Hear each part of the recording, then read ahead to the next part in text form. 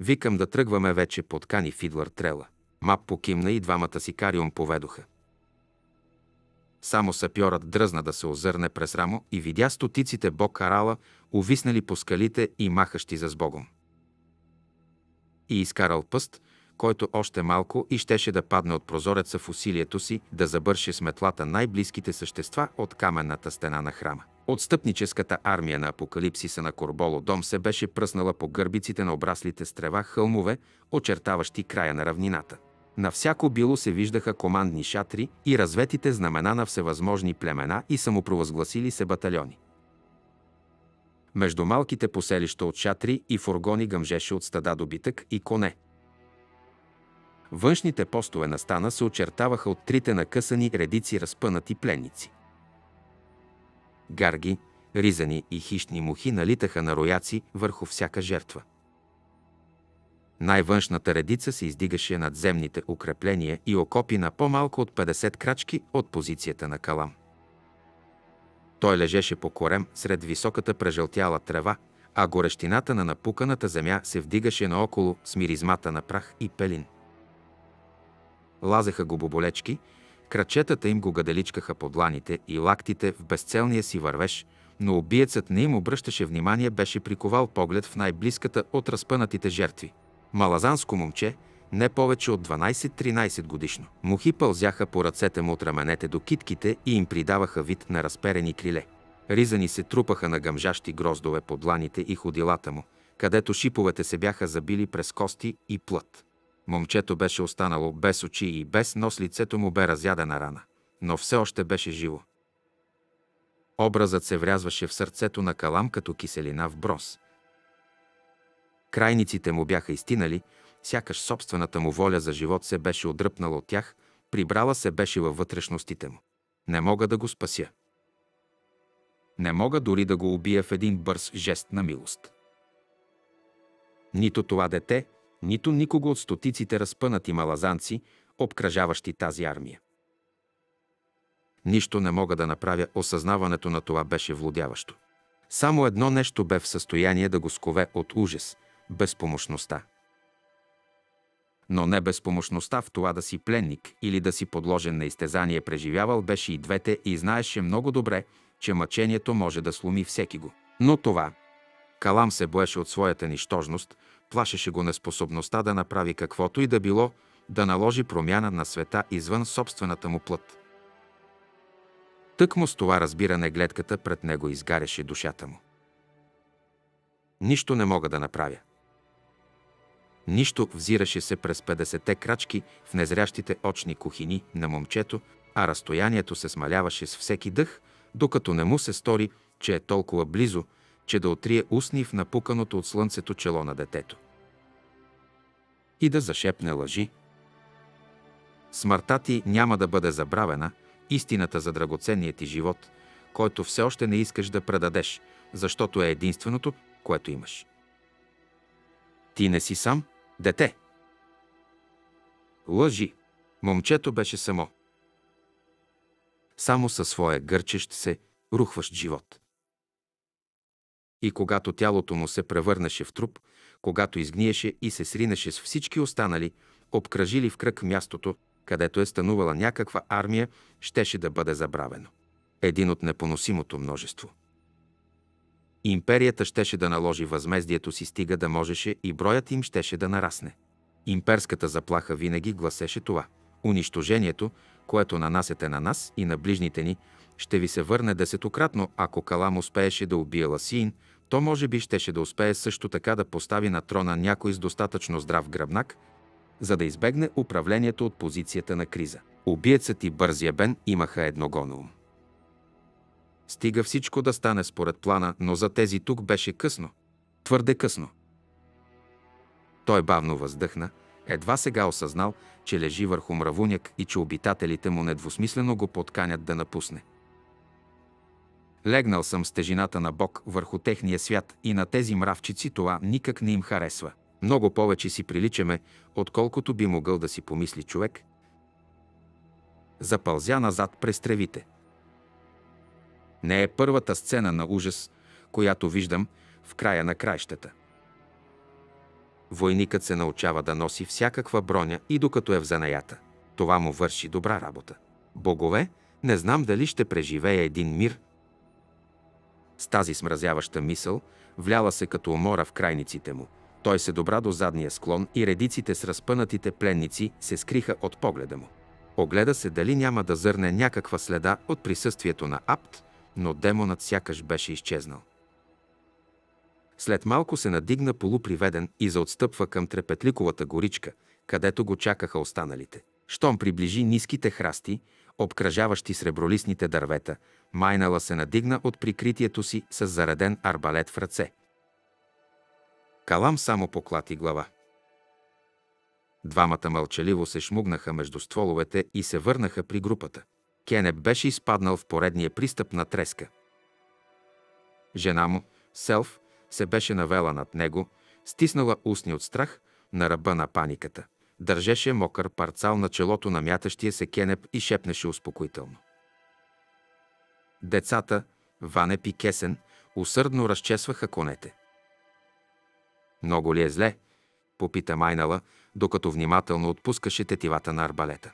В първия миг Калам беше твърде заед с отърсването на полазилите го мравки, но после въздъхна. Няма да можем да ги заобиколим. Видях знамена от западните племена, тези лагери се разрастват, което значи, че Одан на запад няма да е празен. На изток ще се натъкнем на градчета и села, всичките заети от гарнизони. По целия хоризонт на там няма нищо освен пушици. Ако беше сам, щеше да преминеш, каза Майнала и забърса с ръка черния кичур от челото си. Светло-сивите й очи го пронизаха. Един от многото войници на Апокалипсиса. Ще е съвсем просто да получиш пост в южния край и някоя нощ тихичко да се измъкнеш. Кала ми сумтя. Не е толкова просто, колкото си мислиш. В този лагер има магове. Пък и аз съм държал книгата в ръцете си, едва ли ще остана анонимен. Какво значение има това? Попита Майнала. Може би си прочут, но чак асцендент не си. Убиецът свира мене, после зарови в пътната си турба. Не ми отговори, Ефрейтор продължи Майнала, без да откъсва очи от него. Откъде е цялото това важничене? Не си от хората, които се самозалъгват, тъй че, изглежда, криеш нещо от нас.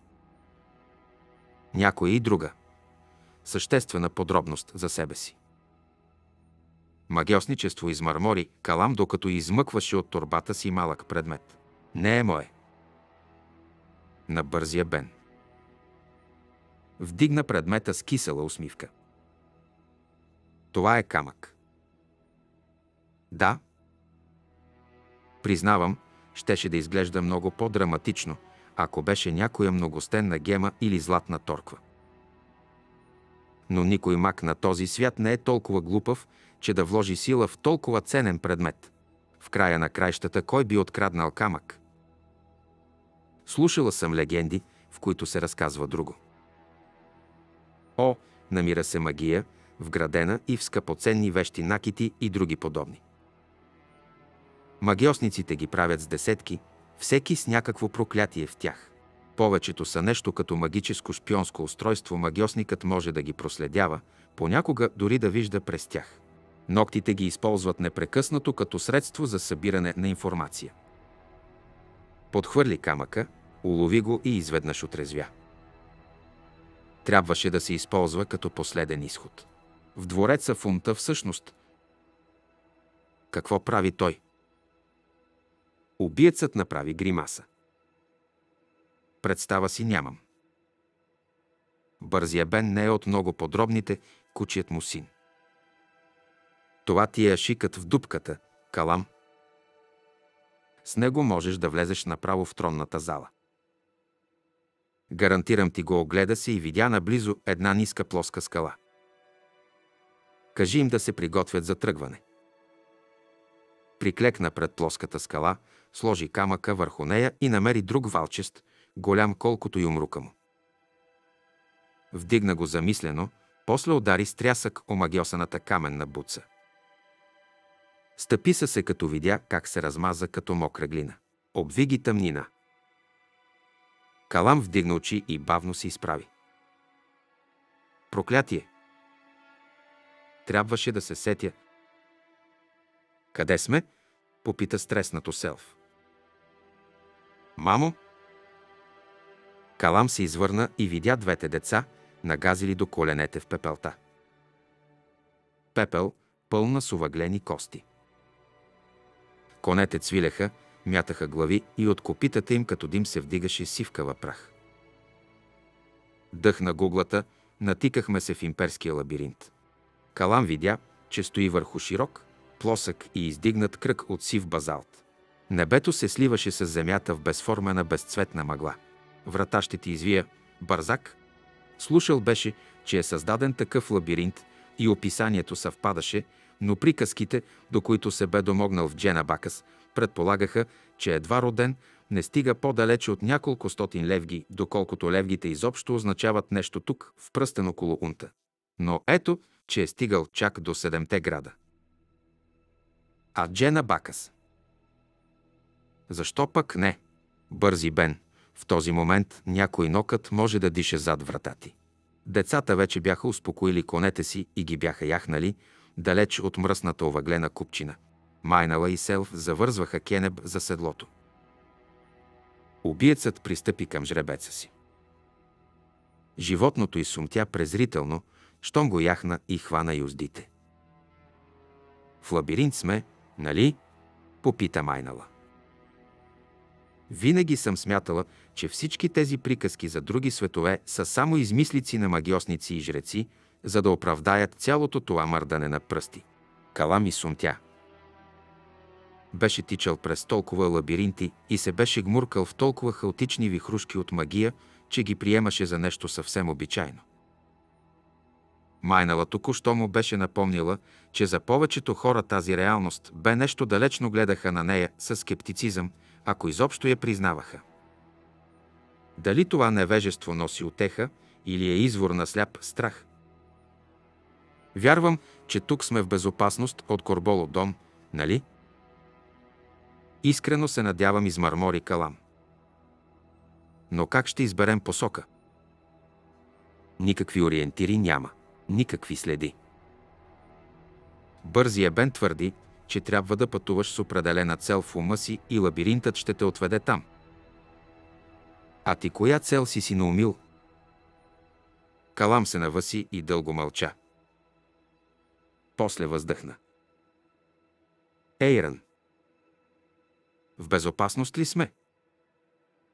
Безопасност. Ние току-що стъпихме в гнездо на стършили. Жено, ще видим. О, голяма отеха, няма що сопна се майнала. В мислите му отново изплува образът на издъхващото на кръста малазанско момче. Той погледна през рамо към децата на Кенеп и измърмори. По-добре този риск. От онова, което им бе гарантирано. Би ли ми обяснил последните си думи? Калам поклати глава. Стига приказки. Трябва да си представя цял град. Лостара Юил подкара бавно коня си към зейналия отвор, разбрала моментално, въпреки че никога до сега не беше виждала такова нещо, че е портал към друг лабиринт. Ръбовете му започваха да гаснат, като затваряща се рана.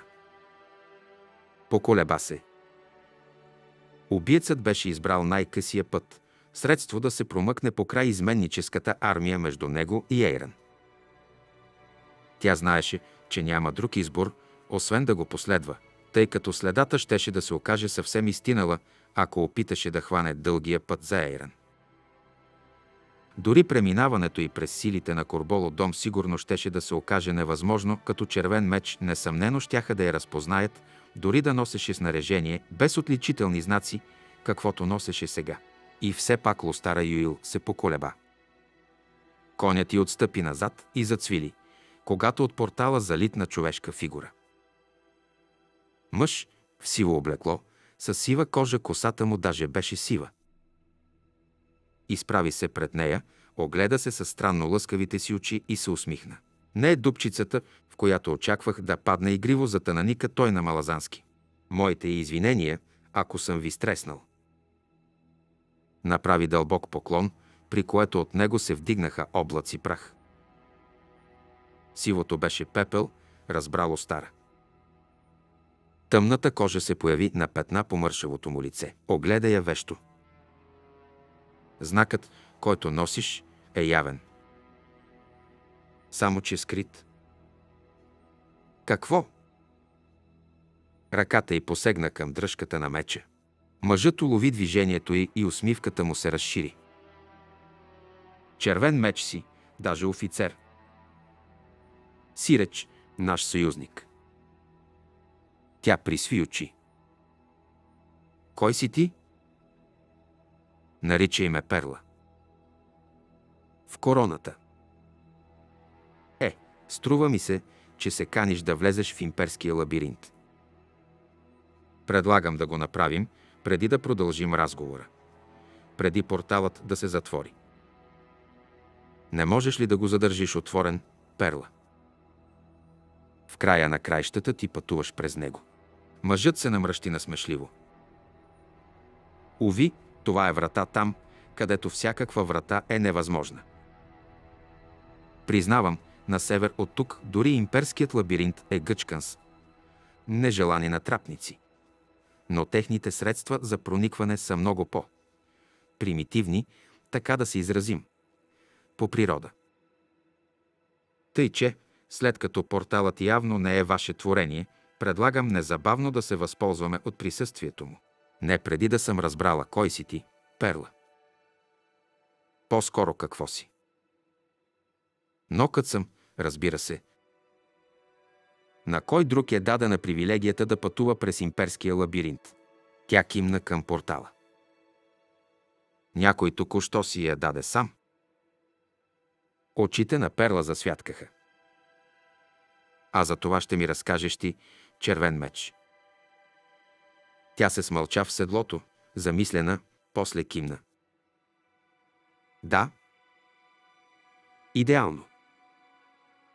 Ще те придружа. Перла пристъпи назад и я подкани с ръка. Лостара Юил смуши коня.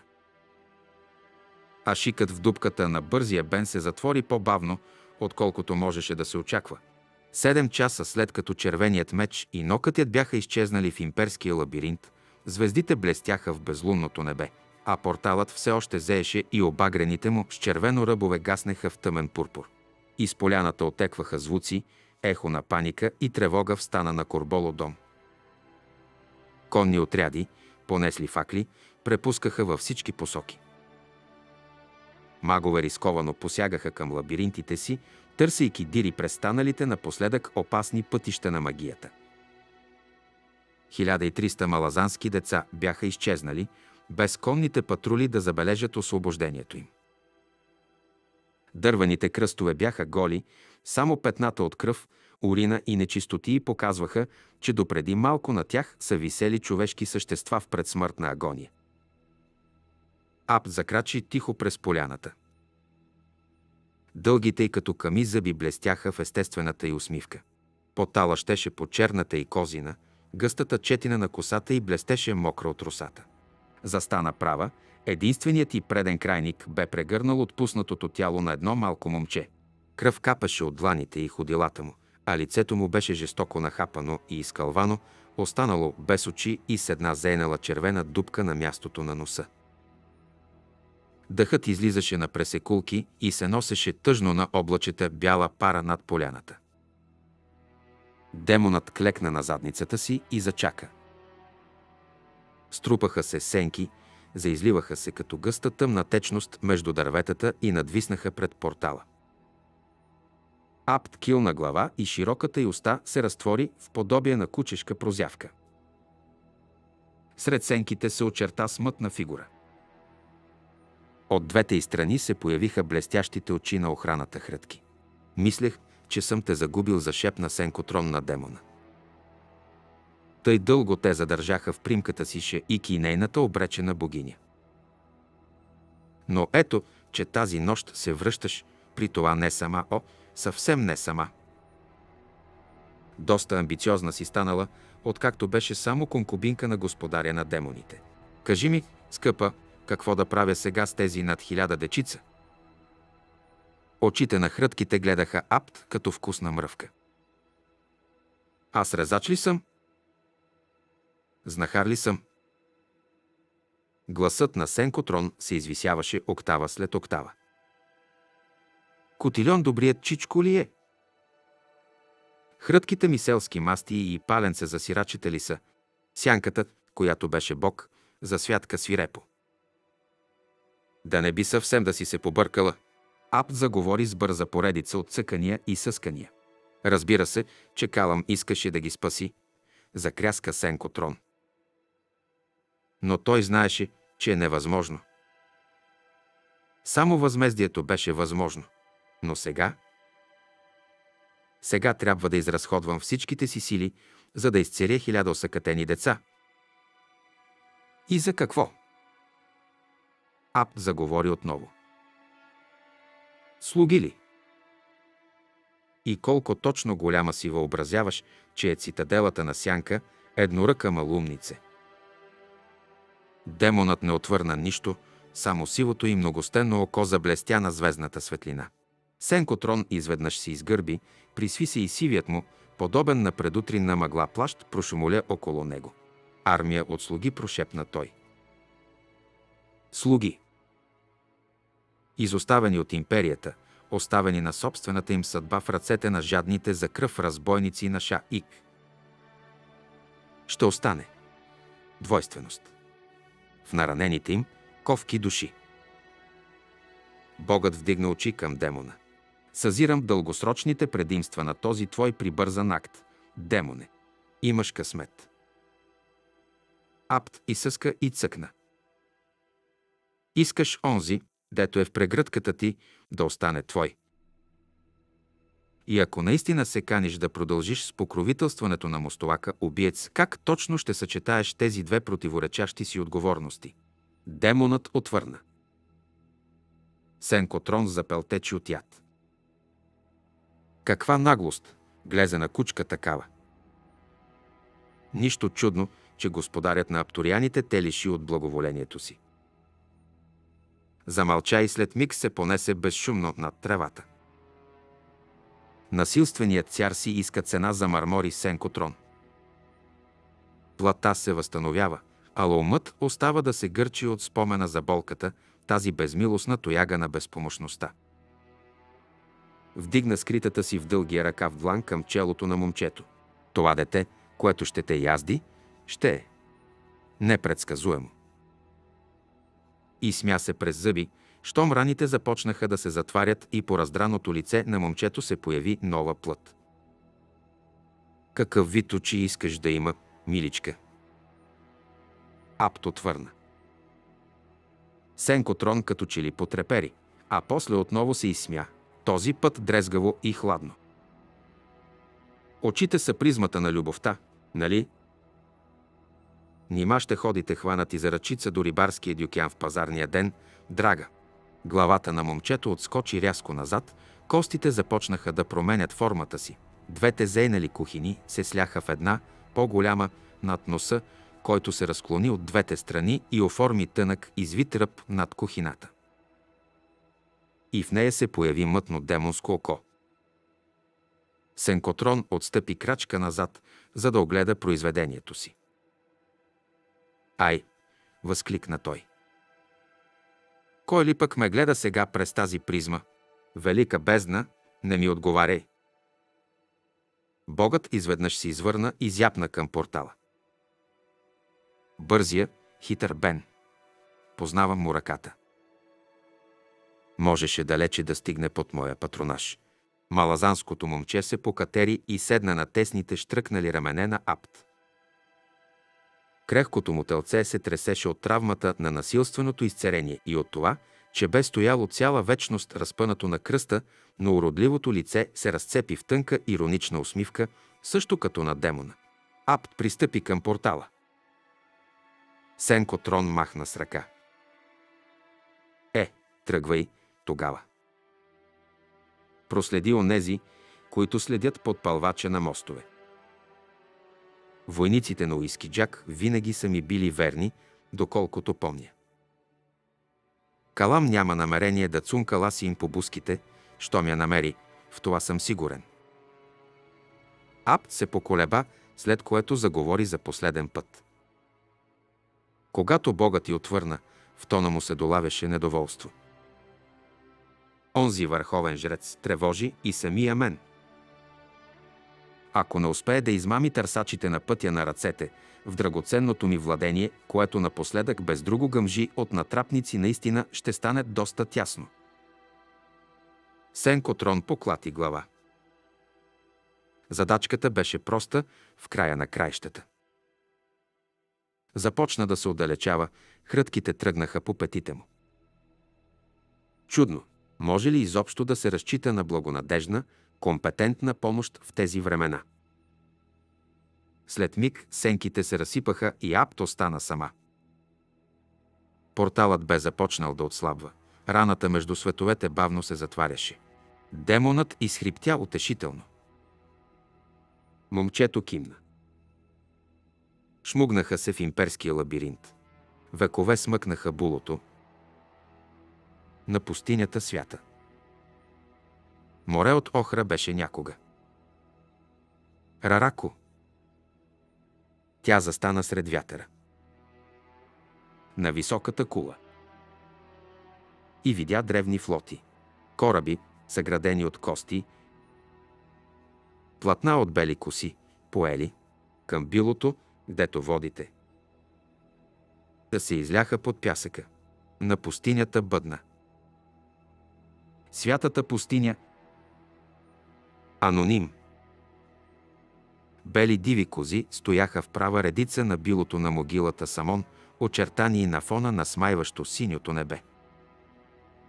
Като животински богове, изваяни от мрамор, гледаха огромния керван, който се виеше през долината, загърнат в гъст облак прах. Това, че наброяваха седем, беше поличба, която не обягна на Дюйкър, който яздеше с южния флангов патрул на уикците от клана на Мармота. На 900 крачки зад историка крачеха в походен строй пет роти на седма, малко под хиляда души, а на още толкова разстояние зад тях яздеше друг патрул от 150 уикци.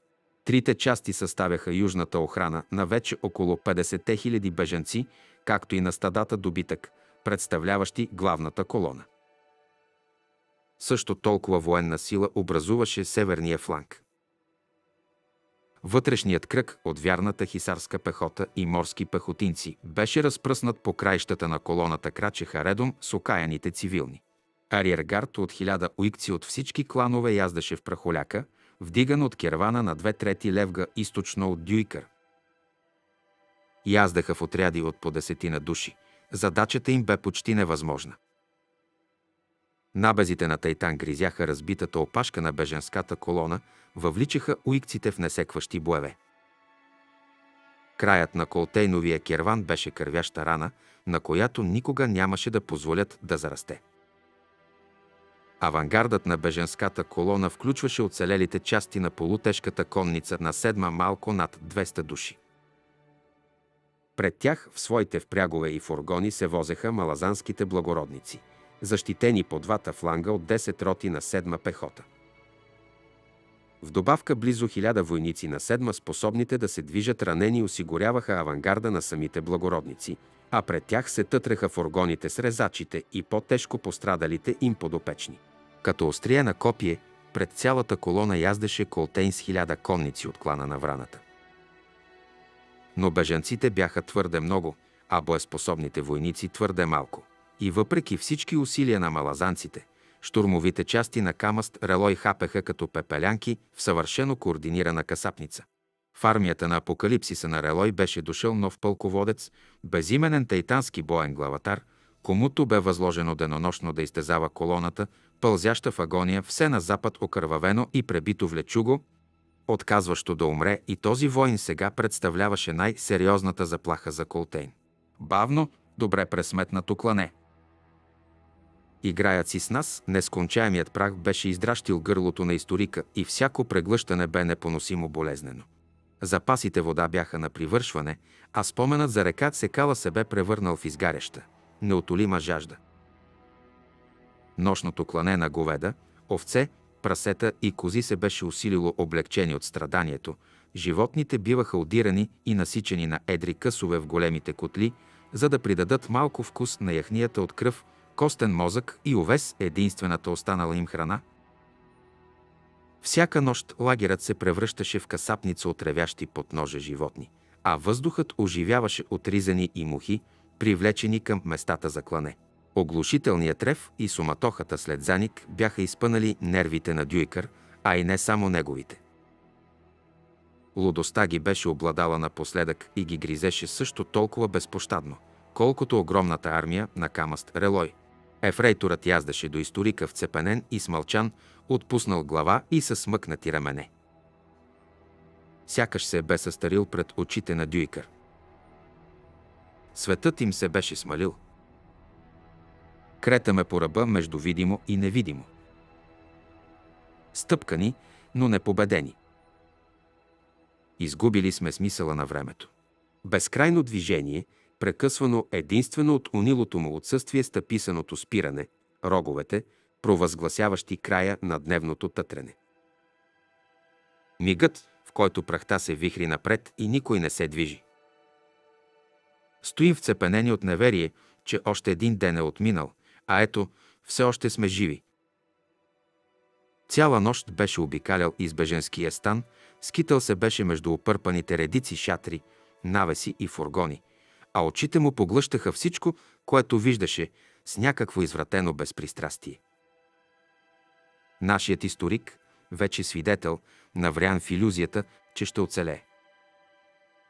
Достатъчно дълго, за да изреди подробностите върху пергамента с крехката вяра, че истината е достойна кауза, че разказът ще се превърне в урок, в който ще се вслушат. Крехка вяра ли? Откровена лъжа, заблуда от най-лошия вид. Урокът на историята е в това, че никой не се учи. Издъхваха деца. Беше се навел с ръка на рамото на една майка и гледаше с нея как се изцежда животът от невръсното тълце в прегръдката й. Като светлината на маслен светилник заглъхва, заглъхва и гасне. Мигът, който борбата е вече изгубена и сърчицето топти все по-бавно, осъзнало поражението, а после секва в няма почуда. И повече не се пробужда, тъкмо тогава болката изпълваше опустелите души на все още живите и помиташе всичко в своя гняв срещу несправедливостта. Неспособен да утеши майчините сълзи, беше продължил. Обикаляше без посока, отцапан с прах, пот и кръв, превръщаше се в привидение, самопровъзгласил се пари. Беше престанал да се явява на нощните съвети на Колтейн, въпреки изричните заповеди. Придружаван само от лист, яздеше с уикците до фланговете и ариергарда, вървеше редом с седма, с верните хисарци, с морската пехота, сапьорите, с благородниците и кървясалата тиня, както бяха започнали да се наричат беженците с незнатно потекло. И през цялото това време не казваше почти нищо, присъствието му бе станало толкова обичайно, че позволяваше на хората да се отпуснат. Каквито и да бяха опустошенията, все се намираше достатъчно енергия, за да се изрази в мнение. Колтейн е истински демон, мрачната шега на Ласиин над всички нас. Той е в съюз с Кама Стрело и Ша и този бунт не е нищо друго, освен добре измислен фарс, откакто гуглата дойде да обгърне света човешки. Проснали сме се ничком пред нашия покровител с лице череп и в замяна на всичката тая пролята кръв Колтейн, Шеик и Ласин ще се възвисят и ще застанат редом до закачуления. Гуглата се показва в полета на тия мухи, непрекъснато ни показвали къси. Всеки здрач посреща салчното си хилене в смрачаващото се небе. Уикците са сключили пакт с земните духове. Тук сме да натурим почвата. Погрешен път сме тръгнали, приятел. Играчка сме за богинята на вихара, нищо друго. Урок сме, който дълго ще се разказва. Съветът на благородниците яде деца. Чакай. Къде го чу това? Някой с нощи се натъкнал на гнусен пир. Съветът отправил молитви към тъмните древни богове да останат тлъсти. Да останат какво? Тлъсти, рекох. Истина е. И сега нощта ми стана скитат озверели духове, събират мъртви деца и почти умрели, никаква разлика няма, само дето вторите са по-сочни. Побъркал си се. Може пък и да има нещо тука, приятел. Аз самият си взех и дъвках кокали тая заран, цяла камара бяха черепи нямаше, ама кокалите изглеждаха съвсем човешки, само дето бяха много дребни. Какво, не би ли хапнал някое печено бебенце, а? Вместо половин паница от тая кафява гнус, дето я гмуцаме напоследък. Чух, че армията на Ейран е само на няколко дни от тука, води е самият Пурнквал. Цял легион демони имал със себе си, викат. Ша и ке мъртва чуги как виеха семх цяла нощ, нали?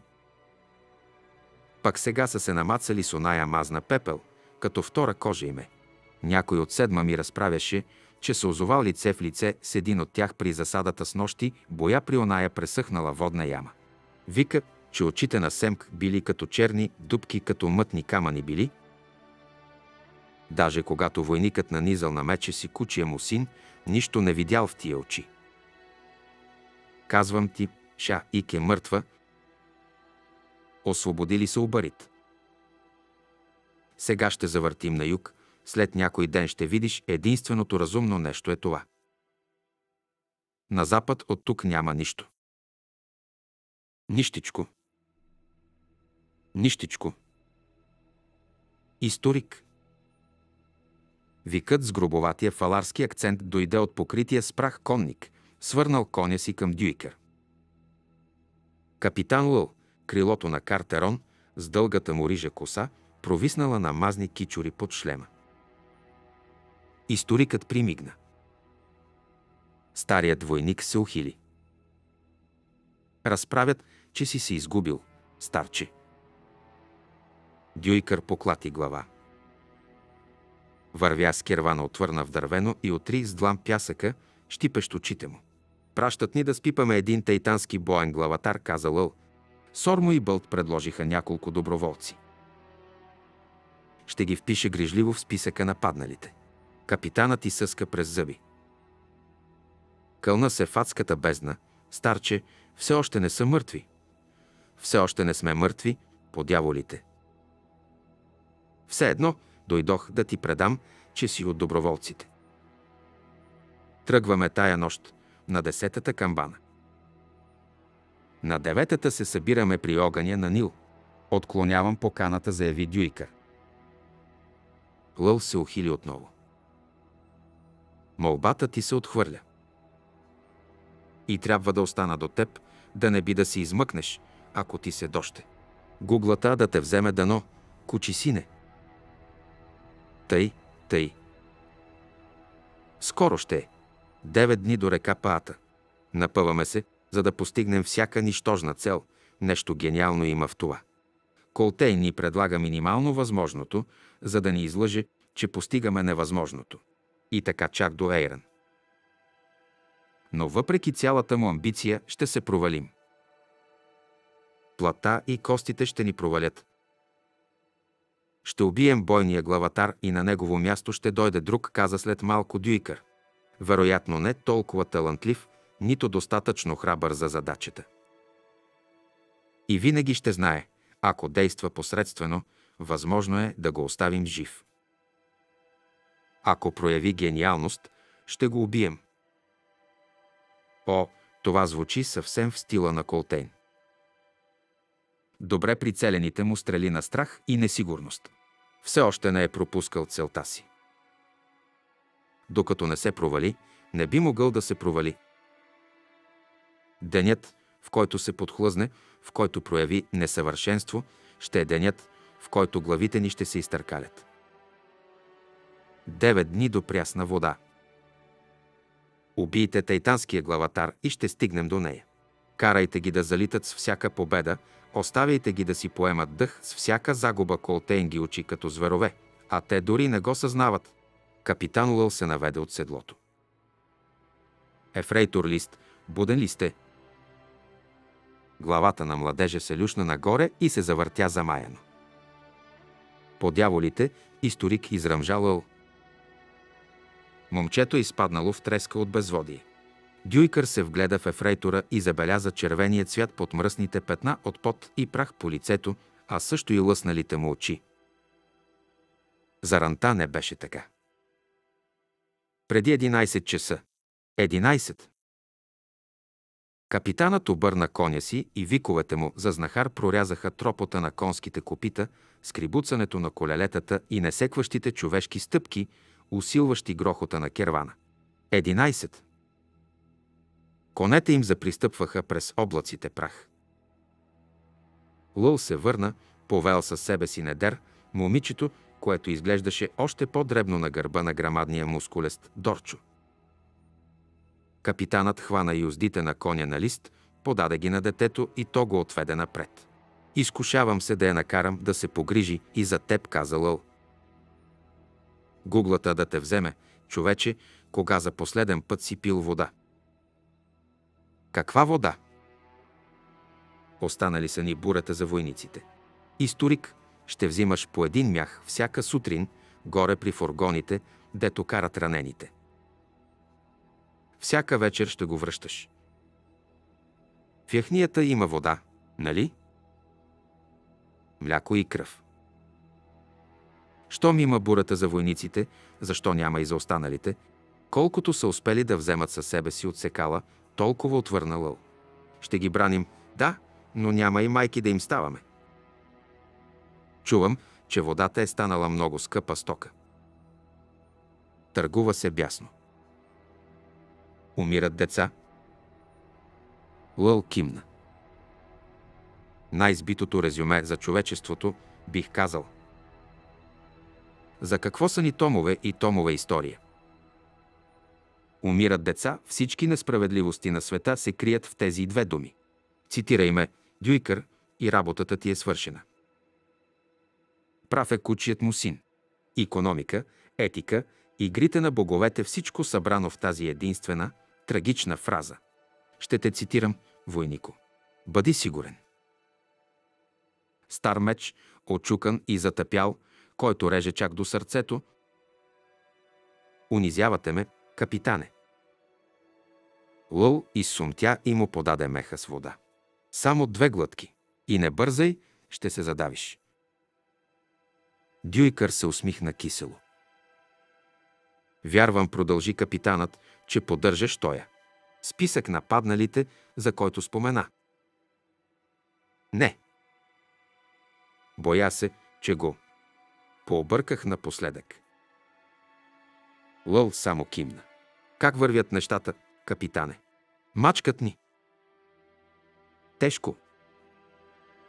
По 20 на убити на ден, два пъти повече ранени. Като пепелянки в прахта появят се изведнъж, захвърчат стрели, загине някой войник. Пратим отряд уикци да ги подгони, те се натъкнат на засада. Пратим друг, оплетем се в по-голям бой. Тоя или оня фланг ни остане открит. Колят бежанци, убият по някой и друг пастир, още няколко животни загубим е, освен ако уния уикски псета не се навъртат наблизо гадни зверове са. Между другото, и тяхната бройка намалява. С други думи, това не може да продължи дълго. Оголените зъби на лъл блеснаха под прошарената рижа брада. Точно за това отиваме за главата на онзи главатар. Стигнем ли река Па-Ата, пак ще има голямо сражение. Той не е поканен. Поредният оспорван брод. Не, реката е плитка до глезените и става още по-плитка в сухия сезон. По-скоро от другата страна пътят минава през сурова земя. Виж, там ни чакат неприятности. Или си просичаме достатъчно пространство, за да можем да дишаме, или сме гнило месо под слънцето и е все едно. Прокантяха уикските рогове. А, ето, че свърши за днес. Хайде малко да отдъхнем, старче ще си намерим място в стана на мармотите. След няколко часа ще те събудя за яденето. Води, капитане. Глутницата уикски кучета браничари, сборичкала се над нещо неразпознаваемо във високата трева, спря и загледа минаващите на 20 на крачки по край тях Дюйкър и Лъл. Историкът се намръщи от седлото си към рошевите окалени зварове. По-добре не ги гледай в очите, каза Лъл. Не си от уикците и те го знаят. Само се чудех какво ядат. По-добре да не знаеш. Чух да разправят за изровени детски гробове. Казах, по-добре да не знаеш, историко. Е, някои по-корави от кървясалата тиня се хващат да пазят над тия гробове за някой залък в повече. Ако няма туикска кръвчица в тинята, ще съжалят. След като двамата мъже ги подминаха, псетата отново зарамжаха и се сборичкаха. Встана пред тях заблещукаха огньове. Последната редица бранители патрулираше около кръглите кожени шатри, старци и младежи, напрегнати и с злобни погледи, също като на браничарските псета. Имам чувството, измърмори Дюйкър, че каузата с защитата на беженците охладнява сред тези хора. Капитанът се навъси, но не отвърна нищо. Продължиха напред между редиците шатри. Пуши от огньовете бе надвиснал тежко във въздуха с миризмата на конска пикня и варени кокали, люта и в същото време странно сладникава. Дюйкър се поспря, когато минаха по край една старица, заета с един осъжден котел с врящи кокали. Това, което вреше вътре, не беше само вода. Жената сбираше с помощта на дървено гребло трупащата се по повърхността мас и костен мозък, тикаше я в черво, след което щеше да я навърже и да го сложи да се суши за наденица. Бабата забеляза историка и надигна дървеното гребло, все едно го предлагаше на някой мълчуган да го оближе. Между тластините се мяркаха листа от пелин билка, която Дюйкър някога беше обичал, но напоследък беше започнал да ненавижда, тъй като беше една от малкото, срещащи се в Одан. Усмихна и се и поклати глава. Настигна капитана и той му заговори. Известен си, старче. Разправят, че живееш в духовния свят. Старата конярка не би предложила храна на кого да е не и на мен, това поне е сигурно. Духовният свят. Да, живях там. Някога. Никога повече виждат там някакъв старец в опърпани дрипи. И решават, че е докоснат от боговете. Ма да. Само, че не се подиграва и с това на глас, може да ти спаси кожицата някой ден. Огнището на Нил се отличаваше от другите наоколо с това, че над него нямаше врящ котел, нито прътове за сушене на месо. Горящата тор в малкия каменен кръг беше почти бездимна и мяташе чисти синкави пламъци. Младият магиосник седеше от едната страна на огнището и ръцете му ловко заплитаха кожени ивици в нещо като къмшик. Недалече от него бяха наклякали четирима от морските пехотинци на Лъл, улисани в последната проверка на оръжието и снаряжението си. Тежките им арбалети бяха начернени току-що, а после наклепани с мазна прах, за да се скрие ласкавината. Само един бегал поглед беше достатъчен Дюйкър да се увери, че това са корави войни, ветерани. Движенията им бяха пестеливи, подготовката професионална. Нито мъжът, нито трите жени изглеждаха на по-малко от 30 и никой не проговори, нито вдигна глава, когато капитанът спря при тях. Нил кимна на Дюйкър, щом историкът седна срещу него и каза Нощта обещава да е хладна. Намери ли местоположението на този боен главатар?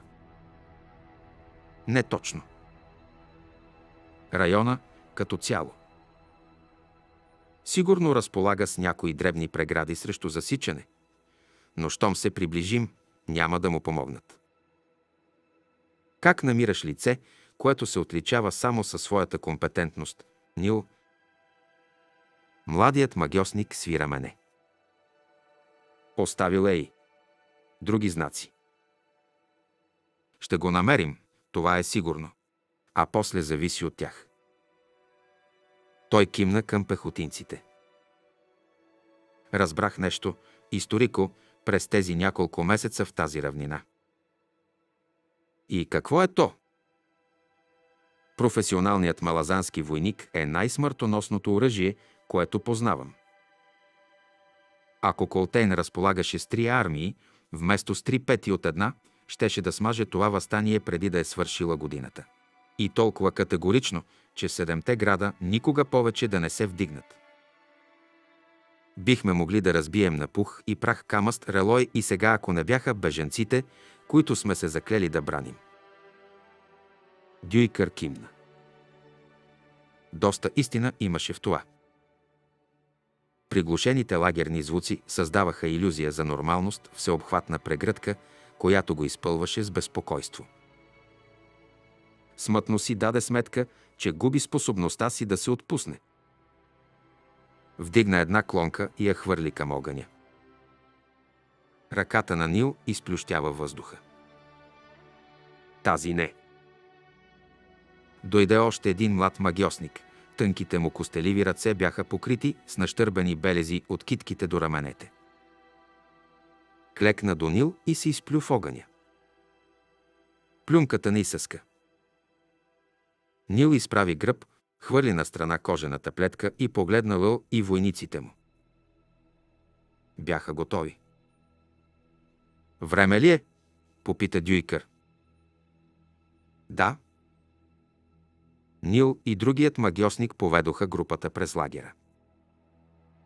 Мълци на отродния им клан поглеждаха към тях и едва след няколко минути Дюйкър осъзна, че привидното безразличие може би е съзнателна проява на предписван от нравите им израз на почет.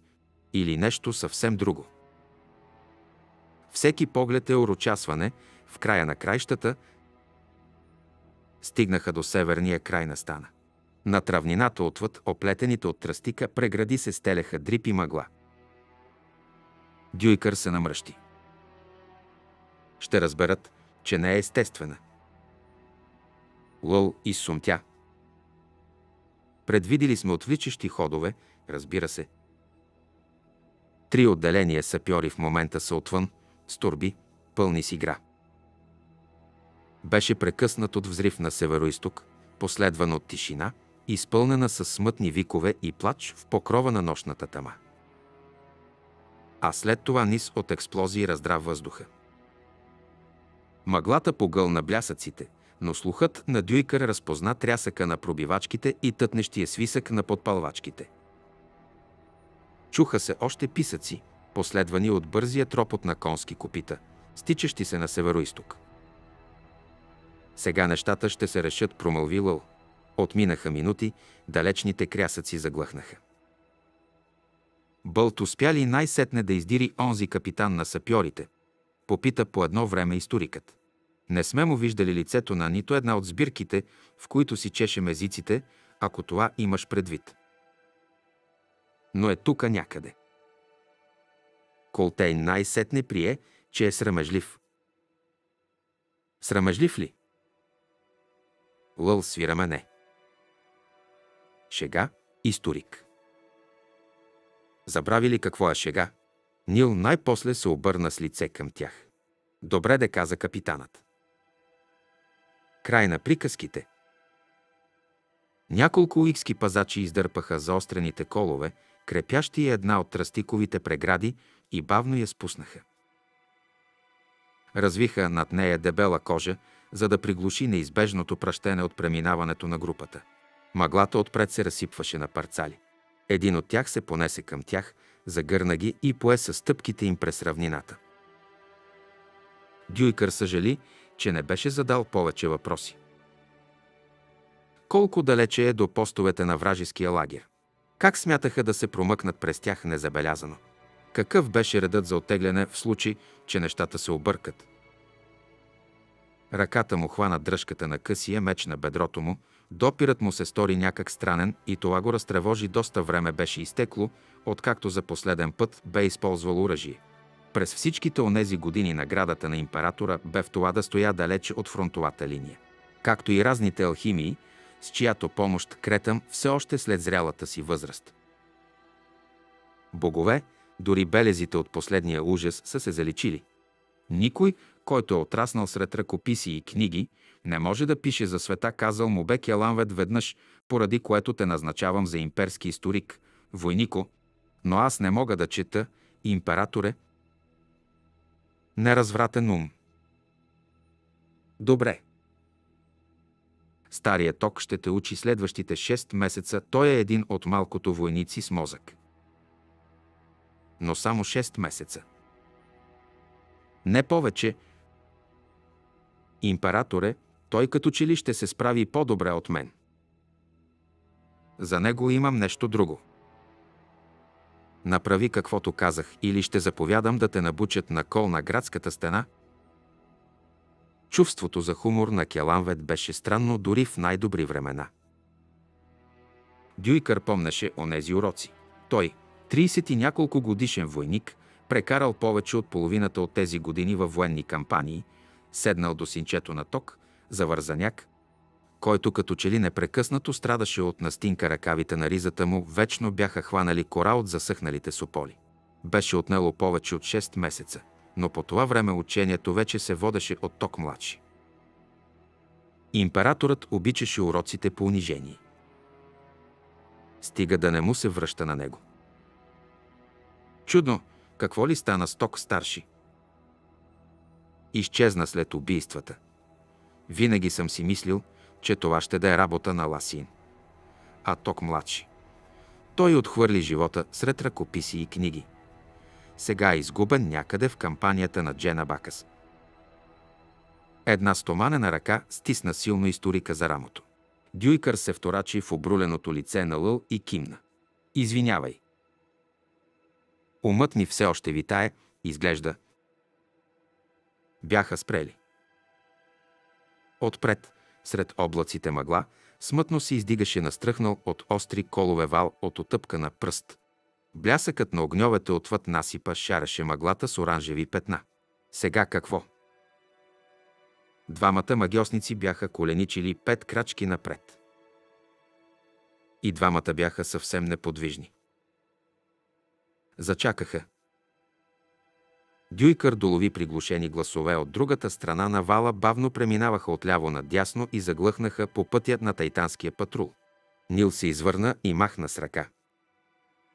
С заредени арбалети, морските пехотинци се плъзнаха напред. След миг историкът ги последва.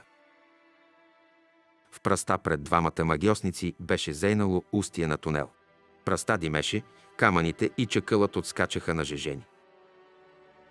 Отдолу изглеждаше, сякаш е изровен от нечии огромни ногтести ръце. Дюйкър се намръщи. Мразаше тунелите. Не, те го ужасяваха. Нищо разумно нямаше в това. Нова грешка. Тунелите се срутват. Хората остават заровени живи. Всичко това е съвсем ясно, възможно, вероятно, неизбежно, Нил поведе запълзя навътре и се скри. Другият магиосник бързо го последва. Лъл се извърна към историка и му махна да тръгва. Дюйкър поклати глава. Капитанът го посочи, после посочи дупката и промълви безмълвно. Веднага историкът изсъска проклятие и запристъпва напред. Щом се доближи, ръката на Лъл се стрелна, сграбчи го за прашната телаба и го натика в дупката. Наложи се да напрегне цялата си воля, за да не изврещи. Запълзя и задраска отчаяно с ногти. Изрита и усети как петата му удари нещо. Баз държа, че е ченето на лъл. Пада ти се, кучи сине. Задоволството, което го обля, помогна. Той пропълзя по край старите тинести наноси и се оказа обкръжен като в пашкул от здрава скална основа. Едва ли ще се срути, каза си на ум и мисълта прозвуча в главата му куха и безсмислена. Тунелът продължаваше да слиза надолу, топлата скала стана хлъзгава, а след това мокра. Кошмарните образи как се дави смениха страха от срутването. Поколеба се, докато острият връх на меч не се опря в изтърканата му подметка, пробия и се забоде в ходилото му. Дюйкър изохка и продължи. Тунелът се изравни. Пълнеше се с вода, капеше от всички страни. Историкът се провря още напред и загази в студения поток. Спря, гребна шепа и отпи. Метален и песъчлив вкус. Но се пие. Равният участък продължаваше все напред и напред. Потокът ставаше все по-дълбок, с тревожеща бързина. Прогизнал до кости и ужасно натежал от мокрите дрехи, Дюйкър газеше с усилие, капнал от умора, мускулите го предаваха. Само кашлиците и храченето зад гърба му го караха да продължи. Отзад вече се давят, аз съм следващият. Запровира се нагоре, дращеше с ногти в калта и ронещата се пръст. Отпред се появи грубо очертано кълбо от сивкава мъгла беше стигнал до изхода. Нечи ръце го сграбчиха под мишниците и го издърпаха навън, превъргаляха го и го пуснаха сред треви с остри, режещи стръкове. Той остана да лежи тихо, задъхан и зяпнал ниския таван от мъгла над себе си. Едва забеляза през непроницаемата сивота фигурите на морските пехотинци измъкваха се от тунела и оформяха защитен кордон. Дъхът им излизаше със съсък, а от оръжията им капеше разкалена вода. Тетивите на арбалетите ще се разхлабят, освен ако не са били накиснати в масло и намазани с восък.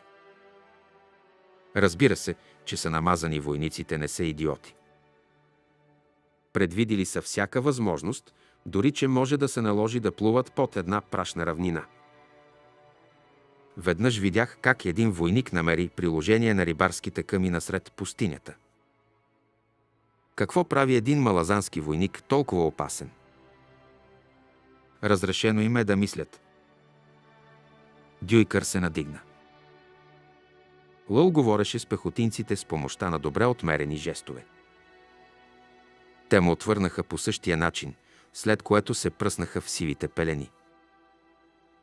Нил и другият магиосник запълзяха напред през тревата към блясъка на един от огньовете, смътно червен в мъглата. Обкръжиха ги гласове, тихо мърморене на грубоватия тайтански език залудуваха и с мъглата така обезпокоително, че Дюйкър по някое време беше сигурен, че цяло отделение стои само на крачка зад гърба му и кротко обсъжда къде точно в гърба му да забучат копията си. Колкото и да си играеше мъглата със звука, той можеше да се закълне, че Нил и приятелят му усилват ефекта с магията си и че скоро ще заложат живота си на това объркване на слуха. Лъл го потупа по рамото и махна с ръка напред, където се бяха стопили фигурите на магиосниците. Загърналата ги мъгла беше непроницаема, нищо не се виждаше на повече от една ръка разстояние. Намръщен, историкът се смъкна по корем, превъртя ножницата на късия си меч отзад на бедрото и запълзя като черва и напред, където ги чакаше Нил. Огънят беше голям, пламъците горяха с мъртвешка бледнина през булото на мъглата. Около него стояха или седяха шестима тайтански войни, загърнати в козинявите си на метала. Дъхът им излизаше на бели кълбета. Взрям в сцената до Нил, Дюйкър успя да различи тънката патина на скреш, покрил земята. Леденият въздух се полюшваше над тях, раздвижен от лекия нощен вятър. Историкът сръга младия магиосник, кимна към скрежа и повдигна питащо вежди. В отговор Нил съвсем леко свира мене. Войните чакаха някого, протегнали боядисаните си в червено длани към пламъците, за да ги стоплят. Сцената си остана неизменна още двайсетина дъха, а после насядалите и клечащите се надигнаха и заедно с останалите се обърнаха в една и съща посока вляво от Дюйкър. В светлината на огъня се появиха два силуета. Първият мъж беше едър като мечок и приликата се подсилваше от животинската кожа, загърнала широките му рамене. На двете му бедра стърчаха дръжките на едноостри метателни брадви. Връзките на кожената ризница не бяха стегнати от гръдната кост нагоре и се виждаха яките мускули и рунтавите спластени косми. Чертите пурпурна боя по лицето издаваха, че е боен вожд всяка без знак за наскоро спечелена битка. Множеството прясно изрисувани черти ясно показваха че страданията на малазанците са причинени от неговите ръце. А зад това внушително същество стоеше войн на Семк. Още едно предположение за черкнато, явно прословутата омраза на племето Семк към всички, които не са Семк, бе оставена на страна, в подчинение на богинята на Вихара. Или по-точно, заради унищожението на Колтейн, Войнат на Семк представляваше по-набит и по-страховит вариант на тайтанския боен главатар, беше толкова космат, че не му беше нужна меча кожа. Единственото му облекло беше кожената превръзка около слабините и няколкото колана, стегнали здраво корема му. Беше покрит с мазна пепел, рунтавата му черна коса висеше на гъсти кичури, брадата му беше накичена с костени фетиши. Презрително озъбената усмивка изкривила лицето му изглеждаше неизменна. Последната подробност, която се разкри, щом войнат пристъпи към огнището, беше шевът от сушено черво, зашил устата му. Дъх на гуглата, Семк взимат клетвите си за мълчание съвсем насериозно. Въздухът стана непоносимо леден. Смътна тревога прошепна в тила на Дюйкър и той посегна, за да сръга отново Нил. Преди да е успял да докосне магиосника, и штракаха арбалети. Две метални стрели се забиха в гърдите на тайтанския главатар, а още двама от тайтанските войни изпъшкаха, преди да рухнат на земята. Пета стрела се заби дълбоко в рамото на телохранителя Семк. В същия миг земята под огнището изригна и към небето се разлетяха горящи въглени и цепеници. От земните недра се измъкна многокрак, покрит с катран звяр и нададе пронизващ костите крясък. Разбесня се сред останалите тайтанци и ногтите му задраха през броня и плът. Бойният главатар се смъкна на колене, зяпнал тъпо в уребрените с кожа стрели, забити в гърдите му. Закашля се, от устата му бликна кръв, сгърчи се, после рухна по лице на прашната земя. Грешка. Този не е. Войнат на Семк беше изтръгнал стрелата от рамото си.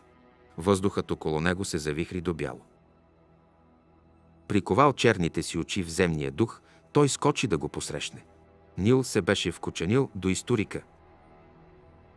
Дюйкър се извърна рязко, за да го разтърси и разбра, че младият магиосник е изпаднал в несвяст.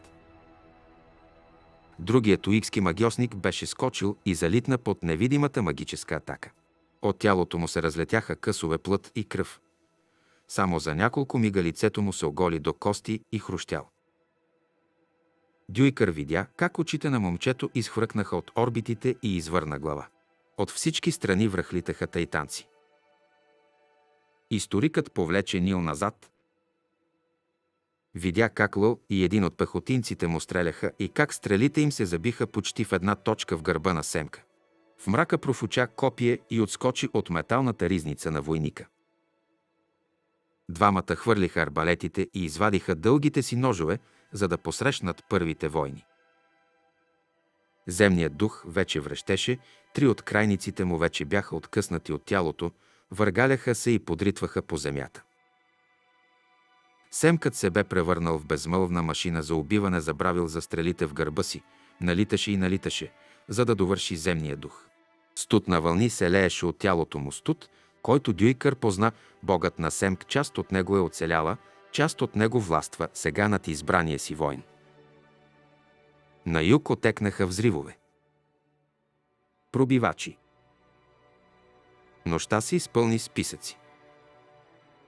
Малазанските сапьори с шрапнели и огън прокопаваха отвор през тайтанските редици. А аз бях решил, че нашата мисия е самоубийствена.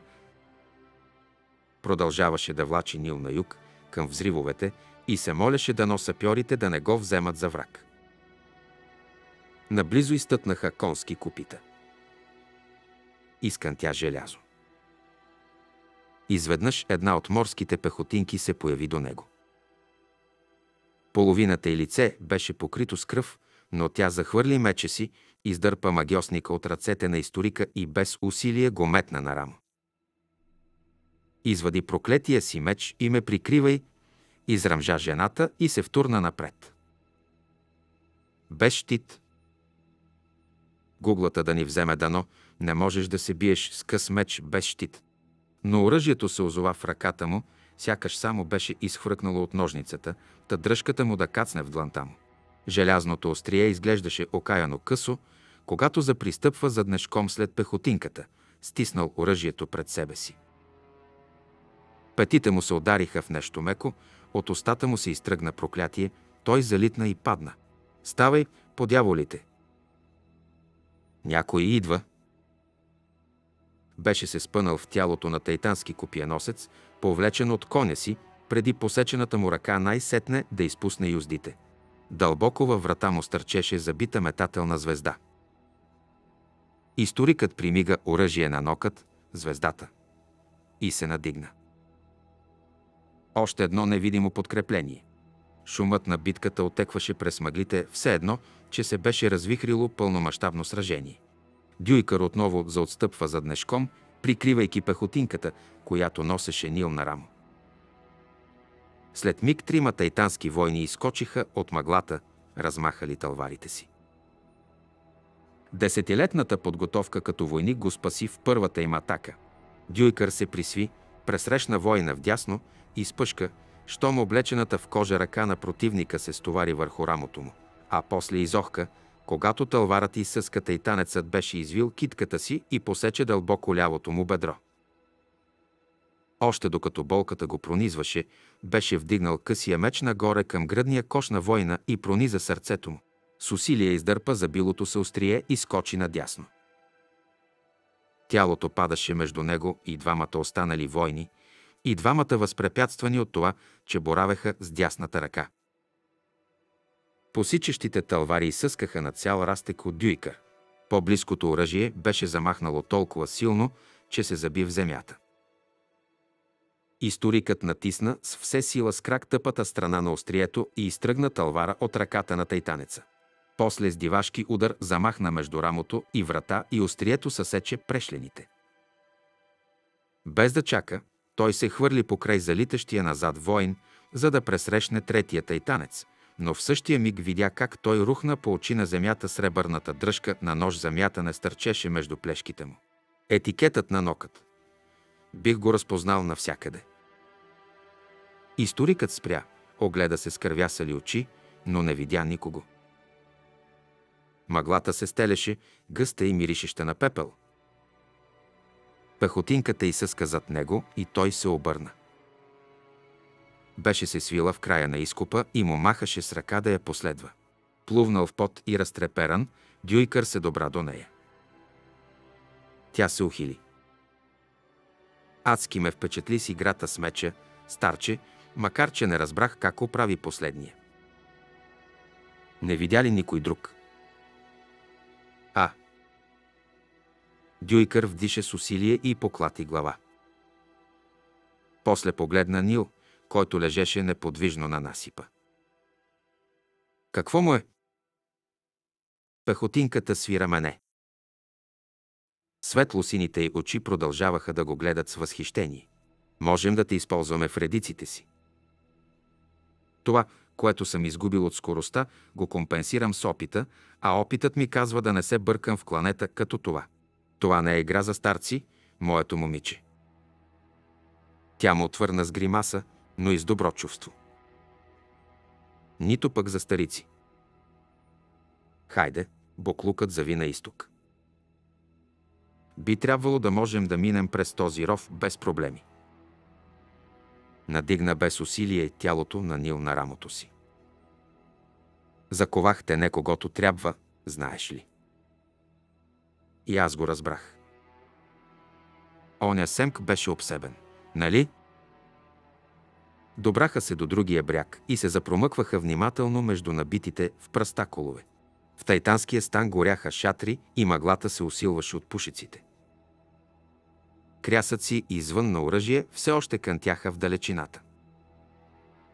Видя ли някой друг да се измъква? Попита Дюйкър. Тя поклати мълчаливо глава. Скоро се натъкнаха на десетина трупа тайтански патрул, избит от шрапнели. Градушката от железни късове ги беше разкъсала ужасно. Диря от кръв показваше на къде са се оттеглили оцелелите. Мъглата изтъня, щом наближиха Уикския фронт. Няколко копиеносци на мармота, патрул около преградите от плетена тръстика, ги забелязаха и препуснаха към тях. Очите на всички се приковаха в Нил. Ще оживее, увари ги пехотинката. Но побързайте да намерите Сормо. Двама от конниците препуснаха бясно към лагера. Някаква вест за другите пехотинци. Обърна се Дюйкър към най-близкия конник. Уикецът кимна. Капитанът и още един се измъкнаха. От мъглите изкочи отряд сапьори тичаха, но забавиха и продължиха ходом, щом видяха групата. Два разбивача кисело заговори единият. А онова копеле просто си стана, все едно бълха го ухапала. Дюйкър пристъпи към него. Кой? Войник. Оня космат Семк. Вече не е космат, подхвърли друг от сапьорите. Мисията ни беше прочистване ухили се първият с разкървавената си уста. Брадвата на Колтейн вие бяхте острието, ние бяхме клинът. Зачукахме го онова огре, ама полза никаква. Сържа го удари стрела, каза другият сапьор. Дробовете му кървят. Само единия игла ме боцнала, поправи го сержантът и спря, за да се изхрачи. Другият си е добре. Не можеш да дишаш кръв, Серж. Спал съм в една палатка с тебе, момче, дишал съм и по-лошо. Продължиха напред, увлечени в спор дали сержантът трябва да потърси знахар или няма нужда. Пехотинката зяпна след тях и заклати глава. После се обърна към историка. Ще ви оставя, за да поговоря с Сормо, сър, ако нямате нищо против. Дюйкър кимна. Двама от приятелите ти не са се върнали, но един е успял. Следващия път, като реша да се поупражнявам с меча, ще ви потърся. Сър, ставите ми вече не държат, момиче. Ще трябва да ми дадеш аванс. Тя внимателно сложи нил на тревата и тръгна. Десет години по-млад да бях, сигурно щеше да ми стиска да й предложа. Е, все едно. После само ще се дърлим край огнището. Двамата уикски конници се върнаха, водеха едно свирепо на вид куче, което влачеше носилка. Конско копито го беше ударило преди време по главата и костите бяха зараснали на криво, така че му придаваха безумна полуусмивка, която отиваше на жестокия блясък в очите му. Конниците слязоха и грижливо положиха Нил върху носилката. Кучето хукна обратно към уикския стан. Ей, на това му се вика грозно животно, рече капитан Лъл зад историка. Дюйкър сумтя. Доказателство, че черепите им са само кокъл, без капка мозък. Още ли си объркан, историко? Той се намръщи. Защо не казахте, че имаме тайна помощ, капитане? Кои бяха хора на Пормквали? За какво ми говориш в името на гуглата? За нокътя. Някой прикриваше оттеглянето ни. Използва звезди и ножове и се движи невидим като дъх на гуглата. Колко още подробности пази за себе си Колтейн. Няма начин Колтейн да знае за всичко това. Дюйкър отвърна Лъл и поклати глава. Ако си сигурен в това, което твърдиш, а аз смятам, че си юмрукът ще иска да го научи. Веднага. За първи път, доколкото помнеше Дюйкър, Колтейн изглеждаше оплашен. Стоеше вцепенен, сякаш не беше сигурен, че някой няма да се промъкне зад гърба му с невидими ножове, само на миг от смъртоносния удар.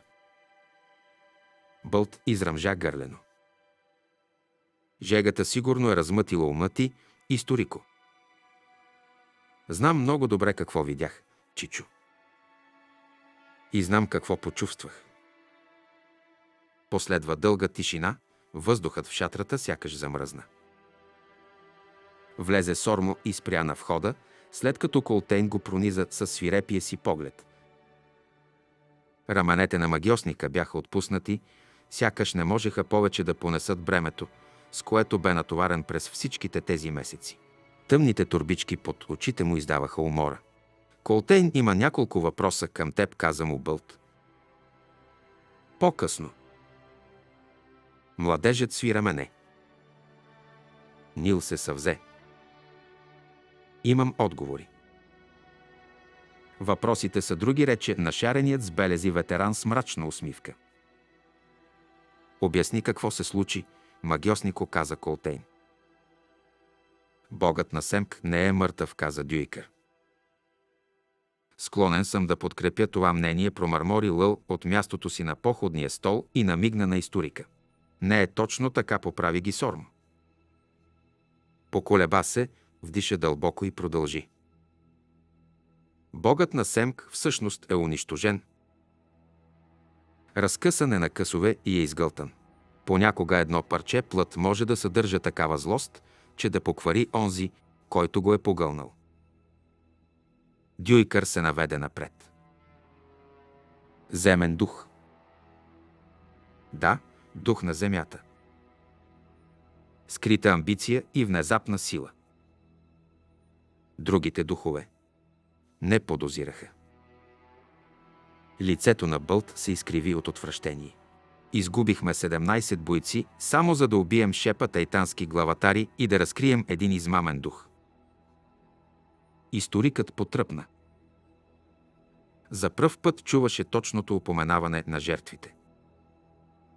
Първата слабост на Колтейн. Дано опон да ни се усмихне и врагът да не разбере.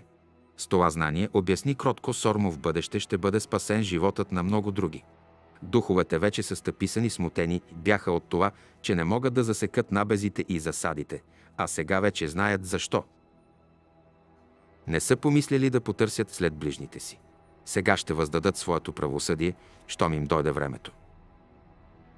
Тоест, набезите ще продължат. Ветеранът едва се сдържа да не се изхрачи.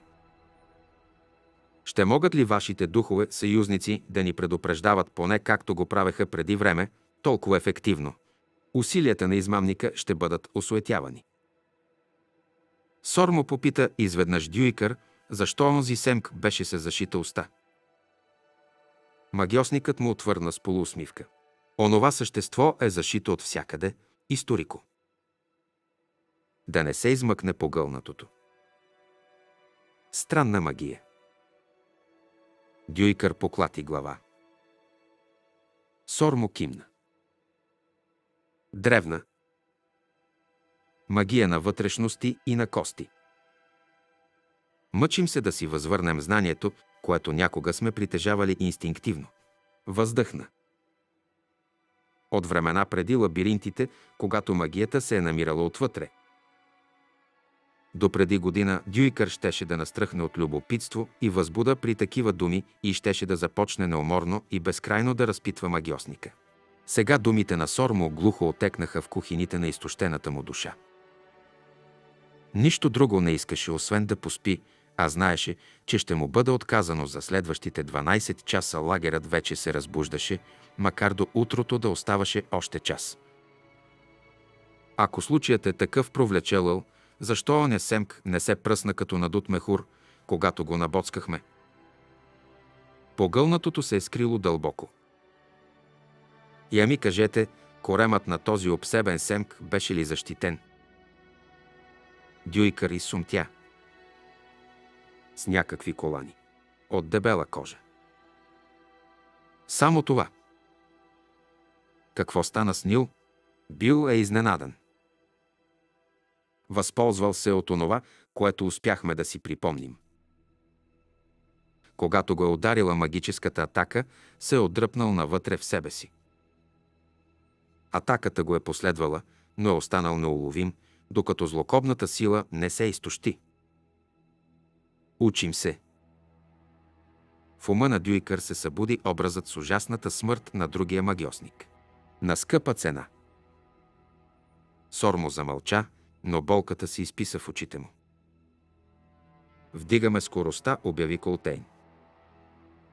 Дневната дажба вода на всеки войник да се намали с по една глътка. Дюйкър се надигна. Но вода имаме. Всички погледи се извърнаха към него.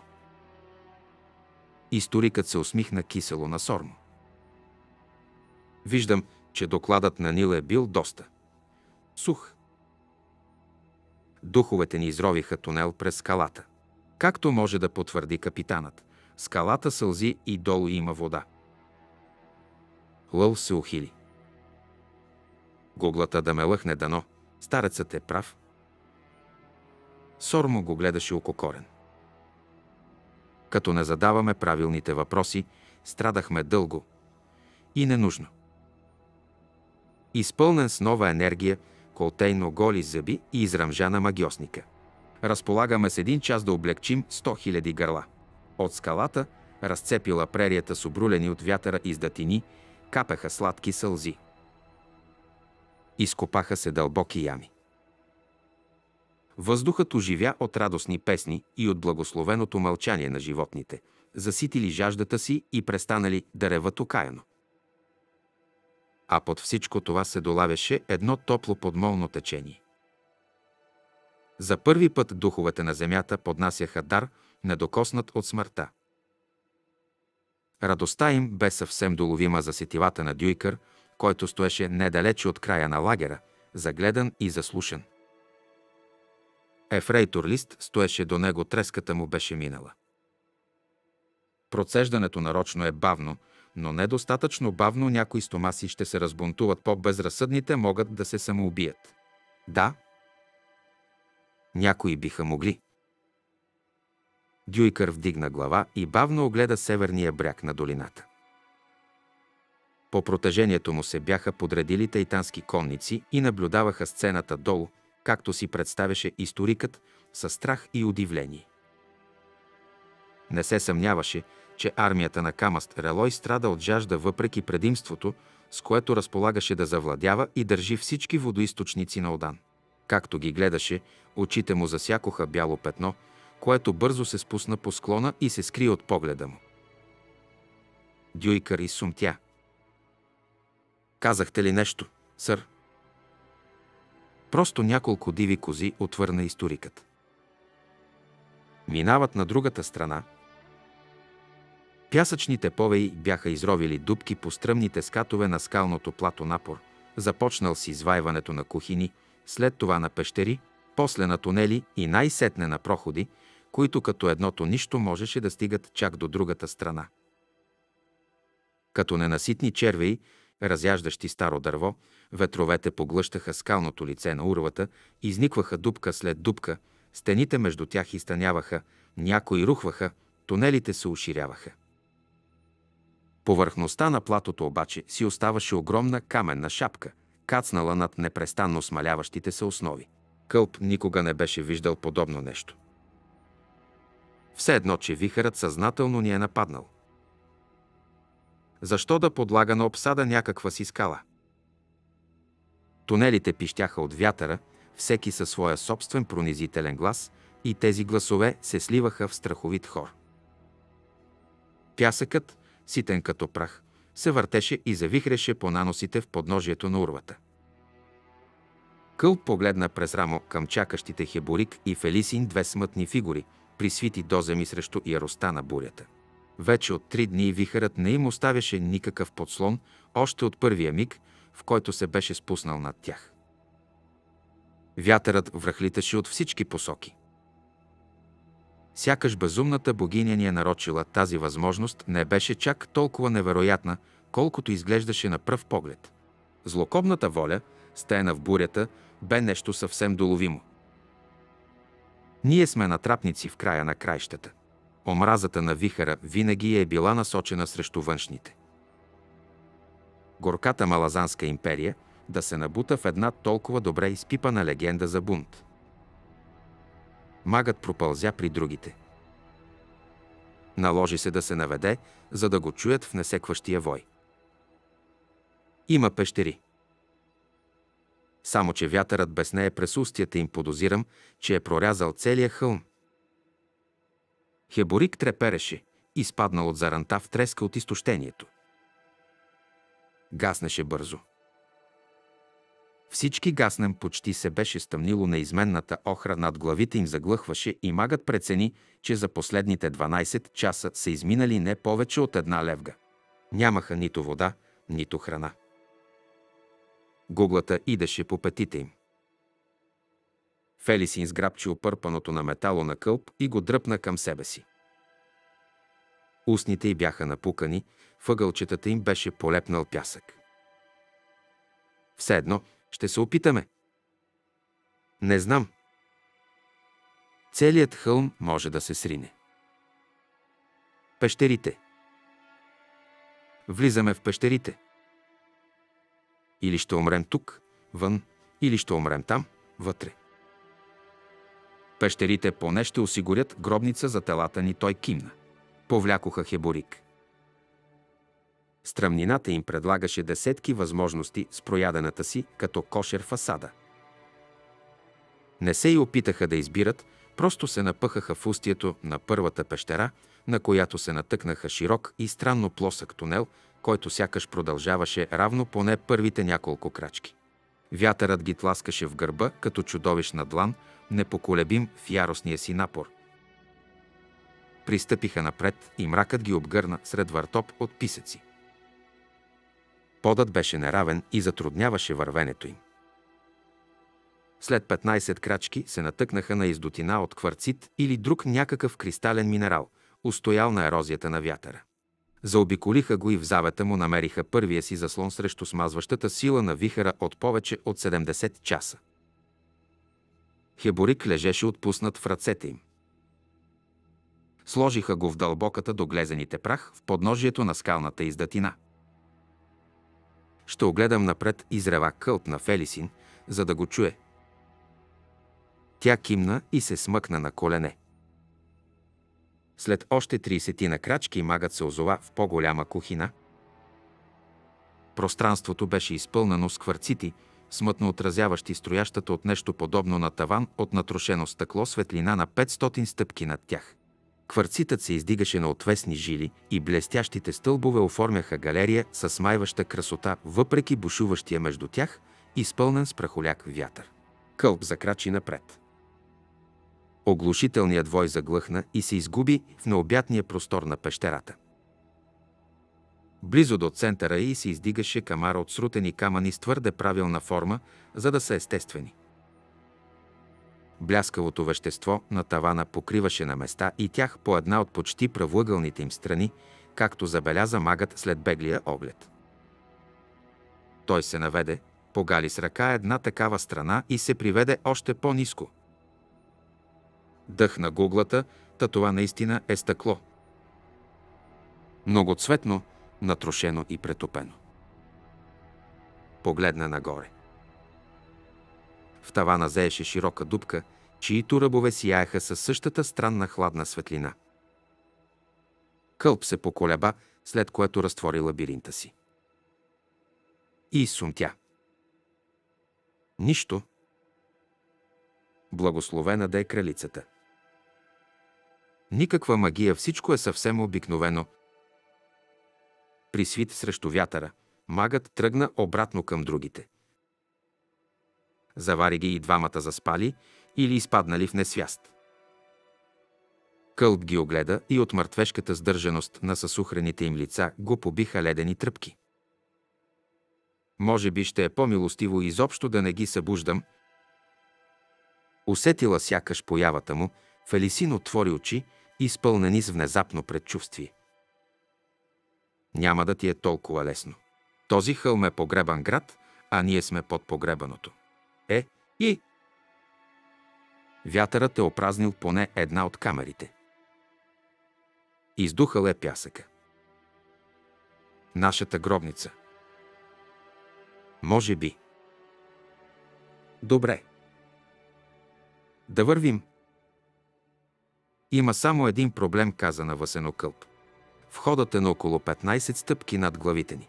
Има една колона от кварцит, но катеренето няма да е никак лесно, не и в състоянието, в което сме. Направи си номера с лабиринтчето. Какво? Отвори ни портал. Той я зяпна. Не е толкова просто. Умирането е просто.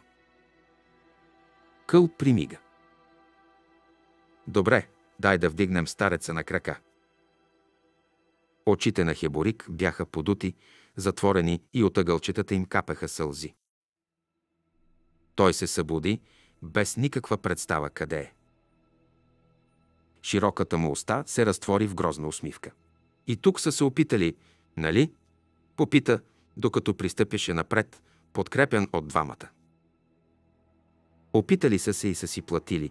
О, спомените за вода, толкова погребани съдби. Добраха се до мястото с отвора в тавана. Фелисин опипа най-близката до дупката колона кварцит. Това май ще трябва да го изкатеря, като до усийка кокосова палма. И как става това? Попита я кълп. С нежелание измърмори Хеборик, килнал глава, сякаш се вслушваше в някакви доловими само от него гласове. Фелисин се обърна към мага и каза. Ще ми трябват каишките от колана ти. Кълп изсумтя и започна да сваля кожените ремъци от кръста си. Адски неподходящ момент да искаш да ме видиш без гащи, момиче. Малко смях няма да ни дойде зле. Той подаде колана и я загледа как започна да стяга каишките около глезените си. Примижа, като видя колко яростно затегна възлите. Сега ми дай каквото е останало от наметалото ти, моля. Че какво е на ризата ти? Не пускам на никого да ми зяпа гърдите не и безплатно. Освен това, на металото ти е по-дебело. Възмездие е имало, заговори Хебурик. Методично, безстрастно прочистване на покварата. Кълт го изгледа намръщено. Какви ги дрънкаш, Хиборик? Първата империя. Градът горе. Дошли са и са внесли ред. Безсмъртните пазители. Какъв разгром! Дори с затворени очи мога да видя ръцете си опипват слепешком, опипват празни. Смъкна се, покрусен от внезапно обзелата го скръп. Не му обръщай внимание, каза Фелисин и пристъпи към нащърбения кварцов стълб, сякаш искаше да го прегърне. Дъртата жаба изгуби бога си и това му е съсипало ума. Кълб замълча. Фелисин обгърна колоната и сключи ръцете си от другата страна, като стисна краищата на наметалото и ги усука силно.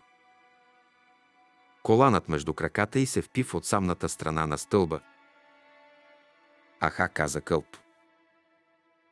Разбирам. Умна до усийка.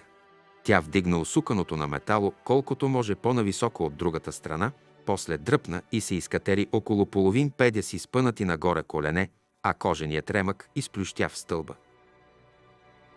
Възлите му се забиха в глезените й и той видя как я прониза болка – Изненадан съм, че до усийците изобщо имат крака.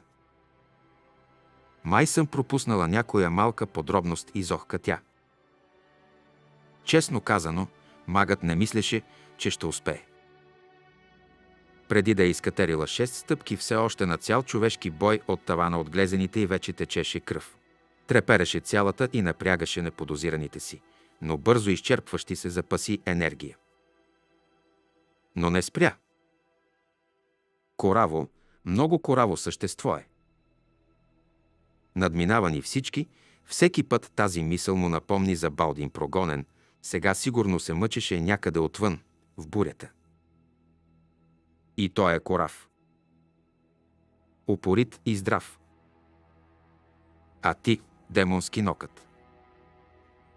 Фелиси най-сетне се добра на ръка разстояние до проядения ръб на отвора. И там се разколеба. Тъй, а сега какво? Кълп.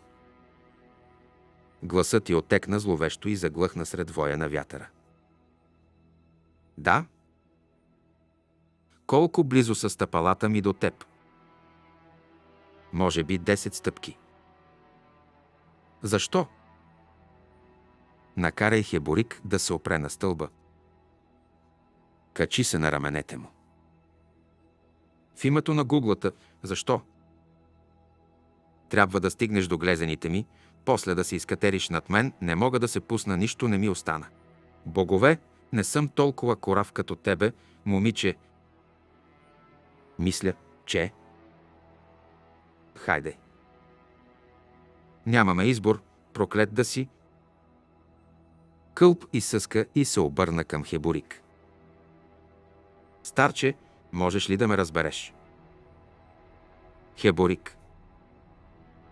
Бившият жрец се надигнал ухилен. Помниш ли камънната ръка? Пръста. Миналото е един чужд свят. Невъобразими сили. Да ги докоснеш значи да съживиш нечи чужди спомени, мисли и сетива толкова чужди за теб, че те влудяват.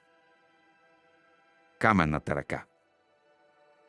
Бълнува нещо кучият му син. Трябва да стъпя на раменете ти, Хеборик. Трябва да стоиш здраво, що ми спълзим горе, ще те издърпаме, разбрали ме. На раменете ми. Планина от камък на раменете ми, всеки камък изваян и оформен от живот, взет от гуглата отдавна, отдавна. Колко копнежи, желания, тайни. Къде отива всичко това? Невидимата енергия на мисълта при живе е храна за боговете, знаеш ли това? Ето защо те трябва, трябва да са капризни. Хайде де, проплака отгоре Фелисин. Хайде. Къл пристъпи зад бившия жрец и опря длани на раменете му. Сега стой здраво. Но вместо да го послуша, старецът се обърна с лице към него. Събра китките си с пространство между тях, където щяха да са липсващите длани. Стъпи. Ще те отпратя направо до нея. Хеборик, нямаш ръце да държиш стъпалото ми. Старецът се ухили още по-широко. Разсмиваш ме. Кълб се изуми, щом кракът му се намести в здраво стегнатото стреме на невидимите пръсти. Отново опря ръце на раменете на стареца. Ще идеш право нагоре, рече Хебурик. Сляп съм. Насочи ме. Една стъпка назад. Още. Така. Готов ли си? Да. Но се оказа неподготвен за огромния порив на силата, която го надигна и с лекота го изхвърли нагоре. Инстинктивно посегна за Фелисин, не успя да я хване. За късмет, защото профуча покрай нея и през дупката на тавана. За малко да падне право надолу, но в паниката тялото му над кръста си изви и се стовари болезнено на ръба. Той простена и се отпусна. Вкопчил пръсти в невидимите плочи, магът изпълзя на пода. Гласът на Фелисин проплака отдолу. Кълп. Къде си? Той усети почти истеричната усмивка, замръзнала на лицето му и отвърна. Тук, горе. Ей, сега ще те издърпам, момиче. С помощта на невидимите си длани Хеборик бързо се изкатери по стъкменото от кожа и плат въже, което кълп спусна след 10 минути. Свита до отвора в малката мрачна кухина, Фелисин гледаше, обзета от неудържим страх.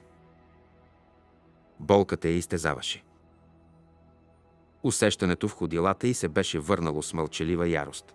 Бяла прах беше полепнала по кръвта на глезените й и по раздраните от кристалните ръбове на стълба китки. Тя трепереше неудържимо.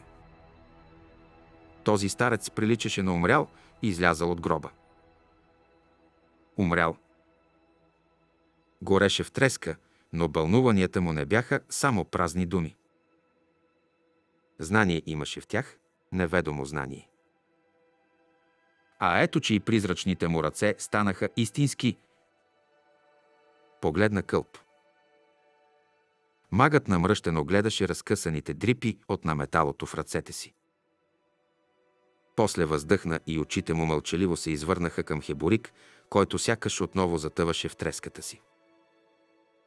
Кълп бе сътворил смътна светлина, колкото да се откроят голите каменни стени.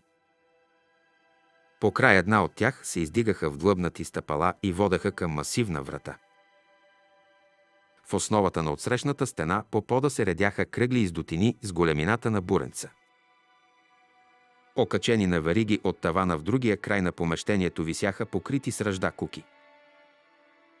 Всичко изглеждаше замазано за очите на Фелисин или всичко бе странно изхабено, или ефектът се дължеше на чародейната светлина на мага. Тя поклати глава и се сгуши, за да спре да трепери. Това катерене си го биваше, момиче промълви кълп. Тя изсумтя. И безсмислено, както се оказа. И сигурно ще ме довърши. За това катерене не стигаха само мускули и кокъл. Чувствам се. Празна, нищо не е останало у мен и смя се. Какво? Намерихме мазена гробница. Още не съм готов да умра. Блазети. Загледа го как се надига с усилие. Тази стая някога е била наводнена. С течаща вода. Откъде и на къде? Той свира мене и закрета с усилие към стъпалата. Изглежда на 100 години. Точно толкова, наколкото се чувствам и аз. Двамата заедно сме колкото хеборик. Добре поне, че се уча да понасям иронията, след няколко минути кълп най-сетне се изкачи до вратата. Опипа я. Бронзов обков чак усещам ударите на чуковете, които са го сплескали. Почука с пръст по тъмния метал. Отвърна му стържещ шепот. Дървото под него е изгнило. Дръжката се прекърши в ръката му. Магът изруга тихо, след което опря рамо във вратата и натисна. Бронзът изпръщя и подаде.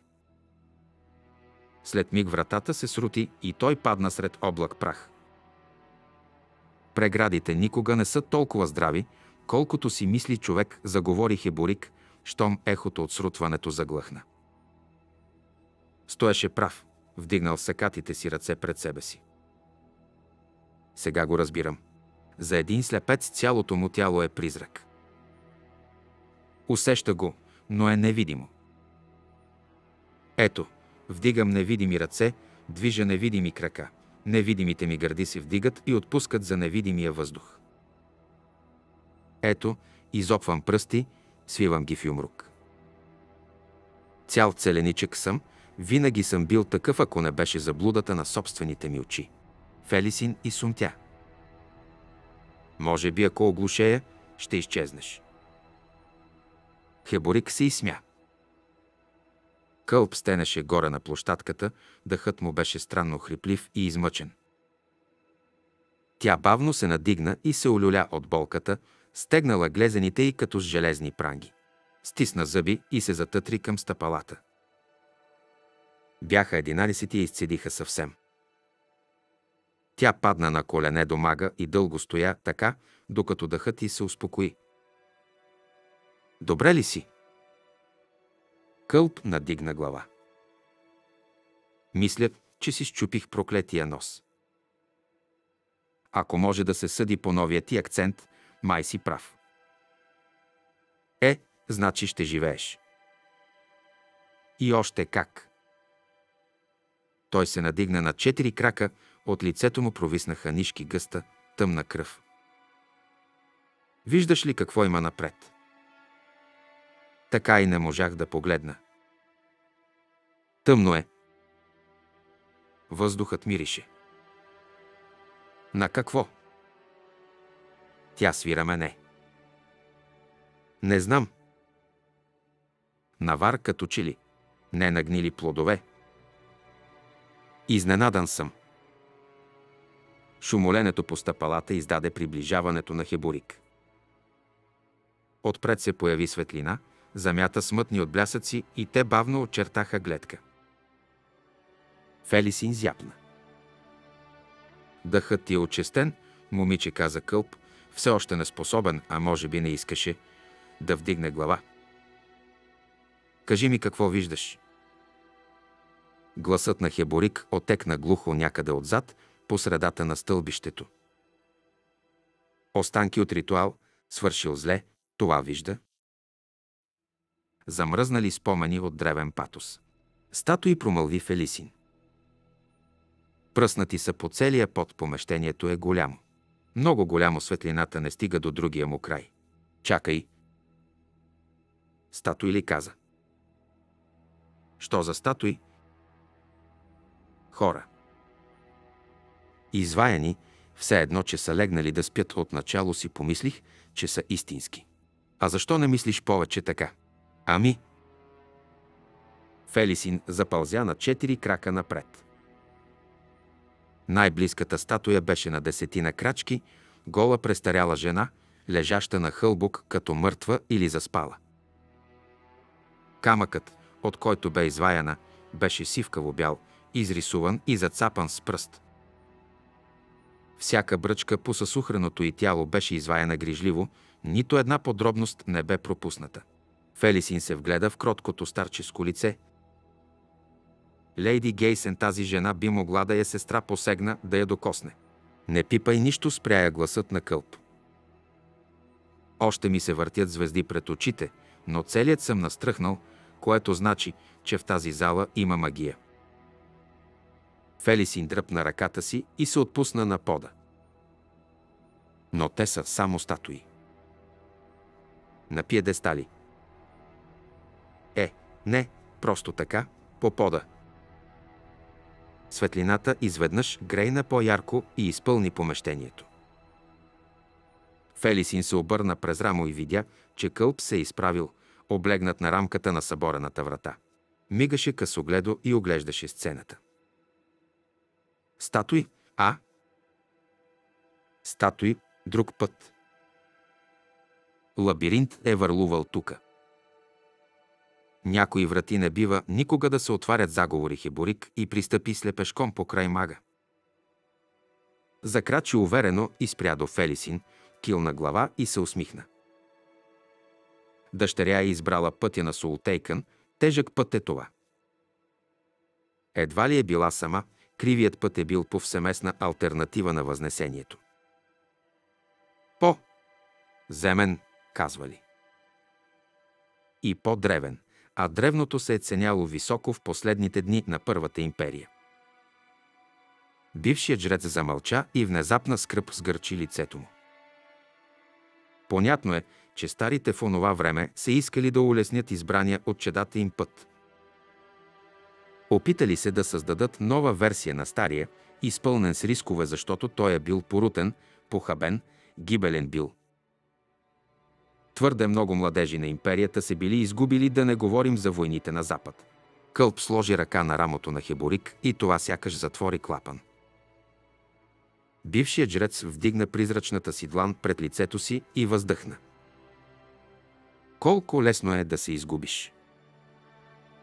Трябва ни вода, прекъсна го магът. Памета и пази ли такова знание? Това е било град с извори, фонтани, бани и канали. Сигурно пясъкът е запълнил всичко, каза Фелисин. Може би не каза кълп и се огледа с кървясали очи. Беше щупил носа си лошо. Подутото разкъсваше и съхналата кожа от двете страни. Това тук е опразнено съвсем наскоро въздухът още потръпва. Фелисин погледна старицата в краката си. Значи е била истинска някога. От плът. Да. Всички са били живи. Алхимии забавяли стареенето, каза Хеборик. Шест-седем столетия за всеки гражданин. Ритуалът ги е убил, но алхимиите са останали силни. А след това водата е заляла града, промълви кълп, богата на минерали. И е превърнала в камък не само костите, но и плата. Хеборик свира мене. Наводнението е било породено от далечни събития, безсмъртните пазители вече са били дошли и са си заминали. Какви безсмъртни пазители, старче? Все още може би е останал извор, каза в отговор бившия жрец. Недалече. Водини, слепецо, каза Фелисин. Имам още въпроси, подхвърли кълп. Хеборик се усмихна. По-късно.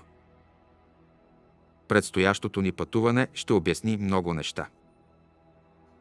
Всички минерализирани обитатели на залата бяха стари и наброяваха с стотици. Смъртта на всички като че ли бе дошла кротко, а това събуди у Фелисин смътно безпокойство. Не всеки край е мъчителен. Гуглата е безразличен към средствата. Така поне твърдят жреците му. И все пак най-големите му житви идат от войни, от болести и глад. Безбройните векове на избавление със сигурност са белязали върховния крал на смърт. Безредието се тълпи през неговите порти и в това има някакъв вкус. Тихият мор сигурно бие съвсем други камбани.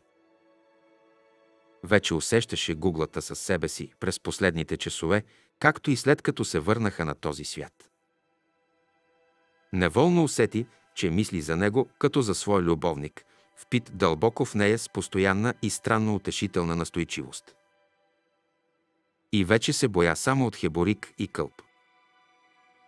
Казват, че боговете се боят от хората повече, отколкото те едни от други. Дали това не е източникът на страха ми? Да не би да съм уловила в себе си ехо от гуглата. Богът на смъртта със сигурност би трябвало да сънува реки от кръв. Навярно съм била негова през цялото време. Значи съм благословена. Хеборик изведнъж се обърна и сякаше изгледа с изгорелите си от слънцето, затворени под отоците очи. Да не би вече да можеш да четеш мислите ми, старче. Широката му уста се изкриви в усмивка. След миг той отново се обърна и продължи напред. Гробната камера завършваше с портал, от който тръгваше нисък тунел. Древните порои бяха загладили и излъскали тежките камъни от всички страни. Къл поддържаше смътната магическа светлина. Мъкнем се като оживели трупове, прокълнати в безкрайно пътуване, Фелисин се усмихна. По пътя на гуглата излязоха на някогашна улица, тясна и крива, каменната и настилка беше изгърбена и разкъртена. От двете страни се издигаха ниски постройки с покриви от плътно грапаво стъкло. По стените се нижеха тесни ивици, еднородно вещество, като белези от различни водни нива или пластове в пясъка, изпълвал някога цялото пространство. По улицата лежаха още тела, но в изкривените им, измъчени фигури нямаше и следа от покоя на предишните. Хеборик спря и кил на глава. Ах, ето че се натъкваме на съвсем различни спомени. Кълб се наведе над едно от телата. Султейкън. Замръзнал факта на превъплъщението. В нещо. Змийско. Султейкън и да Айвърс промълви бившият жрец. Ритуалът е изригнал сили, които са побеснели. Като чума, превъплъщението е обзело хиляди ненадейно, без посвещение и мнозина са полудели. Смъртта е изпълнила града, всяка улица, всеки дом. Семейства са били разкъсвани от своите близки. Тръсна глава и прошепна. И всичко това за няколко часа. Кълб се взря в друга фигура, почти скрита сред купчината в каменени трупове. Не само Солтейкън и да Айвърс. Да въздъхна Хеборик. Не само. Фелисин пристъпи към нещото, приковало вниманието на мага. Видя дебели орехово-кафяви крайници, една ръка и един крак, все още свързани с разчленения торс. Със сухрена кожа покриваше дебелите кости. Вече сме виждали това. На Силанда.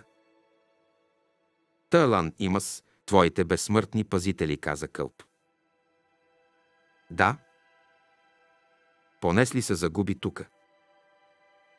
И още как каза Хеборик. Ужасни загуби. Има връзка между Талан Имас и Султейкън и Да Айвърс, загадъчно родство, неподозирано от обитателите на този град, макар да са си присвоили гордата титла на Първата империя. Това трябва да е подразнило Талан Имас, доколкото такива същества са способни да изпитват раздразнение, че толкова дръско са посегнали към титла, която по право принадлежи на тях. Ала това, което ги е привлякло тук, е бил ритуалът, както и необходимостта да поправят нещата. Кълп се беше намръщил. Все се отриваме в тия султейкън и имас. Пак ли се започва, Хиборик? Не знам. Мак? Връщане към онази древна порта. Ново изригване. Онзи дракон Султейкън, след който тръгнахме, бил е възкръснал. Онова беше Телан, има поправи го бившия жрец. Заклинател на кости.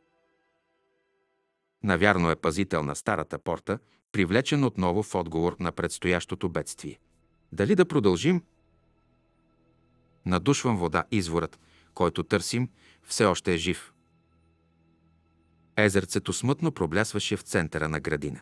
Излиняла трева покриваше като килим напуканите плочи по пътеката, бели и розови листа, като ивици плът, безцветни кълба от някакъв плод, надвиснали от лозниците, увили се около каменни колони и в каменени дървесни стволове. Градина, загърната в мрак. Безоки бели риби се стрелкаха из водата, затърсиха сенките, щом магическата светлина запулсира ярко над тях. Фелисин се смъкна на колене, протегна треперещите си ръце и ги потопи в студената вода. Усещането я прониза с възбуда. Отайка от алхимии промълви Хеборик зад нея. Тя го погледна през рамо. Какво искаш да кажеш?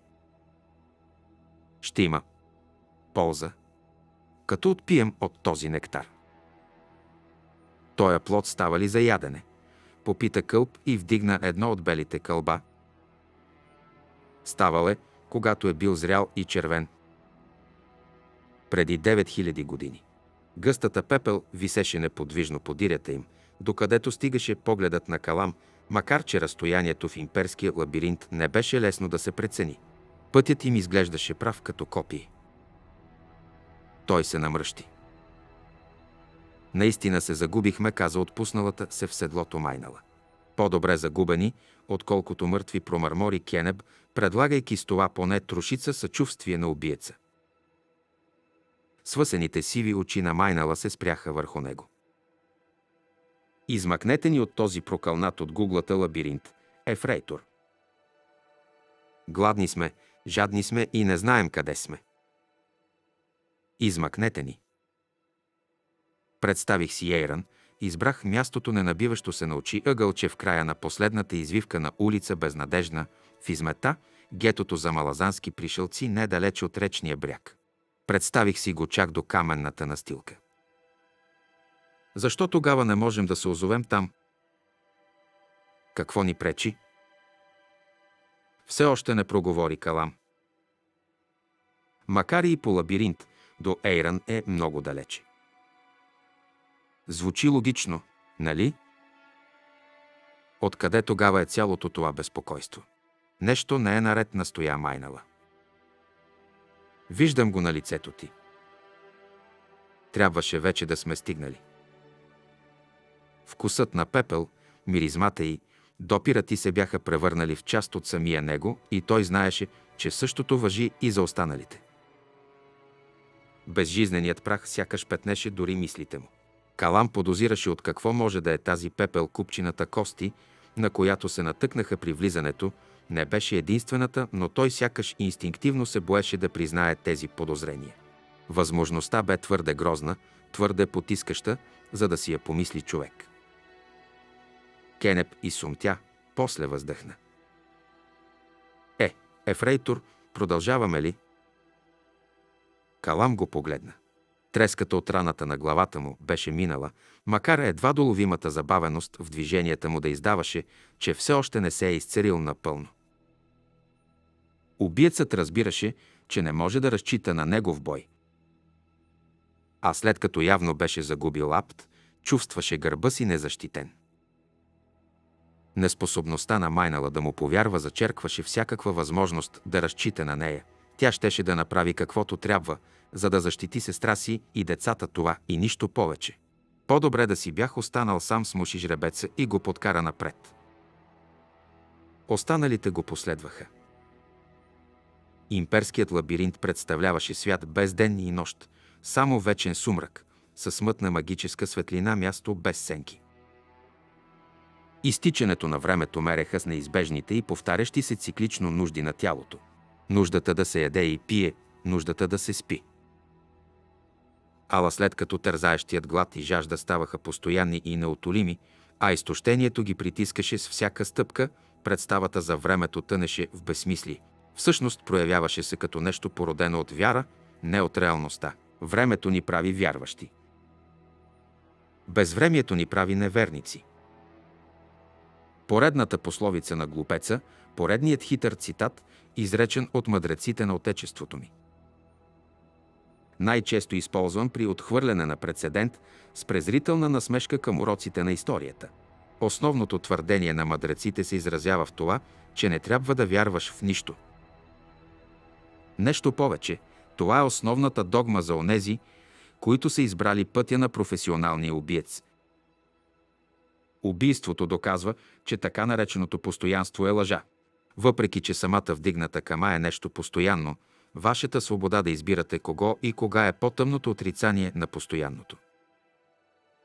Убиецът е развихрил се хаос, ала помнете, ученици, вдигнатата кама може да потушава пожари толкова лесно, колкото и да ги подпалва. И точно там, съвсем ясно врязана в мислите му като свръхна кама, се изпъваше тънката права пътека, която щеше да го отведе до Ласин. Всички необходими му основания неумолимо се тълпяха по тази цепнатина. И все пак, макар тази пътека да цепи през Ейран, сякаш нещо, което не знам, ме избутва от нея, оставяме да се скитам безцелно сред тази равнина от пепел. Виждам облаци пред нас, каза Майнала, която яздеше до него.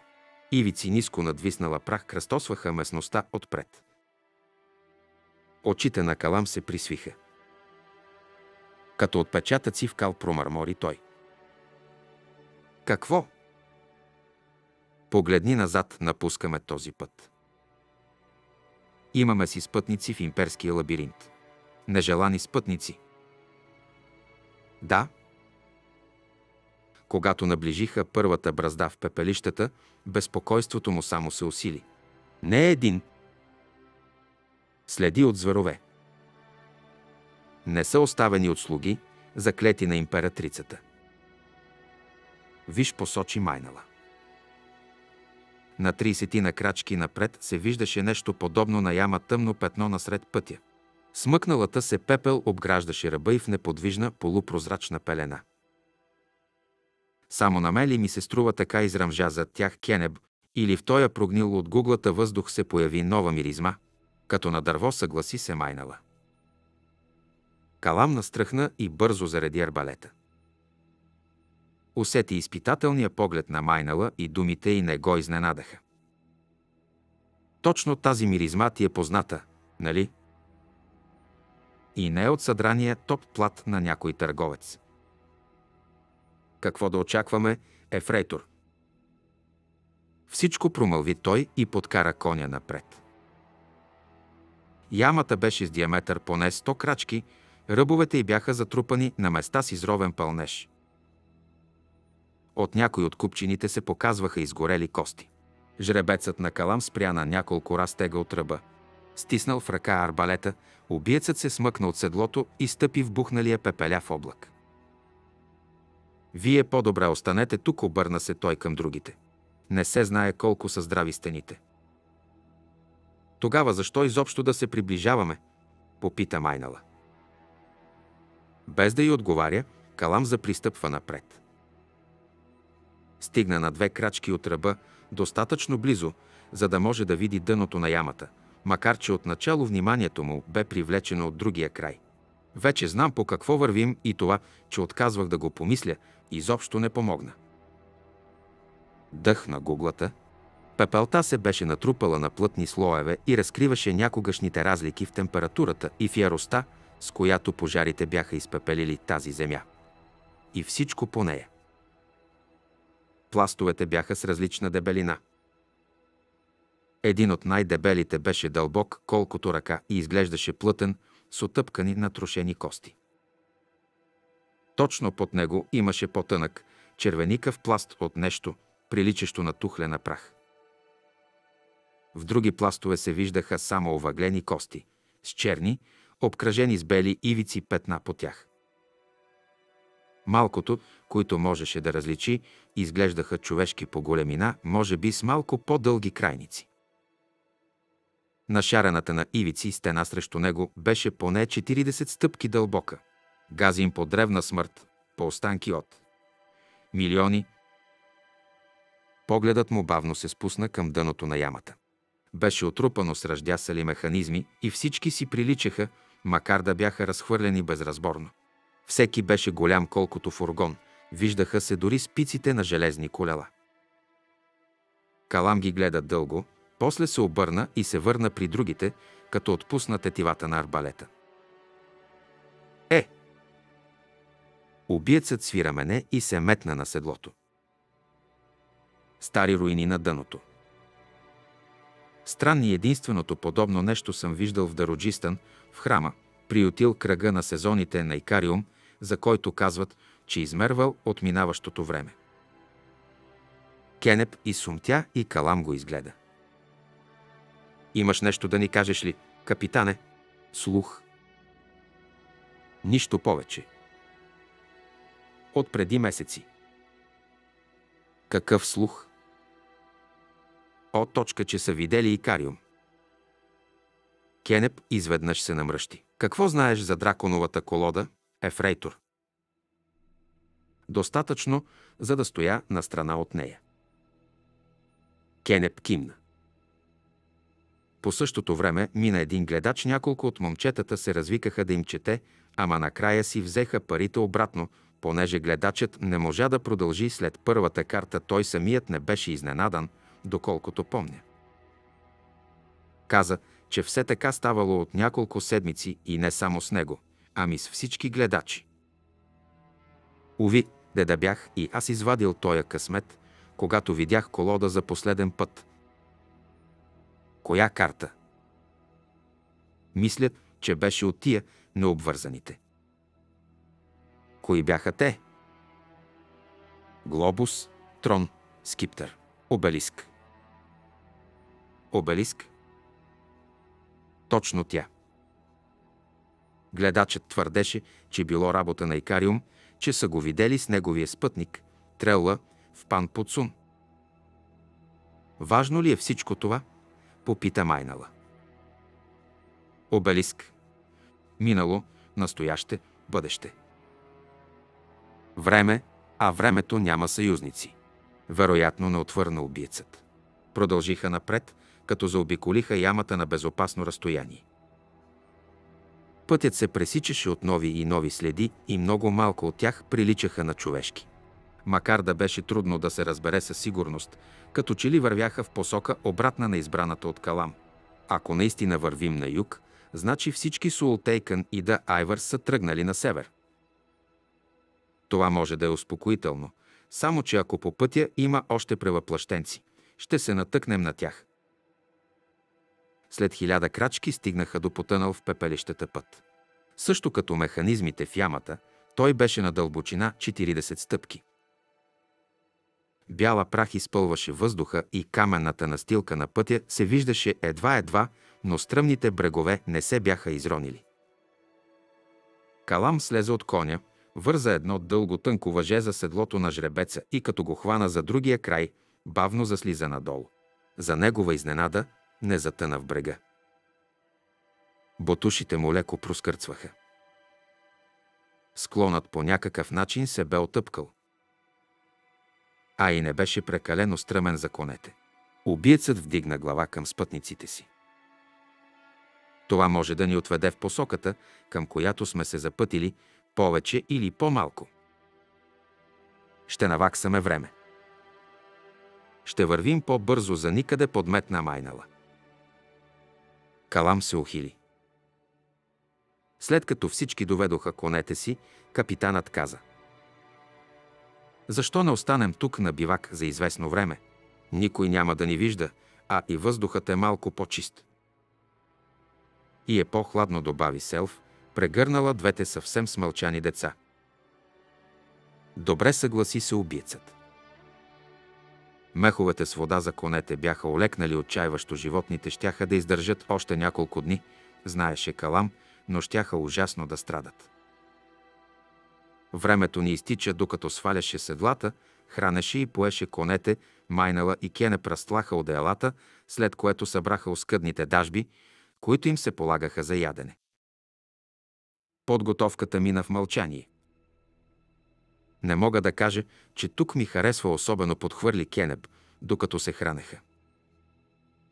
Кала ми сумтя, оценил възвърналото се чувство за хумор на капитана и отвърна. С малко мете не става. Ма да. Е, и друг път съм виждал горски пожари, излезли от контрол.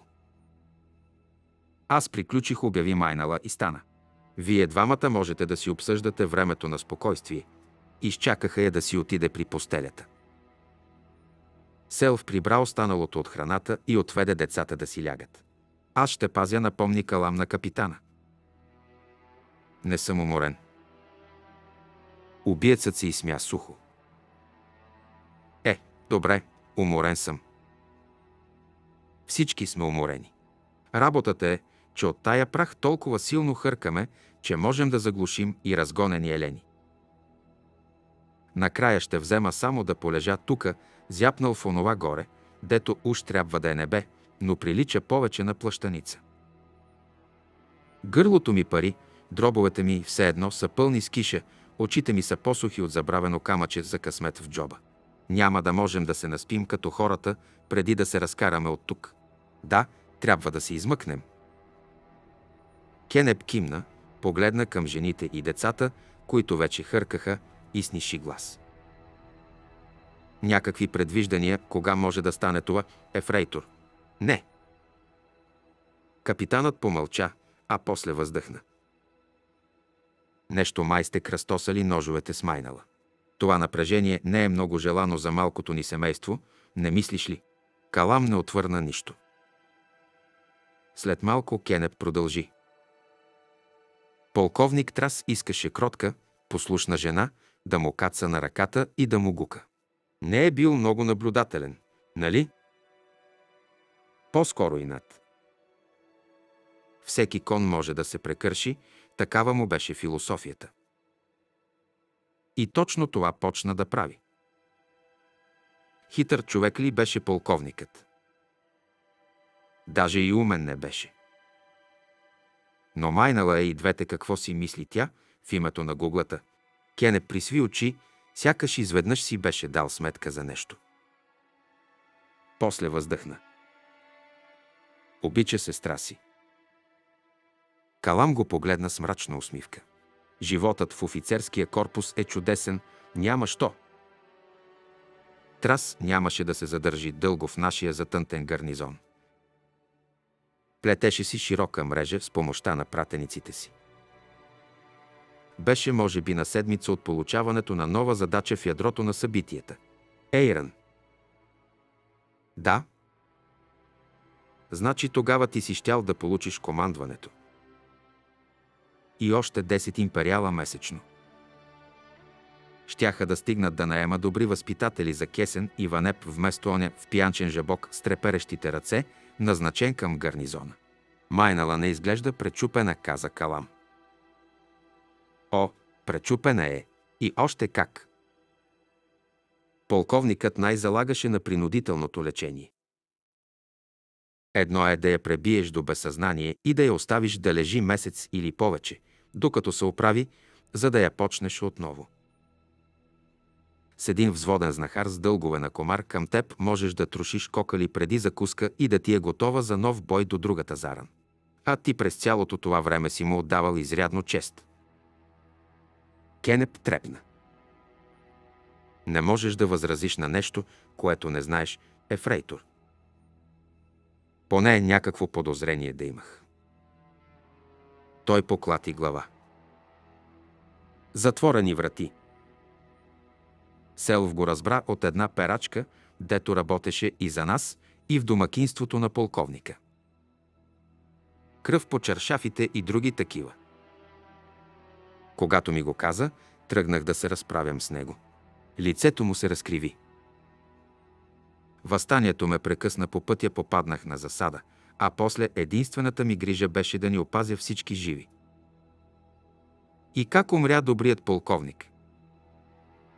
Току-що стигна до затворена врата, ефрейтор. Калам се усмихна. Ех, нищо. В такива времена виждам добре и през затворени врати. Тогава няма нужда да ти казвам повече. Като я гледам майнала, никак не иличи, каза убиецът. Друг вид сила, предполагам. И защити. Свикнала еде с селф, с децата. Сега се е загърнала около тях, като броня, също толкова студена и също толкова корава. Нейният проблем е с теб, Калам. Ти си се загърнал по същия начин, но около нея и около всички нас. И тя се чувства претрупана. Може би точно така изглежда в очите на Кенеп. Проблемът и с мен е в това, че тя не ми вярва, капитане. И защо в името на гуглата? Защото държа с критика ми. И тя го знае, калам свира мене. От това, което ми разказа, изглежда, че доверието не е нещо, с което би възнаградила лесно когото и да било. Кенеп се замисли, после въздъхна и стана. Е, добре, стига.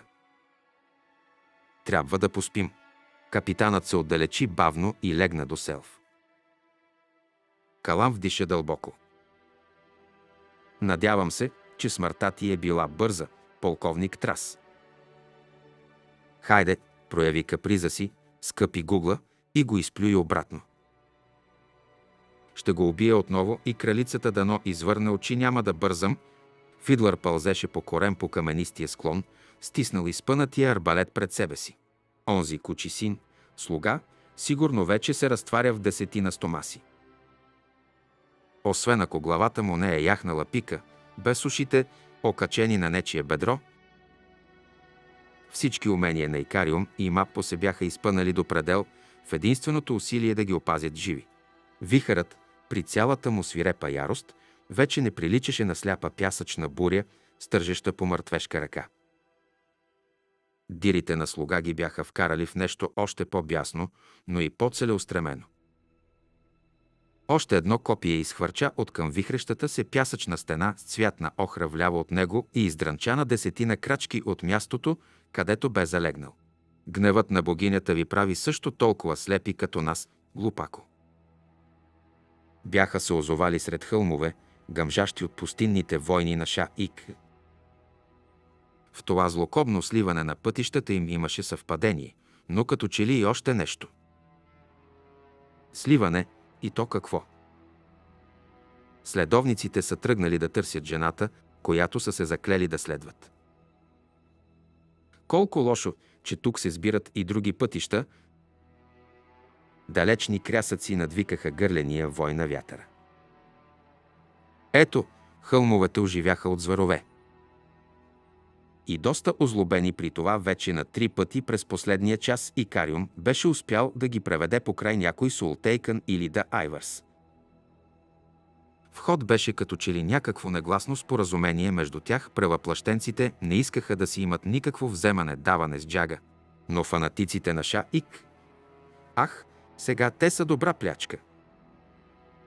Какъв късмет извадихме? Все пак, според Фидлър, вероятността слуга все още да е жив изглеждаше нищожна. Безпокоеше се също така и за Апсалар и неволно се молеше каква ирония Божиите умения да се окажат на нужното ниво. Пред него, долу, се появиха двама пустинни войни в кожени доспехи тичаха в паника към дъното на каменистата клисура. Фидлър изсъска проклятие. Държеше от самния фланг на групата, ако минеха покрай него. Надигна арбалета. Над двете бягащи фигури връхлетяха черни плащове. Двамата запищяха. Плащовете се изсипаха върху тях, от тях задращиха крака. Паяци, толкова големи, че се виждаха ясно дори от толкова далече. Фидлър настръхна. Да бяхте си взели метли, приятелчета, измъкна се от тръпчината, в която се беше прикрил, и запълзя надясно по склона. А ако не се върна скоро в обсега на влиянието на Икариум, май и аз ще съжаля, че не съм си взел една. Крясъците на пустинните войни заглъхнаха, било от разстоянието или заради бързия им край дано да беше второто. Точно пред него се издигаше страната на хълмистия рит, по която до този момент все още личаха следите на Апсалар и бащай. Вятърът го притискаше, докато се тътреше нагоре към върха. Почти веднага, щом се добра там, видя другите на не повече от 10 крачки напред. Бяха се навели над някаква неподвижна фигура. Фидлър истина. О, Гугла, защо не го направиш още по-шантаво? Беше си достатъчно шантаво. Млад мъж гол и с твърде светла кожа, за да е от племенните войни на Ша Ик. Гърлото му беше прерязано, раната заеше отворена чак до прешлените. Кръв нямаше. Фидлър бавно се наведе и Маппо се обърна към него. Солтейкън е според нас. Това е работа на Апсалар, каза той. Виж как главата е издърпана напред и надолу, брадичката е повдигната, за да се забие острието, виждал съм го вече. Значи е жива, каза Крокъс. Както казах, изръмжа и Кариум. Баща и също. До тук добре Фидлър се надигна. Няма кръв. Кога е убит? Преди не повече от час, каза Мапо. Колкото до липсата на кръв. Той свира мене. Богинята на вихара е жадна.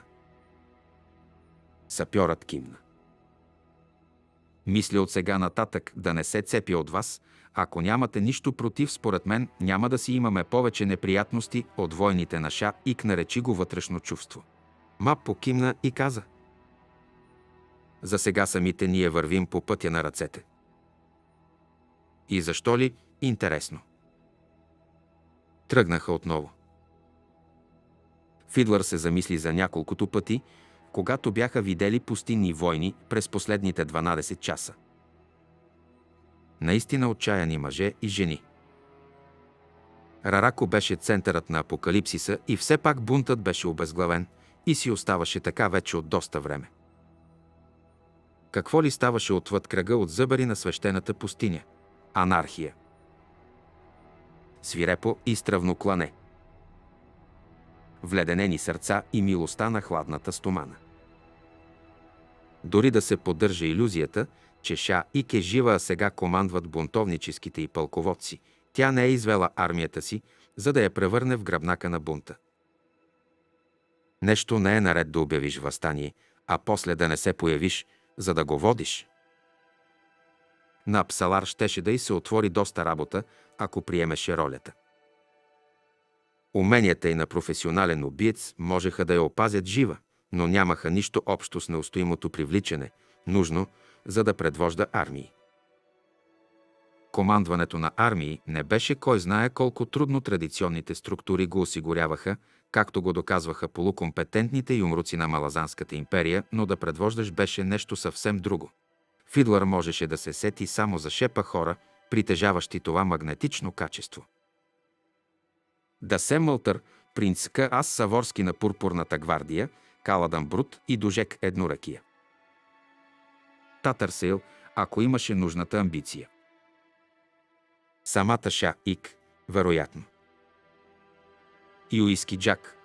Колкото и привлекателна да изглеждаше Апсалар, сапьорът не бе забелязал у нея толкова силно личностно присъствие.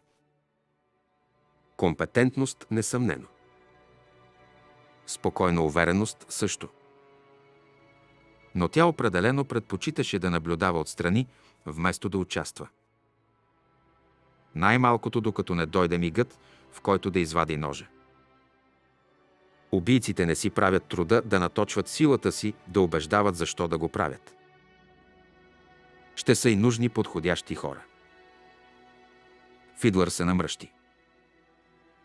Вече беше приел зададеност това, че момичето ще приеме ролята, ще се съгласи да бъде втакана във вътъка на това такано от богиня пано. И ето ни нас, тичаме през вихара. За да стигнем на време и да видим предреченото прераждане. Присвил очи срещу навяващия пясък, сапьорът загледа крокъс. Момъкът крачеше на няколко крачки пред него, на една стъпка за тикариум. Беше се присвил под хапещия вятър, стойката му издаваше крехкост и бесилие да понесе бремето, което бе поел. Не му е казала нищо, преди да тръгне, оставила го е с тревогите му също толкова лесно, колкото и всички нас. Пъст е предложил на баща и да подпише договора. Но първо е отпратил него. А това предполага, че старият е съзнателен играч в целия план, съучастник в заговора. Ако бях на мястото й, щях да задам няколко трудни въпроса на старото татенце. Воят на вихара сякаш му отвръщаше със смях от всички страни. Раната в тъканта представляваше грубо очертана врата с височина два човешки боя. Перла тъпчеше пред нея и мърмореше под нос. Лостара Юил го гледаше отекчено. Най-после той се обърна, сякаш изведнъж сетил се за присъствието й. Усложнение, скъпа. Раздвоен съм. Тя погледна на криво портала. Напуснал ли е все пак убиецът лабиринта? Тая тук не прилича на другата. Нокътят изтри пепелта, полепнала по челото му. А, не. Това е отклонение. В края на краищата аз съм последният оцелял оперативен. Императрицата толкова мрази нехайниците. Усмихна и се кисело и свира мене. Уви, това не е единствената ми грижа. Проследени сме. Думите му я смразиха. Значи трябва да се оттеглим. Да подготвим засада. Перла се ухили и махна с ръка. Ами избери подходящо място тогава. Заповядай. Тя се огледа. Плоски хоризонти във всички посоки. Онези гърбици, дето ги подминахме преди малко. Тях ги зарежи отвърна нокътят. Първия път бяха на безопасно разстояние. Сега са още по-далече. Онази яма тогава механизми, измерващи безсилието. Едва ли скъпа. Боя се, че за сега трябва да пренебрегнем онова, което ни следи. Да не е калам. Не е. Благодарение на теб него го държим под око. Умът му се е улисал, поради което и пътят му е объркан отчаиваща липса на дисциплина за толкова солиден мъж. Признавам, разочарован съм от него. Обърна се към портала. Все едно, отклонили сме се на огромно разстояние. Необходимо е малко съдействие, няма да трае дълго, уверявам те. Императрицата е съгласна, че пътят на Калам предполага личен риск за особата й, поради което той е с най-голям приоритет. И все пак. Нокътят свали късото си на метало, сгъна го грижливо и го остави на земята. През гърдите му беше затегнат кожен ремък с окачени по него метателни звезди. Дръжките на два ножа се подаваха под лявата му мишница. Перла се залови с ритуала, с преглеждането на всяко оръжие. Аз тук ли да изчакам? Както искаш. Макар да не мога да гарантирам безопасността ти, ако ме придружиш, лично аз съм за малка схватка. Врагът.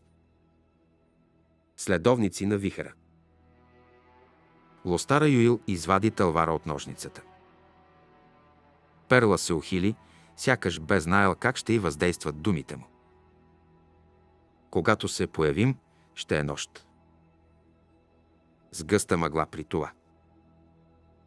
Враговете ни са семк и тайтанци, а съюзниците ни. Съюзници. Значи битката вече е в ход. О, да. Уикци и морски пехотинци на седма. Колтейн изръмжало стара. Перла се ухили още по-широко и надя на тънките кожени ръкавици на ръцете си. В идеалния случай, продължи той, би трябвало да останем невидими. Защо? Ако веднъж се появи помощ, ще се очаква да се появи отново. Рискуваме да затъпим хъса на Колтейн, а кълна се в скритите богове. На уикците ще им трябва този хъс през следващите седмици. Готова съм. Още нещо провлече нокътят. Там има и един демон на Семк. Стой по-настрана от него, защото макар нищо да не знаем за силата му, това, което знаем за сега, предполага ужасен. Нрав. Ще стоя точно зад теб, казало стара. Хеме, в такъв случай, като свърши всичко, дръпни наляво. Аз тръгвам надясно. Няма да е много елегантно, ако се спъна в края на краищата. Порталът припламна. Перла се хвърли напред като мълния и изчезна. Лостара заби пети в хълбоците на коня и той скочи през портала. Копитата изтътнаха в корава земя. Около нея се завихри дива мъгла, сред черния мрак, оживял от крясъци и взривове. Вече беше изгубила перла от поглед, но бързо го забрави, щом пред очите й изникнаха четирима пеши тайтански войни. Шрапнелите ги бяха разпердушинили и никой от четиримата не се оказа подготвен, когато лостара връхлетя срещу тях с бляскащия в ръката и тълвар. Те се пръснаха, но раните им ги забавиха фатално. Първите двама паднаха под ударите й още при първата атака. Тя обърна коня си за втората. От другите двама войни нямаше и помен, мъглата се трупаше наоколо като гъста пелена. Внезапен звук отляво я накара бясно да обърне коня и бягащият перла изникна пред очите й. Извърна се в движение и звездата с блясък профуча назад. Огромният като звяр мъж, който се носеше след него, беше вирнал глава и желязната звезда го прониза право в челото. Почти не го забави. Лостара израмжа, бързо пусна тълвара и той се залюля бясно на кожения клуб на китката й, докато зареждаше арбалета. Стреля ниско металната стрела се заби малко под гърдите на семка над дебелите кожени колани, пазещи корема и кръста. Оказа се доста по-ефикасна от звездата на перла. Грамадният мъж изпъшка, залитна напред и тя с ужас видя, че устата и ноздрите му са зашити. Той не диша. Ето го и нашия демон. Семкът се изправи и вдигна ръце. Силата, която изригна от тях, беше невидима, но и тя, и конят ти се завъртяха във въздуха. Конят изцвили в смъртна агония, щом рухна на земята. Тя падна на дясната си страна и усети как коста на бедрото й издрънча като струшена камбана. Вълни болка стиснаха крака и в ногтести ръце. Не можа да се сдържи и между краката и рук на гореща влага. До нея тупнаха два крака. Някой натика в десницата и дръжката на нож. Дръж се, щом свърши с мен. Ето, идва. Стиснала зъби, лостара Юил се извърна. Демонът на Семк беше само на 10 крачки от нея, огромен и неусмирим. Перла се беше присвил между нея и него, стиснал два ножа, от които капеха червени пламъци. Лостара разбра, че вече се смята за мъртъв. Съществото, което изведнъж се приближи от към лявата страна на демона, беше като излязло от кошмар. Черно, три крако, штръкнали нагоре като капюшон рамен и плешки, дълъг врат и глава, с зейнали челюсти, пълни с остри зъби и с едно единствено, лъснало от влага плоско черно око. Още по-ужасяваща беше човекоподобната фигура, седнала зад острите рамене лицето й, бе отвратително подобие на звяра, който яздеше, с остри като ками зъби, дълги колкото пръстите на дете и също с едно блеснало в свирепа ярост око. Привидението скочи върху демона на Семк. Единственият преден крайник се стрелна и се заби дълбоко в корема на демона, после се измъкна сред фонтан от швирнала течност. Свито в хватката на този крайник се виждаше нещо, което излъчваше неудържима ярост. Въздухът се вледени. Перла заотстъпва, докато почти не настъпило стара. Тялото на Семка сякаш се свина вътре в себе си и залитна назад. Привидението отстъпи, стиснало месестото капещо нещо. Ездачът му посегна да го сграбчи, но съществото под него изсъска и се изви, за да не може да го достигне. И го запокити надалече в непроницаемата мъгла. Семкът се затътри след него. Дългата глава на привидението се извърна към лустара и Перла с грозната си усмивка. Благодаря ти, прошепна Перла. Около тях избухна портал. Лостара примигна към сивото, покрито с пепел небе. Никакъв звук нямаше, освен дъха им. Спасени, след миг безсъзнанието я загърна с тъмната си плащаница. Изключително подходящо за пазене на добитък, уикското куче браничар е зла, непредсказуема порода, набито, но много силно, макар че най-забележителната му черта е упоритата воля. Животът на покорените. Илем Траут Дюйкър крачеше между шатрите. Внезапно наблизо изригна хор от викове. След миг се появи едно уикско псе привело ниско глава, напор от стегнати мускули и се устреми право срещу него. Дюйкър в паника посегна към дръжката на меча, вече разбрал, че е късно.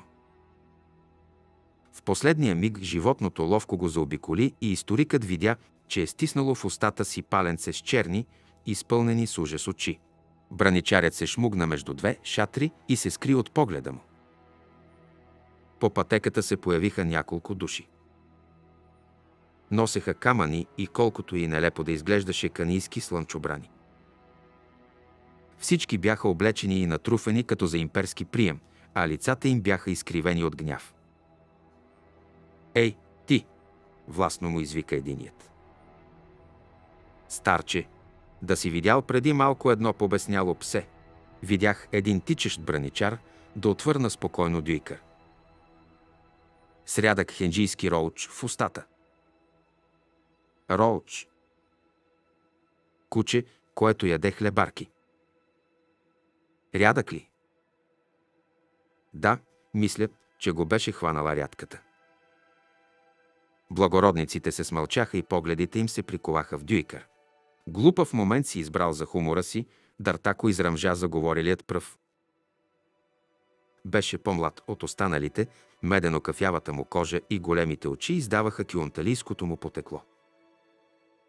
Беше строен, с фигура на опитен дуелист, което се потвърждаваше и от рапирата на кръста му. А и в погледа му имаше нещо, което намекна на Дюйкър, че е човек, който убива с удоволствие. Мъжът се приближи с леко полюшваща се походка. Извини се, селяко, макар да признавам, че това няма да ти спести боя, поне ще те остави да дишаш. За Дюйкър в лек тръс се приближи конник и историкът видя, че очите на дуелиста пробягаха над рамото му. Ефрейтор Лист дръпна юздите до Дюйкър, без да обръща внимание на благородниците. Моля за извинение, сър. Забавих се при ковачницата. Къде ви е конят? С главното стадо отвърна Дюйкър. Нека си почине още един ден горкото животно. За младеж с нисък ранг, Лист успя да докара доста впечатляващо изражение, когато най-сетне благоволи да измери с хладен поглед благородника. Ако закъснеем, сър каза той на Дюйкър, Колтейн ще иска обяснение. Дюйкър се обърна към благородника. Приключихме ли тук? Мъжът кимна отсечено. За сега. Придружен от ефрейтора, Дюйкър продължи през лагера на благородниците. След десетина крачки лист се наведе от седлото. Алар изглеждаше готов да ви предизвика на дуел. Значи известен. Алар? Пулик Алар. Толкова по-зле за него. Лист се ухили. Излязоха на широко открито пространство сред лагера и се натъкнаха на бой с къмшик. Ниският едър мъж с кожения бич в месестата ръка им беше познат. Жертвата беше някакъв слуга. Други трима слуги стояха отстрани, свели очи. Наблизо стояха няколко благородници, струпани около една плачеща жена мърмореха и утешително. На металото на Ленестро от златист брокат беше изгубило до някъде блясъка си и с почервенялото си от злоба лице, докато замахваше с бича, той приличаше на запенена маймуна, изпълняваща традиционния фарс кралското огледало на селски панаир.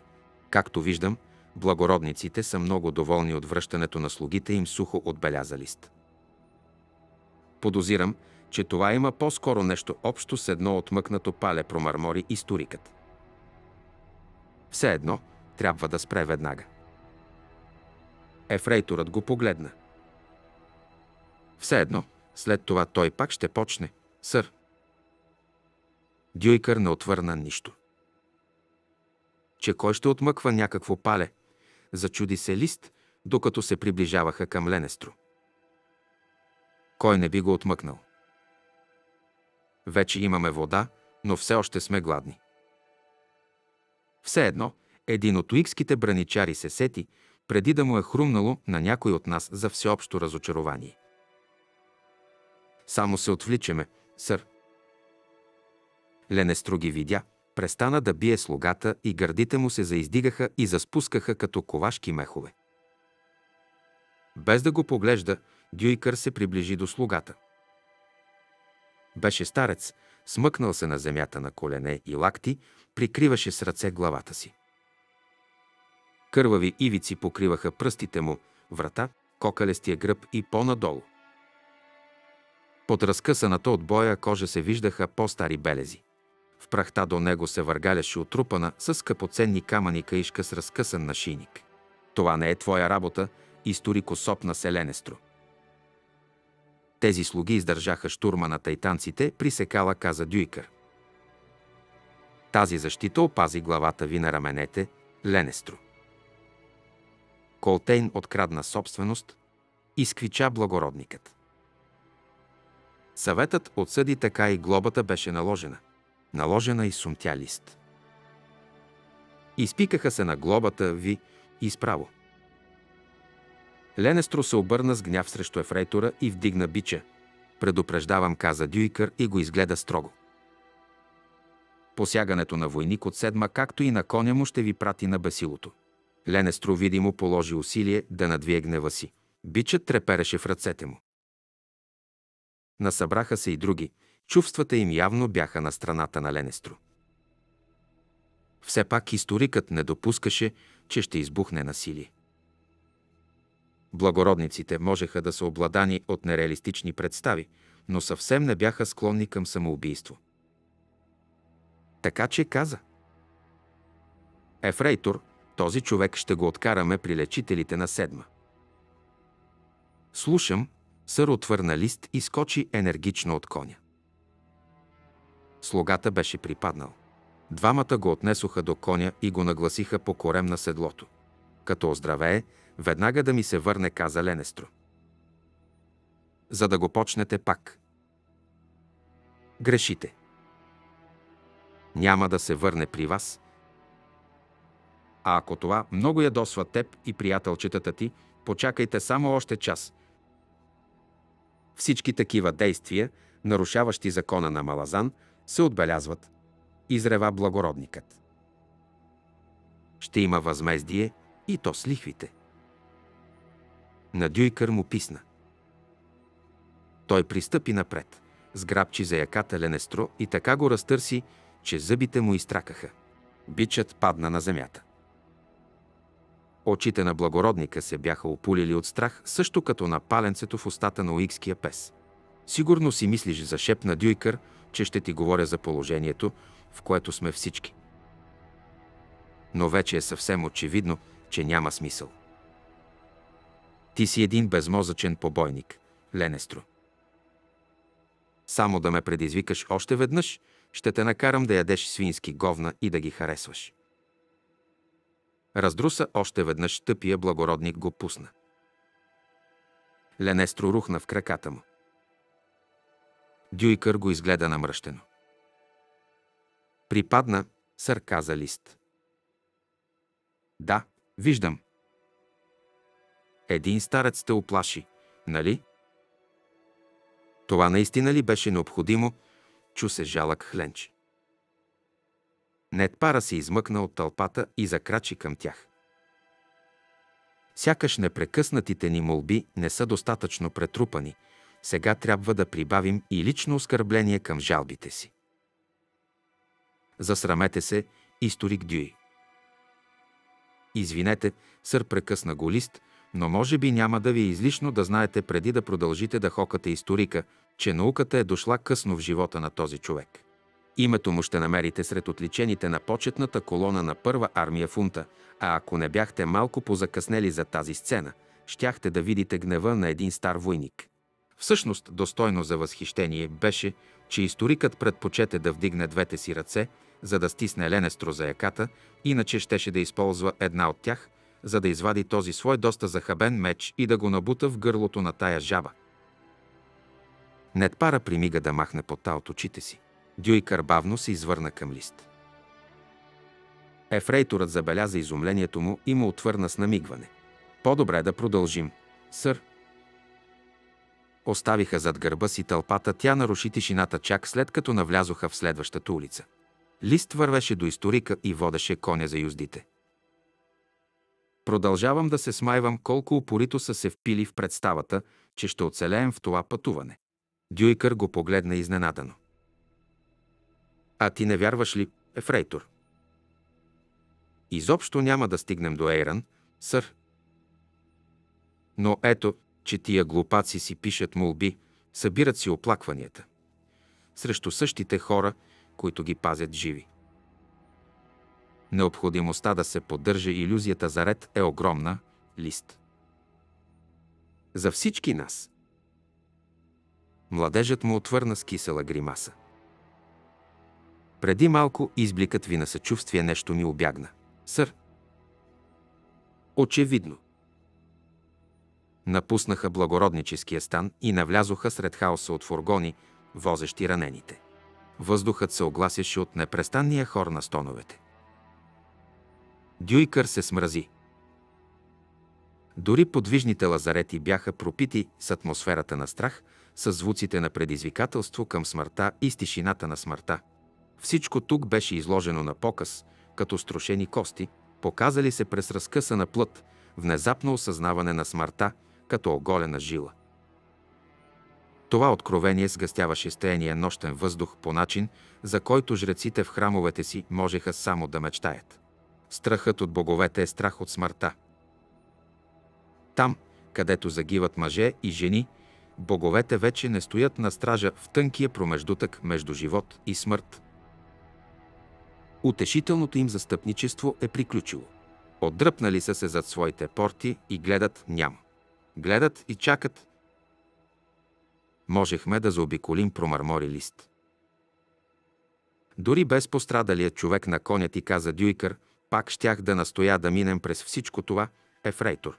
Този урок вече го научих, отвърна с стиснато гърло лист. Ако се съди по предишните ти думи, бих предположил, че урокът, който си научил, е различен от моя, момче. Това място ви вдъхва кораж, нали? Укрепваме, ефрейтор, макар и по един смразяващ начин, признавам. Забрави за игрите на асцендентите. Ние сме ето това. Безкрайната борба, оголена и изложена на показ. Край на идилията, на заблудата за твоята собствена значимост, както и на лъжливото самоунижение с това, че си незначителен. И докато водим своите съвсем лични битки, ние сме единни.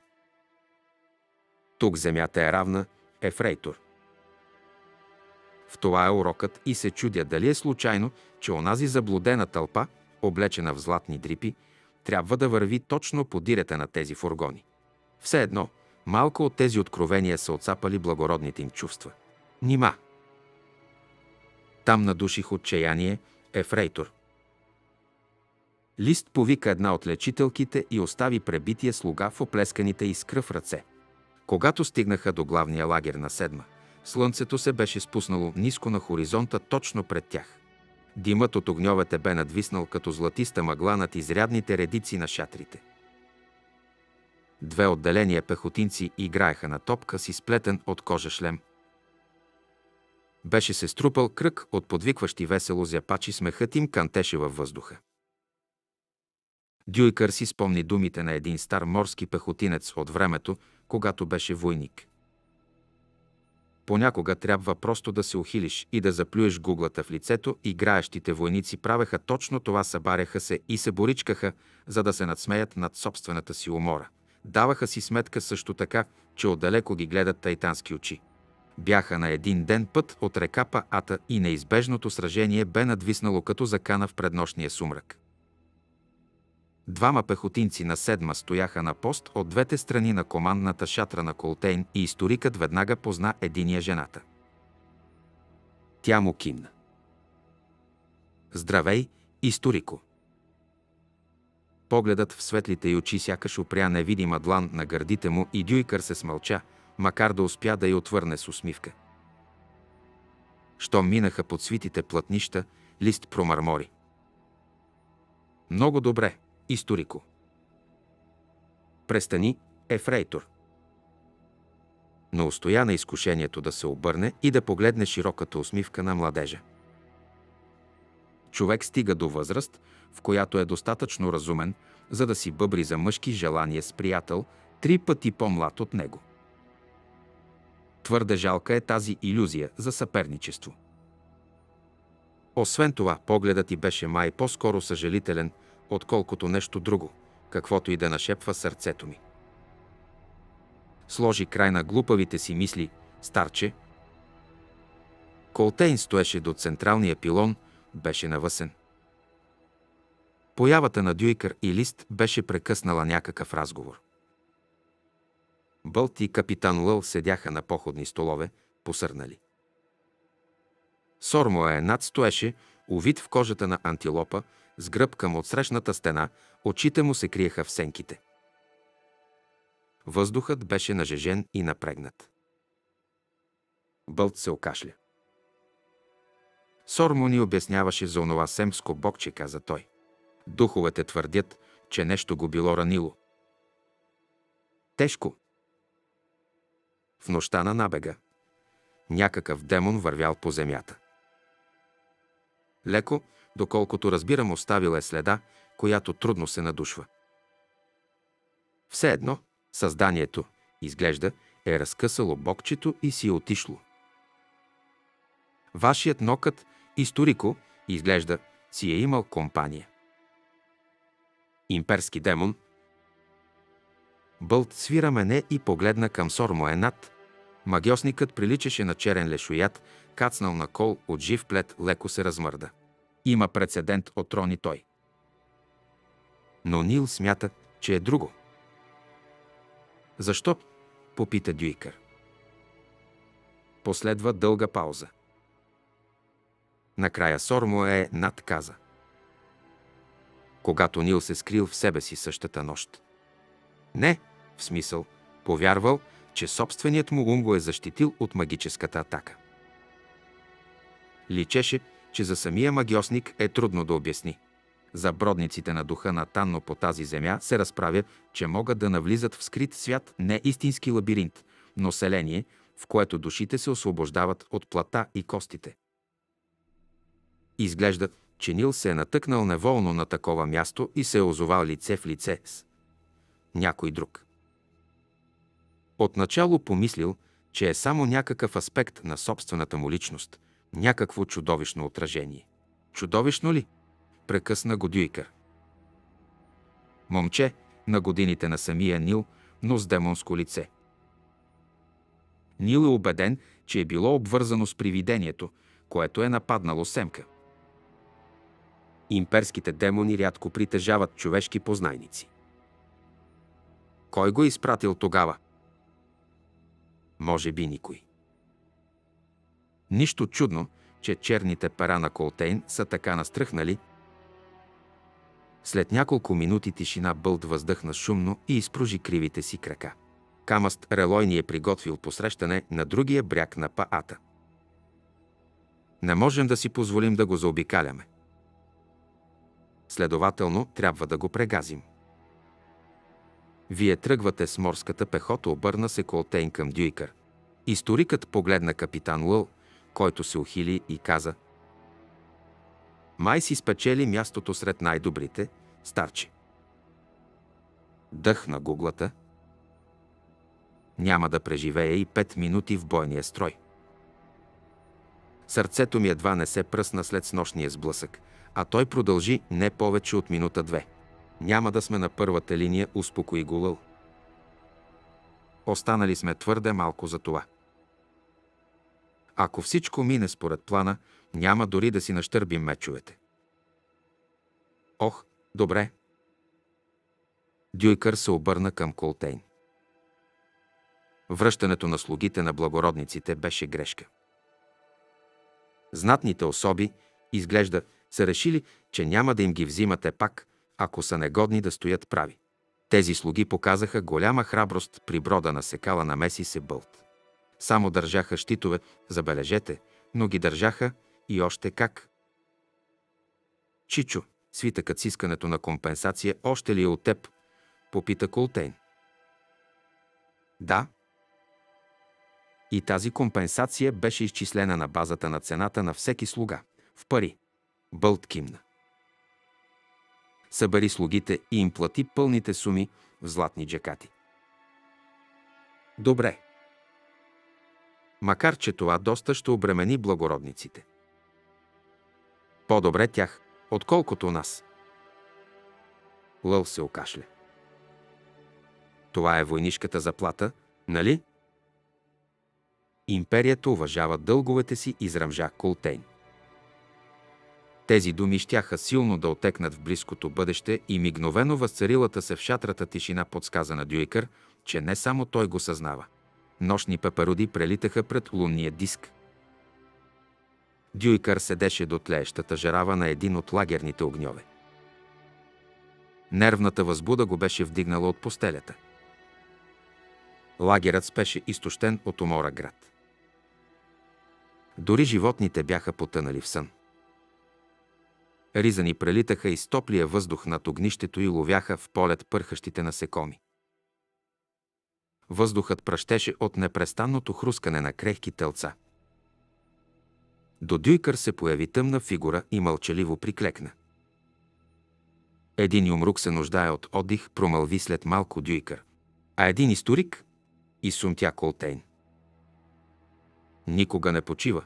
Нуждите ни са отказани. Винаги е било така. Шегувате се като уикец, историко, Изследвал съм липсата на хумор у Бълт. Това поне е неоспорим факт. Мълчаха дълго. Дюйкър не можеше да твърди, че познава човека до себе си. Дори да го измъчваха някакви съмнения, юмрукът не го показваше, нито щеше да го покаже. Един командир не може да разкрива слабостите си. При Колтен обаче упорството бе продиктувано не само от високия ранг – дори Бълт понякога мърмореше, че племенникът му е човек, изолирал се до нива, далеч надхвърлящи в родения уикски стоицизъм. Колтейн никога не държеше речи пред войниците си и макар често да го виждаха сред тях, не го изтъкваше като мнозина други командири. И все пак тези войници вече се чувстваха негови, все едно, че и умрукът можеше да запълни всяко стаено място в душите им с физическа увереност, също толкова здрава, колкото стиснатата ръка.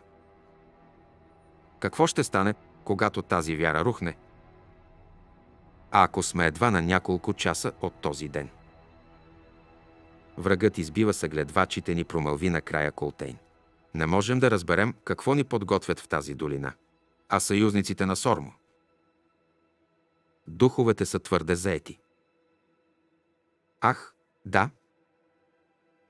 Богчето на Семк, Кан Елт, Дебрал, Тайтан, Семк, Тепаси, Халафан, Убари, Хисари, Сиалк и Горан. Вече четири племена, шест градски легиона. Дали не долавям съмнение? Юмрукът се изхрачи в жеравата. Армията, която ни чака, е една от двете, държащи юга. Откъде, в името на гуглата, знае това? Значи Ша Ика излязла от Рарако. Не е. Грешка. Че какво я задържа? Да не би бунтът да е съкрушен на север. Съкрушен? Не. Колкото до Ша Ик. Колтейн млъкна и намести плаща си от гарванови пера. Навярно виденията й са я отвели в бъдещето. Навярно знае, че вихърът ще се провали, че в този момент адюнктата на императрицата събира своите легиони. Заливът на Унта е пълен с транспортни кораби. Успехите на вихъра ще се окажат временни, дължат се само на имперската слабост. Ша Иг знае. Драконът се е разбудил и вече се е раздвижил, бавно, но когато настъпи пълната ярост, тя ще помете тази земя от бряг до бряг.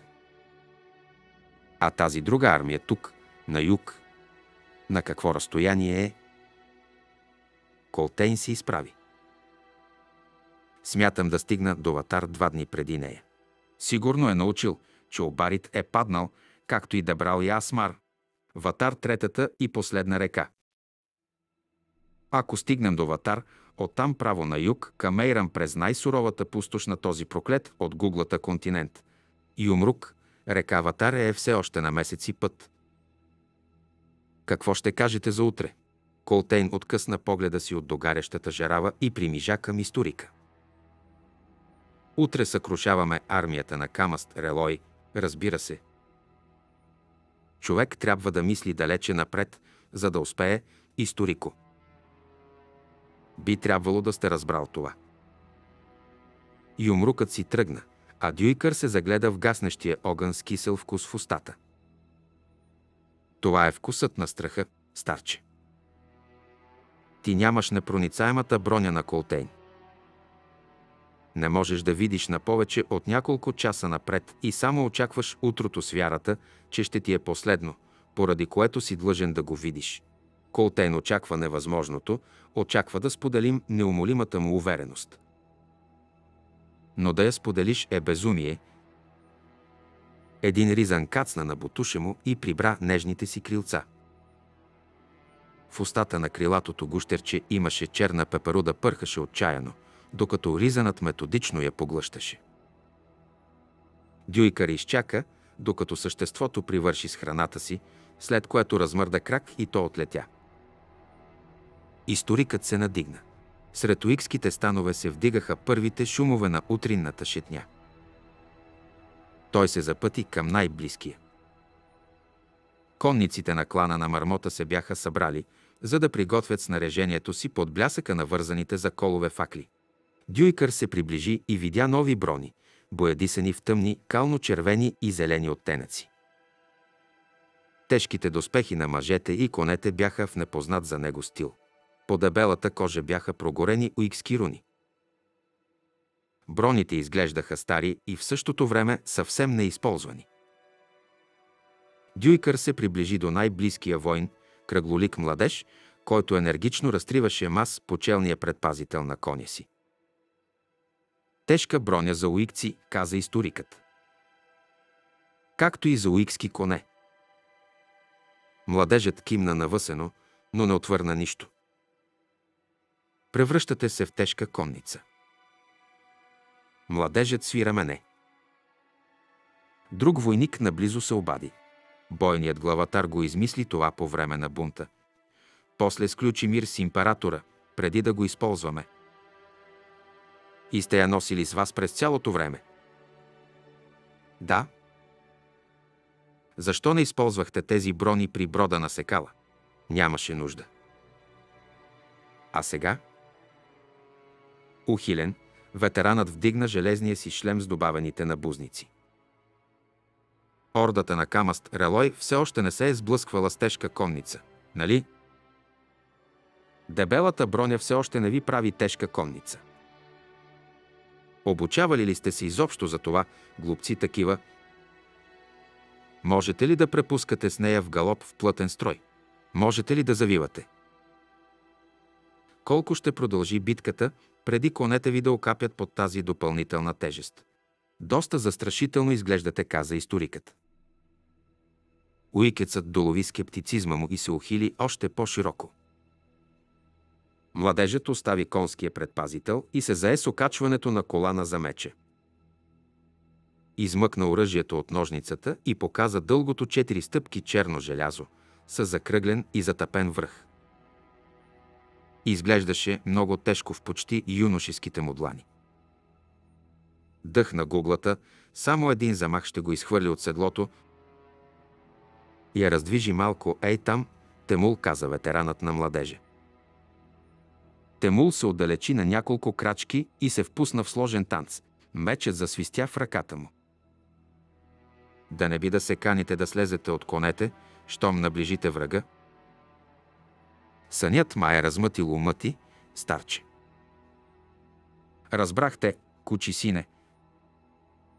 Дюйкър бавно се отдалечи. Винаги беше мразил часовете преди битка. Нито един от ритуалите на подготовката не се получаваше при него. Проверката на оръжията и снаряжението рядко отнемаше на един опитен войник повече от 10 минути.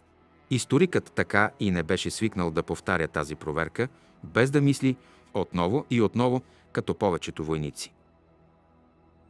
Ръцете ти са заети, докато умът ти бавно се гмурка в един свят на резки контури и наситени цветове, на болезнена яснота и на някакъв похотлив глад, обсебващ и тяло, и дух.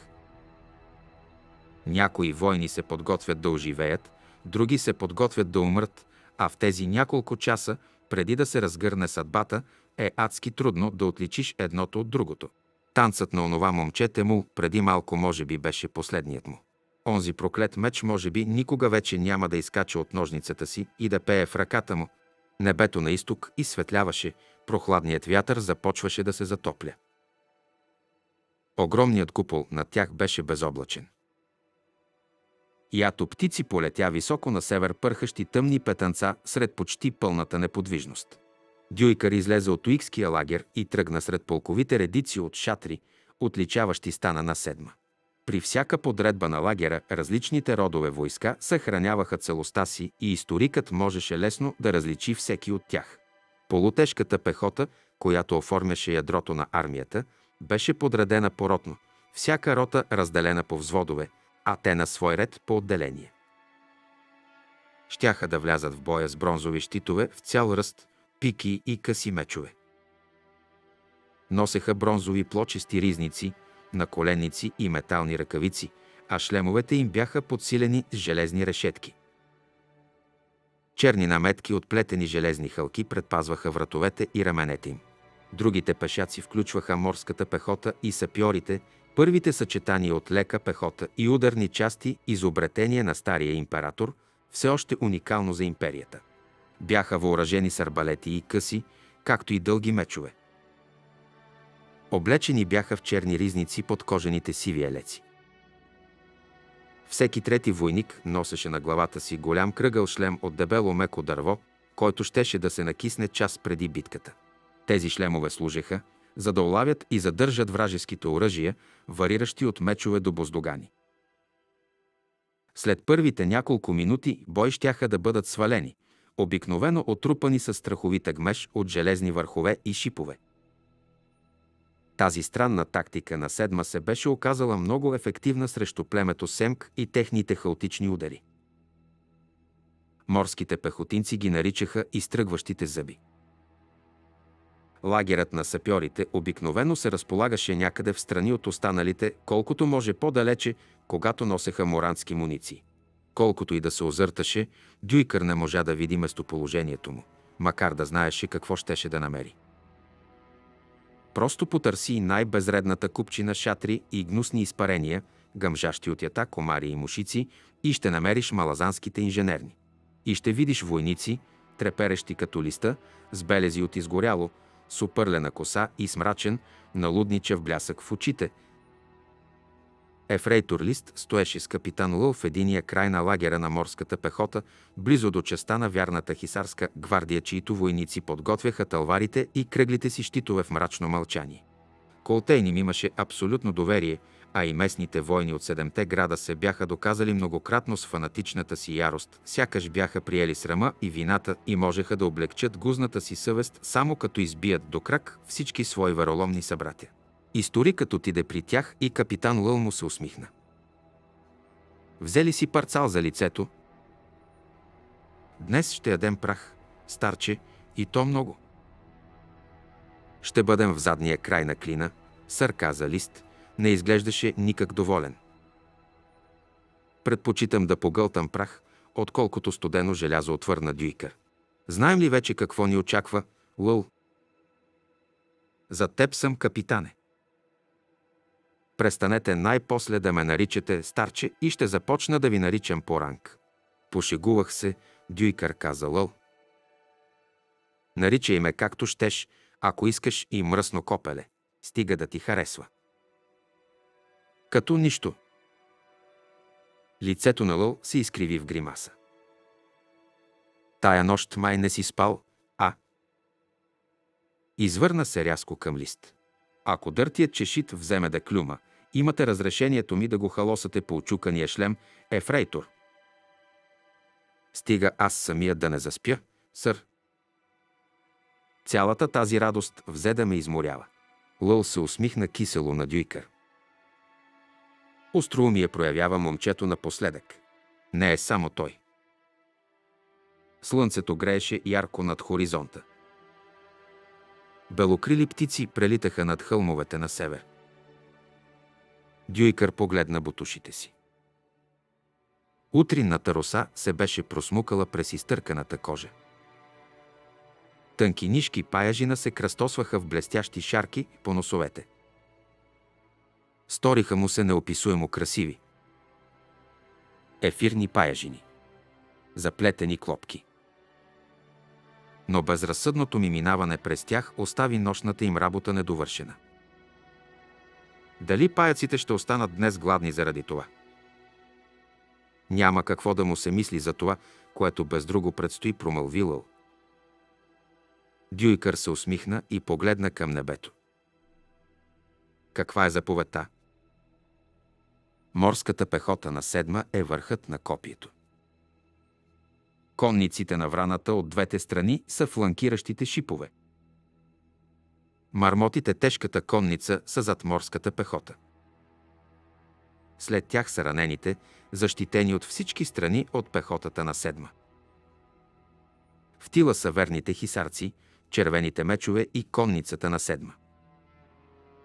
Дюйкър реагира бавно, примига и погледна капитана в очите. Лъл кимна. Беженците са задържани отзад с стадата от тая страна на долината, но леко на юг, на един нисък участък земя, наречен на картите плитчините, с варига от хълмове южно от него. Пази ги кланът на невестулката. Така е най-безопасно след секала кланът е освирепял. Всички техни конници са си наточили зъбите, повярвай ми. Значи ще влезем в тази битка необременени. Ако не се смятат ранените, да. Капитан Сълмър и Ченет се появиха от лагера на пехотата. Стойката, както и изражението на Сълмър излъчваха гняв, лицето на Ченет на смешка, но и леко изумление. Кръв, изкапани черва, и съска Сълмър и мазните му мустаци настръхнаха. Тия проклети сапьори с онова изчадие на гуглата, капитана им, тоя път го направиха. Ченец срещна слисания поглед на Дюйкър и поклати глава. Колте им пребледня, като го чу. Какво е чул? Сапьорите са духнали с нощи, израмжа Сълмър.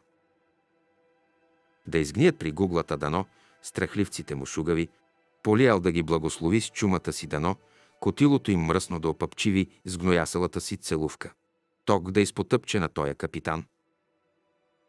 Ченец се смееше невярващо. Капитан Сълмър. Какво ще кажат приятелчетата ви в съвета за тези мръсни проклятия? Бърн да те вземе и тебе, Ченет. Аз съм преди всичко войник, проклет да си. Първата струя от порой. Това ни чака. Дезертьорства няма да има прекъсна голъл и пръстите му бавно зашариха по брадата. Сапьорите не са избягали. Бас слагам, че са наумили нещо. Трудно е да се спре човек при тая неумита, вмирисана компания, след като дори на капитана им не можеш да му хванеш дирите, но не допускам, че Колтейн ще повтори повече тази грешка. Няма да има възможност, промърмори Сълмър. Докато свърши тоя ден, първите червеи вече ще залазят в ушите ни. Този бой е последен за всички ни, помнете ми думите. Лъл повдигна вежда. Ако това е най-окоръжителната реч, която можеш да измислиш, Сълмър, жалко за войниците ти. Жалко за победителите, Лъл. Един самотен рок изви тъжно. Чакането приключи с явно облегчение въздъхна ченет. Заделете ми някое парче трева, като паднете, господа. Двамата капитани на седма се отдалечиха пред смаяния поглед на Дюйкър. От много време не беше ставал свидетел на такова отпращане. Бащата на Ченет е бил в първия меч на Дасем казалъл. Поне така разправят дори когато имената са заличени от официалните хроники, миналото показвали къси, а историко. Дюйкър нямаше настроение да понесе и двете насмешки и каза. Ще ида да проверя снаряжението си. Окончателното подреждане приключи по обед. За малко щеше да избухне метеж, когато беженците най-сетне разбраха, че ядрото на армията ще извърши прехвърлянето без тях. Изборът на Колтейн на клана на невестулката за техен ескорт, конните войни, наистина представляваха ужасяваща гледка с нашарената си с черна татуировка кожа и изпилени зъби отново доказа прозорливостта му, въпреки че конниците на невестулката почти прекаляваха с издавателствата си към хората, чието опазване им беше поверено. Наложено бе временно спокойствие, въпреки трескавите, подклаждани от страха усилия на съвета на благородниците и на изтощимия им напор да поднесат протестите си и дългите си списъци с жалби. След като главните сили най-сетне се строиха, Колтейн даде заповед да потеглят. Денят беше убийствено горещ, от напукания терен се вдигнаха облаци прах. Предвиждането на Лъл за яденето на прах се оказа потискащо точно и Дюйкър за пореден път надигна тенекиената си манерка към устните. Вляво от него вървеше ефрейтор лист със смъртно бледо лице и лъснало от под чело под шлема. Вдясно от историка крачеше ветеранката от морската пехота, не изнаеше името, нито щеше да я попита. Страхът от предстоящото беше плъзнал по тялото му като зараза. Мислите му бяха трескави, въртяха се около необяснимия ужас от. Знанието. От подробностите, които ти напомнят за човечността. Имената, прибавени към лицата наоколо, са като виещи се змии, заплашващи да те захапят с най-злостната отрова. Никога повече няма да се върна към списъка на падналите, защото вече разбирам, че безименният войник е дар Божи. Войникът си ме мъртъв, стопен восък очаква отклика на живите. Отклик, какъвто никой не може да предложи. Имената не носят отеха, те са призив да отвърнеш на онова, което няма отговор. Защо умря тя, а не той? Защо оцелелите остават анонимни и като прокълнати, докато мъртвите са почетени? Защо се впиваме в онова, което губим, забравяйки онова, което все още държим? Не назовавай никого от падналите, защото те застават на нашето място и стоят там във всеки миг от живота ни. Нека смъртта ми не носи слава и нека загина забравен и незнаен. Нека никога да не се каже, че съм бил от мъртвите, обвиняващи живите. Река Паата пресичаше коритото на пресъхнало езеро на 2000 крачки от изток на запад и на над 4000 крачки от север на юг. Когато авангардът стигна до източния и край и навлезе в коритото й, пред Дюйкър се откри панорамната гледка на предстоящото сражение. Камаст Релой и армията му ги очакваха с блясъка на желязото под яркото утринно слънце, с градските знамена и племенните пряпорци, унило увиснали над морето от островърхи шлемове. Войнишките редици се полюшваха, тласкани сякаш от невидими течения. Броят им беше зашеметяващ. Реката представляваше тънка, тясна ивица на 600 крачки напред, осеяна с едри камъни и странливи храсти по двата бряга. Черен кервански път бележеше традиционния брод, после завиваше на запад към някогашния полегат склон на отсрещната хълмиста варига, но сапьорите на Релой се бяха потрудили. Бяха издигнали рампа от песъчлива пръст. Естественият склон от двете и страни беше разчистен, за да се оформи висока стръмна урва. На юг от езерното корито теренът представляваше безразборна гмеж от дерета, каманаци, сипеи и остри скали. На север се издигаше накъсан хребет от хълмове, костеливо бели под слънцето. Камаст Релой се беше погрижил да остане само един изход на запад, а там на билото чакаха елитните му части. Дъх на гуглата. Промърмори ефрейтор лист. Този кучи син е възстановил хребета на Гелор и погледнете на юг. Сър, онзи стълб пушек, там беше гарнизонът на Мелн. Дюйкър примижа на там и забеляза още една особеност – по-наблизо. Най-горе на един остър връх, издигащ се над югоисточния край на езерното корито, се виждаше крепост. На кого ли е било онова? Зачуди се той на глас. Манастир отвърна лист. Според единствената карта, на която го има. Кой е асцендентът? Лист свира мене. Сигурно някой от седемте свети. Ако все още има хора там, доста хубава гледка ще им се отвори. Камъст Релой беше разположил сили надолу по склона и от двете страни на елитните си части, блокирайки северния и южния край на долината. Над южния фланг се издигаха знамената на Сиалк, Халафан, Дебрал и Тайтан, на северния това на Обарит. Всяка от трите сили многократно превъзхождаше по численост войската на Колтейн. От към армията на Апокалипсиса се надигна рев, придружен от ритмичното дрънчене на оръжие и щитове. Седма не се поколеба. Морската пехота мълчаливо пое в стегнати редици към брода. Над тях като вълна се затъркаля рев на мъжки гърла и грохот на метал. Богове на бездната, какъв ли ще е изходът от това?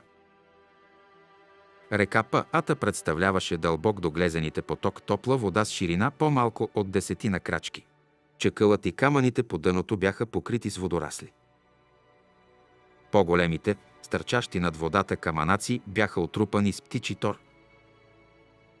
Във въздуха бръмчаха насекоми. Прохладният речен дъх изчезна веднага, щом Дюйкър стъпи на другия бряг и зноят на пресъхналото езеро го загърна като плащ. Ватираното облекло, под плетената ризница под гизна, от пот стичаше се на мръсни вадички под ръкавиците и под ланите му. Той стисна по-здраво ремъка на щита, а другата му ръка се отпусна на дръжката на късия меч. Остата му изведнъж стана суха като кост в пясъка, но той устоя на потика да отпие от манерката. Наоколо вонеше на пот и страх от хилядите войници, крачещи с него. Но и още нещо имаше, долавяше се някаква странна меланхолия, съпътстваща сякаш упорития марш напред. Дюйкър беше познавал това чувство преди десетилетия. Не беше нито пораженчество, нито отчаяние. Тъгата се пораждаше от нещо, стоящо отвъд тези вътрешни реакции, беше някак сдържана и осъзната. Отиваме, за да вземем своя дял от смъртта. И тъкмо в тези моменти, преди оръжията да изсвистят от ножниците, преди кръвта да увлажни земята и писъците да изпълнят въздуха, обречеността ни загръща всички. Ако я нямаше бронята й, щяхме всички да плачем. Как иначе да отвърнеш на неумолимата закана за непрежелими загуби? Мечовете ни хубаво ще се нащърбят днес, заговори с прегракнал и накъсан глас лист до него. Според вашия опит, сър, кое е по-лошото прахта или калта? Дюйкър и сумтя. Прахта те задавя. Прахта те заслепява. Но калта измуква света под краката ти. А скоро ще имаме предостатъчно кал, щом земята прогизне от кръв, жлъч и пикня. Предостатъчно и от двете проклятия, момче, първата ти битка е значи. Лист отвърна с гримаса. Прикрепиха ме към вас, сър. Все още не съм влизал в истински бой. Май съжаляваш. Ефрейторът си замълча, но Дюйкър го разбираше много добре. Всичките му приятели бяха минали през първото си проливане на кръв и това беше прак, будещ едновременно и страх, и очакване. Въображението шепнеше лъжи, които само опитът щеше да разбие. Все пак, ако зависеше от него, щеше да предпочете някое по-отдалечено място за наблюдение. Така, докато маршируваше в бойните редици, нямаше да може да види нищо извън гъстата човешка гмеж. Защо Колтен ме постави тук? Отнеми очите, проклет да е. Бяха на сто крачки от рампата.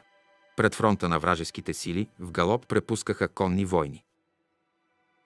Кантежът на щитове и гневните крясъци обещаваха кръв и тази ярост нямаше да се удържи дълго. Тогава ще бъдем нападнати от трите страни, ще се опитат да ни откъснат от пехотата на седма, докато те се сражават, за да опазят ранените. Ще обезглавят змията, стига да могат. Конните войни на враната подготвяха лъковете и копията от двете страни, извърнали глави и без да откъсват поглед от вражеските позиции. Сигнал срок възвести командата приготви щитовете. Челната редица ги изправи в плътен ред, а центърът и тилът ги вдигнаха над главите си. Появиха се стрелци, катерещи се към върха на рампата. Въздухът бе неподвижен и натежал, без вятър. Може би само неверието задържа атаката на вражеските сили от двете страни. Колтейн не реагира изобщо на вражеските позиции, нито на численото им превъзходство седма просто продължаваше марша си напред и щом стигна до рампата, започна изкачването, без да спира. Склонът беше рохкав, каманаци и пясък, направен съзнателно така, че теренът под краката да е опасен и подвеждащ. Войниците започнаха да се препъват. Изведнъж въздухът се изпълни с стрели и сипали се отгоре като порой. Трясъкът над главата на Дюйкър беше оглушителен, дървените пръчки свистяха и се плъзгаха по металния обков на вдигнатите щитове, някои проникваха и биеха в бронята и шлемовете, други се забиваха в жива плът. Под гърба на костенурката мъжете запъшкаха, обутите в бутуши крака затъваха между камъните, но защитеният с корубата от щитове клин продължаваше неуморно напред и нагоре. Лактите на историка се огънаха, когато една стрела шибна с все сила право в щита му. Други три бързо издранчаха една след друга, плъзнаха се и отхвърчаха над останалите щитове. Въздухът под костенурката се нагнети от пъшкане и пот, урина и усилващ се гняв. Атака, на която не можеш да отвърнеш, беше истински кошмар за войника. Решимостта да достигнат билото, където ги очакваха виещите семк и тежката пехота на Горан, ги пареше като треска. Дюйкър съзнаваше, че морската пехота е на предела. Първият сблъсък щеше да е истински взрив. Близо до билото изкуствената рампа беше със стръмни и високи брегове, върхът й беше подравнен и уширен.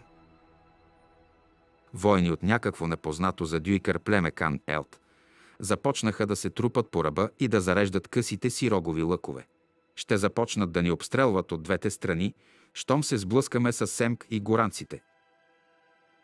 Анфилада Бълт яздаше с конниците на клана на Враната и историкът съвсем ясно чу изреваната от ветерана команда.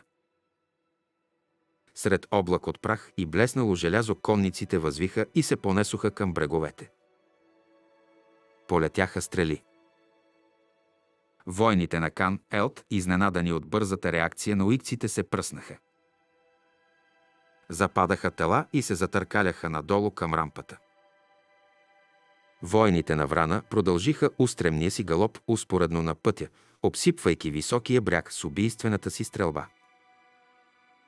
За няколко мига плоският връх бе разчистен от вражеските войни. Втори вик накара конниците да спрат, когато най-предните ездачи бяха стигнали само на десетина крачки от настръхналия строй на Семк и горанците. Внезапното им спиране предизвика подивелите Семк да се понесат напред. В пространството, разделящо двете противостоящи сили, из въздуха засвяткаха метателни брадви. В отговор и свистя залп от стрели. Щом морските пехотинци забелязаха безредието в предните редици на противника, върхът на бойния клин се понесе напред. Конниците на враната завъртяха конете си, изправени на стремената, за да не бъдат приковани между приближаващите се едни към други пешаци и неизбежно забавиха инерцията на морската пехота. Измъкнаха се едва на няколко мига преди сблъсъка. Клинът удари. Дюйкър усети през щита си тътена на сблъсъка. Ударната вълна го разтърси до кости. Почти нищо не можеше да види от позицията си, освен малкото петно синьо небе точно над главите на войниците. И в този въздух се премяташе щупеният връх на нечия пика и шлем, който може би все още стягаше в каишката си нечия брадата челюст, преди прахът да се надигне и да го загърне в непроницаемия си покров. Сър! Някой го задърпа. Обърнете се. Веднага. Да се обърна. Дюйкър зяпна сърдито адютанта си лист. Ефрейторът го завъртя. За да можете да виждате, сър, намираха се в предпоследната редица на клина. Между морските пехотинци и странно снаряжените конни войни на мармота бе зейнало пространство от десетина крачки. Последните стояха на позицията си неподвижно, с оголените тежки мечове и отпуснатите на седлата арбалети. Зад тях се простираше пресъхналото езеро мястото на Дюйкър, високо на земната рампа, предлагаше гледка над цялото поле сражение. На юг бяха стегнатите редици на тайтанските стрелци, поддържани от конницата на Дебрал. На изток, вдясно от тях, настъпваха спешените легиони на Халафан, а по средата беше позицията на тежката пехота на Сиялк.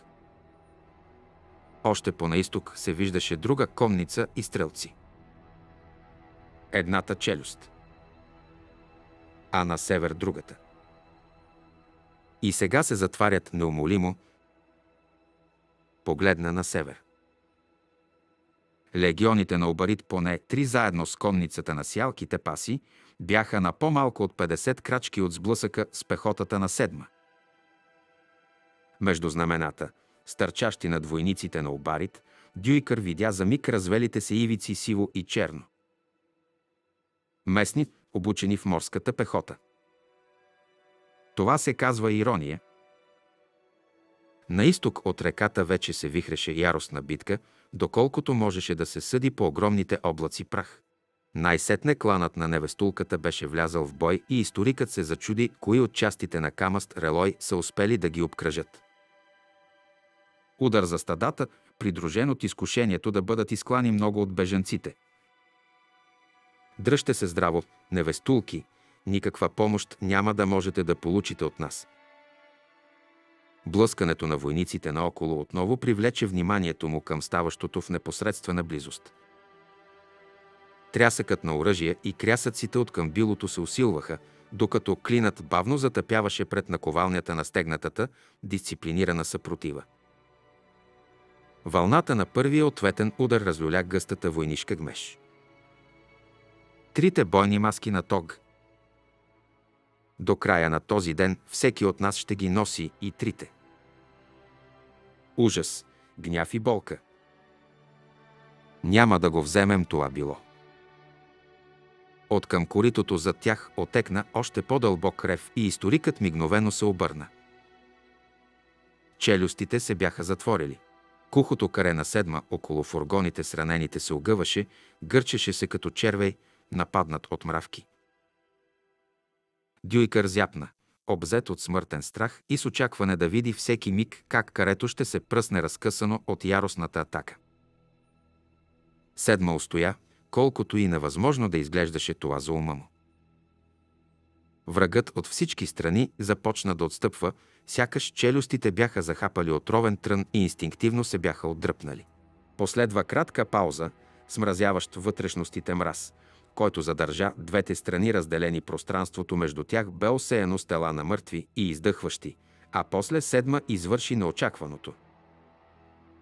Сред пълно безмълвие, от което историкът настръхна, войниците се втурнаха напред, карето се изду, огъна се в овал, с насочени напред пики. Вражеските редици заотстъпваха, започнаха да се стапят, изведнъж се разсипаха.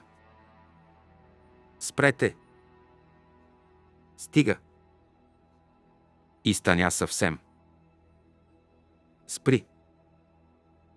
Овалът се изпъна, спря се, после леко се отдръпна с отмерена прецизност и почти злокобно сякаш седма се бе превърнала в някакъв механизъм. И ще го направят отново. Следващия път няма да е толкова изненадващо, но ще е също толкова смъртоносно. Като дроб, който вдишва ритмично и спокойно като в сън, отново и пак. Вниманието му внезапно бе привлечено от някакво движение сред клана на мармота. От предната редица се бяха появили Нил и Недер, пеша, водеха уикска кобила. Животното бе вдигнало високо главата си, си спънати назад уши. Червените му хълбоци блестяха от пот. Двамата магиосници спряха от двете страни на кобилата, Недер пусна юздите и сложи ръце върху животното.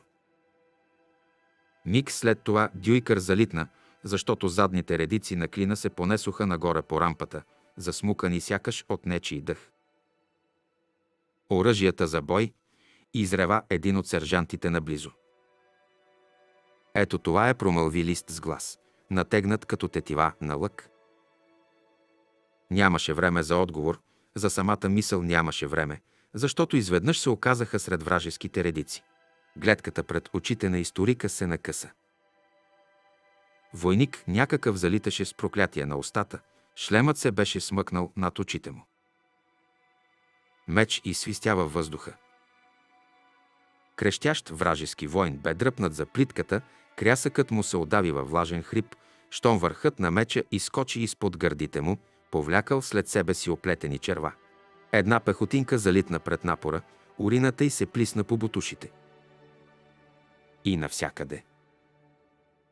Трите маски на тог, сред какофония от трясък и викове, нелепи за човешки гърла звуци, швиртяща кръв и издъхващи хора, издъхващи хора навсякъде. Пази се отдясно.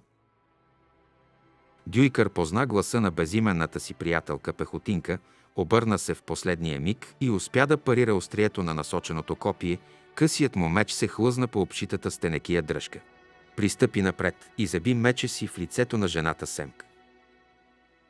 Тя рухна, цялата в кръв, но въздухът бе раздран от късащия душата, болезнен вик на историка. Той залитна назад и щеше да падне, ако не беше здравият щит, подпрял гърба му. Гласът на безименната жена изхриптя в ухото му. Тая нощ така ще те яхна, че ще молиш за милост, старче. В обърканите кривини на човешкия ум Дюйкър вътрешно се загърна с тези думи и не от поход, а като отдавник – впил се в спасителната дървена отломка. Вдиша с тон, изправи се от подпрелия го щит и пристъпи напред. Отпред се сражаваше първият ред на морската пехота, ужасно изтънял и огъващ се стъпка след стъпка, докато тежката пехота на Горан натискаше надолу по склона. Клинът всеки момент щеше да се пръсне.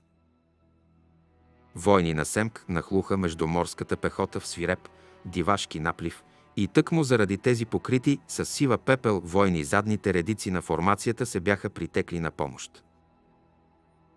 Задачата бързо бе изпълнена, жестоката дисциплина лесно сломи сражаващите се по-отделно и без строй врагове, лишени от странична подкрепа и не чуващи ничий глас, освен собствените си свирепи бойни викове.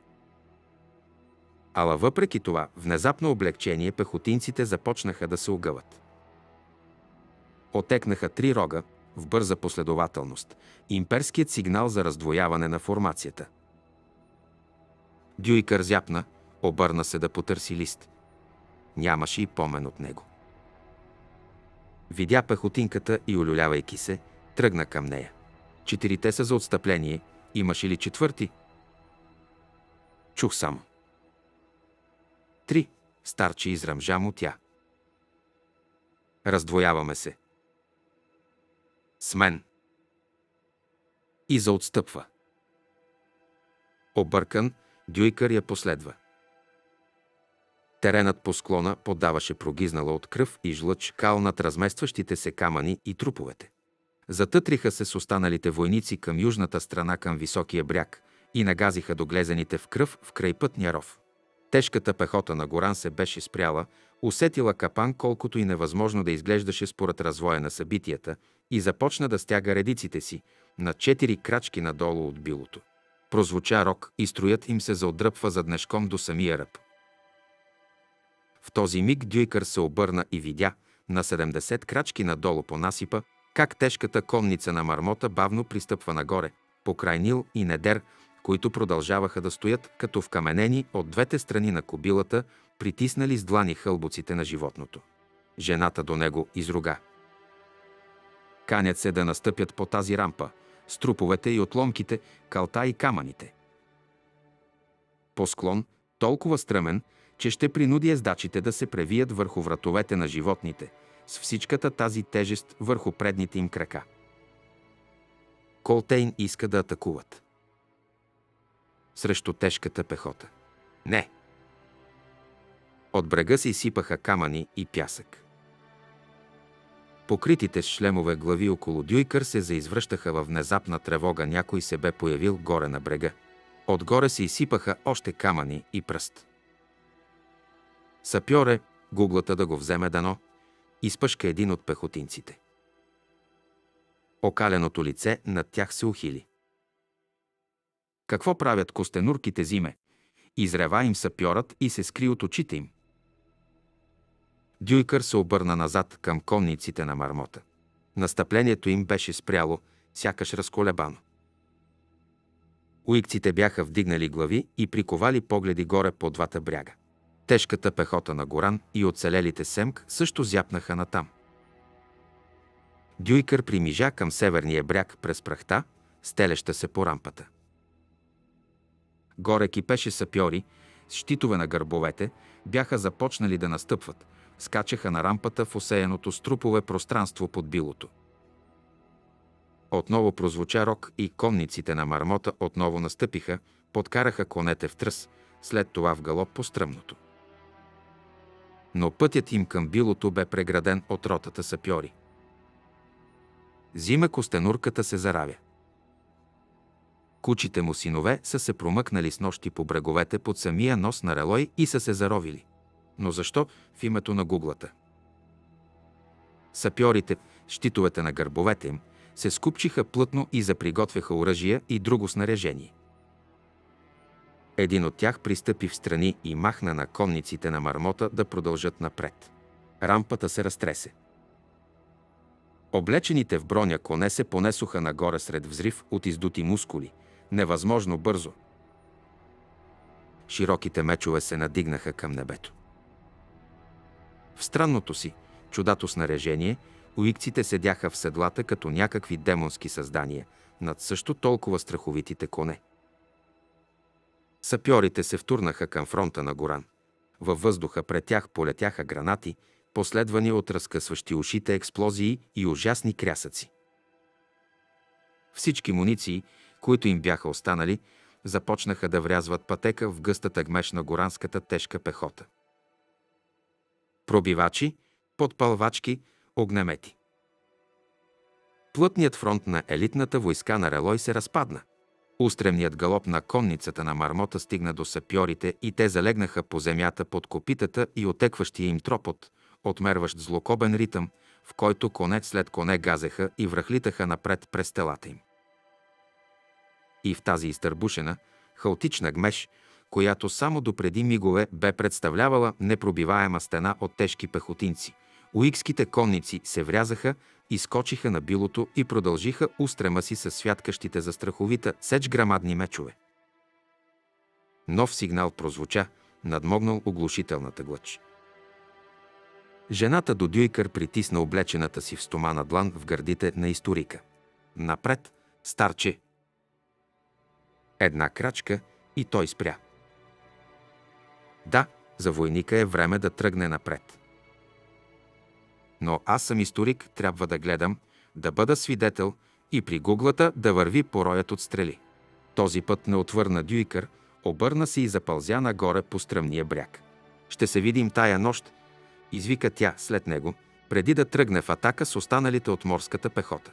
Дюйкър се добра до върха с цената на шепа песъчлива пръст, напълнила устата му. Закашлен и задавен, той се изправи и се огледа. Брегът беше разровен като кошер от скосени изкупи. Виждаха се полузаровени пашкули от зебло за палатки в дубки с големина около човешки ръст. Историкът се вторачи в тях за миг, изпълнен с неверие, после отново насочи вниманието си към рампата. Инерцията на морската пехота се беше позабавила заради изпотъпканите от конницата сапьори.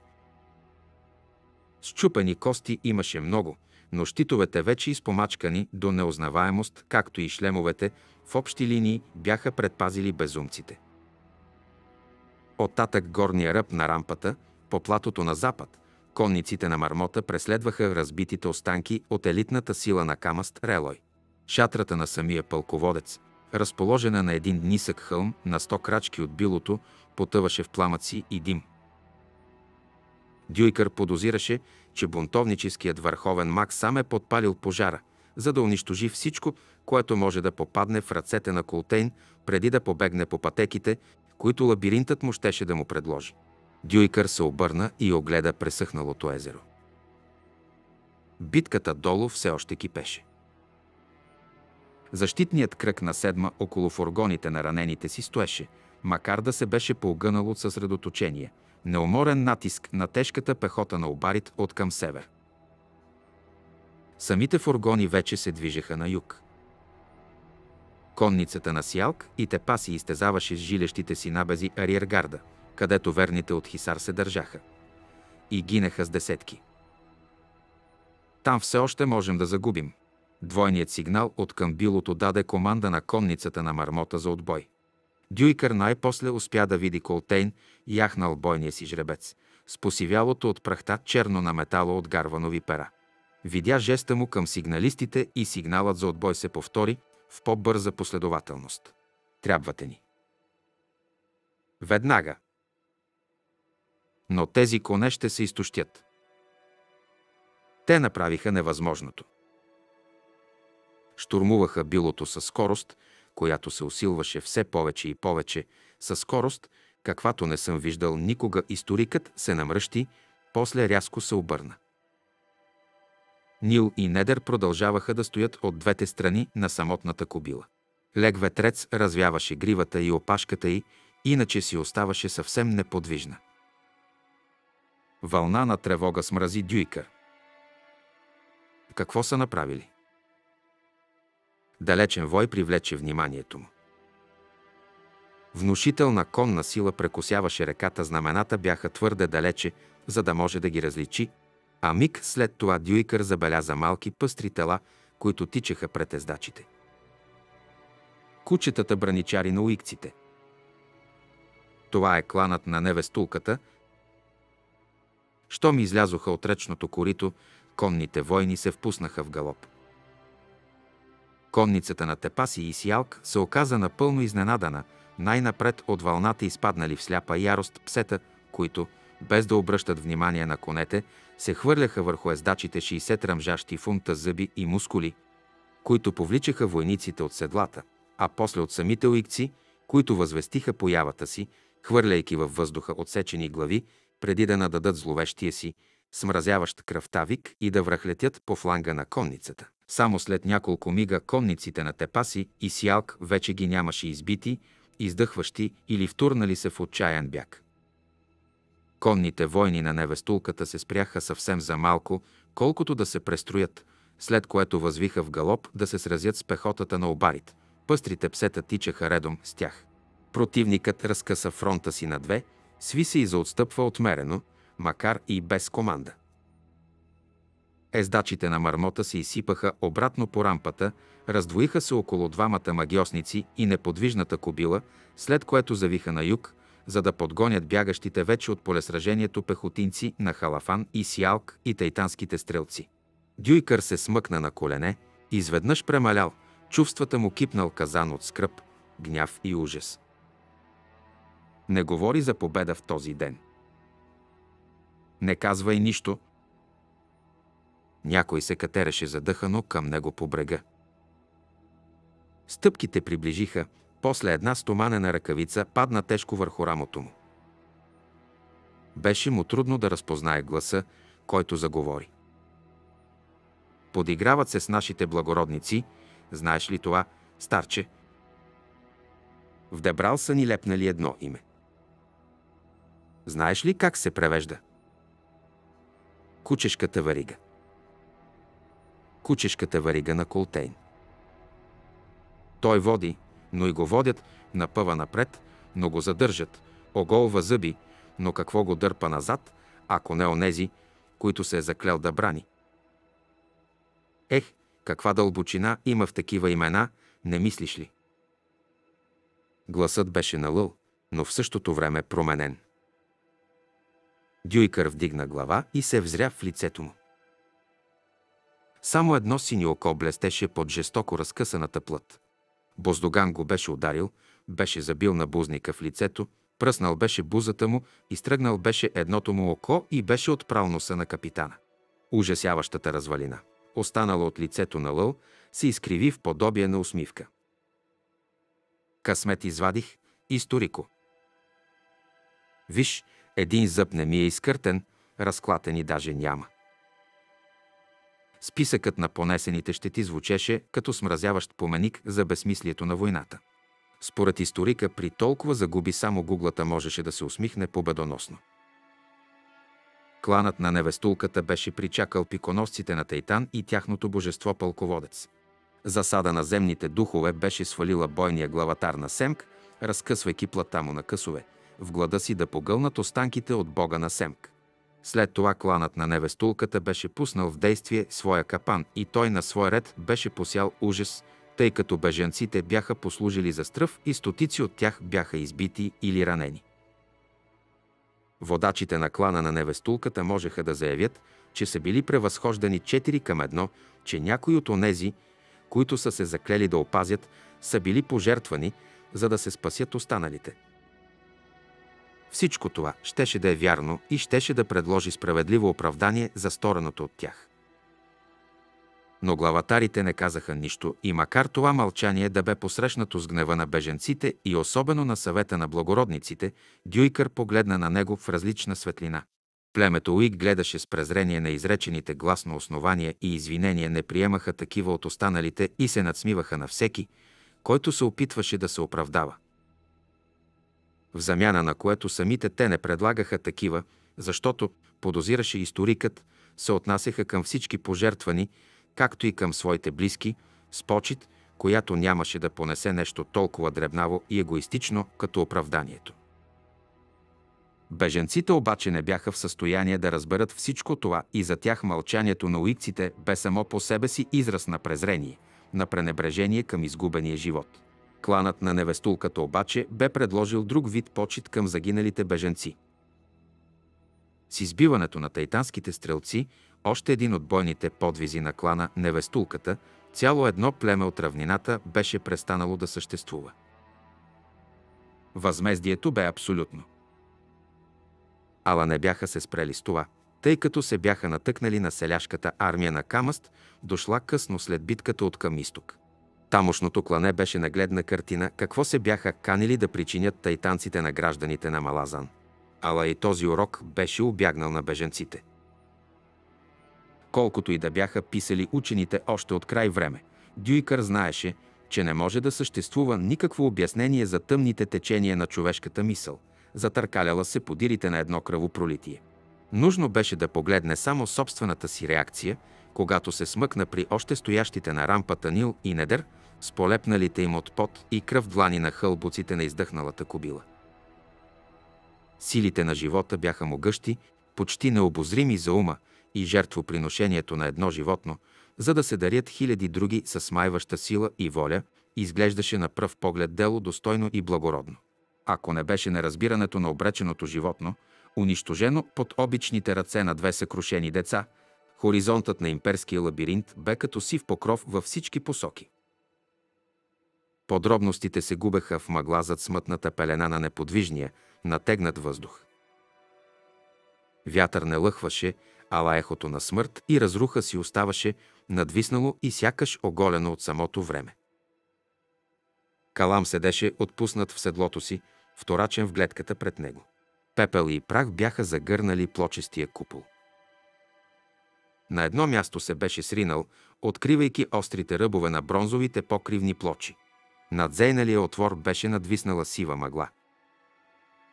По извивката на купола можеше да се прецени, че над повърхността е по-малко от една трета. Той слезе от коня. Спря, за да бръкне с шепа под парцала, покриващ носа и устата му, и да извади гъсто полепналата прах, погледна през рамо към другите и приближи до постройката. Някъде долу, под краката им, се издигаше дворец или храм. Щом стигна до купола, той се наведе и отри пепелта от една от бронзовите плочи. Откри се дълбоко всечен в метала символ. Разпознаването му го обляса студена вълна. За последен път беше виждал стилизираната корона на друг един континент в една неочаквана война срещу съпротивата, вдигната от отчаяни врагове. Каладан Брут и Аномандър Рейк, Ривите и Пурпурната гвардия. Струпването на разнородни противници, за да се опълчат на завоевателните планове на Малазанската империя. Свободните градове на Джена Бакас, дърлеща се, коварна сган. Алчните за злато владетели и кръци най-силно хленчеха пред заплахата за свободата им. Умът му се отнесе на хиляди левги от тук и той леко докосна всечения символ. Черното псе. Воювахме срещу комари и пиявици, срещу отровни змии и смучещи кръв гущери. Обозът отрязан, морантите се оттеглят точно когато имахме най-голяма нужда от тях. А този знак го помня на едно дрипаво знаме, вдигнато над елитната рота на силите на Брут. Как се беше нарекал кучият му син? Върховен крал. Каулор. Върховният крал без кралство. На хиляди години стига легендите да казват истината, може би на десетки хиляди.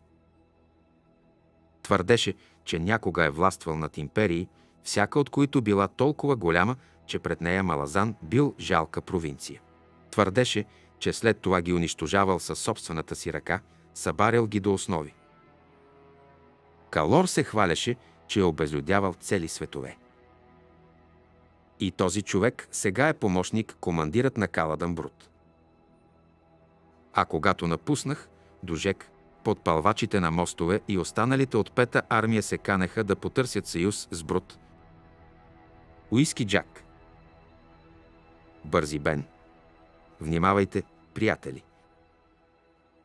Между вас има безумец, ако си се унесъл. Това, което най-много мразя в това място отвърна Калам, е как земята поглъща следите. Смайващо сивите очи на Майнала се присвиха над шала, покрил долната половина на лицето й. Изглеждаш оплашен. Калам се намръщи и се върна при другите. Заговори по-високо. След малко напускаме този лабиринт. Какво? И сумтя майнала. Не виждам никакъв портал. Няма. Но трябва да е тук. Достатъчно дълго разстояние покрихме и изведнъж осъзнах, че силата на мисълта не е толкова в пътуването, колкото в пристигането затвори очи, за да изключи майнала и всички останали и да накара ума си да потъне в пълна неподвижност. Изтръгна се само една, последна мисъл.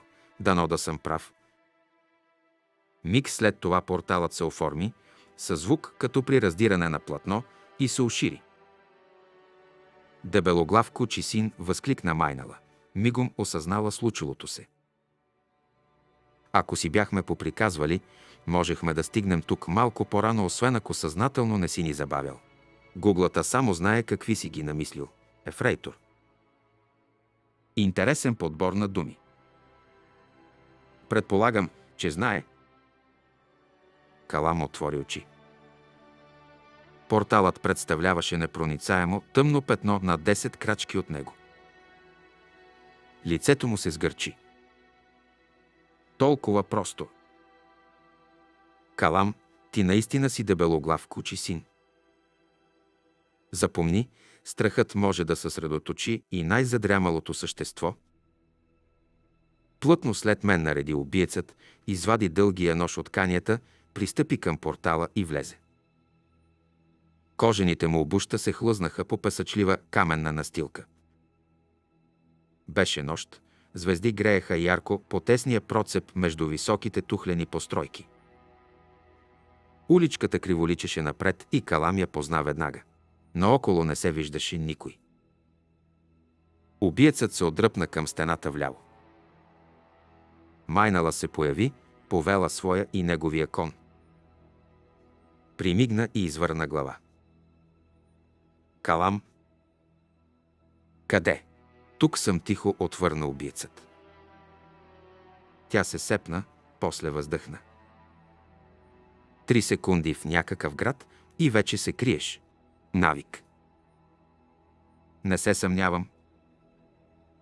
Тя отведе конете по-напред. След миг се появиха Кенеп и Селф, последвани от двете деца. Капитанът се огледа навъсено и забеляза Калам. Ейран ли е? Да. Адски тихо е. Улицата, на която сме, минава през гробище. Страшно приятно подхвърли майнала. После посочи сградите от двете им страни. Но тия приличат на жилищни сгради. Такива са, само че за мъртвите. Бедните са си бедни и фейран. Колко е до гарнизона?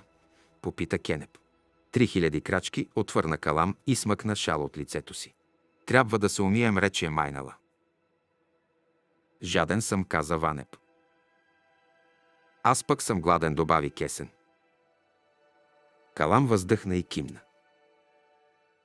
Надявам се, че разходката по мъртви улици не е лоша поличба, подхвърли майнала. Гробището е обкръжено от кръчми за опечелените промармори убиецът. Няма да вървим много.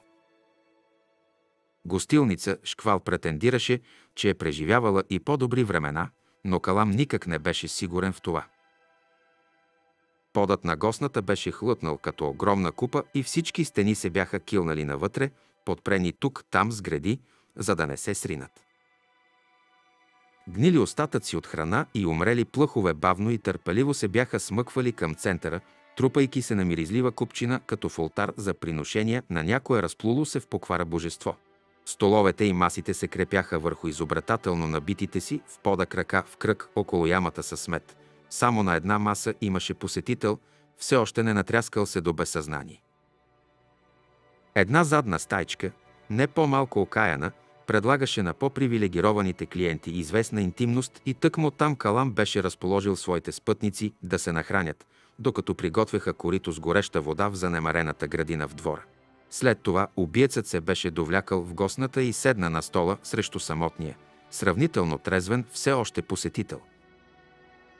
Зарад храната, а, каза прошареният на панец, след като убиецът се разположи. Най-добрата в града. Така поне гласува съветът на хлебарките. Калам изгледа как си некожият мъж пред него надигна халбата си изгледа как се размърда изпъкналата му Адамова ябълка. Като гледам, май ще му удариш още една. Като нищо. Убиецът леко се извърна в стола си, улови унилия поглед на старицата, подпряла се на една от крепящите гради до бурето Сейл и вдигна два пръста. Бабичката въздъхна, надигна се, спря се да намести ножа за клане на плъхове, затъкнат в колана на мръсната и престилка и се затътри да донесе още две халби. Ръката ще ти щупи, ако я щипнеш по задника, предупреди непознатият. Калам се отпусна в стола и го изгледа. Можеше да е между 30 и 60, според орисията му. Под острата четина на брадата се виждаше груба сбръчка на кожа.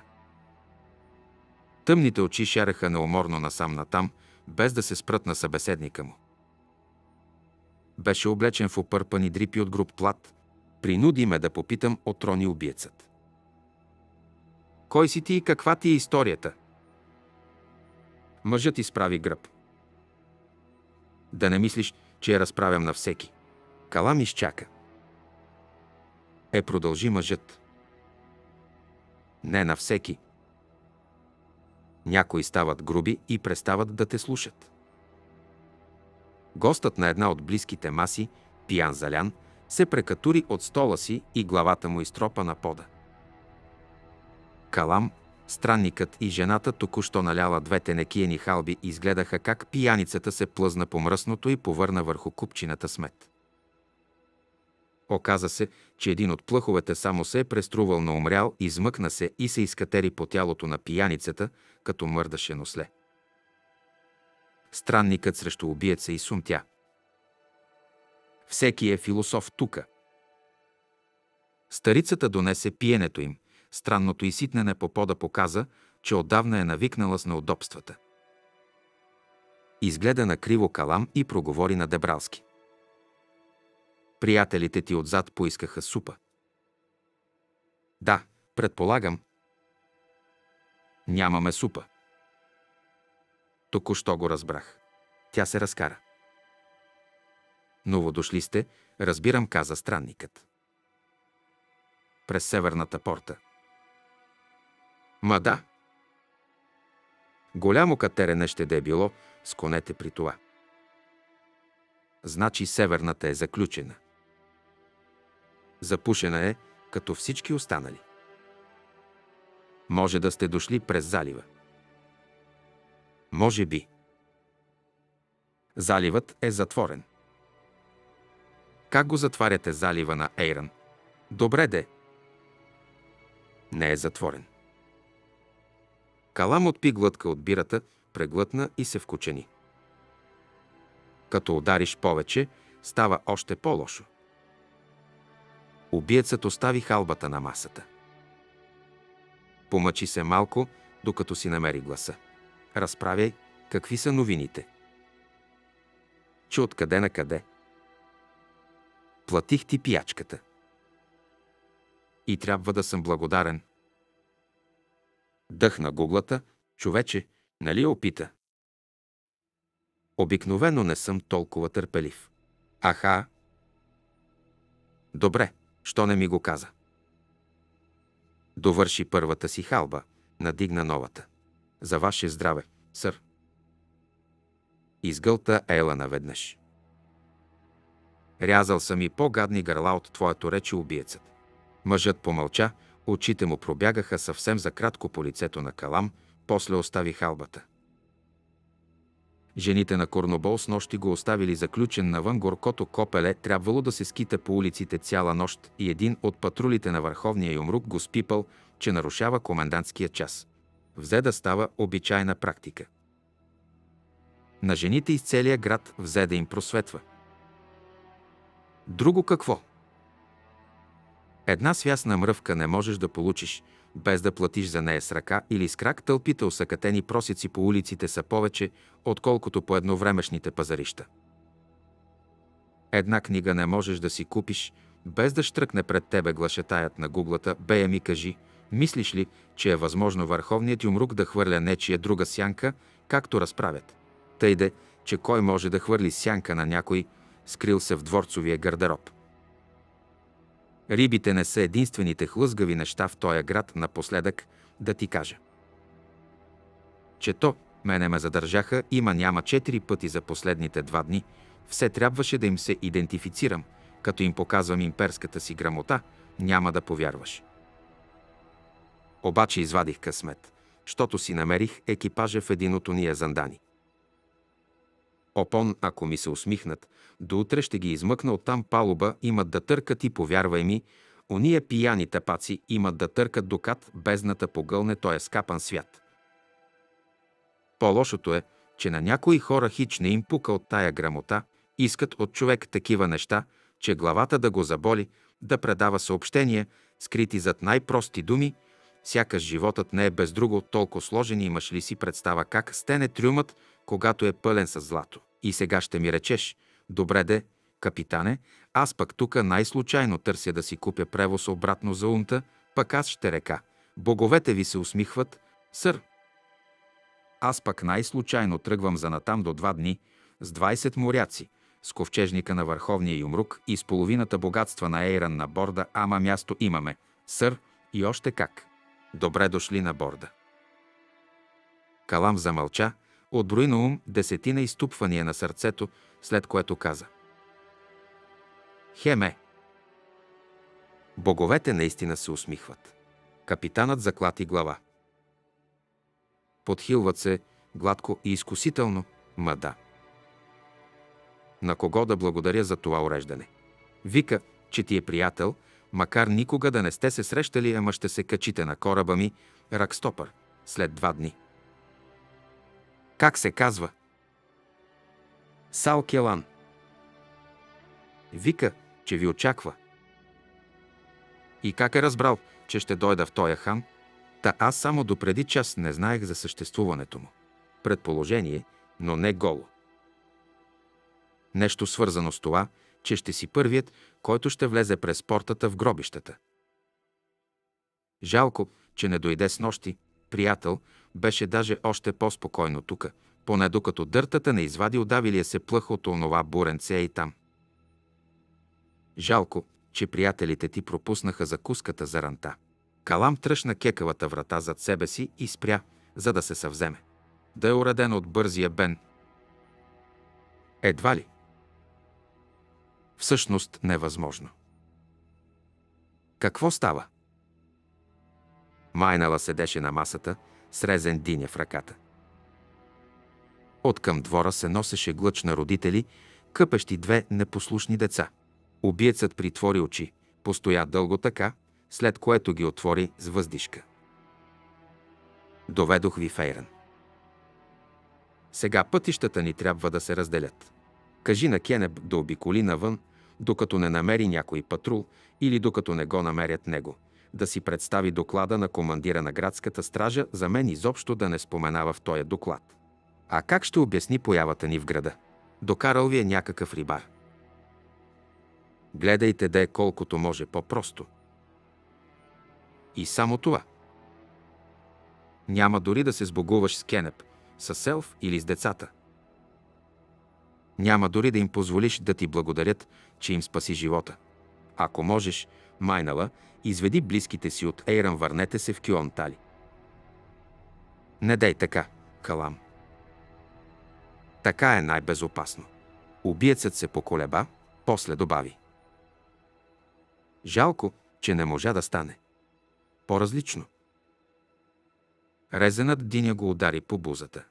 Той избърса лицето си, надигна дисагите и ги метна през рамо. Жребецът е за теб, майнала. В гостната калам се върна при масата на капитана. Е, аз съм готов. Нещо подобно на разочарование проблесна в очите на капитана, после той въздъхна и се надигна от стола си. Както кажеш. До пристана с Ракстопър е 30 минути пеша с малко късмет. Ще ми се наложи да си покажа грамотата не повече от 10 пъти. Гуглата знае какво друго може да направи човек с една армия, разположила се в един град. А. Тая дрипава риза, дето си я навлякал, няма да помогне много, капитане. Предполагам, че гориш от нетърпение да смениш маската. Каква маска? Тая риза си ми е късметът. Лостара Юил се подпря на стената в стайчката, скръстила ръце и загледа крачещия напред-назад до прозореца перла. Подробностите замърмори той. Всичко е в подробностите. Не мигай, че може да ти обегне нещо. Трябва да докладвам на командира на червените мечове, казало Стара. После ще се върна тук. Ортал Сетрал ще ти разрешили, скъпа. Не изоставям това преследване. Освен ако не ми забраниш. Боговете да не дават дано. Компанията ти ми допада. Много си духовит. Е, чак пак толкова. Но все пак до тук преживяхме доста интересно приключение, нали? Защо да го прекъсваме сега? Лостара огледа униформата си. Лекотата й беше истинско облегчение бронята, която беше носила предрешена. Съвсем се беше разнебитила и тя с радост я беше зарязала, след като нокътят изцери раните й. Перла с нищо не й беше помогнал да повдигне булото на загадката с демона, появил се по време на нощната схватка в равнината. Но за червения меч беше ясно, че този инцидент все още го безпокои. Както и мен, но това вече е минало. Все пак пристигнахме в Ейран, все още сме подирите на убиеца. Всичко е така, както трябва да е. Ще ме изчакаш ли? Попита тя. Отговори и с широка усмивка. До края на времето, скъпа. До утре заран е достатъчно. Той се поклони. Ще отброявам ударите на сърцето си до тогава. Тя излезе от стаята и тръщна вратата зад себе си. Коридорът на хана водеше към дървено стълбище, което я отведе в препълнената гостилница. Комендантският час беше задържал клиентелата, макар че настроението не изглеждаше никак празнично. Лостара се шмугна под стълбите и мина през кухнята. Очите на готвачката и няколкото и помагачки я проследиха, докато вървеше към задната врата, оставена от крехната, за да влиза въздух. Беше свикнала с тази реакция. Червените мечове будеха страх. Отвори широко вратата и излезе на задната уличка. Речният дъх, смесен с миризмата на сол от залива, я лъхна в лицето. Моля се никога повече да не ми се налага да пътувам през имперския лабиринт. Тръгна към главната улица и бутушите й закантяха по кълдаръма. Десетина войници от армията на Върховния Юмрук я спряха, щом стигна първата пресечка на път за гарнизонното укрепление. Сержантът, който ги командваше, я зяпна невярващо. Добър вечер, червен меч. Тя му кимна. Разбирам, че Върховният Юмрук е наложил комендантски час. Кажете ми, червените мечове също ли патрулират по улиците? Съвсем не отвърна сержантът.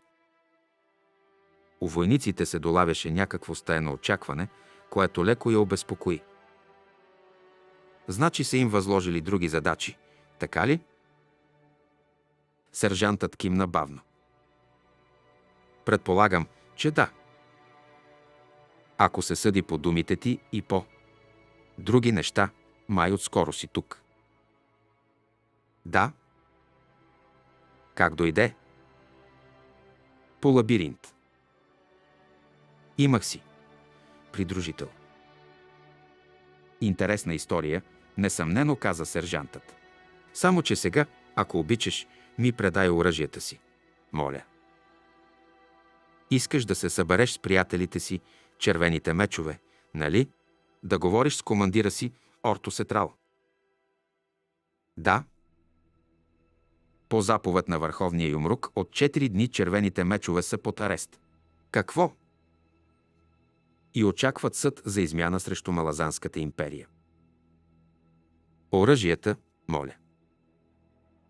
Стъписана, Лустара Юил не оказа никаква съпротива на войниците, докато я обезоръжаваха.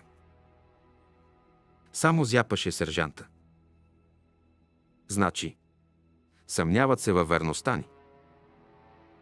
Той и кимна. В очите му нямаше злоба. Сигурен съм, че командирът ви ще може да ти разкаже повече за положението. Той замина. О! Ченето на Кенеп увисна, а тя да почна опакова вещите си. Майнала, какво правиш? Тя се обърна ядосано. Мислиш ли, че ще ми се измъкне току така? Майнала. По-тихо, Кенеб. Ще събудиш децата. Аз не викам. Кажи на командира си всичко, разбрали ме? Всичко. Освен за калам. Не съм глупак, каквото и да си мислиш за мен. Погледът ти помекна. Знам. Извинявай. По-добре да кажеш това на сестра си. И на Кесен Иванеп. Ще им кажа. Кажи ми, как ще проследиш един мъж, който не иска да го проследят? По навъсеното й лице пробяга корава усмивка. Питаш за това една жена. О, майнала! Посегна и я погали по бузата. Няма нужда да плачем, Кенеп. Прощавай, тая моя сантиментална жилка отвърна с уморена усмивка той. Но знай, ще се надявам за теб. Хайде, иди се сбогувай с сестра си и с децата. Пое си богинята дъх. И всичко притихна. Апокалипсисът. Херолан. Не можем да останем тук. Фелисин изгледа мага с присвити очи. Че защо не? Бурята отвън ще ни убие. Срещу нея няма никакъв подслон, освен тук, където има и вода. И храна. Защото ни преследват сопна се кълп, стиснал глава между ръцете си. Хеборик, опрял гръб на една от стените, се изсмя и вдигна невидимите си длани. Покажи ми един смъртен, който да не е преследван, и аз ще ти покажа труп. Всеки преследвач е плячка. Всеки познал себе си ум си има преследвачи. Все гоним нещо или някого и все ни гонят. Неведомото преследва невежие, истината напада всеки учен, достатъчно мъдър, за да разбере собственото си невежество. Това е смисълът на неведомите истини. Кълп вдигна глава и изгледа с натежали клепачи бившия жрец от мястото си на ниския парапет, обкръжаващ фонтана. Изразих се буквално. В този град витаят живи превъплъщенци, миризмата им се носи по всички ветрове и става все по-силна. Защо просто не им се предадем? каза Фелисин. Говоря сериозно, изръмжа магът. Та ние сме в Рарако, родината на вихара. Няма да намерим ни едно приятелско лице на 100 левги от тук, не че имаме кой знае какъв шанс да стигнем толкова далече. А лицата, които са по-наблизо, дори не са човешки, добави Хебурик. Всички маски са свалени и знаете ли, присъствието на Да Айвърс и Султейка най-вероятно не е предизвикано от вихара. Просто едно трагично съвпадение, тази година на Дрижна и това нечестиво сливане. Глупак си, ако мислиш така, прекъсна го кълп. Съвпадането във времето е всичко друго, но не и случайност. Подозирам, че някой е подкарал тия превъплъщенци на това сливане и че този някой го е почнал точно заради възстанието. Или обратното богинята на вихара е нагласила пророчеството тъй, че годината на Дрижна да дойде точно сега, когато сливането е в ход, за да настъпи хаос между лабиринтите. Интересно хрумване, мак отвърна Хеборик и бавно закима. Съвсем естествено, разбира се, щом идва от практикуващ минас – където измамни твари си падат по бягащи отрепки и неизбежността диктува правилата на играта. Но само когато е от полза. Фелисин мълчеше и ги гледаше. Един разговор тук, на повърхността, и още един отдолу. Жрецът и магът си играят игри, заплитат подозрение съзнание. Хеборик съзира някакъв шаблон, това, че е заграбил призрачен живот, му дава каквото му е нужно. И май подсказва на Кълп, че самият маг е по-близо до шаблона, отколкото би могъл да си представи. Ето, владелецо на Минас, хвани невидимата ми ръка. Реши, че вече е писнало. Какво знаеш, Хиборик? Слепецът свира мене. Тебе какво те интересува, момиче? Израмжа кълп. Ти предлагаш да се предадем, да се оставим превъплъщенците да ни вземат, така и така сме мъртви. Попитах защо да продължаваме да се борим. Защо да тръгваме от тук? Навън сред пустинята нямаме никакъв шанс. Стой тогава. Сопна се кълп и се надигна. Гуглата ми е свидетел, без друго нямаш какво да предложиш. Чувала съм, че трябва само едно охапване. Той се вкучени, после бавно се извърна към нея. Грешно си чула. Това наведение е съвсем обичайно, предполагам.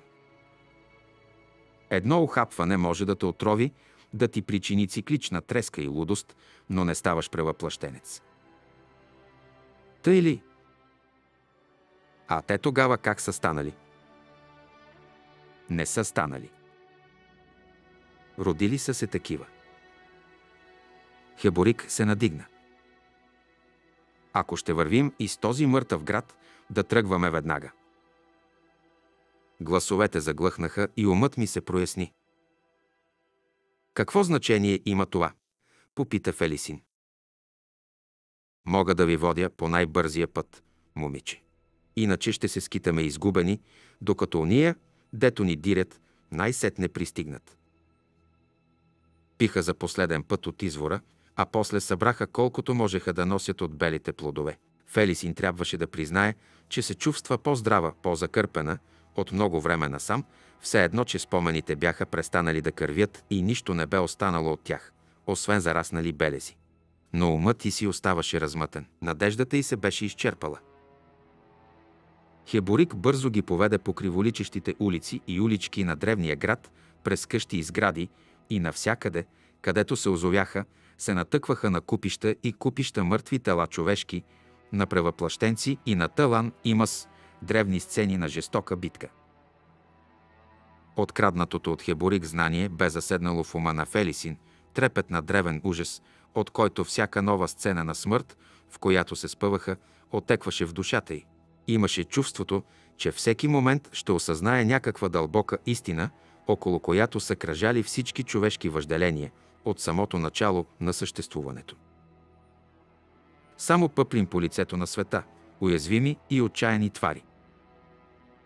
Всички опустошителни драми на цивилизации, на народи с техните вярвания и подвизи не значат нищо, не засягат нищо.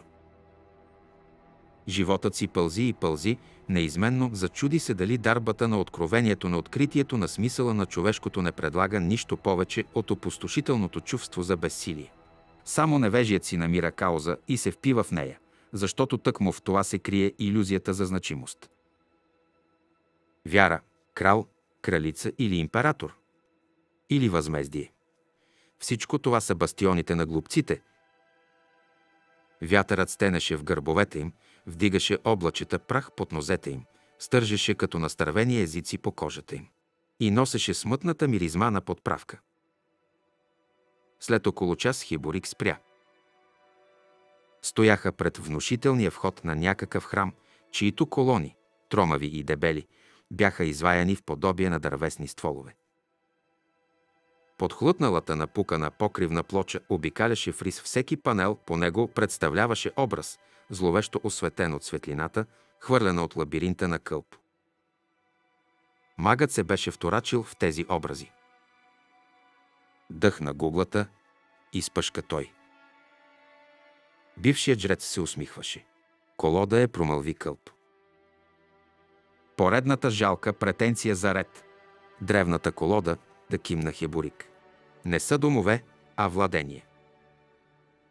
Селение. Можеш ли да различиш смърт от живот, а мрак от светлина? Виждаш ли владението на звяра?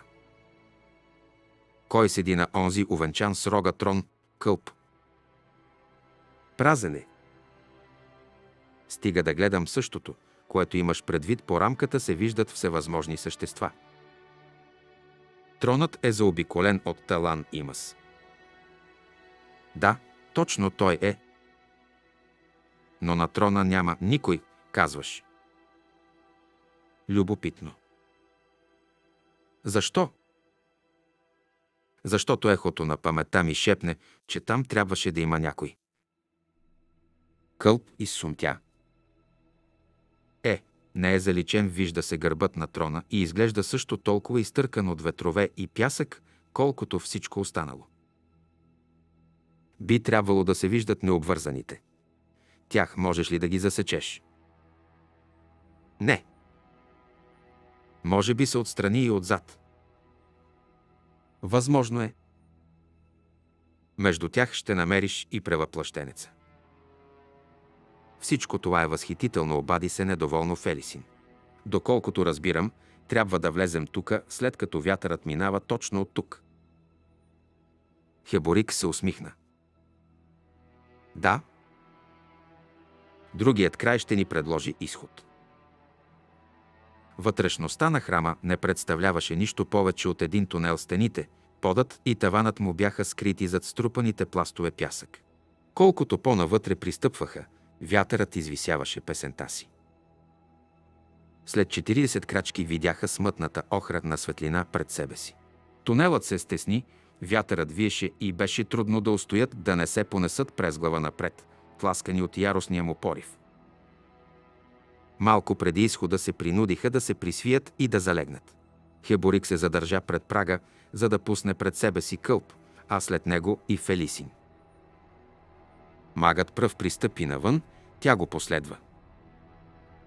Стояха на скална тераса, на входа на пещера, високо на склона на стръмнината.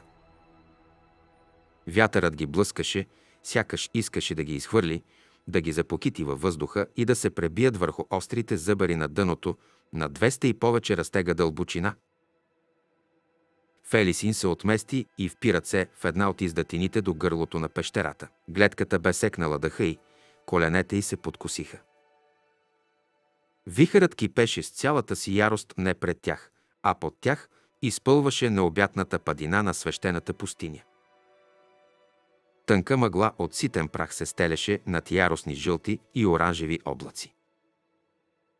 Слънцето беше като размазано кълбо червен пламък някъде на запад и ставаше все по-тъмно пурпурно пред погледите им.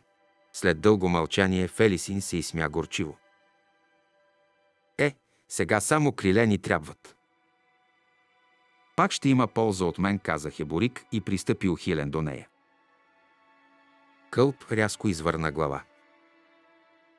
Какво си намислил? Вържете се за гърба ми и двамата. Този човек пред вас има ръце и може да ги използва.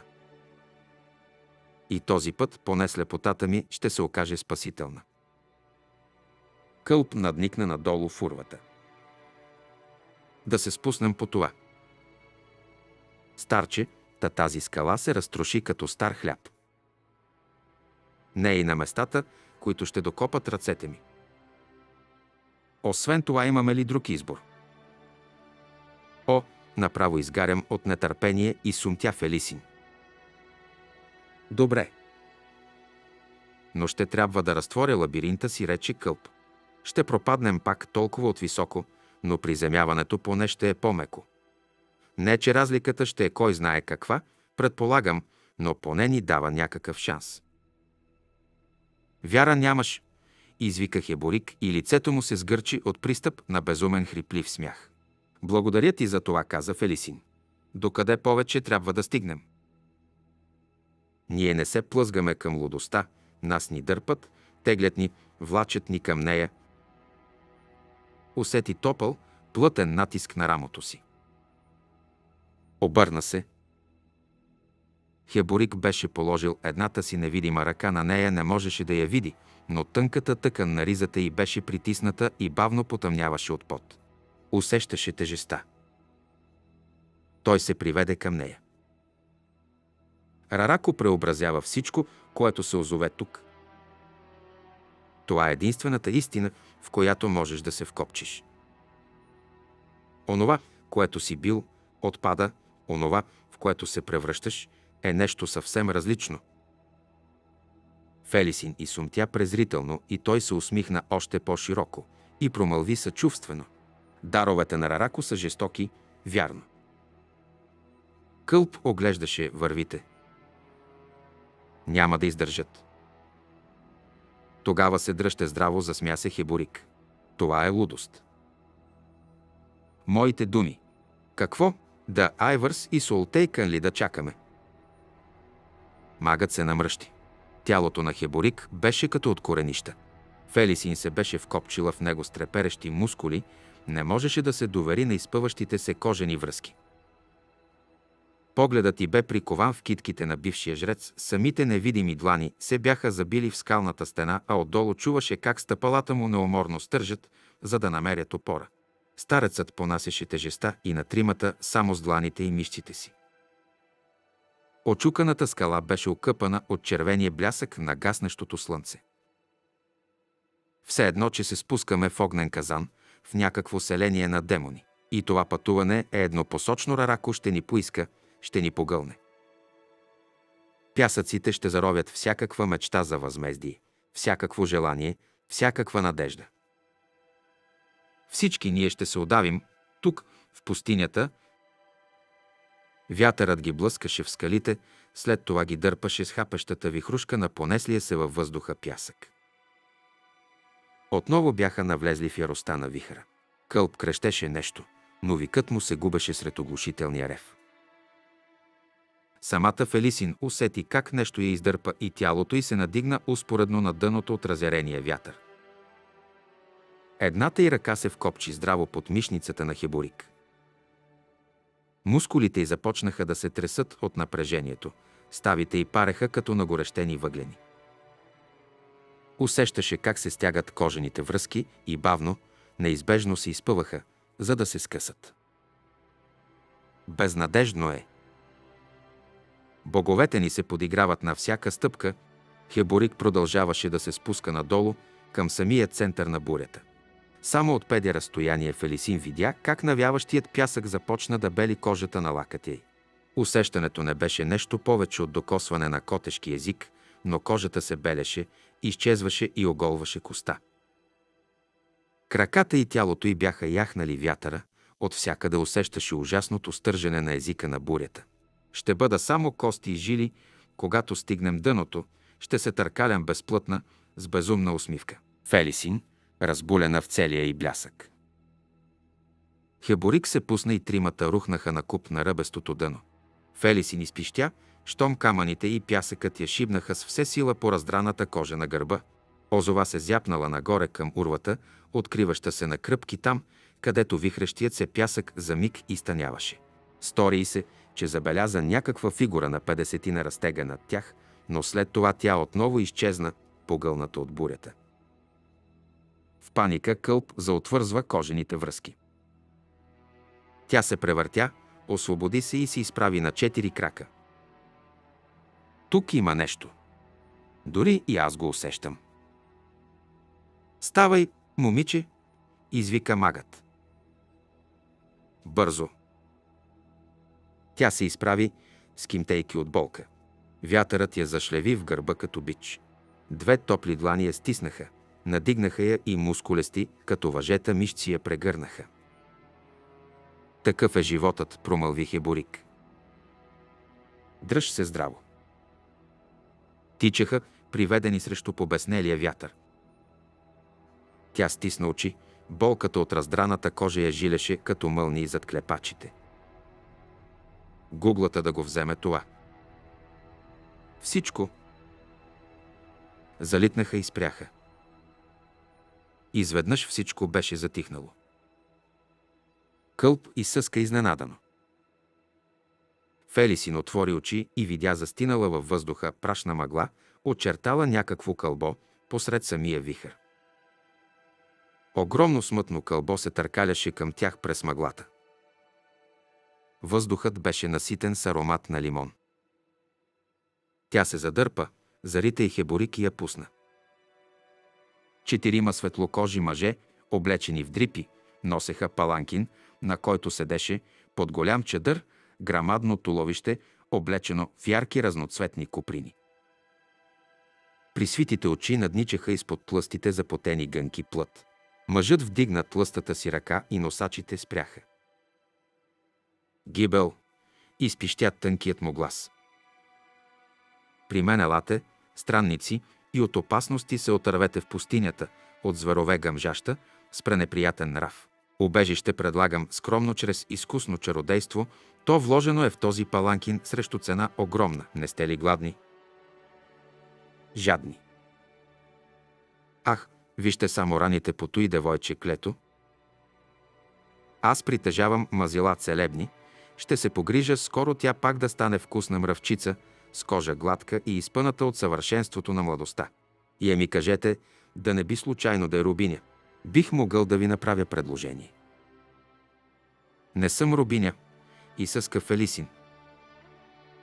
Не съм вече запродан, от тази воня на лимон ми призлява оплака се шепнешком хиборик. Долавям алчност, но не и злонамереност. Аз също отвърна кълп. Само дето. Носачите му са немрящи, да не говорим, че са някак странно. Сдъвкани. Виждам, че се колебаете, а винаги съм адмирирал предпазливостта. О, да, слугите ми помнят и по-добри времена, но са безвредни, уверявам ви. Как е станало тъй, подвикна му кълп, че си се опълчил на вихра. О, не съм му се опълчил, сър. Дълбоко вярващ съм и препокорен. Богинята ми позволява милостиво да преминавам аз, зато и правя значи жертвоприношение. Най-прост търговец съм, ала продавам аз подбрана стока от чудодеен сорт сиреч. Завръщам се в Пан Поцун, нали разбирате, след препредоходно пътуване до стана на Ша Ик. Дебелият мъж се усмихна. Ма да, разбирам, че сте малазанци и несъмнено врагове на великата кауза. Ала жестокото възмездие не хваща в почвата ми корени, уверявам ви. И честно казано, компанията ви ще ми е приятна, понеже тези мъртви слуги са обсебени от собствената си смърт и оплакванията им край нямат. Махна с ръка и четиримата носачи поставиха стола носилка на земята. Двама веднага се заловиха да вадят лагерните принадлежности от съндъка зад седалката, движенията им бяха вяли и разсеяни. Другите двама се заеха да изправят господаря си на крака. Разполагам с изключително силен мехлем, изхъхри мъжът. Фей онова ковчеже. Да. Що носи онзи, дето го нарекох Нън? Хей, Нън. Пусни го долу, пън такъв. Нън е пън. Хи-хи. Стига си се пипкал с тази ключалка, такива и съвсем ще ти стопят изгнилия мозък. Ай! Ама ти нямаш ръце. Очите му се бяха спрели на Хеборик, сякаш го виждаше за първи път. Грехота да направят такова нещо. Уви, никой от церовете ми не може да се справи с такова сложно възстановяване. Моля ви, отвърна Хеборик, не се чувствайте нещастен от това, което ми липсва, нито от това, което на вас самия ви липсва. Нямам нужда от нищо, въпреки че този подслон е добре дошъл. Историята на вашето прокуждане несъмнено е твърде трагична, нявгашен жрецо на финир, тъй че няма да настоявам. А вие мъжът се извърна към кълп, простете, лабиринта на Минас може би. Не си само продавач на магически дрънкулки, изръмжа кълп. Стара близост, прелюбезни отвърна мъжът и сведе глава. Нищо повече, уверявам ви. Посветил съм живота си на магията, да, но не я практикувам. Годините ме надариха с известен. Усет, това е всичко. Моля за извинение, ако съм ви оскърбил. посегна и изпипа за рамото един от слугите си. Ти какво име ти дадох? Фели си изяпна смаяна, как оглозганите устни на оживелия труп се изпънаха в крива усмивка. Мълчан, макар че някога се знаех като Айрин Талар. О, я да мълчиш какво си знаел някога. Сега си мълчан. Смъртта ми беше ужасна. Млък, изпищя господарят му и лицето му изведнъж потъмня. Слугата възкресенец млъкна. А сега изпъшка дебелият мъж, марш да ни намериш онова фаларско вино, нека почетем един от най-цивилизованите дарове на империята. Слугата се затътри. Главата на най-близкия му другар се изви, за да го проследи си съхналите си очи. Твоята не беше толкова ужасна, като моята. Седемте свети да ни опазят дано. И съска търговецът. Моля ви, мак, едно заклинание за тишина около тези мои зле подбрани крачещи плашила. В имперски джакати ще ви платя, а плащам добре. Над възможностите ми е промармори кълп. Фелисин го изгледа с присвити очи. Това трябва да е лъжа. Добре въздъхна домакинът им. Богове подземни, та аз все още не съм ви се представил. Името ми е Навал Ебур, скромен търговец от свещения град Пампуцун. А с кои имена искате да ви знаят вас тримата? Странна формулировка. Аз съм кълп. Хебурик. Фелисин си замълча. Девойчето ни е свенливо, каза Навал, и пълните му устни се изкривиха в усмивка. Къл приклекна до дървеното ковчеже, дръпна резето и вдигна капака. Бялата глинена купа с восъчния печат, каза търговецът. Вятърът стенеше някак далечен, охреният прах бавно се слягаше около тях. Хеборик, не загубил все още дарбата си на усет, заменила зрението му, седеше на един обрулен от пясъците балван. Широкото му чело бе леко сбръчкано, татуировките по тялото му бяха посивели под булото на прахта. Къл пристъпи до Фелисин с глинената купа в ръка.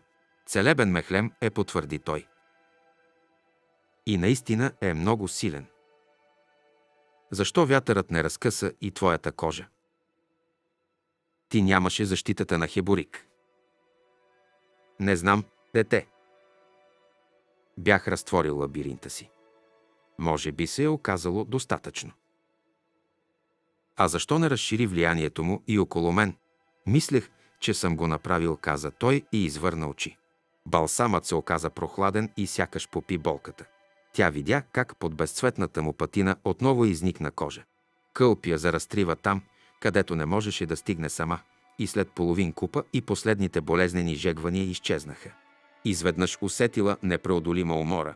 Фелисин седна на пясъка. Пред лицето й се появи чаша с откършено столче. Навал и се усмихна. Това ще те съвземе, девойче. Плавното му течение ще понесе умът и отвъд страданието в най-благословения поток на живота. Вземи, отпий, миличко. Предълбоко съм загрижен за благополучието ти. Тя пое чашата. Защо? Защо си загрижен предълбоко? Човек с богатство като моето може да ти предложи много, дете. Всичко, което ми дариш драговолно, ще е награда за мен. И знай, аз съм преобичлив. Тя отпи глътка от стипчивото студено вино. Така ли? Той кимна строго, очите му лъснаха под гънките на тлъстата плът. Обещавам ти. Гуглата ми е свидетел, бих могла да свърши и по-зле.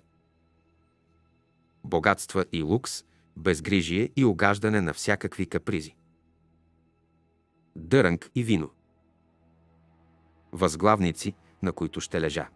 Долавям в теб благоразумие, миличко каза Навал, тъй, че няма да настоявам.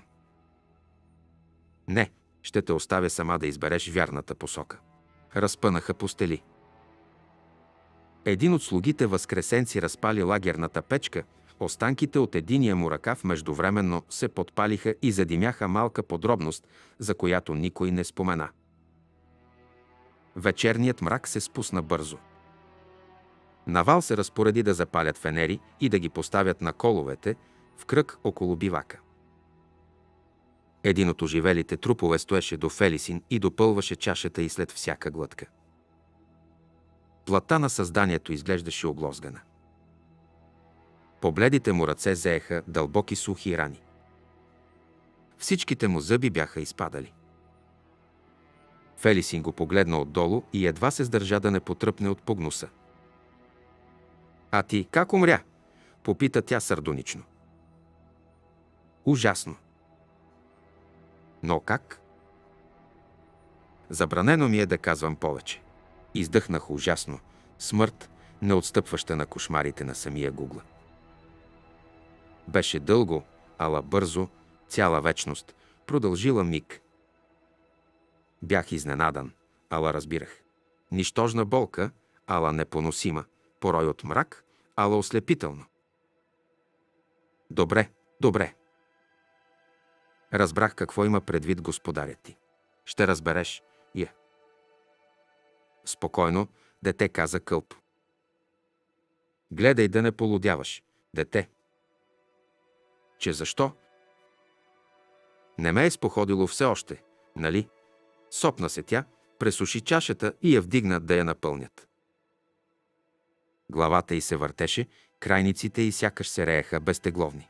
Слугата разля вино по ръката й. Навал се беше върнал на широкия си, отрупан с възглавнички стол и наблюдаваше тримата си гости с доволна усмивка. Смъртна компания. Ех, колко по-различно е, захахри той. Толкова съм доволен, толкова е хубаво да се потопи човек в светските нещица. И ами кажете, на къде сте се запътили? Какво ви тласна в това толкова опасно пътуване? Бунтът. Наистина ли е толкова кървав, колкото чух да се мълви? Ови, подобна несправедливост винаги се възмездява изцяло. Боя се, че този урок е забравен. Никъде не отиваме, каза Фелисин. Дали бих могъл да ви убедя да преосмислите избраната си цел тогас? Предлагаш ни закрила. Колко може да се разчита на нея? Какво ще стане, ако срещнем разбойници или нещо по-лошо? Косъм, че няма да падне от главите ви, скъпа. Човек, който се занимава с чародейство, разполага с много средства в защита на драгоценната си особа. Неведнъж в многото ми пътувания са ми досаждали нечестиви глупци. Спиран съм бил понякога, да, но всички се отказват, след като ги надаря с разум. Мила моя, но ти наистина спираш дъха тази гладка, медена от слънцето кожица е балсам за очите ми. Какво ще каже жена ти? Промърмори Фелисин. Вдовец съм, уви.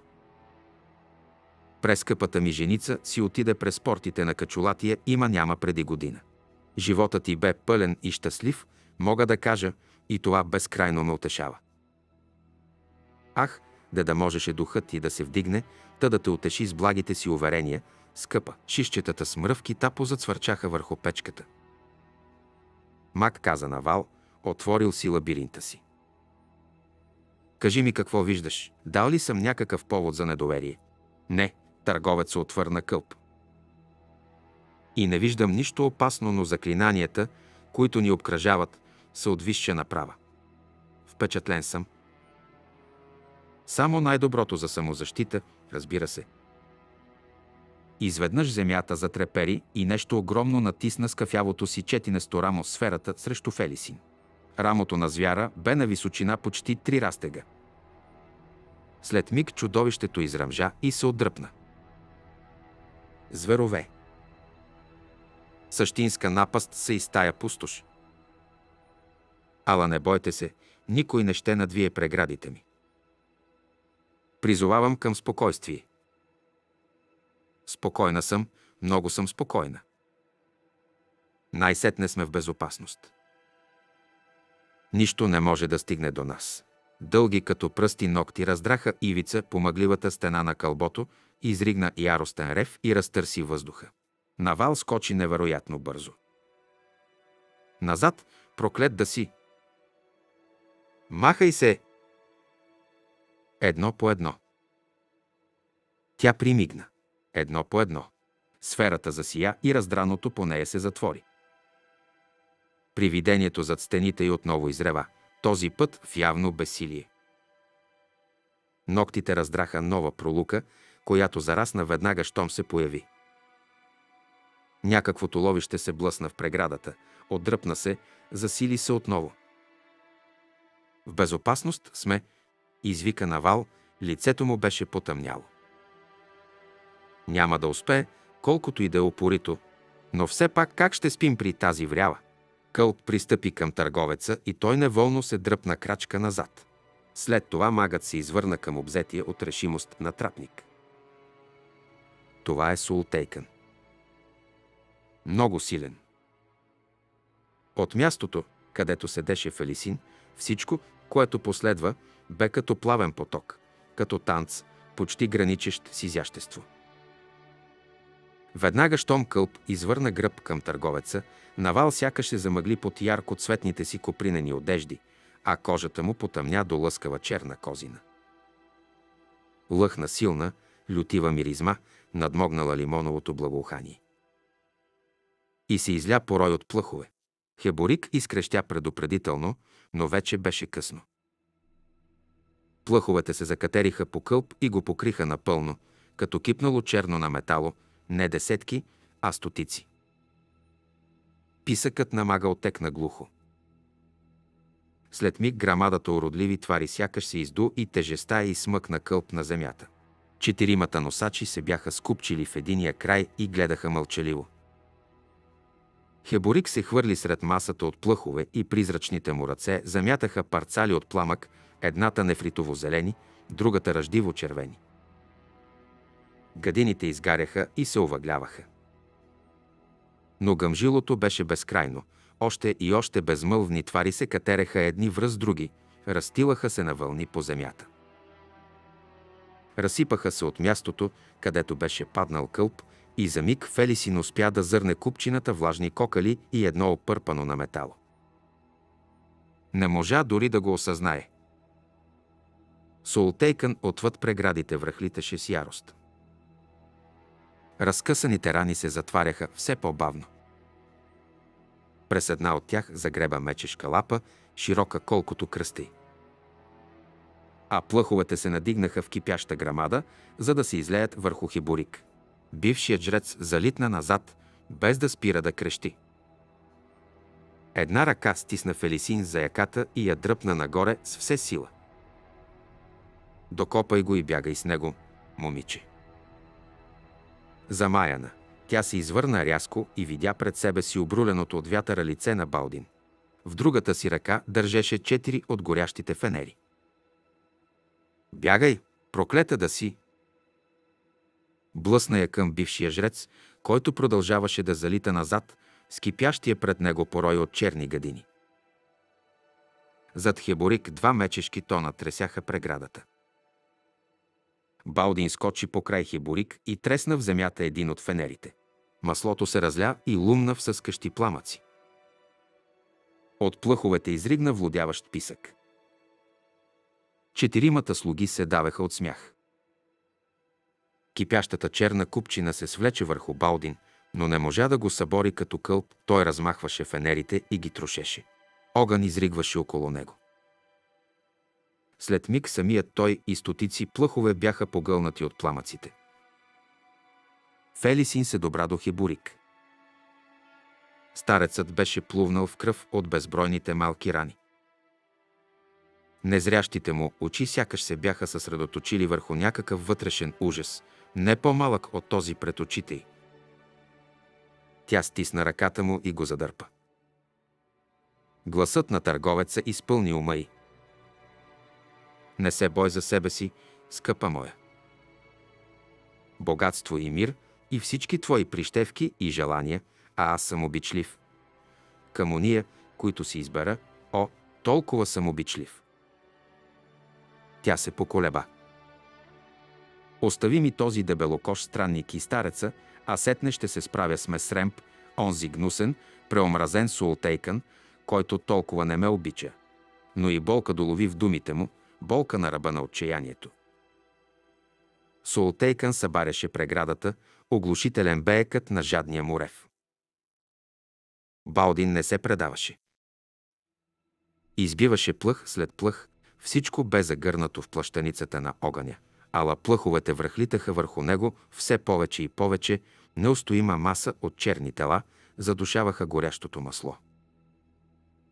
Фелис им погледна към Султейкън, за миг прецени страховитата му мощ и безстрашната му ярост и поклати глава. Не. Ти си в беда, да Айвърс.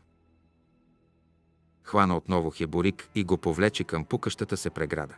Скъпа! Почакай! О, упорито смъртно същество, защо не искаш да умреш? Фелисин неволно се усмихна. Няма да стане така. Трябваше да се сетя. Вихърът беше подхванал штурма си срещу сферата. Понесеният от вятъра пясък я шибна през лицето. Почакай, изпъшка Хеборик. Кълп. Стутия стисна за гърлото. Той е мъртъв, о богове, мъртъв е. Погълнат. А аз гледах, пияна и безразлична, гледах и не виждах нищо. Кълп е мъртъв, преглътна хлипа си, избута бившия жрец до, а после и през преградата, която миг след това най-сетне се срина. Суолтейка ни зрева, но тя не се обърна, за да види триумфа му над могилата от плъхове, не се обърна да види съдбата на Балдин. Повлече Хеборик и побягна с него в непрогледния сумрак на бурята. Не стигнаха далече. Пясъчният шторм ги блъскаше с ярост, тласкаше ги напред и напред, най-сетне ги натика в крехкия заслон на една надвиснала канара. Рухнаха в основата й, един до друг, и зачакаха смъртта. Алкохолът в стомаха я унесе в сън. Помисли да му се възпротиви, но се предаде, каза си, че ужасът все едно скоро ще ги намери, а да види собствената си смърт едва ли щеше да е голяма отеха. Трябва вече да каже на Хеборик единственото, което си струва да знае. Но не. Той ще го научи сам. Скоро. Съвсем скоро. Събуди се сред тишина. Не, не беше тишина. Някой близо до нея плачеше. Фелисин отвори очи. Поривът на вихара беше секнал. Небето отгоре бе като златен покров от отеяваща се прах. Нищо не можеше да види на повече от 5-6 крачки. Но въздухът беше замрял. Богове, да Айвърс се връща. Но не, мир и покой царяха навсякъде. Бавно се надигна, главата я болеше ужасно, устата й бе пресъхнала. Хеборик бе коленичил на няколко крачки от нея смътна сянка в златистата мъгла. Беше притиснал лицето си с невидимите си длани и те мачкаха плата и кожата, сякаш носеше гротескна маска. Цялото му тяло се тресеше от скръп, поклащаше се унило напред и назад, безчувствено и неспирно. Памета я заля. Кълп усети как собственото й лице се сгърчи. Трябваше да усети изхриптя гласа ти. Главата на Хеборик се вдигна рязко, слепите му, зачервени и подути очи се приковаха в нея. Какво? Магът, сопна се тя, сви се и се прегърна с ръце. Оня мръсник беше да Айвърс. Трябва да го е разбрал. Богове, момиче. Де да имах твоята броня. И да кървях под нея, няма да видиш, старче. Никой няма да види. Никой няма да узнае. Ако я имах продължи след малко хиборик, щях да мога да остана до теб, да ти дам всичката закрила, която мога. Макар да признавам, щях да се чудя защо ли го правя. И все пак щях да го сторя. Какви ги дрънкаш? В треска съм. Да, Айвърс ме отровил, дете. И сега се сражава с другите странници в душата ми, не знам дали ще преживея това, Фелисин. Тя почти не го чу. Вниманието й бе привлечено от някакво шумолене. Някой се приближаваше на пресекулки, стъпка по пясъка, стържене на камъчета. Фелисин се надигна и се обърна с лице към звука. Хеборик се беше смълчал, килнал глава натам. Фигурата, която се появи от червеникавата мъгла, впи ногти в разума й. Тя чу хленча, сам изтръгнал се от гърлото й. Балдин беше изгорял, разкъсан и обезобразен, на места оглозган до кокъл. На места беше овъглен до кости, горещината беше издула корема му, издула го беше така, сякаш носеше дете, кожата и плата се бяха разпукали. Нищо не беше останало от лицето му, освен раздраните дубки на мястото на очите му, носа и устата. И все пак Фелисин го позна. Той залитна още една крачка към нея, после бавно се свлече на земята. Какво става? И съска Хеборик. Този път наистина съм сляп. Кой е дошъл? На! Никой отвърна след дълго мълчание Фелисин. Пристъпи бавно към жалката, още дишеща купчина плът, която доскоро беше Балдин. Смъкна се на топлия пясък и положи главата му на бедрата си. Той я усети и вдигна костеливата си увъглена ръка. Тя увисна за миг до лакътя й и падна. После заговори. Всяка дума бе като стържене на въже по камък. Мислех, предпазен съм. Огъня. Сгреши прошепна тя. И един образ на броня, вътре някъде в нея, изведнъж започна да се разпуква, пукнатините да се разтилат.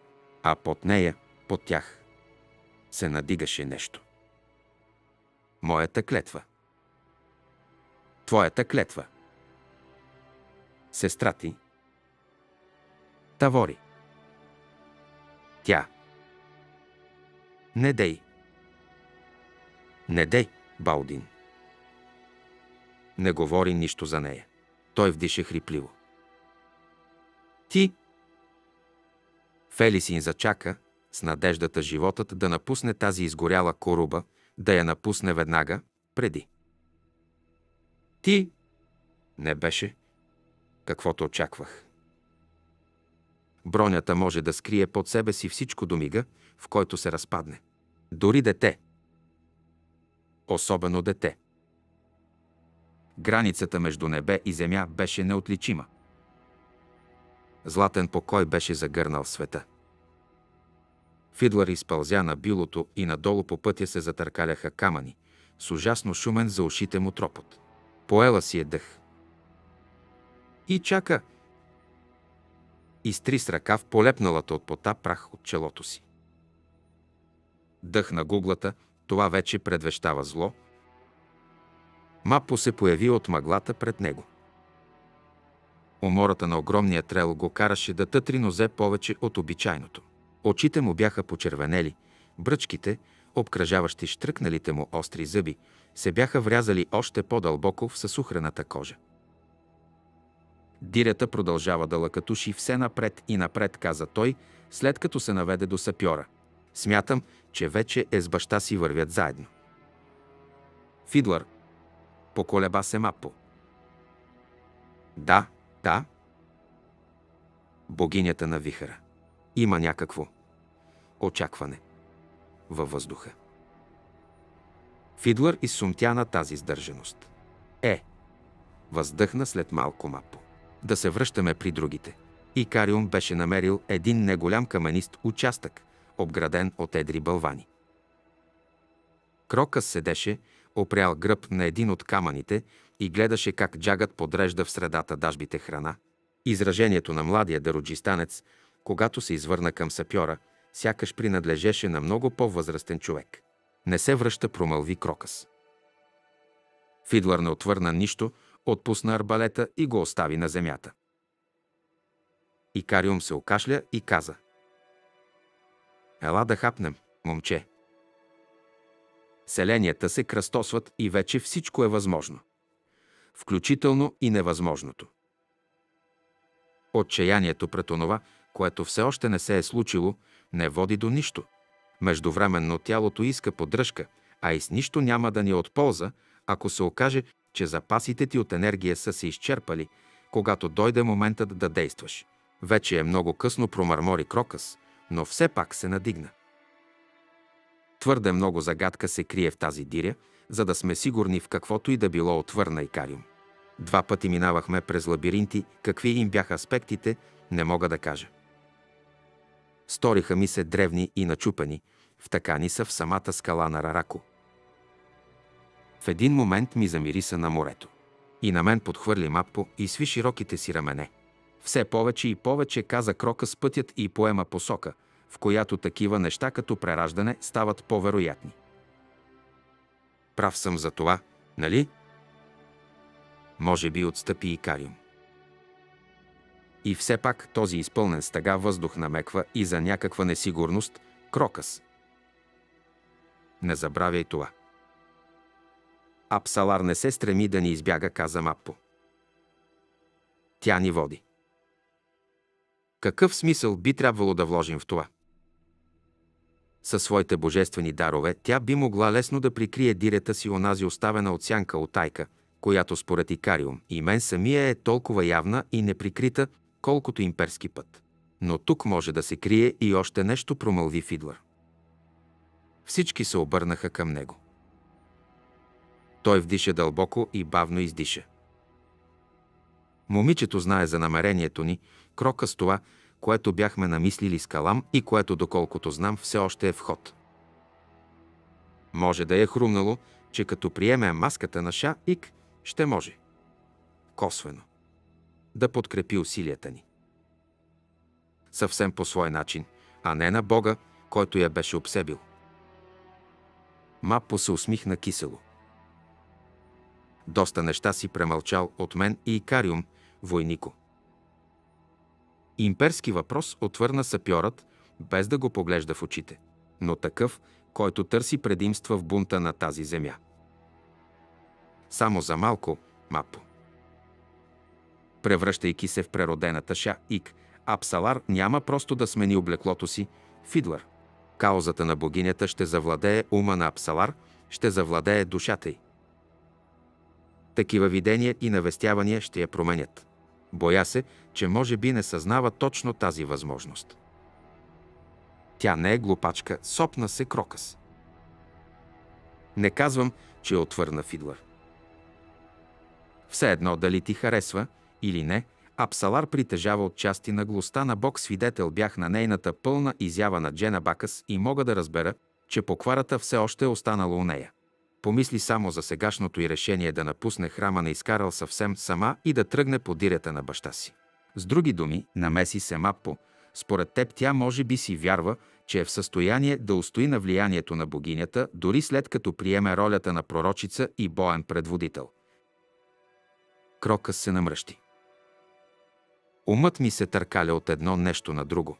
Ами ако Богът покровител на убийците си я е поискал отново, какво ще означава, ако бунтът изведнъж се поведе от Котильон и следователно от Аманас? Мъртвият император се връща, за да наложи възмездие. Настъпи тягостна тишина. Фидлър беше глозгал тази възможност, като подивяло все още когато се бе появила преди няколко дни. Представата за един убит император, посягащ от сенките, за да си върне имперския трон, беше всичко друго, но не и успокоителна. Едно беше да убиеш Ласин, все пак това си беше работа на смъртните. Властта на богове над една империя на смъртни, от друга страна, щеше да привлече други асценденти, а една такава борба можеше да унищожи цели цивилизации. Довършиха обяда си, без никой да промълви дума. Прахта, изпълнила въздуха, отказваше да се слегне, просто висеше неподвижно, гореща и безжизнена. И Карион грижливо прибра останалото от запасите им. Фидлър пристъпи към Крокъс. Никаква полза няма да се тормозиш, момко. Просто е намерила баща си след всички тези години, а за това си струва да се каже добра дума, не мислиш ли? Дароджистанецът му отвърна с вяла усмивка. О, мислил съм за това. Фит. Да, щастлив съм за нея, но в същото време съм недоверчив. Онова, което трябваше да бъде едно чудодейно събиране между баща и дъщеря, се оказа опорочено. От изкарал пъст. От манипулациите на сянка. Това вгорчи всичко. Както и да го приемаш, Крокъс, все пак всичко зависи от Апсалар. Момъкът помълча, след това кимна. Фидлър си взе арбалета и го метна през рамо. Най-малкото, поне си отдъхнахме от войниците на Ша Ик, от Солтейкън и да Айвърс. Но на къде ни води тя, Фит? Сапьорът свира мене. Подозирам, че много скоро ще разберем.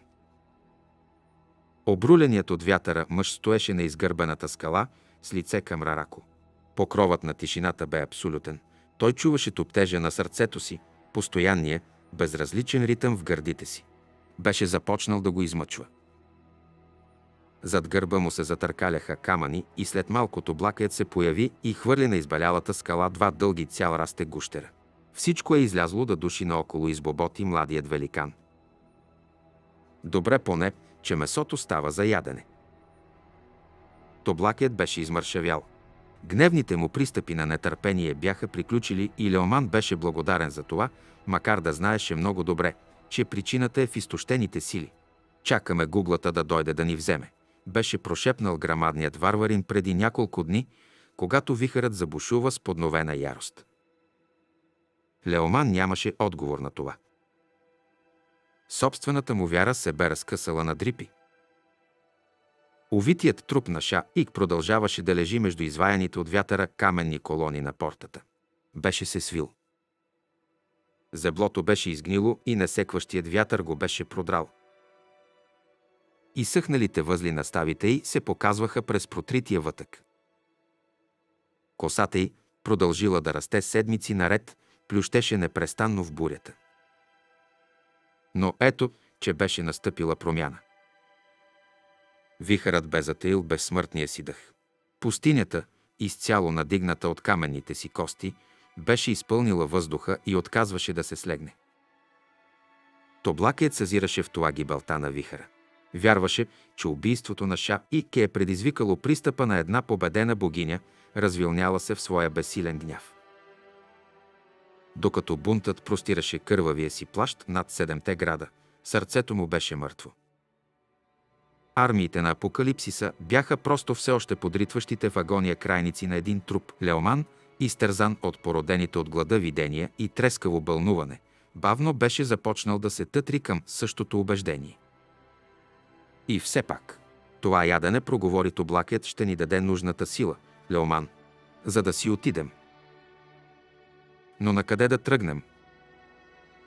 Към оазиса в центъра на Рарако – където все още чака армията на една мъртва жена. Или да ги изоставим. Да се отправим към пан Поцун, а сетне към Ерлитън, да се впуснем в полет към безименното съществуване. Войнат се обърна. Погледът му запълзя по земята и се спря на книгата на Дрижна, чакаща и незасегната от вихара, предпазена дори от проникващата във всичко прах. Силата си стои. Непокътната. Всеки път, щом погледна този том, разбирам, че не мога да си тръгна. Ножове в ръце и мъдрост без ръка. Младост и старост, един живот цял, друг непълен ще се появи тя, възобновена. Дали в тези слова все пак се таяха скрити истини? Дали въображението му на стървеният му копнеш не го беше подвело? Тоблакият приклекна до мъртвите гущери, обърна единия по гръб и заби острието на ножа в корема му. Аз бих тръгнал на запад, рече той. Към Джак Одън. Леоман го изгледа. Джак Одън, та да се срещне там с други великани. Самите джагати. Треоли. Още диваци. В онази пустош момчето ще се чувства съвсем у дома си. Това тук все още не е свършило, промълви войнат. Тоблакият се озъби, ръката му бръкна в процепа в корема на гущера и се измъкна с хлъзгавите вътрешности. Този е женски. Разправят, че яйцата им помагали при треска. Нямам треска.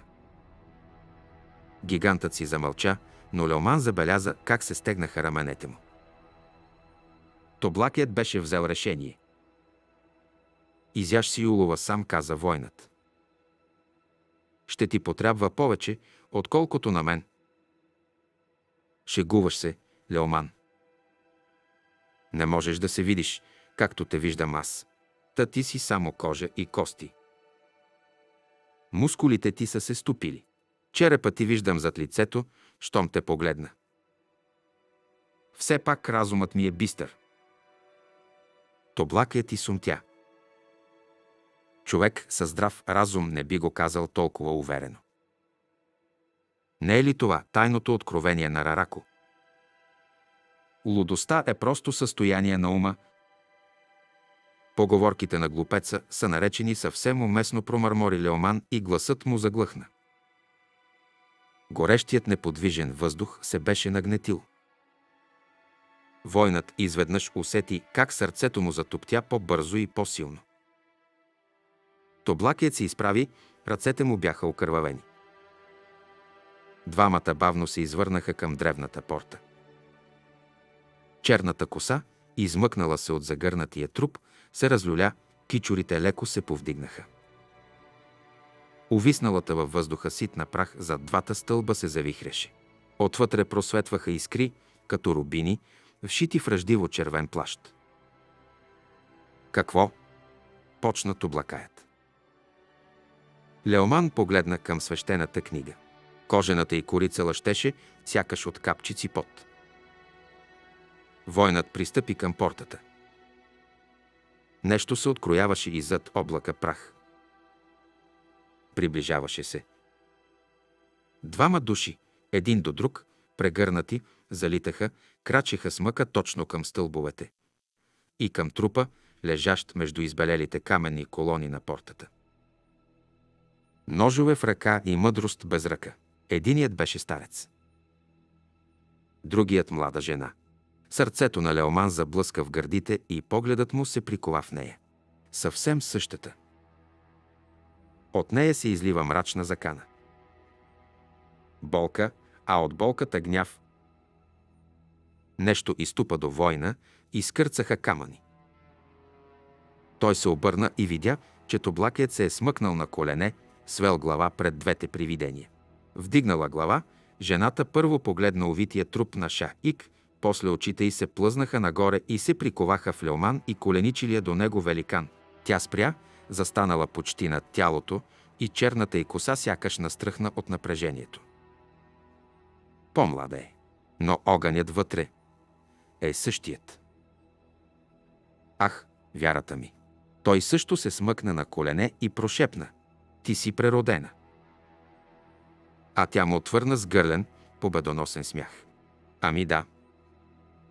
И още по-здраво прихвана стареца, чиято глава бе клюмнала и от чието дрехи бяха останали само жалки дрипи. Я ми помогнете с него, нареди тя. Но внимавайте с ръцете му. Четвърта книга. Дверите на скръбния дом. Бавно изгрох от колтейн. Гази земята горяща. Вятърът вие с омраза в костите. На ръта му не мряща. Плющи в ръката на колтейн. Кучешката варига. Кърви умрукът на колтейн. В реки от кръв подгизва пясък. Вие керванът му в костите. С горчива ненавист. Плющи в ръката на колтейн. Кучешката варига. Колтейн.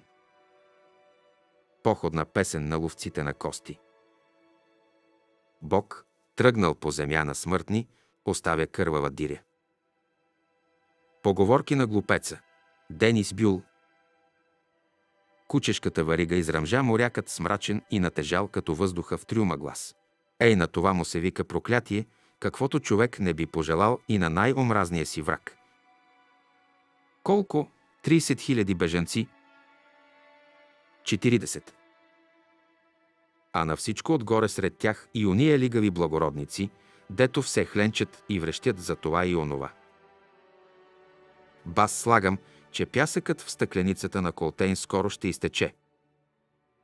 Калам свира мене в сумрака, без да спира да опипва влажните гради. Наречи един кора прък ступър и тревогите почват още преди да си вдигнал котвата, до тук оцеля. Морякът, който трупаше балите с товара, спря. Глей ти!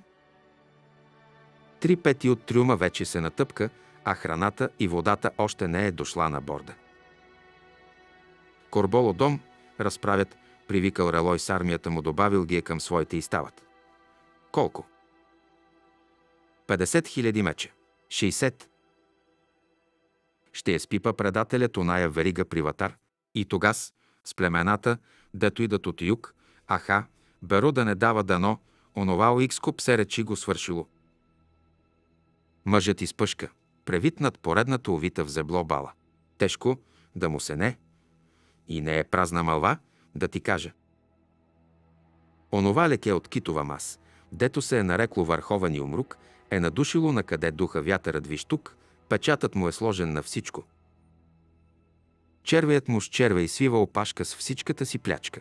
Че инак защо имперският ковчежник ще довтаса на борда, а и 20 морски пехотинци отгоре. Може и да си прав разсеяно му отвърна убиецът. Още не беше напипал суха дъска. Та ти значи ще помагаш на нашия калафатар? Имаш ли си жена тука, Фейран? Бас слагам, че ти се ще да дойдеш с нас, а? Ама е вече много гъчкано, да ти кажа с ковчежника и уния две пудри. Кои пудри? Бе, видях го единия да се качва на борда преди 10 минути. Зализано едно като миша плюнка, префърцунено и лъха на благовония от 10 крачки, ама колкото и цветен сок да му слагаш. Гнилочът си е гнилоч, ако ме разбираш. Калам се ухили в тъмното.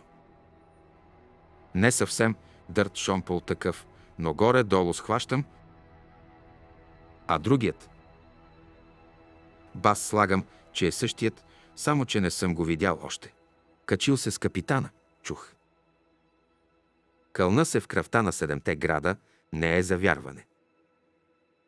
Преди такованка, капитанът да ни измъкне от оная дупка на пристанището дъх на гуглата, като ти дойде едно отделение войници да ти иска това било, онова било, какво му остава на човек, освен да ги шибнеш в търбусите, а и 10 крачки не бяхме слезли от кея толкова с отпуската на сухо. Предишната спирка коя беше? Фалар. Едни едри жени с червена коса гледат те изпод вежди и само мускул по тях, точно както най-ги харесвам. Ех, добре си я изкарахме там. Товарът ви. Оръжия пред флотата на Тавори. Цепехме вълните като плук, да ти кажа уж щеше да е същото чак до унта. Ама тъпчи ги тия кълчищеде, нали ти плащат. Калам се изправи. Няма да стигне времето да се запуши добре навсякъде. То време не остава никога, но Беру да те благослови направи каквото можеш. Убиецът се окашля. Прощавай, че трябва да ти го кажа, но май ме бъркаш с друг. Не съм от хората на калафатаря. Морякът се спря с поредната бала. А. Калам изтри ръце на металото си. Аз съм другата пудра. От другия край на трюма му отвърна тишина, последвана от тихо мърморене и «Моля за извинение, сър». Няма нужда отвърна убийцът. Едва ли се случва често да завариш някой от пътниците да запушва тук дъските. Предпазлив човек обаче съм, пък и напоследък, уви, нервите ми са пообтегнати. Пропуска, вярно каза морякът, но капитанът държи трима души само на помпите. Щом дрънне камбаната и си плюят на ръцете, сър. Капитанът, да знаете, си има една риза, дето му носи късмет. Видях и отвърна калам и прекрачи редицата съндъци, всички с печата на върховния юмрук. Добра се до капака към палубата, хвана се за перилото на стълбата и спря. Какво става с бунта в Саул? Става все по-горещо. Сър. Благословени да са уния от морската пехота, че тоя път и шлеп няма да можем да надбягаме. Без ескорт. Пурмквал е заповядал на флотата на Нок да държи това пристанище. Ще имаме прикритие поне, докато не прекусим залива Ейран и не излезем в морето до Джал Хейдинг. Калам се намръщи, но си замълча. Качи се по стълбата на главната палуба. Ракстопър се поклащаше тежко, закотвен до имперската стоянка. Пристанишни хамали и хора от екипажа щъкаха по задачите си и му беше трудно да си намери място по-настрана от пътя им. Най-сетне зърна едно при кърмовия мостик, близо до руля, откъдето можеше да наблюдава какво става. От другата страна на широкия каменен кей стоеше привързан голям малазански транспортен кораб, високо над водата. Конете, които беше докарал от Кюон, бяха разтоварени преди около час, останали бяха само десетина пристанишни работници с задачата да приберат разфасованите останки от животните, не преживели дългия път. При такива загуби беше обичайно месото да се прибере и осоли, стига корабният касапин да го обяви за годно за ядене. Одраните кожи имаха безброй приложения на борда. За докерите оставаха главите и кокалите, а не липсваха и нетърпеливи купувачи, стълпили се от другата страна на имперската бариера. Калам не беше виждал капитана от Заранта, когато се качиха на борда преди два дни. Бяха му показали малката каюта, платена от мистериозния Салк Елан за пътуването му, след което просто го оставиха да прави каквото намери за добре, докато капитанът се беше върнал, за да освободи тикнатия в дранголника си екипаж. Салк Елан, търпение нямам да се запозная с теб. От към трапа се чуха дрезгави гласове, Калам погледна натам и видя, че капитанът се качва на палубата. Придружаваше го някакъв висок изгърбен мъж на средна възраст с продълговато, болезнено мършево лице, покрито с тъмно синя пудра според някаква отскорошна дворцова мода и облечен в доста широко за тялото му на панско морско облекло. От двете му страни стоеше по един телохранител и двамата грамадни, с зачервени лица, полускрити зад рунтави черни бради и мустаци. Носеха шлемове с предпазител над носа, дълги плетени ризници и талвари с широки остриета на кръста. Калам не можа да прецени происхода им. Телохранителите, както и господарят им, явно не се чувстваха много удобно върху леко поклащащата се палуба. А Хачо се тих глас зад гърба му. Това май трябва да е ковчежникът на Порнквал. Сепнат, Калам се обърна и видя заговорилия го, небрежно облегнат на кърмовия парапет. Като забиване с нож, непознатият се усмихна. Много точно бяхте описан, признавам. Убиецът го огледа. Беше строен, слаб, облечен в широка ярко-зелена купринена риза. Лицето му изглеждаше съвсем благонамерено, макар и с някак твърде резки черти, за да може да го нарече човек приятелско. По дългите му пръсти блестяха пръстени. От кого? Сряза го калам, попритеснен от ненадейната му поява. От общия ни приятел Ферлитан. Аз съм Салки Алан. Никакви приятели нямам Ферлитан. Значи думата беше неподходящо избрана. Онзи, който ви беше задължен, и на когото аз самият на свой ред бях задължен, поради което ми беше възложена задачата да уредя заминаването ви от Ейран, което и направих, освобождавайки се по този начин от задължението си, което се оказа съвсем навременно, бих добавил. Калам не можа да забележи никакви скрити оръжия по него, а това му подсказа много. Игри изръмжа той. Сал Келан въздъхна. Мебра който повери книгата в ръцете ви, а тя бе доставена надлежно на Ша Ик. Бяхте тръгнали за Ейран или така поне предположи Мебра. Освен това, той подозираше, че с вашите хеме таланти сте решен да отнесете святата кауза до самото сърце на империята.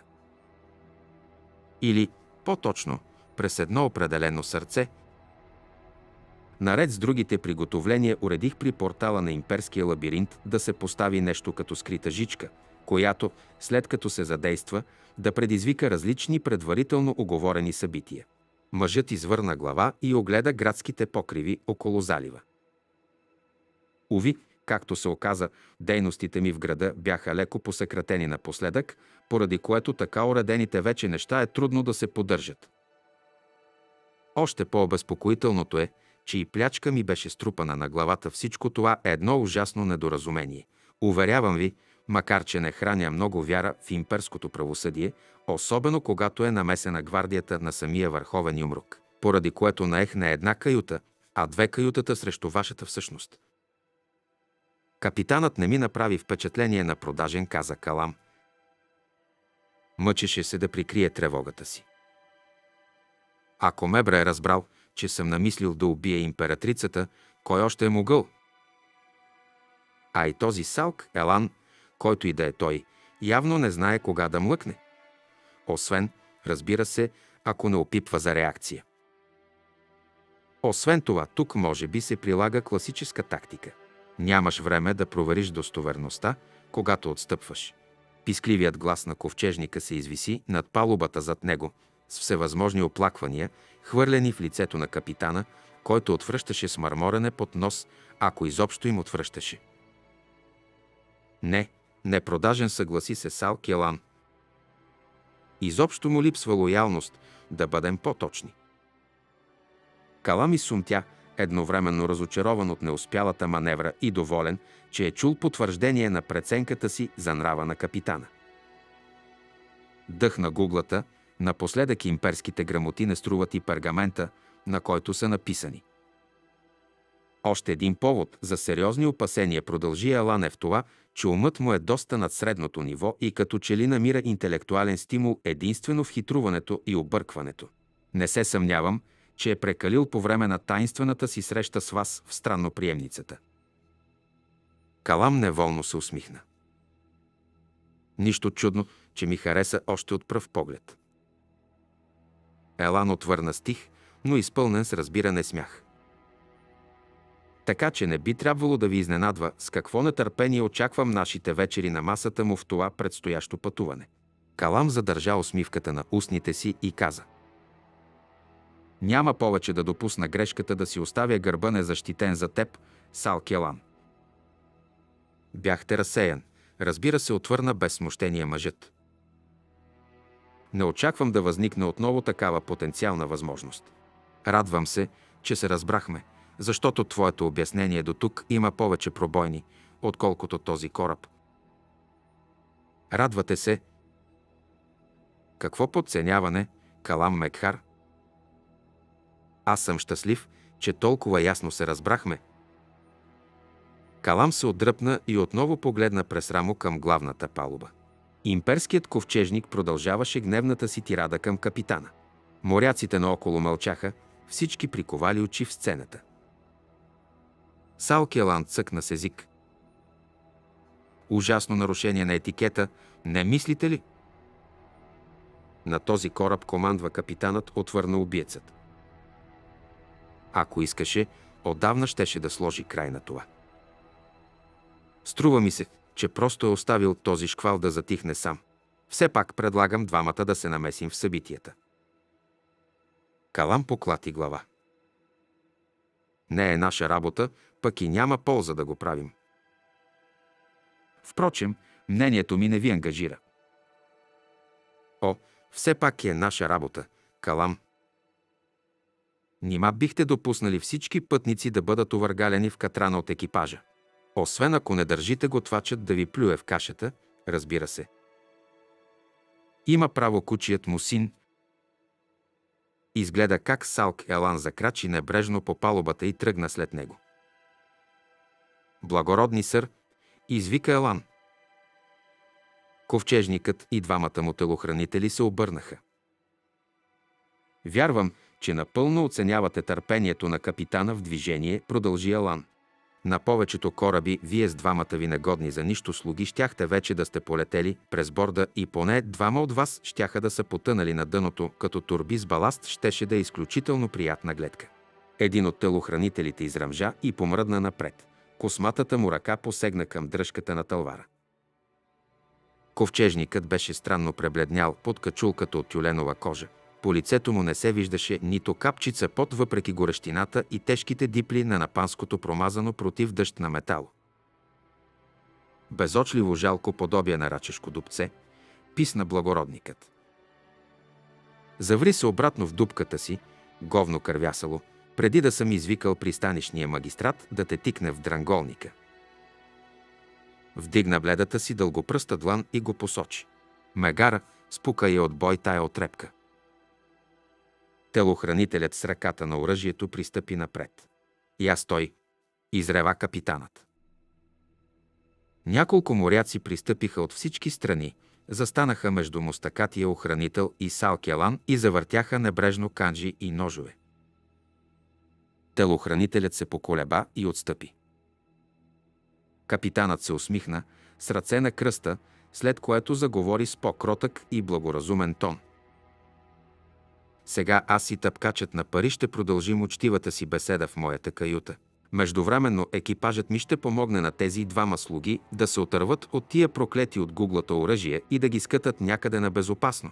Въпросните слуги след това ще се окъпят и корабният лечител ще ги прегледа за паразити, каквито на борда на Ракстопър не търпя, а щом обезвъжляването приключи, могат да помогнат с товаренето на последните провизии на господаря им. Без оная пейка от оловно дърво, която ще подарим на капитана на митницата, за да ни пусне по-лесно да отплаваме. И последно, всяка рогатня на този кораб от тук нататък, колкото и да е изобретателна, излиза само от моята уста и от ничия друга. Това е всичко, господа. Ковчежникът сигурно се канеше да отвърне на предизвикателството, но внезапното му рухване на палубата го предотврати. Двамата телохранители рязко се обърнаха от тропота върху дъските, вкочениха се, изяпнаха изпадналия си в несвяст господар. След малко капитанът каза Е, всичко не е, както изглежда. Отнесете долу тъпкача на пари и му свалете тези тюленови кожи. Корабният касапин си има друга работа, а не сме срязали въжетата още. Обърна се към Салк, Елан и Калам. Вие, господа, можете да ме придружите до каютата. Помещението не беше много по-голямо от това на убиеца и беше почти празно. Минаха няколко минути, докато капитанът успее да намери три халби и да ги напълни с киселия местен ейл от една глинена кана. Без да вдига на здравица, той изгълта наведнъж половината си халба и отри пяната сопакото на ръката си. Очите му шареха нервно, без да се спрат на никой от двамата пред него. Правилата за говорим с кисела физиономия са прости. Стоите на страна от ковчежника. Положението е объркано. След като адмиралът е под арест, Калам се задави с Ейла и едва успя да изхрипти. Какво? По чия заповед? Капитанът гледаше намръщено обущата на Елан, на върховния юмрук, чия друга. Виждате ли, няма друг начин да задържи флотата в залива. Императрицата. Вероятно не знае. В града не е имало нокът от няколко месеца, никой не знае защо. А отсъствието им, каза Елан, придава неоспорим авторитет на решенията на Порунквал, доколкото схващам. Повече или по-малко съгласи се капитанът с поглед, фиксиран в една от напречните гради. Довърши Ейла си и си наля още. Във всеки случай, личният ковчежник на Върховния Юмрук е дошил с писмена заповед, даваща му команден статут в това пътуване, което значи, че има правото да ми отнеме властта, ако така предпочете. Значи, макар да разполагам с имперска грамота, нито аз, нито корабът ми и екипажът всъщност не сме от имперския флот, което прави нещата, както вече казах, объркани. Калам остави халбата си на масата. Точно срещу нас има един имперски транспортен кораб, готов е за тръгване също като нас. Защо в името на гуглата Порунквал не е изпратил ковчежника си с товара му на него? По-голям е, пък и по-добре защитен е в края на краищата. Така е. И всъщност е под командата на Върховния Юмрук и ще потегли за унта скоро след нас, натоварен с домакинството на Пормквъл и скъпоценните му расови жребци, което значи, че ще е претъпкан. По-лошото е, че е бавен, а върховният юмрук иска да си прибере златото в мазетата на имението си фунта колкото може по-скоро. Ракстопър е бърз, когато потрябва. Е, това е всичко. Допивайте. Смятам да потеглим най-много до един час. В коридора пред капитанската каюта Салк Елан поклати глава и измърмори.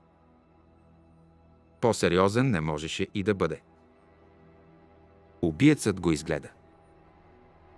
Какво имаш предвид? Този Ейл беше ужасен. Допивайте, как пък не. Калам се наваси. Нито един нокът в града интересно. Защо? Спътникът му свира сеяно рамене. Ейран вече не е каквото беше, уви.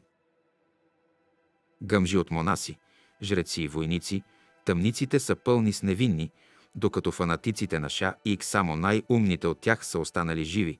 Разбира се, сеят убийства и безредици.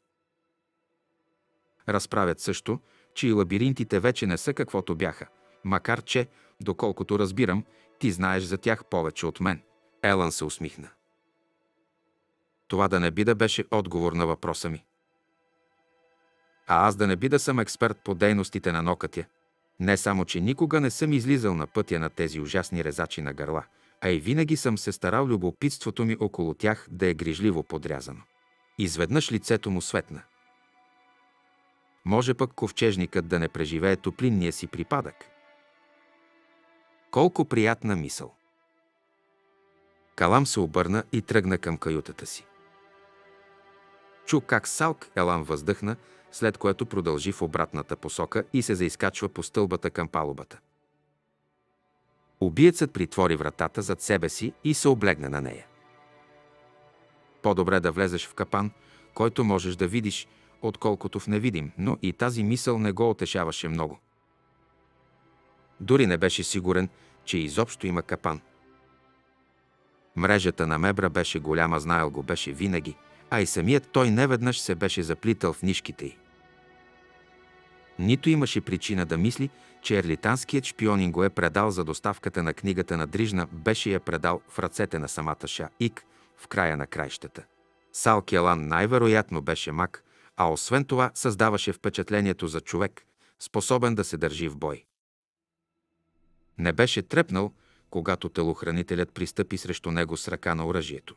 И двете неща никак не ме успокояват. Убиецът въздъхна. А и познава лошия Ейл, щом го опита. Когато изведоха породистите жребци на върховния юмрук, се възцари суматоха. Изнервените коне блъскаха и събаряха коняри, докери, войници и пристанишни служители. Старшият на конюшните търчеше с крясъци насам натам и се мъчеше да наложи някакъв ред, с което само усилваше бъркотията сред кипналата гмеж. Жената, стиснала и уздите на един великолепен жребец, се отличаваше само с зоркото си спокойствие и когато старшият най-сетне успя да уреди товаренето, беше между първите, повела подопечното и животно по широката рампа на имперския транспортен съд. И макар старшият да познаваше всички свои работници, както и всички поверени му коне, вниманието му беше до толкова изопнато и разкъсано във всички посоки, че не можа дори да забележи, че жената и конят са му непознати. Майнала беше видяла как Хракстопър отплава два часа по-рано, след като на борда му се качиха двете отделения морски пехотинци в пълно снарежение.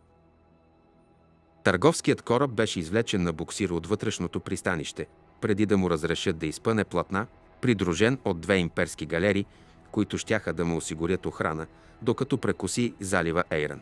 Четири подобни бойни кораба чакаха имперския транспорт на четвърт левга извън пристанището. Десантната част на борда на имперския транспорт беше внушител на цели седем отделения. Явно беше, че морето до Джал Хейдинг никак не е безопасно. Жребецът на Калам замята глава, щом стъпи на главната палуба. Масивният люк, отвеждащ към трюма, представляваше всъщност подвижна платформа, вдигаща и спускаща се сантиметър по сантиметър. Качиха първите четири коня на нея. Един побелял коняр, който стоеше до майнала, изгледа и нея, и коня й. От последните покупки на Юмрука ли е? Тя кимна. Великолепно животно, каза мъжът. Добро око има върховният юмрук и нищо друго за коментар. Кучият син подготвя предстоящото си бягство съвсем по-късно и когато най-сетне напусне самият той, ще разполага с цяла флота бойни кораби за ескорт, несъмнено. Ех, Кенеп, за това ли трябваше да те доведем тук? Махайте се от Ейран, беше казал Калам. Тя се бе постарала да убеди Сел в същото, преди да се сбогуват, но Кенеб вече бе включен в армейския строй. Към градския гарнизон на Блистик. Нямаше да заминат никъде. Майнала подозираше, че никога вече няма да ги види. И всичко това само за да тръгна по петите на един мъж, когато не разбирам. Мъж, когато дори не съм сигурна, че харесвам. Ех, жено, вече си достатъчно голяма за такова безразсъдство. Хоризонтът на юг бе като тънка сиво-зелена жилка, потръпваща сред облаците зной, издигащи се от пътя. Земята, проснала се пред тях, беше гола, осеяна с камъни, освен по разораната от коловози, осеяна с чирепи пътека на търговския керван, отклоняващ се от имперския път. Бойците от авангарда седяха неподвижно на конете си при кръстопътя. На изток и югоисток се простираше морският бряг, с селцата, градчетата и свещения град Обарит. Небето в тази посока беше зацапано от пушици. Свит в седлото си, Дюйкър слушаше с останалите капитан Сълмър. И единодушието по този въпрос е абсолютно. Юмрук. Нямаме друг избор, освен да изслушаме Нетпара и Пулик. В края на краищата беженците са тези, които ще изстрадат най-много. Капитан Лъл изсумтя презрително. Лицето на Сълмър беше пребледняло дори под прахта, но той продължи. Дажбите им вече без друго са на ръба на гладната смърт. О, вода при ватар ще има, но какво ще правим по-нататък? Сред пустоща, Бълт се почеса нервно по брадата. Магиосниците казват, че не усещат нищо, но все още сме далече цяла гора и една широка река има между нас и сушевите земи. Може пък тамошните духове на земята да са се заровили дълбоко сормо, поне така твърди. Дюйкър погледна към магиосника, който седеше мълчаливо, загърнат в наметалото на един старей на коня си, с лице, скрито в сянката на качулката. Историкът виждаше съвсем ясно станалото вече постоянно треперене на ръцете му. Нил и Недер все още се съвземаха след тежкото си изпитание при хребета Гелор, нито веднъж не се бяха показали от покрития фургон, който ги караше, и Дюйкър беше започнал да се чуди дали изобщо са живи. Нашите последни три мага, а двама от тях или са мъртви, или са толкова отслабнали, че не могат да вървят, докато третият се състарява с по 10 години за всяка седмица от това прокълнато от гуглата пътуване. Тактическите предимства трябва да са ви ясни, Юмрук продължи Сълмър. Колкото и порутени да се окажат стените на обарит, ще ни осигурят по-добра защита от една земя, в която няма дори хълмове. Капитане, израмжа Бълт. Сълмър млъкна, стисна устни в тънка, безкръвна резка. Дюйкър потръпна от студ, който нямаше нищо общо с бавното захлаждане в края на деня. Такава голяма отстъпка, Сълмър, от гледна точка на един уикски пълководец, е в рамките на доброто поведение на човек с по-долен ранг. Що за тънка кожа носиш на гърба си, капитане? Нищо чудно, че ти я смъкват толкова лесно, когато седнеш да си пиеш виното с нетпара и пулик алър. Колтейн все едно не чуваше думите на Сълмър. Винаги правеше така. Посрещаше благородническото нахалство и дебелочие по същия начин, по който се справяше с всичко останало с хладно безразличие. Но колкото и добре да действаше това на уикците, Дюйкър виждаше как то прави Сълмър и други като него още по-дръзки. А капитанът не беше приключил. Въпросът не е само военен, юмрук. Гражданският елемент при тази ситуация. Повишете ме, командир Бълт прекъсна голъл, за да мога да напърдаша с къмшик това псе, докато от кожата му не остане само спомен. И изръмжа на своя колега капитан. Иначе ще си поприказваме някъде насаме, Сълмър. Сълмър му отговори с мълчаливо озъбване. Никакъв граждански елемент няма, каза Колтейн. Обарит ще се окаже фатален капан, ако си го върнем. Откъснати и от суша, и от море, изобщо няма да можем да го задържим. Обяснете това на Нетпара, капитане, и това е последната ви задача. Последната ми задача ли, сър? Юмрукът не отвърна нищо. Последната избоботи бълт. Значи точно това. Разжалван сте с барабан пред строя. Моля за извинение, Юмрук, но вие не можете да направите това. Колтейн леко извърна глава и Дюйкър се зачуди дали капитанът е успял най-после да жегне Юмрука. Сълмър свира мене. Имперският ми ранг е връчен от върховен Юмрук, сър. На това основание в правото ми е да поискам присъда от висша инстанция. Юмрук Колтейн, силата на малазанската армия винаги е била в това, че принципът на обучението ни изисква да изразяваме свободно мнението си. Въпреки вашите заповеди, които ще изпълнявам съвестно и изцяло имам право личната ми позиция да бъде надлежно записана така, както е изразена. Ако желаете, мога да ви цитирам съответните членове в устава, за да ви напомня за тези права. Сър. Последва мълчание, след което Бълт се извърна към Дюйкър. Историк, вие разбрахте ли нещо от това? Колкото и вие, Чичо. Позицията му ще бъде ли записана надлежно? Да. И предполагам, че един такъв съд изисква присъствието на адвокати, да не говорим за върховен юмрук. Дюйкър кимна. Къде е най-близкият върховен юмрук? Фейран. Бълт кимна замислено. Тогава, за да решим час по-скоро въпроса за капитанския ранг, трябва да продължим на пълна скорост към Ейрен. Обърна се към Сълмър. Освен, разбира се, ако възгледите на съвета на благородниците не са с предимство пред съдбата на военната ви кариера, капитане. Връщането на Обарит ще позволи флотата на адмирал Нок да ни се притече на помощ, заяви Сълмър. По този път можем да стигнем бързо и безопасно до Ейран. Флотата на адмирал Нокия в Ейран изтъкна Бълт.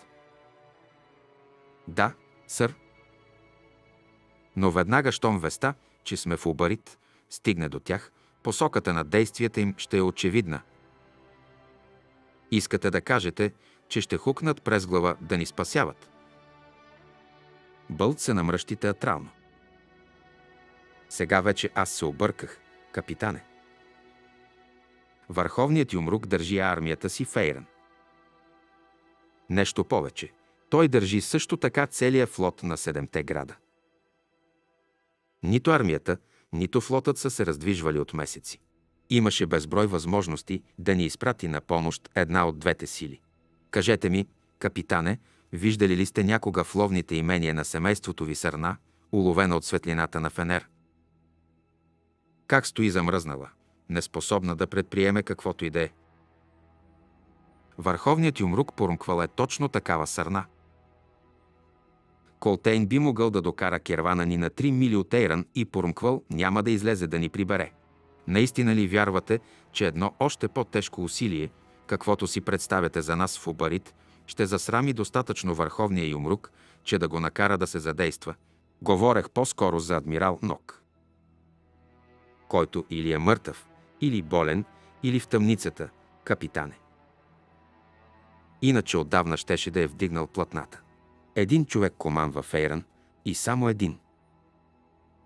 Готов ли сте да оставите живота си в ръцете му, капитане? Сълмър отвърна кисело. Изглежда, че така или иначе съм го оставил, командире. И също така изглежда, че вече не ми е позволено да изразявам мнението си. Позволено ви е, каза Колтейн. Но вие също така сте войник на седма. Капитанът наведе глава. Моля за извинение, и умрук, прекалих. Времената са доста напрегнати. Тъй ли? Не бях забелязал, ухили се Бълт. Изведнъж Сълмър се обърна към Дюйкер. Историк, какво е вашето мнение за всичко това? Като обективен наблюдател. Мнението ми за кое, капитане? Убарит или река Ватар с гората и пустите земи на юг. Като цивилен, който добре разбира мъките на беженците, наистина ли вярвате, че те ще оцелеят след толкова тежък преход? Историкът помълча, след което се окашля и свира мене. Както винаги, по-голямата опасност е една дезертираща армия. Победата при хребета Гелор ни откупи време, за да оближем раните си. Едва ли прекъсна го Сълмър. Напротив, от тогава сме принудени да се движим още по-бързо. Да, и с пълно основание. Сега ни преследва Корболодом. Този човек е бил и умрук на времето и е много способен командир и тактик. Камаст Рело е мак, а не пълководец. Той погуби армията си, въобразявайки си, че може да разчита само на огромното числено превъзходство. Корболо няма да е толкова глупав. Ако врагът ни изпревари при река Ватар, с нас е свършено. Тък му за това би трябвало да го изненадаме и да си върнем Убарит. Краткотраен триумф отвърна Дюйка. По този начин биха ни останали не повече от два дни за укрепване на градската защита до пристигането на Корбол. Както сам казахте, аз съм цивилен, не съм тактик. Но дори и аз мога да разбера, че взимането на обарит би се оказало самоубийствено, капитане. Бълт се намести в седлото и се огледа много театрално. Дайте да намерим някой браничар, че да чуем още едно мнение. Сормо, къде е онзи грозен звяр, дето те осинови? Онзи, дето морските го нарекоха Бент. Магиосникът вдигна леко глава и изхриптя уморено. Наистина ли държиш да знаеш? Бълт се намръщи. Ми да, що не? Крие се в тревата на седем крачки от теб, командире. Всички неизбежно започнаха да се озъртат, в това число и Колтейн. Накрая Лъл посочи и след като примижа продължително, Дюйкър успя да различи едно петнисто туловище сред високата остра степна трева. Дъхна гуглата. Боя се рече Сормо, че няма да предложи кой знае какво мнение. Чичо. Бент върви натам, на където го водиш. Истински войник, значи изхъмка Бълт. Дюйкър погледна към огромната колона, проточила се на север. Имперският път беше построен за бързия преход на войски. Беше широк и равен, каменните му плочи бяха скрепени с геометрична точност. Можеше да поеме войска от 15 конници в редица. Кучешката варига на Колтейн беше с дължина над една имперска левга, въпреки че трите уикски клана яздаха през тревата от двете страни на пътя. Обсъждането приключи, каза Колтейн. Съобщете народите си, капитани каза Бълт. Не беше нужно да добавя тръгваме за река Ватар. Штабното заседание беше откроило позиции, особено раздвоението на Сълмър – и освен ежедневните въпроси около разположението на частите, продоволствието и други подобни, нищо друго не подлежеше на дебат. Дюйкър изпита вълна на съжаление към Сълмър, осъзнал натиска, на който със сигурност бе подложен от страна на Нетпара и Пулик Алър. Капитанът, в края на краищата, беше с благородно потекло и заплахата родът му да изпадне в немилост сигурно правеше положението му непоносимо. Армията на Малазан ще познава само едни правила, беше провъзгласил император Келанвет по време на първото прочистване и преустройство на военщината в началото на режима си. Една група правила и един водач. Наложеното от него и от Дасембълтър правило за заслугата като единствено средство за издигане и напредък бе предизвикало борба за власт в иерархиите на командванията на армията и флота. Кръв се проля по дворцовите стъпала и нокътят на Ласин се оказа инструментът за това здравословно изрязване на гнилата плът. Трябваше да се е научила от този случай. Имахме и втора чистка след това, но тя много закъсня. Капитан Лъл прекъсна мислите на Дюйкър. Трябва да се върнеш с мен, старче. Има нещо, което трябва да видиш. Сега пък какво? Усмивката на Лъл върху обезобразеното му лице беше грозна. Търпение, моля. О, добре, търпение съм натрупал толкова, че ще ми остане в излишък, капитане. Да чакаш да умреш и какво дълго чакане беше, Лъл явно разбра коментара му. Примижа с единственото си око на равнината на северозапад, където трябваше да е армията на Корболо дом, на по-малко от три дни път разстояние и бързо ги настигаше. Поканата е официална, историко. Водиме тогава. Колтейн, Бълт и Сормое над бяха подкарали подирята на търговските керавани. От авангардните части на Седма се разнесоха викове и започна подготовката за оставянето на имперския път. Дюйкър зърна браничаря Бент, понесъл се на дълги отскоци пред тримата уикци. Така ги следваме и ние. Наистина, нарекли са ни подходящо. Как е ефрейторът? Попита Гулъл, щом подкараха през тесния коридор към ротата на Лъл. Дюйкър се намръщи. При хребета Гелор Лист беше получил жестока рана. Оздравява! Срещаме трудности с лечителите, изтощават се, капитане. Ма да. Толкова много извличат от лабиринтите си, че силата започва да вреди на собствените им тела. Видях как ръката на един лечител се откърши като сух клон, когато вдигна едно котле от огнището. Това ме изплаши повече от всичко, на което те първа ми предстои да стана свидетел.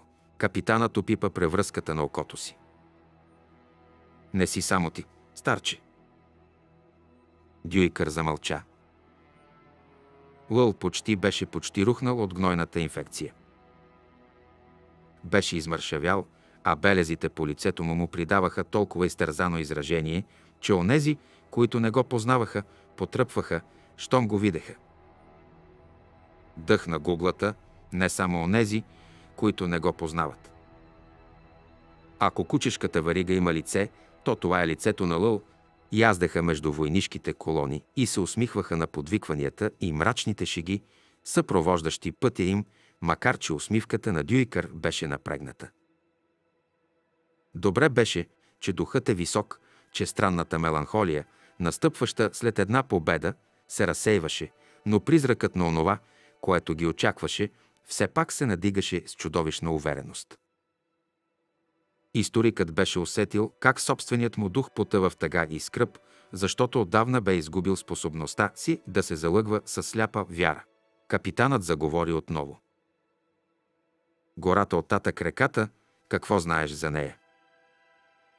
Кедър отвърна Дюйкър. Източникът на славата на Обарит в корабостроенето. Някога е покривала двете страни на река Ватар, но сега е останала само южната страна – а и тя е оредяла близо до залива. Глупците не са си правили труда да засаждат.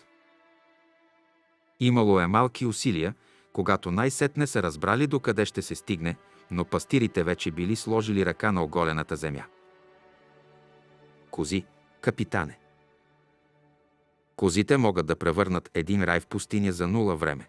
Изяждат фиданките, белят кората на дърветата, убиват ги като пожар – все пак нагоре по течението е останало доста гора. Ще вървим и с нея поне една седмица, ако не и повече. И аз така чух. Е, сянката ще ми е добре дошла. Седмица, ако не и повече, как не? По-скоро вечност. Как смята Колтейн да пази този огромен лъкатушещ керван в една гора, където засадите ще се появяват от всякъде, където бойците няма да могат да обръщат и да отговарят на всяка заплаха с бързина и ред? Притесненията на Сълмър за сухите земи отвъд гората са дреболия. Интересно, дали само аз мисля така? Яздеха между фургони, натоварени с ранени войници. Въздухът вонеше от гниеща плът, силовото лечение не бе успяло да надмогне и спре пълзежа на гнойта. Войници, изпаднали в треска, стенеха и бълнуваха, делириумът разтваряше дверите на изтързаните им умове към безброй други селения. От един кошмарен свят към безброй други. Само дарът на гуглата ще им донесе покой. Вляво от тях стапящите се стада добитък и кози се тътреха сред пепеляви вълма прах по равната тревиста земя. Уикските псета браничари ги пазеха по краищата, придружени от конниците от клана на невестулката. Цялото стадо щеше да бъде изклано при река Ватар, защото земите от татък леса нямаше да ги изхранят. Защото там няма духове на земята. Историкът се умисли. Животните ги бяха следвали стъпка по стъпка в този гибелен за душите път. Месеци след месеци в страдание. Проклятие, споделено от всинца ни волята да живеем, съдбите им бяха решени, макар за тяхно щастие те да не го разбираха. Но дори и това ще се промени в последния момент. И най-глупавото животно, като че ли е способно да усети предстоящата си смърт. Гуглата дарява всяко живо същество със съзнание в самия край. Що за милост е това? Конската кръв, изгоряла в жилите до черно, промълви изведнъж лъл. Дюйкър кимна. Нямаше нужда да пита за кой кон му говори капитанът. Понесе ги всички, такава кипнала ярост за живот, разкъсваше и отвътре подобни мисли го отвеждаха отвъд думите в място, съставено само от болка. Казват продължилъл, че ръцете им вече са отцапани в черно. Белязани са завинаги. Също като мен мислеше за Нил и Недер, две деца, свили се сега като зародиш под чергилото на фургона, там, сред смълчаните си родственици. Уикците знаят, че дарът на силата никога не е безплатен. Знаят достатъчно, за да не завиждат на избраните между тях, защото силата никога не е игра, също както не се игра бляскавите знамена, вдигнати за слава и богатство. Те не прикриват нищо в бляскави одежди и така всички виждаме онова, което не бихме искали да видим, че силата е жестока, корава е като желязо и кост и жадува да се е гибел. Заразяваме мълчанието ти, старче обади се лъл. Дюйкър можа само да кимне отново. Усещам вече в себе си нетърпение за Корболо дом. Да се свършва вече. Вече не мога да виждам онова, което вижда Колтейн Историко. Не можеш ли? Попита Дюйкър и го погледна. Сигурен ли си, че това, което вижда той, е различно от това, което виждаш ти, Лъл? Ужасът по обезобразеното лице бавно се отъй. Боя се продължи Дюйкър, че мълчанието на Юмрука вече не говори за победа. Също като твоето усилващо се мълчание значи. Историкът свира мене. Цял континент ни преследва. Не трябваше да сме живи толкова дълго. А аз не мога да отведа мислите си по-надалече от това и съм се вкопчил в тази единствена истина. Всички истории, които съм чел, пълни с интелектуална обсебеност от войната, с безкрайно прерисуване на карти, героични штурмове и съкрушителни поражения. Не сме нищо повече от къщета страдание сред река от болка. Дъх на гуглата, старче, думите ти изтощават самия теб, защо ги налагаш на другите. Трябва да престанем да мислим промълвилъл. Отдавна сме преминали тази граница. Сега просто съществуваме. Погледни животните ей там. Ние сме също като тях. Ти и аз същите сме. Тътрим се под слънцето, ръчкат ни все натам, към мястото на заколението ни. Дюйкър поклати глава. Нашето проклятие е в това, че не можем да познаем благодата на това да си без ум, капитане. Боя се, че там, на където гледаш, няма да намериш спасение. Не търся спасение, израмжалъл. Само как да мога да продължа да вървя. Приближиха се до ротата на капитана.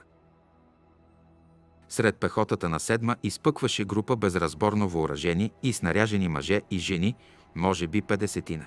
Всички лица се извърнаха с очакване към Лъл и Дюйкър.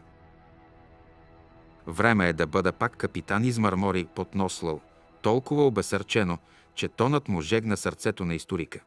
Един сержант подаде отсечена команда и дрипавата войнишка с бирщина направи жалко усилие да застане мирно. Лъл изгледа всички и бавно слезе от коня.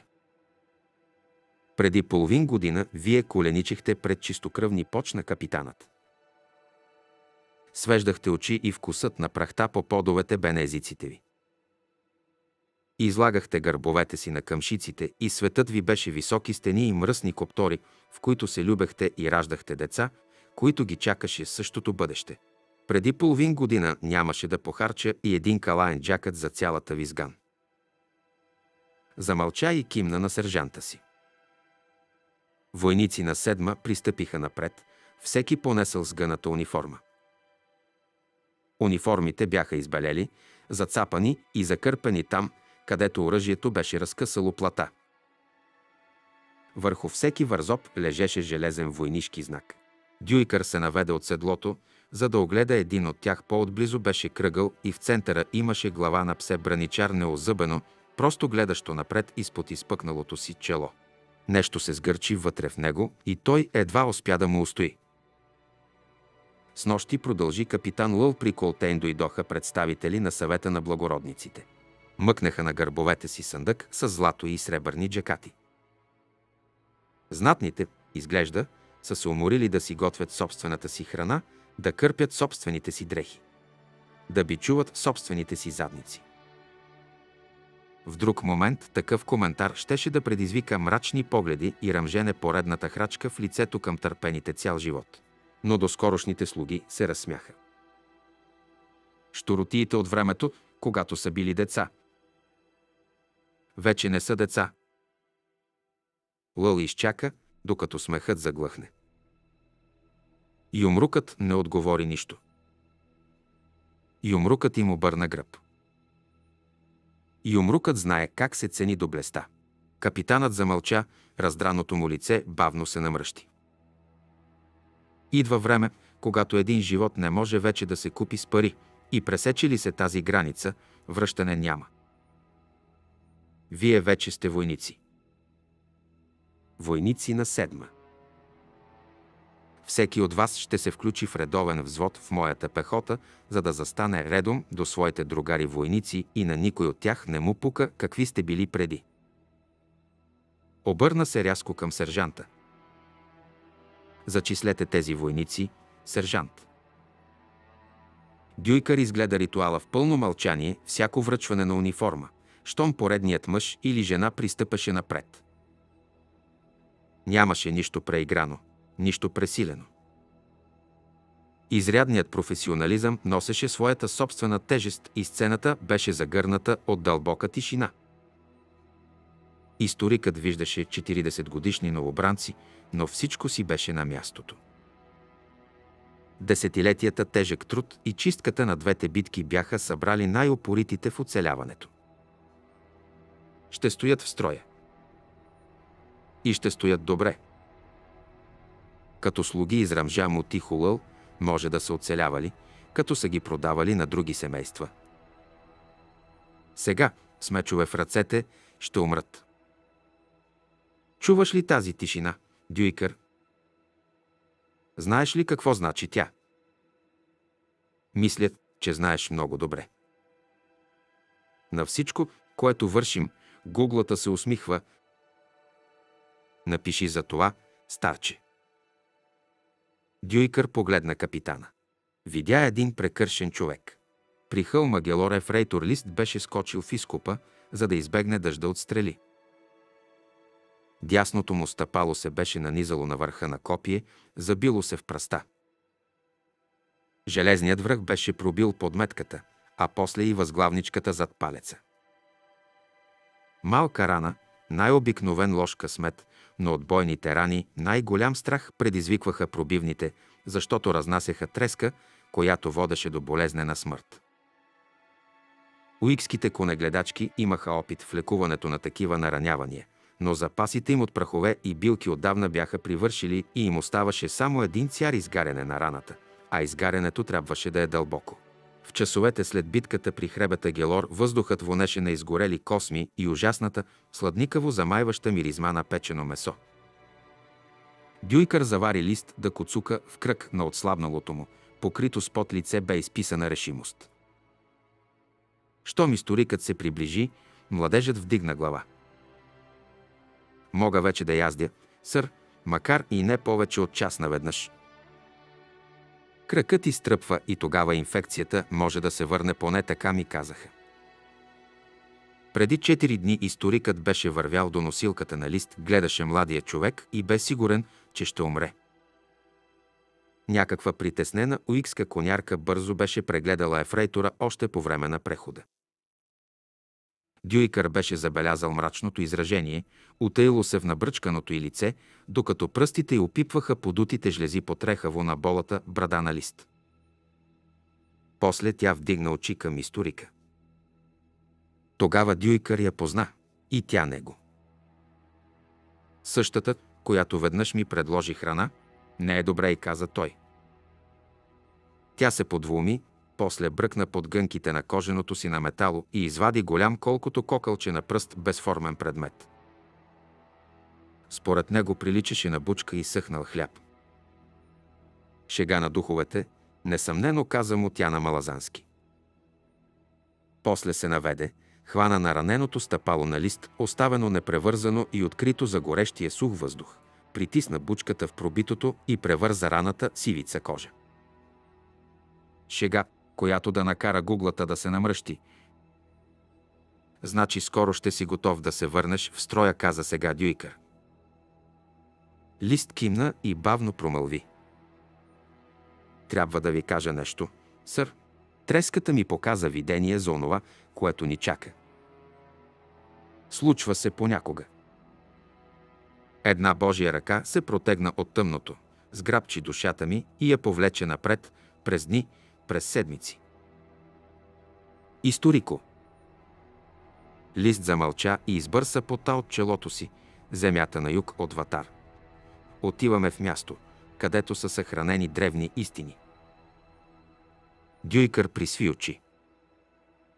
Древни истини. Какво означава това, лист? Там се е случило нещо ужасно, сър. Много отдавна. Земята, земята е безжизнена. Нещо, което знаят само Сормо, е над и върховното командване. Тази Божия ръка е фрейтор. Ти видя ли е? Не. Но я усетих. Пръстите бяха дълги, много дълги, с повече стави, отколкото на човек. Понякога това стискане се връща като на призрак и започвам да треперя от ледения допир. Помниш клането при брода на секала, нали? Да не би сегашните ти видения да са ехо на тогавашните. Лист се намръщи, после поклати глава. Не. Онова, което е пред нас, е много по-старо. Разнесоха се викове и керванът се заприготвя отново да потегли, изоставяйки имперския път. Дюйкър погледна към каменистата равнина на юг. Ще повървя до носилката ти, Ефрейтор, докато ми опишеш най-подробно тези свои видения. Може да са само халюцинации от треската, но не го вярваш. Аз също. Погледът му си остана прикован към безбрежната равнина. Ръка с много стави.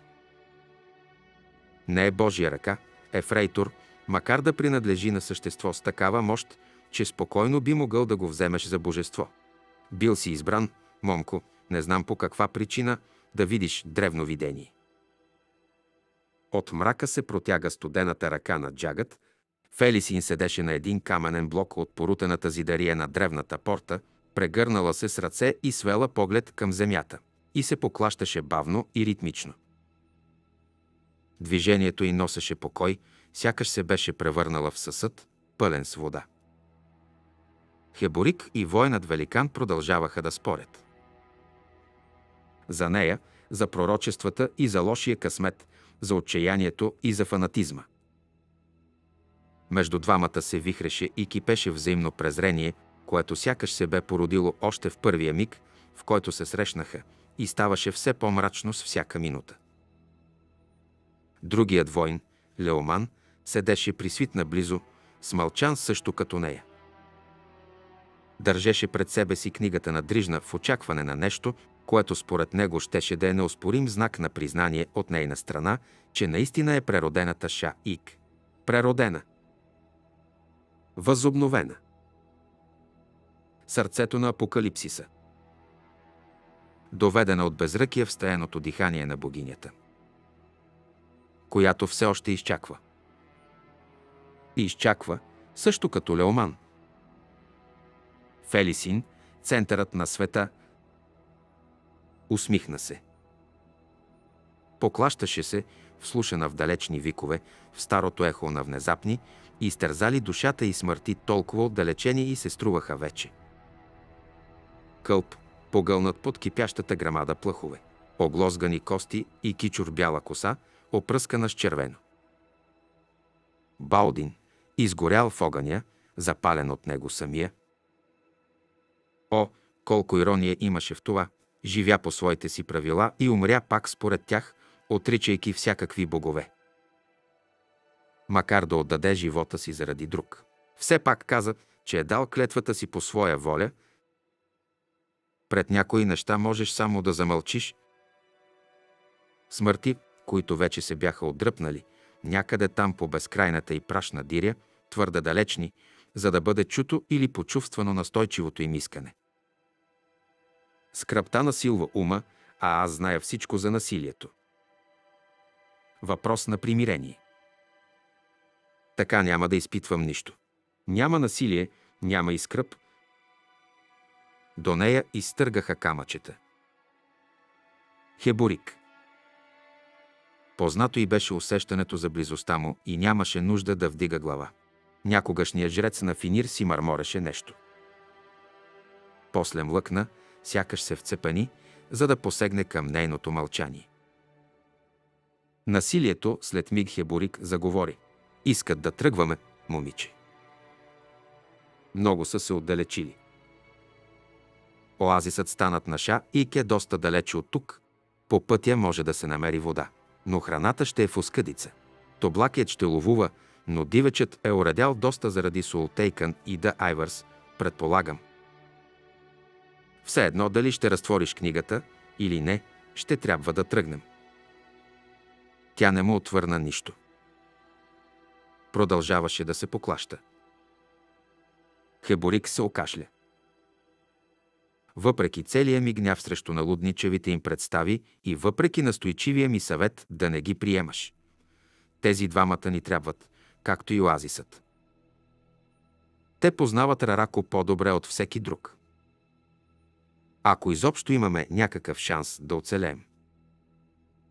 Да оцелеем. Признавам, продължи след малко Хеборик, придобил съм. Сетива, пред които слепотата ми не е чак толкова голям недостатък. А и тези мои ръце, преродени. И все пак, Фелисин, сам няма да мога да те опазя. А и няма никаква гаранция, че тези двамата ще ни позволят да се разделим с тях, ако разбираш какво имам предвид. Да оцелеем. Хайде, събуди се, момиче. Трябва да вземем някои решение. Ша Ик е извадила меча си срещу империята, промълви тя, без да откъсва очи от земята. Доста глупав жест. Ша Ик е готова да се опълчи на императрицата, готова е да прати имперските армии в пълната скръв бездна. Историята изброява подобни възстания, момиче, и този нейн разказ е едно безкрайно ехо. Доблесни идеали са придавали здравословен живец на избледнялата усмивка на гуглата, но всичко това е само иллюзорно очарование и праведност. Кой го интересува какво е праведно, старче? Императрицата ще трябва да отвърне на предизвикателството на Ша и К. Е, да. И ще изпрати армия от Кюон Тали. Вероятно вече е на път. А кой продължи Фелисин и усети как някакво хладно дихание докосна плата и ще командва тази армия. Чу го как вдиша рязко и усети как се дръпна оплашено. Момиче. Фелисин махна с ръка, сякаш да прогони оса и се надигна. Обърна се и видя, че Леомания е зяпнал. Внезапно я порази мисълта, че обгореното му от слънцето лице е лицето на самата Рарако.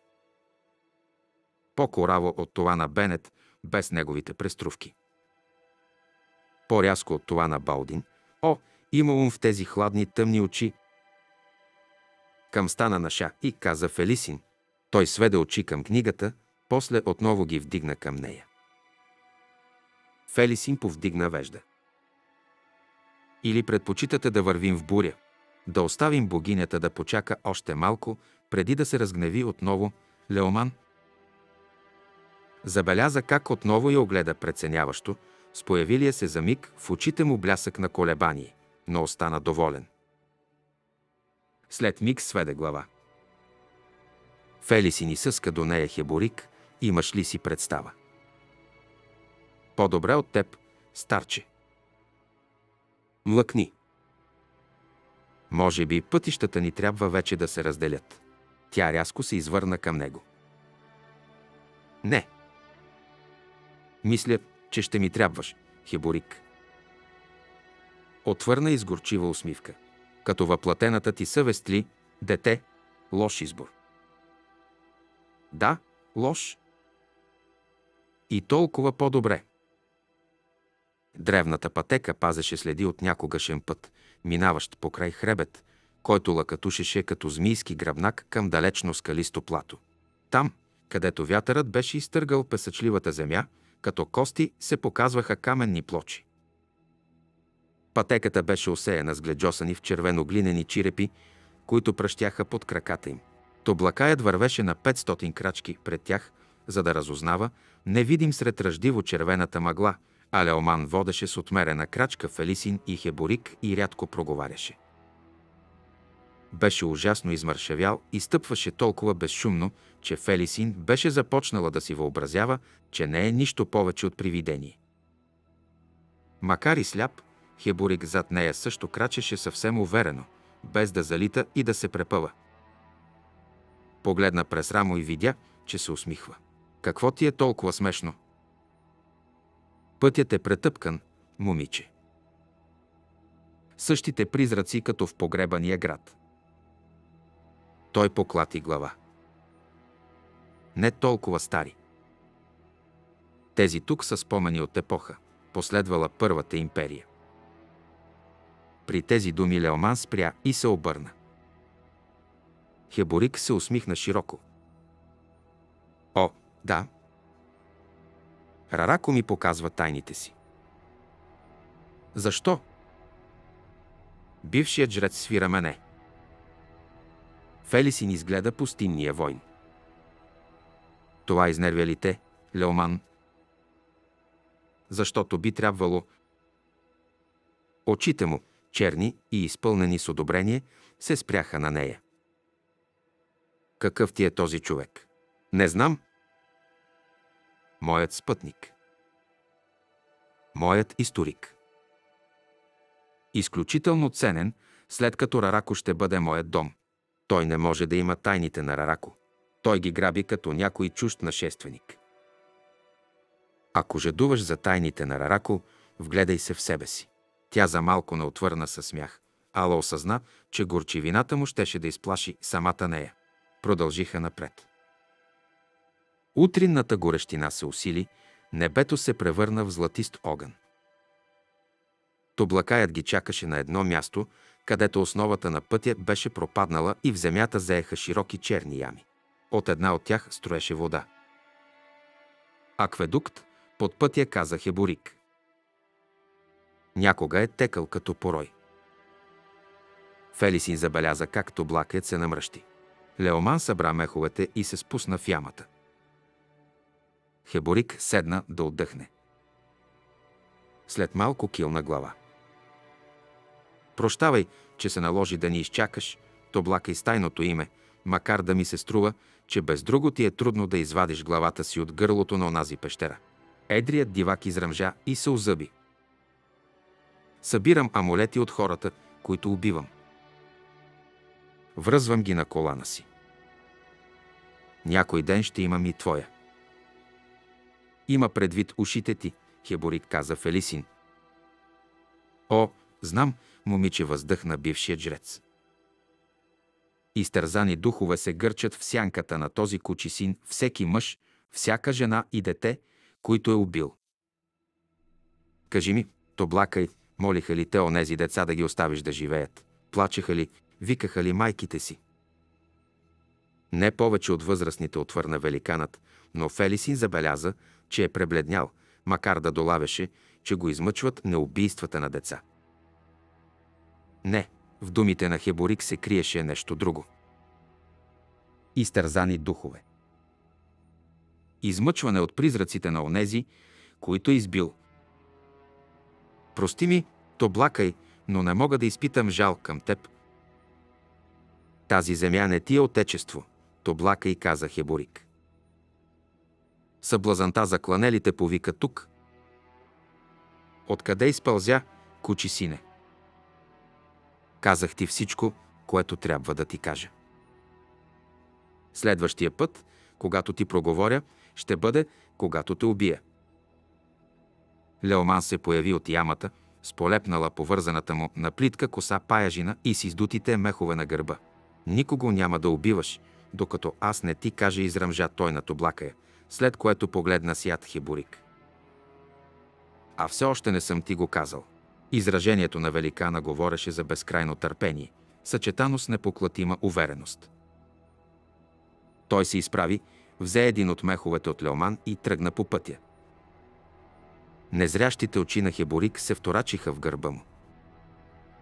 Дървото на това оръжие е подгизнало от кръв. Не вярвам, че може да спи спокойно нощем. Той почти не спи, промърмори Леоман. А ти престани да му вадиш душата. Не си виждал призраците на децата, вкопчили се в петите му, Леоман с гримаса отвърна бившият жрец. Но ще се постарая да държа устата си затворена. Племето му не прави голяма разлика между деца и възрастни, отвърна Леоман. Имаш род и всички извън него са врагът. Е, стига приказки. След стотина крачки пътят изведнъж се разшири и ги изведе на платото. От двете му страни се точеха редици продълговати гърбици печена червеникава глина, всяка висока 7 стъпки и 3 стъпки на ширина. Въпреки увисналата във въздуха прах Фелисин видя, че редиците, по няколко десетки в дълбочина, обкръжават цялото плато плътен кръг около простиращите се пред тях руини на древен град. Каменната настилка тук беше напълно оголена и образуваше широк булевард, продължаващ в права линия към някогашна величествена порта, порутена от столетията вятър, както и целият град зад нея. Бавна смърт прошепна Хеборик. Тоблакият вече минаваше през портата. Трябва да стигнем до другия край, до пристанището, каза Леоман. Там ще намерим скрит бивак. И склад с провизии. Ако не са вече плечкосани. Главната градска улица беше покрита с мозайка от потрошена глина гледжосани сиви, черни и кафяви чирепи. Ще се сетя за това, каза Фелисин следващия път, когато, без да искам, щупя някое гърне. Хеборик и сумтя. Познавам схолари, които твърдят, че могат да опишат цели мъртви култури, проучвайки буклук като този. Животът им сигурно е страшно възбуждащ, подкачи го Фелисин. Де да можех да заменя моя с техния. Шегуваш се, Хеборик. Нима. Кълна се в бивните на Финир, момиче, не си пада много по приключенията. В началото може би и не, но тогава беше прекършен. Натрошен. Като тези грънци тука. Признавам, че сравнението ти е точно, Фелисин. Не може да бъдеш възстановен, ако първо не си пречупен. Забелязвам, че напоследък си се настроила много философски. Повече, отколкото забелязваш. Кажи ми, че не си разбрал никакви истини, Хеборик. Той изсумтя. Разбрах една. Че истини няма. След години ще го разбереш сама, когато сянката на гуглата се просне на пътя ти. Има истини намеси се Леоман пред тях, без да се спира или обръща. Рарако Дрижна Вихърът и апокалипсисът Оръжието в ръката ти, течащата кръв. Не ти причини пътуването ни, Леоман изръмжа Хебурик. Вашето пътуване е прерождение, както каза тя, и за това е имало болка. Само глупци биха очаквали нещо друго. Старецът не отвърна. Вървяха през гробовната тишина на града. Основите и ниските зидове, останали от вътрешните стени, очертаваха плановете на постройките от двете им страни. В разположението на булевардите и уличките се забелязваше прецизно геометрично планиране полукръгли концентрични дъги с плоската страна на самото пристанище. Отпред се виждаха останки от голяма дворцова сграда. Масивните камъни в центъра бяха устояли в по-голяма степен на многовековната ерозия. Фелисин се озърна към Хеборик. Още ли те измъчват духове? Чак измъчен не съм, момиче. Тук не се е развихряла голяма жестокост. Само тъга, а дори и тя е била само подмолна. Градовете умират, градовете подражават на цикъла, присъщ на всяко живо същество – раждане, бурна младост, зрялост, старост, а накрая – прах и чирепи.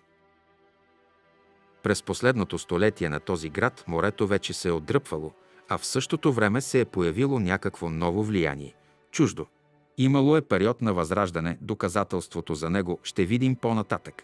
В пристанището, но той продължил много кратко. Помълча десетина крачки. Знаеш ли, Фелисин, започвам като че ли да разбирам нещо за живота на асцендентите. Да живееш стотици, а после хиляди години да бъдеш свидетел на това процъфтяване и на целия му суетен блясък. Ах, чудно ли е тогава, че сърцата им стават толкова корави и студени?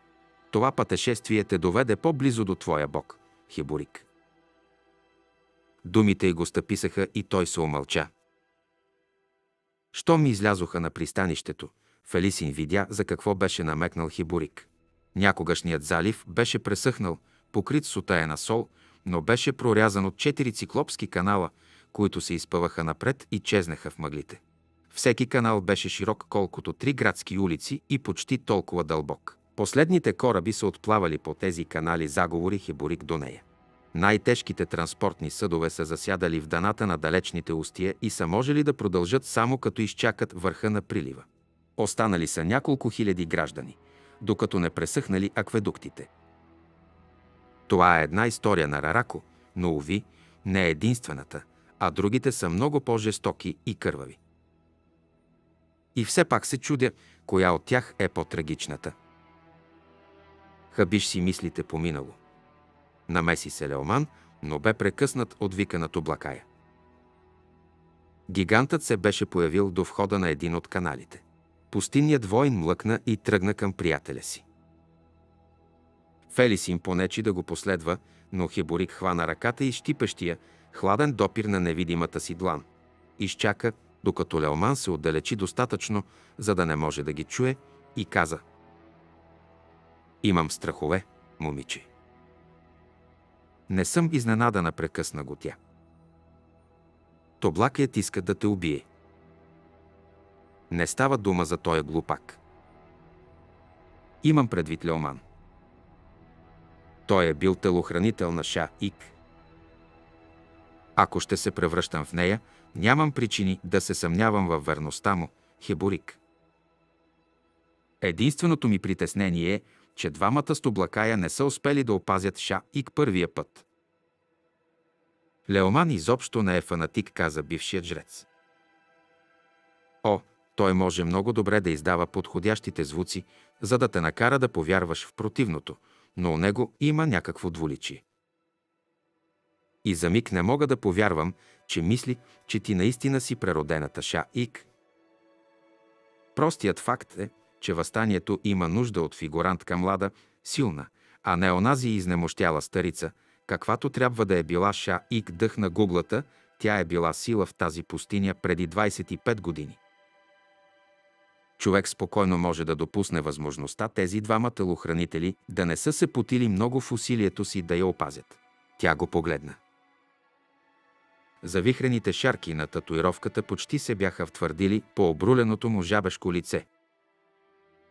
Очите му бяха зачервени и обкръжени от засъхнала слус. Гледците им бяха покрити с сива патина. В такъв случай мога също така да заключа, че този път ще имат много повече основания да се стараят. Стига да играеш тяхната игра. Играта на Леоман, за да бъда по-точен, той е този, който ще говори за теб пред войската и стана, ако има повод, ще намекне за съмнения и те ще те разкъсат. Не се боя от Леоман, прекъсна го Фелисин. Разбирам от мъже като него, Хеборик. Устните му се стиснаха в тънка усмивка. Тя издърпа ръката си от чудодейната хватка на невидимата длан и закрачи.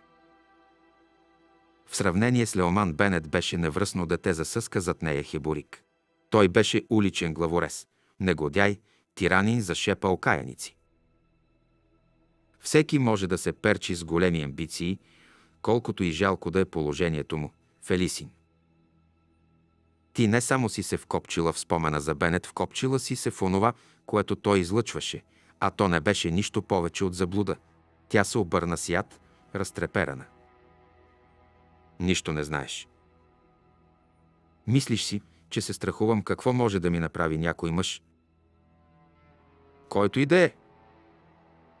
Въобразяваш си, че можеш да четеш мислите ми, да знаеш какво изпитвам. Ти си наистина нагъл кучи син, Хеборик. Смехът му я зашлеви като шемар и тя млъкна стъписана. Мило дете, искаш да ме държиш до себе си. Като какво? Украшение. Вдъхваща ужас любопитна вещ. Били изгорила езика ми, за да отива мълчанието на слепотата ми. Значи съм тук, за да те развеселявам, дори когато ме обвиняваш в наглост. О, колко мило, наистина! Млъкни, Хеборик, каза уморено Фелисин. Ако някой ден започнем да се разбираме, то ще е без думи. На кого са му нужни мечове, щом двамата с теб си имаме езиците? Хайде да си ги приберем в ножниците и да приключим. Той кил на глава. Един последен въпрос тогава. Защо искаш да остана с теб, Фелисин? Тя се поколеба, преди да му отвърне, зачудена как ли ще приеме точно тази истина. Е, това все пак е нещо. Доскоро щеше да ми е все едно, защото за теб това означава да оцелееш, Хеборик. Предлагам ти го. Заради Балдин. Все така килнал глава, Бившият жрец бавно отри пота от челото си с сакатата си ръка. Може би наистина те първа ни предстои да се разберем. Каналът започваше с редица широки каменни стъпала, над сто. В основата на някогашното морско дъно беше издигната по-нова каменна стена, над която можеше да се разпъва платнен навес. Каменен кръг обграждаше зацапаното с пепел огнище наблизо, а грамадата – покривала доскоро склада с провизии, беше съборена и изтърбушена. Поводът за вика на Тоблакая бяха седемте полуизядени трупа, разхвърлени из бивака, всички покрити с рояци тлъсти мухи. Кръвта по ситния бял пясък беше само от преди няколко часа и все още лепнеше. Мъгливият въздух вонеше от изкормените, гниещи вътрешности. Леоман се наведе на стъпалата, за да огледа следите от звяра, водещи нагоре към града. След дълго мълчание погледна Тоблакия. Ако държиш да хванеш точно тоя, ще трябва да идеш сам. Великанът се озъби. Без друго неща някой да ми се плете в краката, отвърна той, смъкна от гърба си меха с вода и походното одеяло и ги пусна на земята. Измъкна дървения меч от ножницата и го стисна в огромната си лапа. Хеборик, облегнат на каменната стена, и сумтя. Решил си да убиеш тоя султейкън. Ако всички от твоя род са толкова глупави, племето ти мая на привършване. Е, аз поне няма да скърбя за смъртта ти. Тоблакият спази клетвата си да не му проговаря, но се усмихна широко и се обърна към Леоман. Аз съм маста на Рарако срещу такива натрапници. Що ме така? Отмъсти за ближните ми отвърна пустинният войн. Тоблакият тръгна взимаше по 300 пала наведнъж. Най-горе спря да огледа дирите, след което продължи и се скри от погледите им. Солтейкън ще го убие, каза Хеборик. Леоман свира мене. Може би. Ша и Кобаче видя далече напред в бъдещето му. И какво видя? Попита Фелисин. Не пожела да го каже, но я беше ужасило.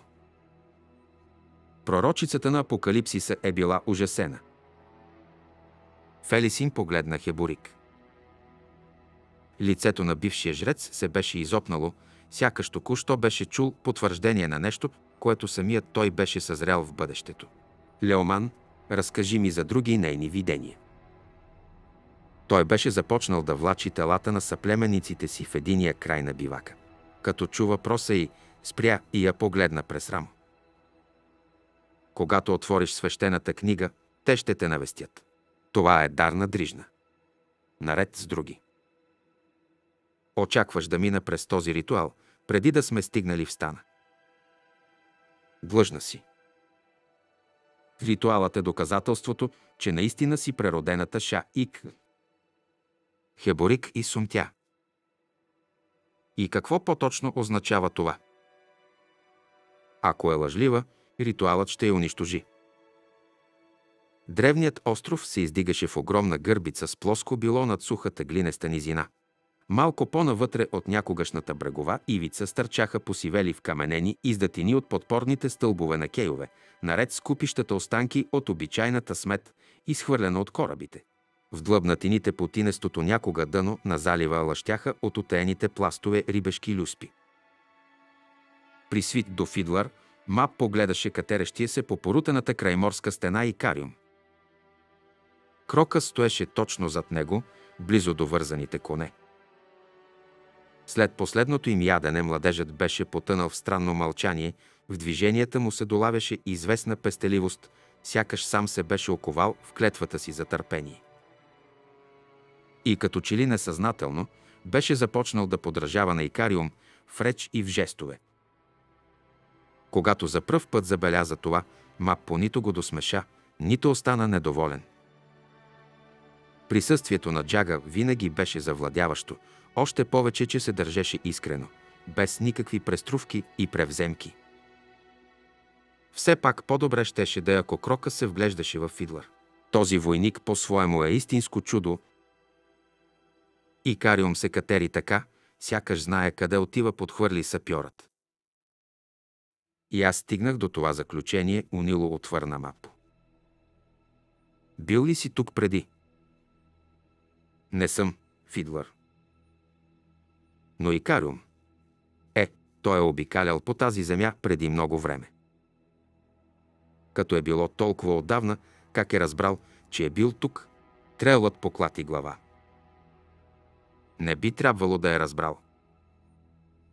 Никога до сега не се беше случвало. Да не би да рухнаха онези благословени прегради. Кралице на сънищата, върни на Икариум блаженото незнание. Моля те. Я да идем при него, каза Фидлър и бавно се надигна. Аз не бих. Както искаш, отвърна войникът и тръгна след джага, който вече се беше скрил сред обраслите страни руини на града отвъд край морската стена. След малко Крокъс също закрачи след сапьора. Трелът помръкна. Изглежда, вече остарявам, щом се оставям така на страха въздъхна, надигна се и пое след двамата. Склонът, натрупан в основата на стената, подаваше под краката им коварна грамада от потрошено дърво, парчета, мазилка и чирепи. Някъде по средата Фидлър сумтя, спря и измъкна къс посивяло дърво. Да помисля. Всичкото това дърво е станало на камък. В камъняване каза Крокъс. Чичо ми веднъж ми описа процеса. Но би трябвало да отнеме десетки хиляди години.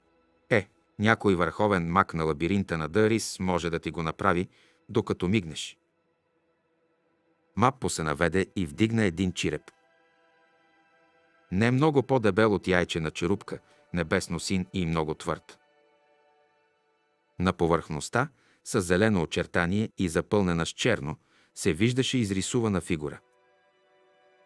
Изображението беше грубо и стилизирано, но фигурата несъмнено беше човешка. Огледа го и го пусна. Този град е бил мъртъв, преди морето да изсъхне, заяви Фидлър и продължи да се катери. Как разбра? Подвикна му отдолу Крокъс. Защото всичко е отмито от водата, момче. Вълни са съборили тази морска стена. Век след век. Отраснал съм в пристанищен град, все пак. Виждал съм какво може да направи водата. Императорът беше наредил да се пресуши Малаският залив, преди да се построят имперските пристани, показаха се стари вълноломи и така нататък. Стигна горе и спря да си поеме дъх. Всички видяха, че Малас е по-стар, отколкото някой може да си представи. И че от тогава морското равнище се е вдигнало под хвърли мапо. Да. Щом стигнаха горе, градът се разтла пред очите им. Макар руините да бяха почти заличени от времето, личеше, че е унищожено мишлено. Всяка постройка беше съборена почти до основи дело на опустошителна сила и ярост. Трънливи храсти запълваха всяко останало открито пространство, а ниските чворести дървета се бяха впили в каменните отломки. Късове от мраморни статуи лежаха пръснати навсякъде, все в онзи суров стил, който Маппо беше видял върху чирепа. Трелът започна да долавя нещо познато в начина, по който бяха изобразени тези човешки фигури. Легенда, разказвана на Джако Дан, приказка, разправена от старците в моето племе. Икариум не се виждаше никакъв. Сега на къде? попита Фидлър. Тънък вопъл прониза ума му и по тъмната му кожа изби пот. Маппо пристъпи напред. Надуши нещо, а едва чу въпроса на сапьора.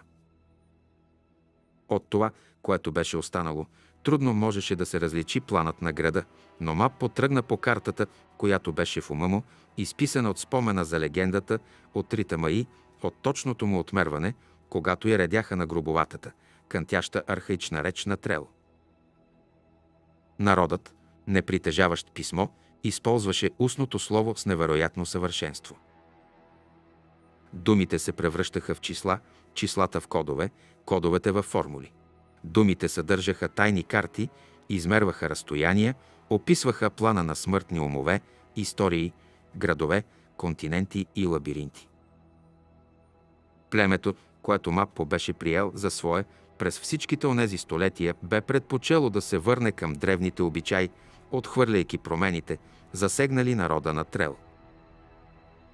Стареите бяха показали на Маппо и на останалите всичко, което бе застрашено да се забрави, силата, съдържаща се в разказването на истории, ритуала на разгръщането на памета. Маппо знаеше къде е отишъл Икариум. Знаеше какво ще намери джагът.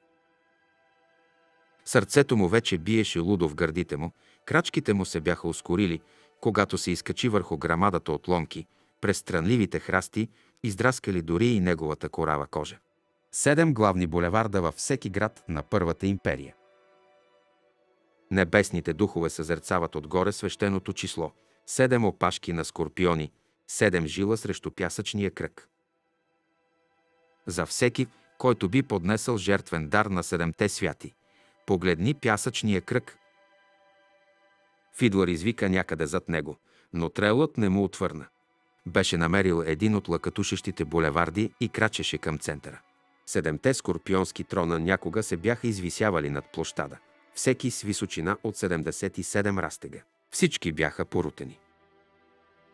От ударите на меч, от несъкрушимо оръжие, в ръце, заредени с неописуема ярост, почти нищо не беше останало от даровете и приношенията, струпани някога върху пясъчния кръг, с едно изключение, пред което стоеше сега и Кариум. Вкочанен, Джагът беше вдигнал глава, за да обхване погледът му огромното, издигащо се пред него съоръжение. По железните части не се виждаше и едно петънце от ръжда и те щяха да продължават да се движат в ритъм, неуловим за смъртни очи. Огромният диск над цялото съоръжение стоеше потъгъл, мраморната му повърхност бе покрита с врязани символи. Извърнат беше към слънцето, въпреки че огненото му кълбо едва прозираше през златистата мъгла. Мап побавно закрачи към Икариум и спря на две крачки зад него. Джагът усети появата му, защото заговори. Как е възможно това, приятелю? Беше глас на объркано дете и се заби като жило в сърцето на трела. Виждаш ли, това е мое, продължи Джагът. Мой. Дар. Или така поне успявам да разчета на това древно писмо на Омтос. Нещо повече, отбелязал съм много точно сезона и годината на построяването му. И виж как се е извърнал дискът, тъй че да мога да видя омтулското съответствие за тази година, което ми позволява да изчисля. Гласът му заглъхна. Маппо се сви в себе си, неспособен да проговори, неспособен да мисли дори. Болка и страх го изпълниха до толкова, че и той също се почувства като дете, изправено пред кошмар. Кажи ми, Маппо продължи след дълга пауза и Кариум, защо рушителите на този град не са разрушили и това нещо. Вярно, то е заредено с магия, а тя го прави несъкрушимо за разрухата на времето. Но така е било и с тези седем трона. Същото е било и с много други дарове в този кръг. Всички направени неща могат да се струшат в края на краищата. Защо, Маппо? Трелът се молеше дано приятелят му да не се обърне, дано да не види лицето му, очите му. Най-ужасният детски страх, самото лице на кошмара майка, баща, цялата любов е изтръгната и заменена с хладна съсредоточеност или с сляпо пренебрежение, с самата липса на обич. И детето се пробужда списък. Не се обръщай, Икариум, няма да понеса да видя лицето ти, сигурно съм сбъркал, каза Икариум, все с този кротък, невинен тон. Ма почу стъпките на Фидлър и Крокъс зад себе си. Нещо във въздуха ги накара да затихнат, спря ги. Грешка в пресмятането или съм се подвел нещо в разчитането. Езикът на Омтоз е древен, съвсем смътно се е съхранил в памета ми, навярно е бил смътен още тогава, когато съм го построил. Знанието, което сякаш съм съхранил, ми се струва. Точно, но не съм съвършен, нали? Увереността ми може да е плод на самозаблуда. Да, и кариум. Не си съвършен. Според изчисленията ми са изтекли 94 000 години, откакто за последен път съм стоял тук, Мапо. 94 000. Тук би трябвало да има някаква грешка. Нито една руина не би могла да оцелее толкова дълго, нали? Мапо неволно свира мене. Откъде бихме могли да знаем, може ли или не? Вложената магия навярно. Навярно. Чудя се, кой ли е разрушил този град? Самият ти, Икариум. Но дори в сляпата си ярост, част от теб разпозна онова, което сам си построил и го остави непокътнато, които и да са били, притежавали са огромна сила, продължи джагът. Талан и Мас са дошли тук, опитали са се да прогонят врага, стар съюз между жителите на този град и мълчаливата орда. Пръснатите им кости лежат заровени в пясъка под нас. С хиляди. Що за сила е могла да постигне това? Маппо. Не са джагът, дори при най-големия им възход, преди хиляда хилядолетия. А и Чинче Мале са изчезнали още по-рано. Не го разбирам това, приятелю. Една мазолеста ръка падна на рамото на Маппо, стисна го силно за миг, след което се отдръпна и Фидлър го подмина. За мен отговорът е съвсем ясен, промълви войникът, спрял се до джага. Сила на асцендент. Гневът на Бог или на богиня е развихрил това опустошение. Колко сказания си слушал за древни империи, стигнали твърде далеч в гордостта си. Кои са били седемте святи преди всичко? Които и да са били, тук те са били почитани. В този град, а несъмнено и в градовете, негови побратими из цяла Рарако.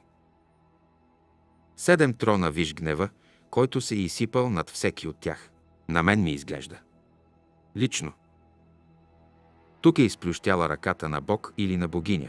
И Кариум, но който и да е бил, след това се е отдръпнал от смъртните умове, защото аз поне не мога да се сетя за който и да е асцендент, способен да изсипе такава мощ, каквато виждаме тук. О, могли се каза и Кариум с подновена живост в гласа. Но от тогава са разбрали колко по-ценно е коварството в намесата в делата на смъртните. Старият начин е бил твърде опасен във всяко отношение. Подозирам, че даде отговор на въпроса ми Фидлър. Сапьорът свира мене. Мап поусети как сърцето му се укрути. Просто не мисли повече за този самотен оцелял артефакт и кариум той потръпна и въздъхна дълбоко. Погледна Крокъс. Момъкът гледаше всичко с такова нехайно безразличие, че трелът се зачуди дали е добре сума. 94 000 години. Трябва да е някаква грешка, промълви и Кариум. Обърна се и се усмихна вяло на трела. Очите на Мапо се навлажниха от сълзи. Той кимна и извърна глава, за да надмогне новия пристъп на жалост. Е, каза Фидлър, дали да не продължим подирите на Апсалар и бащай. И Кариум се съвзе и промълви. Да. Близо сме. До много неща, изглежда. Опасно пътуване, наистина, в нощта на сбогуването си, преди толкова столетия, в часовете, в които ритуално беше освободен от последните си клетви във вярност, Маппо бе коленичил пред най-старата жена на племето в тясната и опушена юрта. Трябва да знам повече, прошепна той. Повече за тези безименни, които толкова настоятелно искат това от мен. Вречени ли са в някой бог? Някога, но вече не отвърна му старицата, извърнала очи. Низвергнати, прокодени. По времето на Първата империя, която всъщност не била първата, защото Талан има си присвоили тази титла много преди това. Били са лявата ръка, секта на дясната ръка и двете водят и трябва да плеснат. Но ето, че уния, що трябвало да останат неназовани, навлизайки в загадки. Старицата отсече с ръка, жест, който Мапо никога до сега не беше виждал у старейте на племето. Джагатски жест, осъзна той стъписан. Загадките на друг са ги отвлекли от пътя. Поклонили са се на друг господар. Това е всичко, което може да се каже. Кой е бил този нов господар? Жената поклати глава и му обърна гръб. Чия сила е вложена в тоягите, които носят? Не му отвърна. С времето Маппо беше повярвал, че е намерил отговора на този въпрос. Но знанието не носеше отеха. Бяха оставили далече зад гърба си древния остров и бяха навлезли дълбоко в глинестата низина. Слънцето бавно започна да гасне. Конете страдаха, имаха нужда от вода, каквато дори и Кариум и Мап по свещината си не можеха да намерят в пустинята. Трелът нямаше никаква представа как се справят Апсалар и Бащай но ето, че продължаваха да са далече пред тях, ден след ден. Тази диря няма нищо общо с Ша-Ик. Отведени сме далече от местата, където се вихрят тези неща, далече от мястото, където беше убита Ша-Ик, далече от оазиса. Фидлър знае коя е крайната ни цел. Извлякал е това знание от тайните, които крие в себе си. Всъщност всички го подозираме, макар че никой не го изрича на глас, може би само Крокъс не го осъзнава, но е твърде възможно да подценявам младежа. Потънал е в себе си. Ма похвърли поглед към Фидлър. Вървим към мястото, което си търсил през цялото време, войнико. Мракът се сгъстяваше над голия пейзаж, но все пак имаше достатъчно светлина, за да се види смразяващото сливане на следи. Пълчища Суолтейкън и Да Айвърс, броят им беше ужасяващ. Всички се събираха и продължаваха по стъпките на Апсалар и Бащай. Водеха конете за юздите. Крокъс беше изостанал на десетина крачки. Мапо почти не забеляза тази малка подробност, докато викът на дароджистанеца не го накара да се обърне светкавично. Крокъс беше на земята и се боричкаше с някакъв човек в прашния сумрак. По напуканата глина пробягваха сенки. Мома като спя да прикове към земята онзи, с когото се бореше и го стисна за китките.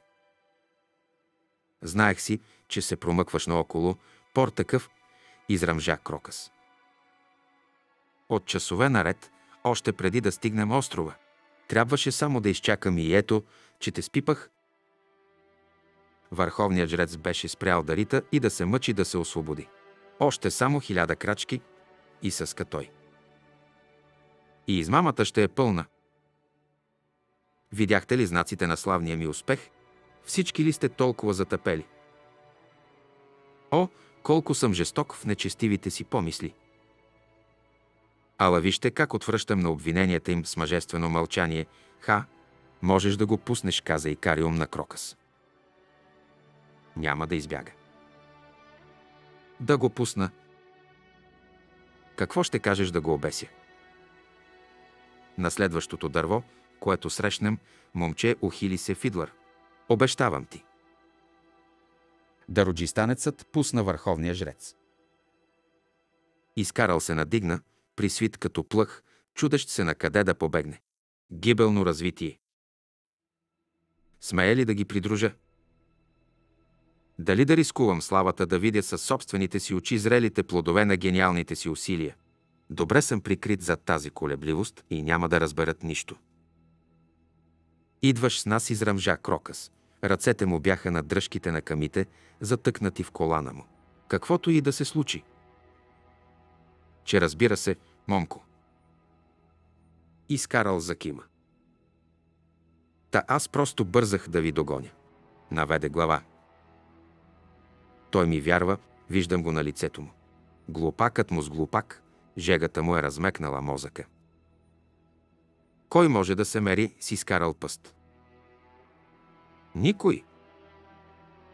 Триумфирай, но кротко, много кротко. Ключът за разбирането е в неизвестната природа на лабиринтите. Могат ли да бъдат разкъсани на парченца? О, да. О, да. Как не? И тъкмо в това е тайната на Рарако. Скитат се от свят на свят, без да знаят. А пред нас, ах, тътрещият се великан, който е сърцето. Истинското сърце, нетрънливият оазис на Ша Ик, о, какви глупци! Замълча и ги огледа един по един. Защо сте ме зяпнали така? Трябва да вървим. Само хиляда крачици още до копнежа на сърцата ви, хихи. О, гуглата да те вземе дано. Крока стисна върховния жрец за яката. Я да тръгваме. Ах, колко ласкаво отношение от страна на добродушния младок, промърмори и скарал. Такива топли дружески жестове, ох, просто съм трогнат, нали? Маппо погледна към Икариум и забеляза, че джагът също се е вторачил в него. Спогледаха се. Разкъсан лабиринт. Какво в името на всички богове се е случило на тази земя? Размениха си въпроса мълчаливо, макар че в ума на Трела се прокрадна и друга мисъл. Легендите твърдят, че Икариум се е появил точно от тук, излязъл е от Рарако.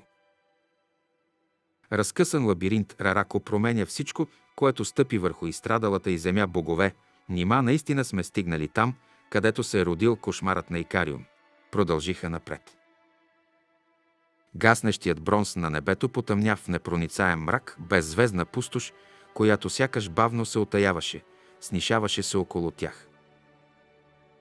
Марморенето на изкарал пъст заглъхна, погълнато от нощта.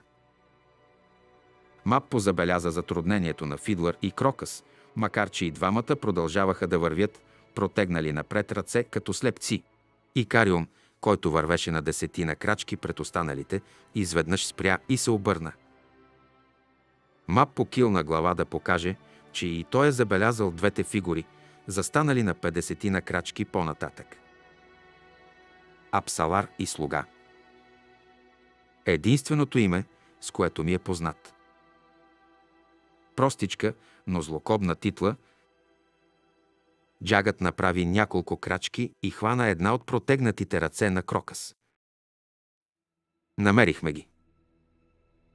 Изглеждат, ни чакат пред някакъв прак. Прак ли? Сопна се Фидлър. Бързия Бен не ми е споменавал за такова нещо. Прак към какво? Овързано, разпрано парче от лабиринти съска изкарал пъст. О, вижте как дирята води в него. Глупците са я последвали до един – Върховният жрец на сянка бе натоварен да нагласи лъжлива диря и вижте, о, вижте как се е справил, милият. Крокъс се обърна към него. Но защо ни е довел тук баща й? За да се напъхаме и да ни избие цяла орда Суолтейкън и да Айвърс. Слуга се е запътил за дома си, загубеняко. Върховният жрец отново заподскача на място. Стига сливането първо да не го убие, разбира се. Хи-хи. И взима нея, и сапьора също, и теб да, теб, момко. Теб. Джага питай какво ви чака в лабиринта. Чака, като ръка, стиснала този къс от реалността, а Псалар и баща й закрачиха към тях. Маппо се беше чудил как ли щеше да изглежда тази среща, но нито едно от очакванията му не можеше да се сравни с реалността. Крока свадаше камите и се готвеше да скочи към гласа на върховния жрец. Икариум стоеше зад дароджистанеца, готов всеки момент да го обезоръжи. Сцената беше почти комична, тъй като Крокъс не можеше да види нищо, а изкарал пъст мяташе гласа си от десетина места наведнъж, като в същото време продължаваше шантавия си танц. Фидлър изрога под нос беше извадил от турбата си очукан фенер и ровеше за кремък. Смеете ли да стъпите на пътечката? Пропя изкарал. Смеете ли? А. Апсалар спря пред Маппо. Знаех, че ще успеете. Обърна се към младежа. Крокъс. Аз съм тук. Той се извърна рязко, прибра ножовете и пристъпи към нея. От мястото, където се беше присвил Фидлър, засвяткаха искри. Трелът видя как Апсалар улови протегнатите ръце на момъка и го прегърна. Ех, момче, не знаеш колко трогателна е тази твоя слепота. Аура, останала от божество, беше полепнала по нея, но вече си беше станала съвсем нейна. Това го обезпокои. Икариум се приближи до Маппо и промълви. Треморлор. Да. Някои твърдят, че азатите всъщност са добри, сила, която трябва да удържа силата, че възникват там, където и когато потрябва. Приятелю, започвам да съзирам много истина в тези твърдения. Трелът кимна. Толкова болка има в този разкъсан лабиринт. Ако можеше да тръгне, да се понесе, щеше да се е ужас и хаос. Треморлор го удържа тук и изкарал пъст, говори истината и все пак как е могла Рарако да го усуче така. Усещам Султейкън и да Айвърс вътре, каза Икариум. Пристъпват пипнешком, мъчат се да намерят къщата.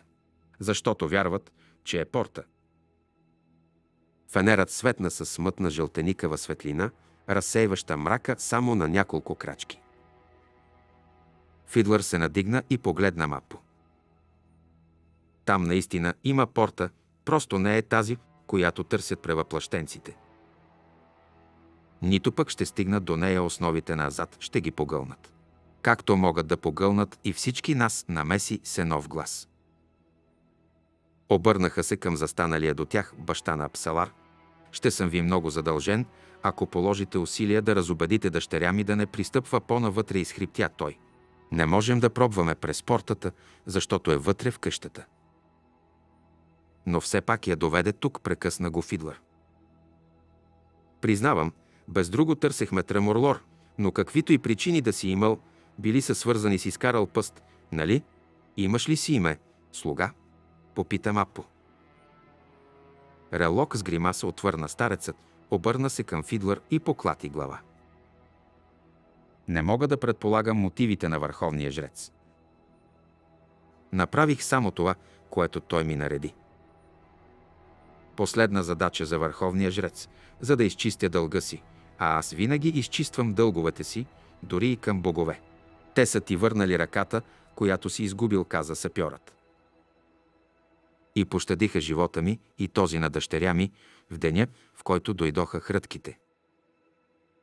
Никой друг не оцеля. Фидлър изсумтя.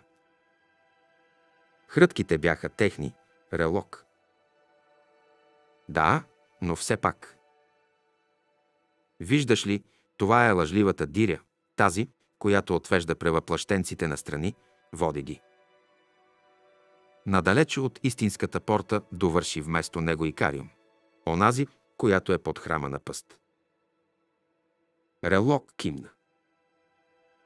Просто трябваше да довършим лъжливата диря. Аз и дъщеря ми. Като поставяме знаци, заблуждаващи следи и така нататък. Но с това се свърши. Скрихме се в сянката, докато превъплащенците се изсипят вътре. Ако съм обречен да умра на легло в селцето си в Иткокан, то тогава е все едно колко дълъг ще е пътят.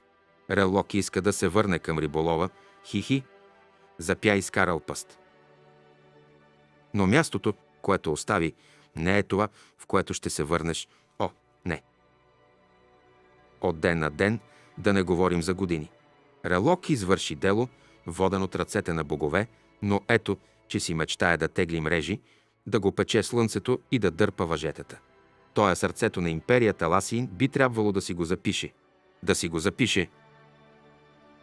Фидлър извади арбалета и го зареди. Всеки от вас може да реши каквото намери за добре. Аз обаче трябва да вляза. Замълча и погледна през рамо към конете. Ще се наложи и да оставим животните. Приближи се до коня си и започна да го разседлава. Когато свърши, въздъхна и го потупа по врата. Накараме да се гордея, но ще е по-добре да се махнеш от тук, заведи и другите, приятелю.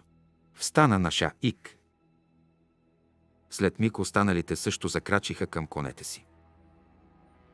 И Кариум се обърна към Трела. Аз също трябва да ида. Мапо притвори очи, за да спре въртопа в душата си. Богове, какъв страхливец съм! Приятелю, Трелът кимна. О, всички ще влезете, обади се върховният жрец, без да спира танца си. За да подирите отговори и още отговори. А в стените си мисли се изсмивам и ви предупреждавам всички с думи, които не ще чуете, пазете се от ловкост на ръката. Сравнят ли се с азата, безсмъртните ми богове са като пипкави дечица. парцалена запушалка бел прев. За Треморлор, за пясъчния трон. Говорят, че е сред Рарако.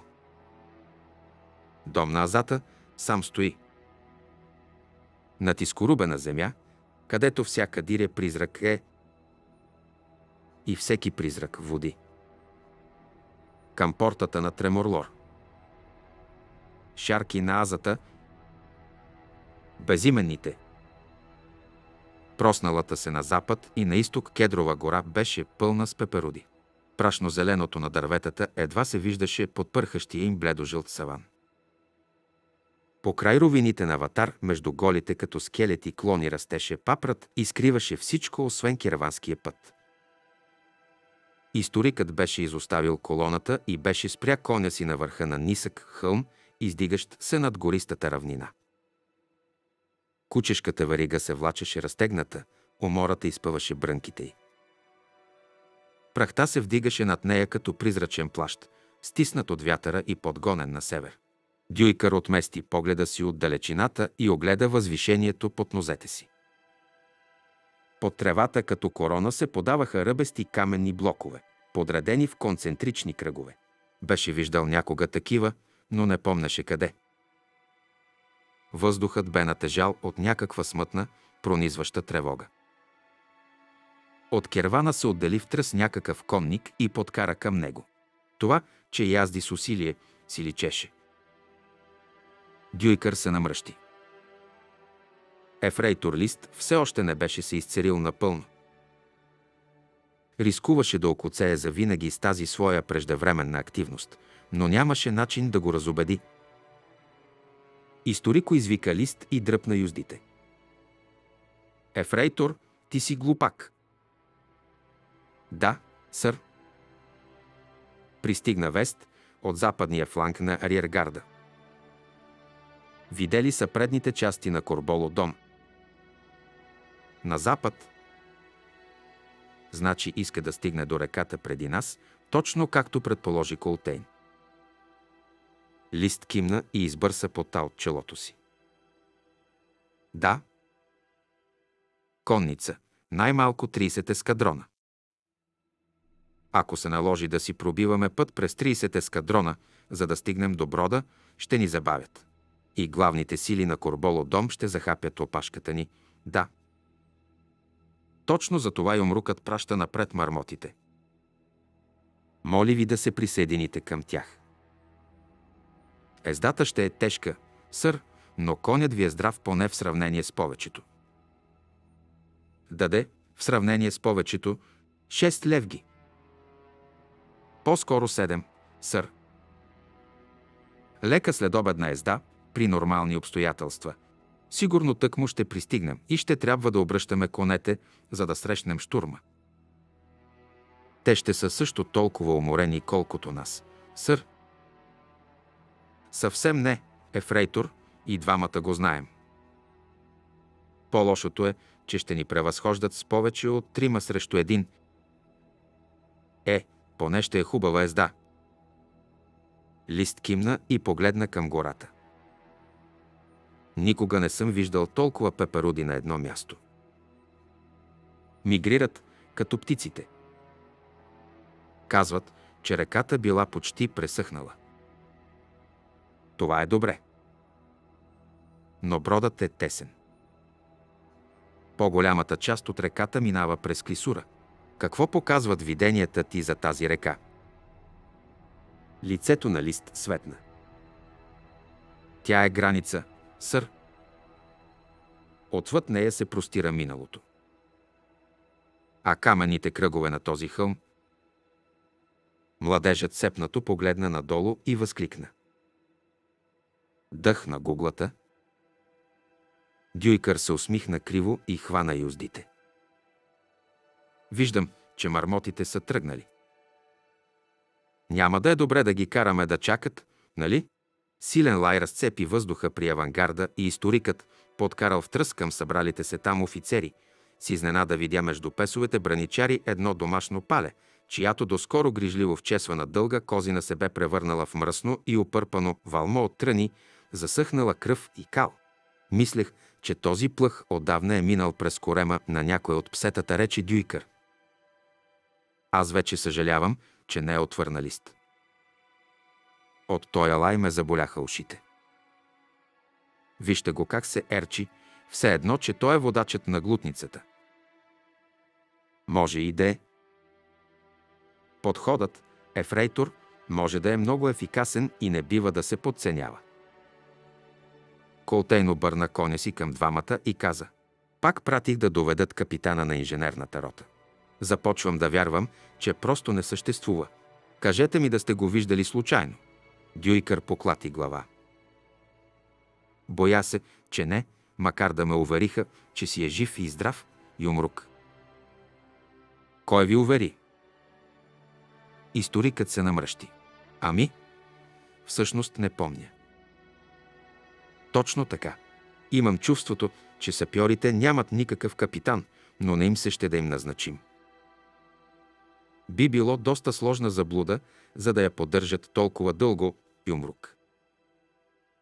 Смятате, че не са способни ли? О, не, сър, ни най-малко. Колтейн изчака, но историкът нямаше какво повече да каже по въпроса и след малко Юмрукът въздъхна. Ще тръгнете ли с мармотите? Да, Юмрук. Но моля е Фрейтор Лист да остане тук с главната колона. Но, сър, от теб да не съм чул повече нито дума, Ефрейтор прекъсна го Дюйкър. Юмрук, той изобщо не е оздравял. Колтейн кимна. Конят на Бълт профуча между Юмрука и историка.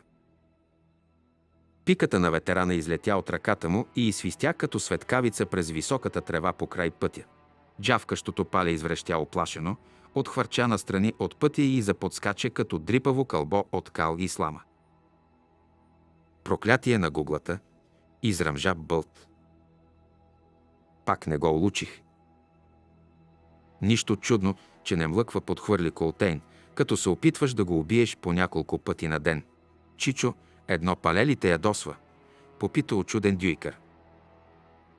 Гледай ти да не ме ядосаш, старче изръмжал икецът. Е, време е да тръгвате, рече Колтейн на Дюйкър и погледна на рамото му. Историкът се обърна и видя Недер. Беше пребледняла, посърнала и затворена в себе си. От тъмните й очи все още строеше болка, но тя седеше в седлото си с правен гръб. Ръцете й бяха почернели, дори плата под ногтите, все едно, че бяха топени в катран. Скръп прониза душата му и той извърна очи. Щом стигнаха гората, пеперудите се вдигнаха пред тях във вихрещ се облак. Конете се занадигаха на задните си крака, някои се заспъваха, ударени от идващите след тях, и до скорошната сцена на неземна красота отстъпи място на безпорядък. А после, докато конете скачаха, цвилеха, блъскаха се и мятаха глави, напред се втурна глутницата кучета браничари.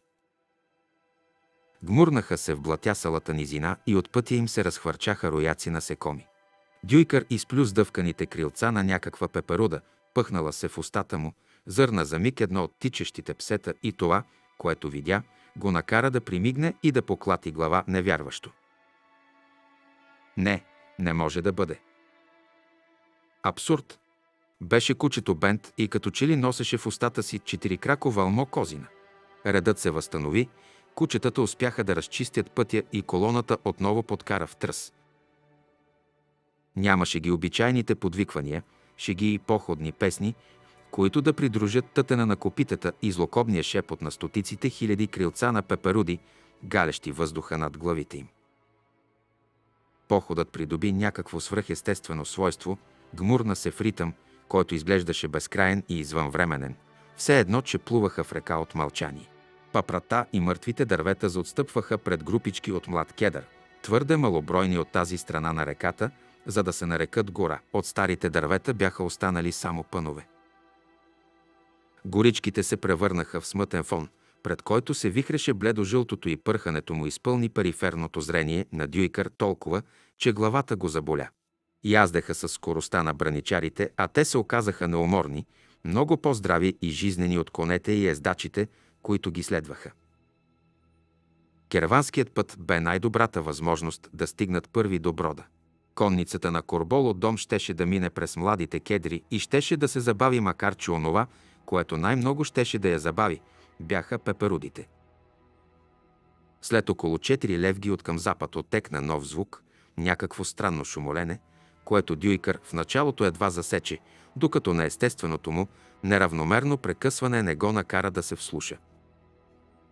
Той догони Недер и я попита какво става. Тя го погледна плахо и каза. С тях е тръгнал мак. Разчиства им пътя. Значи лабиринтите отново са достъпни. Вече от няколко дни историко. Как унищожава пеперудите този мак? С огън. С вятър. Не. Просто отваря лабиринта си и те потъват в него. Забележи, времето между всяко усилие е все по-дълго.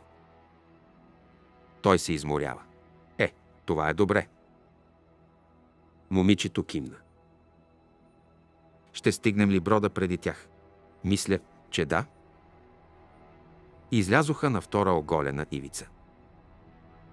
Отвъд нея от земята се издигаха скали на късана линия от изток на запад, под изпълненото с пепероди небе.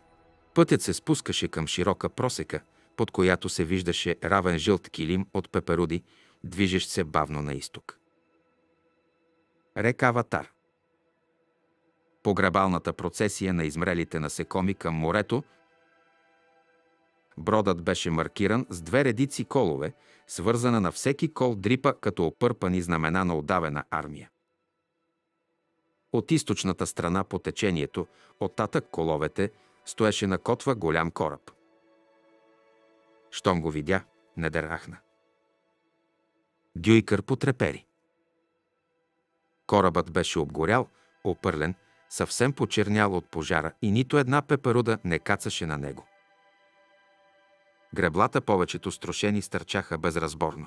Онези, които все още бяха здрави, бяха потопени във водата и мъртвите насекоми се трупаха по тях на плътни буци. Край едно малко тлещо, все още огнище беше вдигнат на колове навес от корабно платно. Под тази набързо стъкмена шатра седяха трима мъже. Браничарите ги бяха обкръжили в плътен кръг и ги гледаха настръхнали.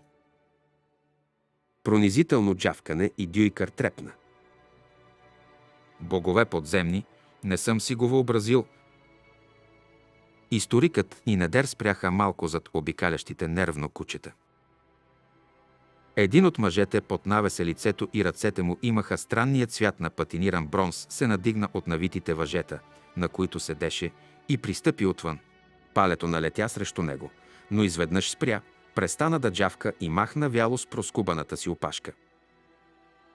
Мъжът се наведе, вдигна го и го почеса зад мръсните уши. После изгледа уикците изпод вежди. Е, кой претендира да е старши на тая страховита орда? Попита на Малазански. Аз отвърна Недер. Съвпада промърмори мъжът. Дюйкър се навъси. Нещо много познато имаше в тези хора. Какво означава това? Да кажем, че ми е дошло до гуша от надути властни момиченца. Аз съм капитан Геслер, а онова там е нашият кораб, Силанда. Малцина днес биха избрали това име, рече историкът. Не си търсим белята. Това наистина е Силанда. Качихме се на него. Далече от тук. Е, вие ли сте това, което е останало от уния уикци, дето слязоха в Хисар? Недер се намеси. Как стана така, че ни чакате? Не сме ви чакали, момиченце.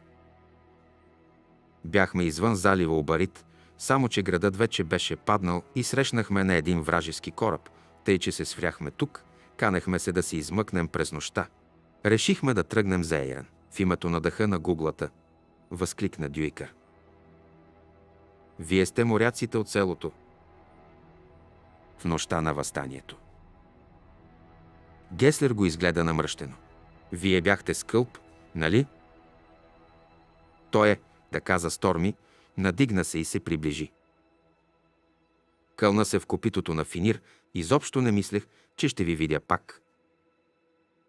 Предполагам, че имате какво да разправяте, подхвърли Дюйкър. И още как ухили се ветеранът. Колко е съставът ви? Попита Недер, вперила очи в Силанда. Трима. Корабният екипаж. Мъртви. Ако не беше толкова уморен, историкът щеше да забележи известна сухота в този отговор. 800-те конници на клана на Мармота направиха тройно заграждение около центъра на поляната, след което започнаха да разполагат кръговата отбрана. През горичките на запад тръгнаха съгледвачи и се върнаха почти веднага с веста, че предните отряди на Корболо дом са пристигнали. Защитниците от външния кръг заприготвяха оръжията си, а останалите продължиха да копаят окопите.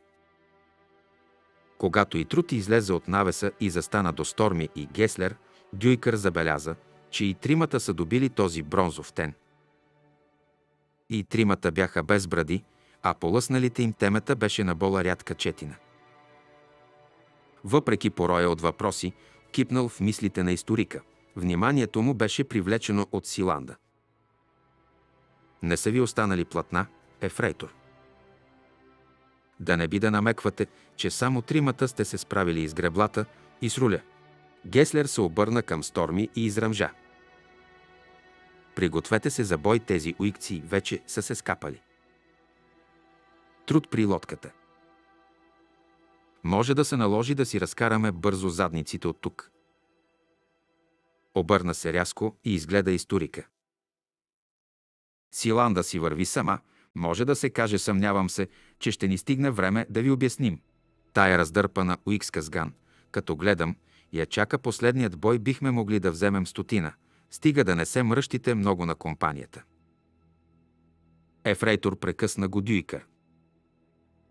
Тази раздърпана сган е част от седма. Вие сте морски пехотинци и крайбрежни. Нали? Официално не сме от седма и не ми пука дори да сте отдавна изгубилият се брат на кълп, ако ще ми държите такъв тон. По-добре започнете с обяснението как тъй трагично сте си изгубили униформата и ако мине, може и да започна да ви наричам сър, а може и да не започна и да приключите с размазан нос. Дюйкър примига, като че ли вече съм преживявал нещо подобно. След което бавно продължи. Вие сте морски пехотинци и допускам, че Юмрук Колтен ще се заинтересува от разказа ви. А аз, като имперски историк, също. Штабът на крайбрежните части е в Сиалк, което значи, че капитан Лъл е ваш командир. Несъмнено той също ще иска да чуе рапорта ви. Останалата част на седма и още два оикски клана са на път за насам заедно с 45 000 беженци. Господа, откъдето и да сте дошли, вие вече сте тук, което значи, че се връщате в имперската армия. Сторми го изгледа с присвити очи. Кълт ни е разправял много неща за вас, историко, макар да не си спомням нищо добро. Поколеба се, после сгуши арбалета си в едната ръка и протегна другата.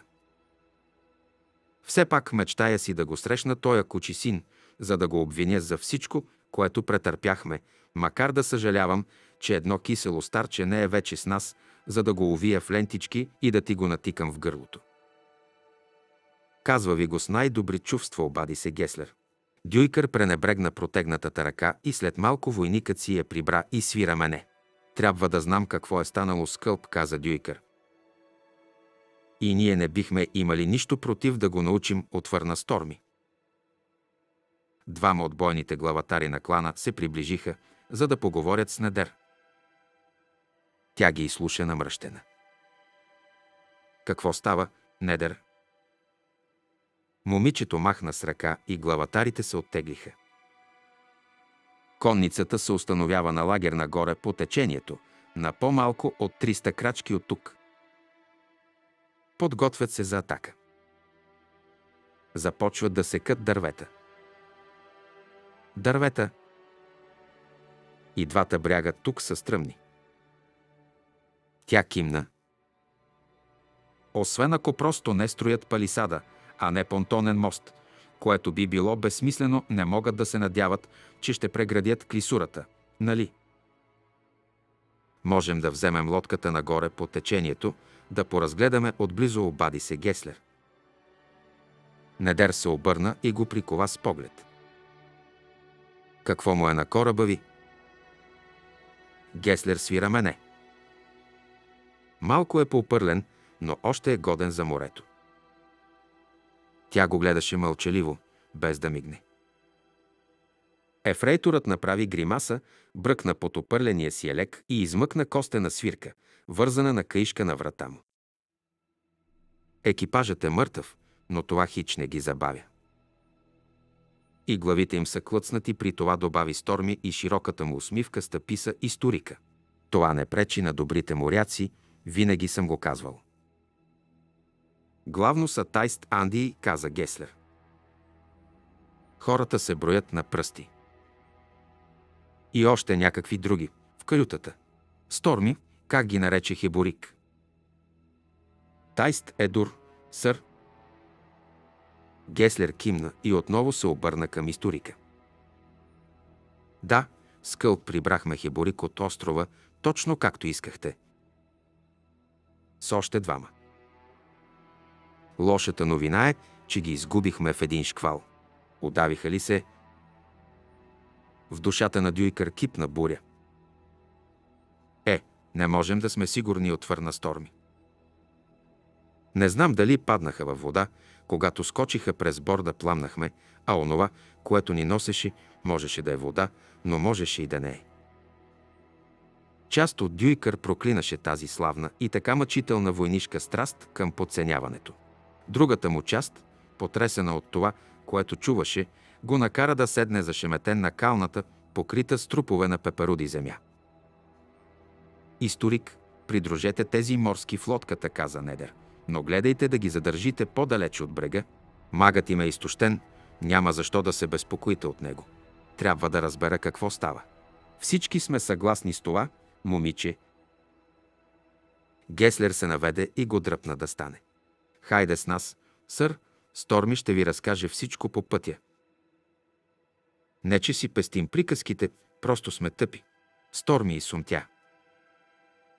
Пък като свърша, може да ни разкажете как с Колтейн сте успели да оцелеете толкова дълго. Виж, това със сигурност си струва да се чуе. От пеперудите е, нали разбирате, изпъшка Сторми и пак натисна греблата. На цяла стъпка дълбочина са, движат се по-бавно от течението отдолу. Гребали сме и в ледена киша, добави Геслер. По-лошо е. Не се съмнявам, промърмори Дюйкър. За повече от час бяха изминали малко повече от 150 растега нагоре по течението през гъстия пласт удавени пеперуди. Северният бряг се беше извисил в стръмна скална урва, обрасла с мъх и увивни растения. Приближаваха се към остър завой. Сторми беше изброил премеждията им, доколкото позволяваха оскъдните му умения на разказвач и тъкмо поради явната му липса на въображение всичко изглеждаше съвсем достоверно. За Дюйкър беше останала непосилната задача да схване значението на събитията, на които бяха станали свидетели войниците. Това, че огненият лабиринт, който бяха преживели, бе променил и тримата, беше повече от очевидно и отиваше далече отвъд странния цвят на кожата им. Сторми и труд гребяха науморно и ги тегляха с сила като за четирима. Дюйкър изгаряше от желание да стъпи на борда на Силанда и в същото време изпитваше смъртен страх. Дори без усилената от магията чувствителност на Недер аурата на ужас, излъчваща се от кораба, тързаеше сетивата му. Вижте, ей там, сарказа Геслер. Бяха стигнали до завоя на реката. Една рухнала скала беше стеснила коритото и водата кипеше пенлива и забързана. Десетина изпънати въжета свързваха двата бряга на височина от над 60 стъпки. По тях над клисурата бавно се придвижваха обаритски стрелци. Лесно ще ги очистим, каза Геслер от към кармата. Сторми е подходящият за задачата. Можеш ли да ни задържиш на място? Труд. Ще пробвам. Чакайте, спря ги Дюйкър. Това е гнездо на оси, което е по-добре да не дразним. Численото им превъзходство спрямо предните ни сили е много голямо. Освен това, погледни от другата страна, поне 100 войници вече са се прехвърлили. Ако са секли дървета, не е било, за да строят мост, промърмори капитанът и примижа към скалата, където се бяха присвили десетки фигури. Някой от старшите им току-що дойде да ни погледне. Дюйкър се вгледа и каза. Най-вероятно е магът. Е, ако ние не ги ожилим, дано и той се въздържи. Макар, че е добра мишена въздъх на Геслер. Историкът поклати глава. Да се връщаме, Ефрейтор. Добре, сър. Хайде назад, момчета. Ядрото на войската на Корболо дом беше заело позиции от двете страни на брода. Рядката гора бързо изчезваше с всяко ново отсечено дърво, кастреха клоните и прибираха трупите. Ничия зона с ширина не повече от 70 крачки разделяше двете сили. Търговският път беше оставен открит. Недер седеше под навеса, притворила очи. Историкът изчака, подозираше, че е в магическа връзка с Сормо. След няколко минути тя въздъхна и попита, без да отваря очи. Какви са вестите? Изпънали са въжета над урвата и пращат стрелци от другата страна. Какво става, Недер? Защо Корболодом не атакува? Може да ни смаже като нищо. Колтейн е на по-малко от 2 часа от тук. Изглежда, вражеският командир иска да го изчака. Може да е освоил арогантността на Камаст Релой. Един нов юмрук и един ренегат юмрук изненадва ли ви, че Корболо Дом предпочита тази борба да е лична? Не, но със сигурност оправдава освобождаването му от императрица Ласин. Юмрук Колтейн беше назначен вместо него. Всъщност императрицата даде ясно да се разбере, че Корболо няма никога да напредне в имперското командване. И той се чувства задължен да се докаже. С Камаст Релой бяхме свидетели на битки с брутална сила. Сега обаче ще видим битки на умове. Ако Колтейн дойде при нас, ще влезе между челюстите на дракон. Той го знае. И идва. Тогава може би наглостта е проклятието и на двете командвания. Недер отвори очи и попита. Къде е фрейторът? Дюйкър свира мене. Тук някъде. Наблизо.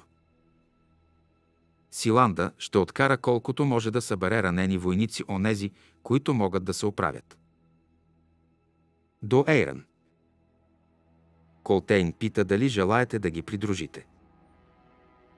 Значи не е наглост, а фатална обреченост. Знаеше, че трябва да се поколебае, да помисли трезво над това предложение, но се чуда отговаря. Не. Тя кимна. Той знаеше, че ще отговорите така и че ще го кажете веднага. Вгледа се намръщено в лицето му. Откъде Колтейн знае тези неща? Дюйкър се сепна. Мен ли питаш? Дъхна гуглата, та този човек е уикец, момиче. И все пак е загадка и за нас, историко. Клановете изпълняват заповедите му, без да казват нищо. Не обща увереност, нито взаимно разбирателство пораждат това мълчание. Мълчим от страхопочитание. Дюйкър нямаше какво да отвърне на това. Загледа се в бледо-жълтите облаци, които се носеха в небето. Мигрират. Същества на инстинкта. Муркат се в обречени течения. Красив и ужасен танц в чест на гуглата. Всяка стъпка е белязана. Всяка стъпка. И умрукът пристигна по тъмно. Войните на враната се изсипаха напред да отворят коридор, през който да мине авангардът, последван от фургоните, натоварени с ранените, които бяха подбрани за Силанда. Колтейн, с посивяло от умора лице, спря пред чакащите пред навеса Дюйкър, Недер и Геслер. Зад него застанаха Бълт, капитаните Лъл и Сълмър, ефрейтор Лист и магиосниците Сормо и Нил. Лъл тръгна към Геслер. Морският се навъси и изсумтя. Не сте такъв красавец, какъвто ви помня, сър. Знам ви по описание, Геслер. Някогашен капитан, после сержант, сега е фрейтор. И с главата в лайната, да, сър. Двама ли са останали в отделението ви? Е, официално един, сър. Момчето е нещо като новобранец, макар и още необучен, един вид. Тъй, че сме само двама, аз и Сторми, сър. Сторми. Адютантът на Юмрук Картерон. Някога. Дъх на гуглата. Лъл се извърна към Колтейн. Юмрук, тук имаме двама от старата гвардия на императора. Като крайбрежни морски. Службата беше лека. Сър. Поне преди бунта. Лъл свали шлема си и прокара пръсти през уредялата си, спластена от под коса. Обърна се отново към Геслер. Повикайте момчето, ефрейтор. Геслер махна с ръка и труд излезе отпред. Лъл го изгледа навъсено. Вече си официално в морската пехота, Монко. Труд отдаде чест с три пръста. Бълт и сумтя.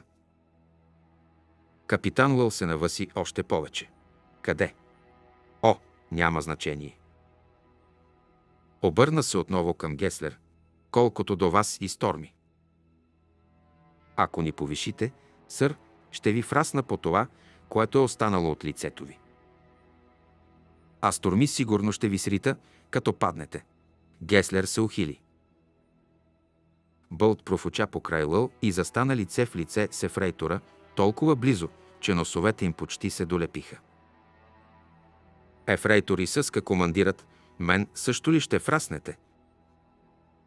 Усмивката на Геслер не трепна. Да, сър. И гуглата да ме вземе, ако не ступам и умрука, стига да ме помолите учтиво. Настъпи мъртва тишина. Колтейн избухна в смях. Стъписването беше толкова силно, че Дюйкър и останалите го зяпнаха. Бълт измърмори невярващо, отстъпи от Геслер, погледна историка и само поклати глава. От смеха на Колтейн псетата нададоха дивашки вой и се струпаха настръхнали наоколо като бели призраци. Развеселен за първи път от толкова време и без да спира да се смее, Колтейн се извърна към ефрейтора. И какво щеше да каже Картерон Кръст на това, боец? Щеше да ме фрасне. Не успя да довърши, защото и умрукът на Колтейн се стовари право в лицето му. Главата на Геслер отскочи назад, той залитна и тупна тежко на земята. Колтейн се извърна бясно, стиснал ръката си до гърдите, все едно, че я беше натресал в каменна стена. Сор му пристъпи към него, хвана ръката му и я погледна. Духове долни, струшена е. Всички се извърнаха към проснатия ефрейтор, който вече се надигаше. От носа му течеше кръв. Нил и Недер се отдръпнаха панически от него. Дюйкър хвана момичето за рамото и го извърна към себе си. Какво има? Какво ви оплаши толкова? Отвърна му Нил шепнешком. Кръвта. Този човек почти се е възнесъл. Геслер не чу думите му. Гледаше Колтейн. Май ще го приема това повишение и умрук процеди той през разцепените си устни. Почти се е възнесъл, но и умрукът. Двамата млади магиосници се бяха вторачили в Колтейн и за първи път Дюйкър видя съвсем ясно благоговението, изписано на лицата им. Колтейн премаза лицето на Геслер. Геслер – човек на ръба на възнесението. В какво? Спомни си как гребяха Сторми и Труд, необичайната им сила, както и разказа за горящия лабиринт. Велика бездна и тримата. А. Колтейн. Сред струпалите се цареше такова объркване, че никой не чу приближаването на конете, докато ефрейтор лист не изръмжа. Командир Бълт, имаме гости. Обърнаха се, с изключение на Колтейн и Сормо. Няколко конници на враната водеха убаритски офицер, облечен в сребриста плочеста ризница. Тъмното му лице беше скрито зад кадрава брада и мустаци, боядисани в черно. Беше без оръжие и вдигна двете си ръце с дланите напред. Нося поздрави от Корболодом, покорния слуга на Ша Ик, командир на Южната армия на Апокалипсиса, за Юмрук Колтейн и офицерите на Седма армия. Бълт пристъпи напред, но в същия миг се чу гласът на Колтейн вече се бе съвзел, макар да криеше пострадалата си ръка зад гърба си. Какво иска дом? Още няколко души излязоха напред и Дюйкър се намръщи, щом видя между тях Нетпара и Пулик Алар. Единственото, което желая Корболо дом, е мир, Юмрук Колтейн, и като доказателство за доблестната си дума той пощади вашите уикски конници, които дойдоха на този брод днес, след като можеше да ги унищожи до крак. Малазанската империя е прогонена от 6 от 7-те святи града. Всички земи на север от тук вече са освободени. Искаме да сложим край на клането Юмрук. Независимостта на Ейран може да се договори в полза на съкровищницата на императрица Ласин. Колтейн не отвърна нищо. Пратеникът се поколеба за миг, после продължи. Като още едно доказателство за мирните ни намерения, преминаването на беженците на Южния бряг няма да бъде оспорено в края на краищата. Корболо Дом много добре знае, че тъкмо тези части създават най-големи трудности на вас и на войската ви. Войниците ви могат много добре да се защитят сами, всички се уверихме в това. Прави ви чест. Дори собствените ни войници пеят песни във възхвала на храбростта ви. Вие наистина сте армия, достойна да се опълчи на нашата богиня. Замълча и огледа струпалите се благородници. Но тези достойни граждани. Тази война не е тяхна. Отново се обърна към Колтейн. Пътят ви през пустите земи от гората ще е достатъчно труден, няма да ви преследваме за да ви измъчваме още повече и умрук. Вървете си в мир. Пратете утре беженците през Ватар и се погрижете за себе си и без риск за войниците ви по милостта на Корболо дом. Поликалар пристъпи напред и каза високо. Съветът вярва на думата на Корболо дом. Разрешете ни да се прехвърлим утре, Юмрук, Дюйкър се намръщи. Били са във връзка и умрукът изобщо не погледна благородника. Гледаше пратеника. После каза сухо. Предложението се отхвърля. Но Юмрук. Колтейн обърна гръб и парата по опърпания му плащ лъснаха като бронзови люспи на светлината на огъня. Войните се скупчиха около пратеника и го принудиха да обърне коня. Поли Калър и Нед Пара се развикаха на офицерите. Той трябва да премисли. Махайте се или кожите ви ще съдера за нова шатра. Марш израмжа Бълт. Двамата благородници заотстъпваха.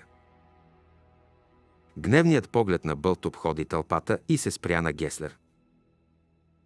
Пригответе кораба си, капитане.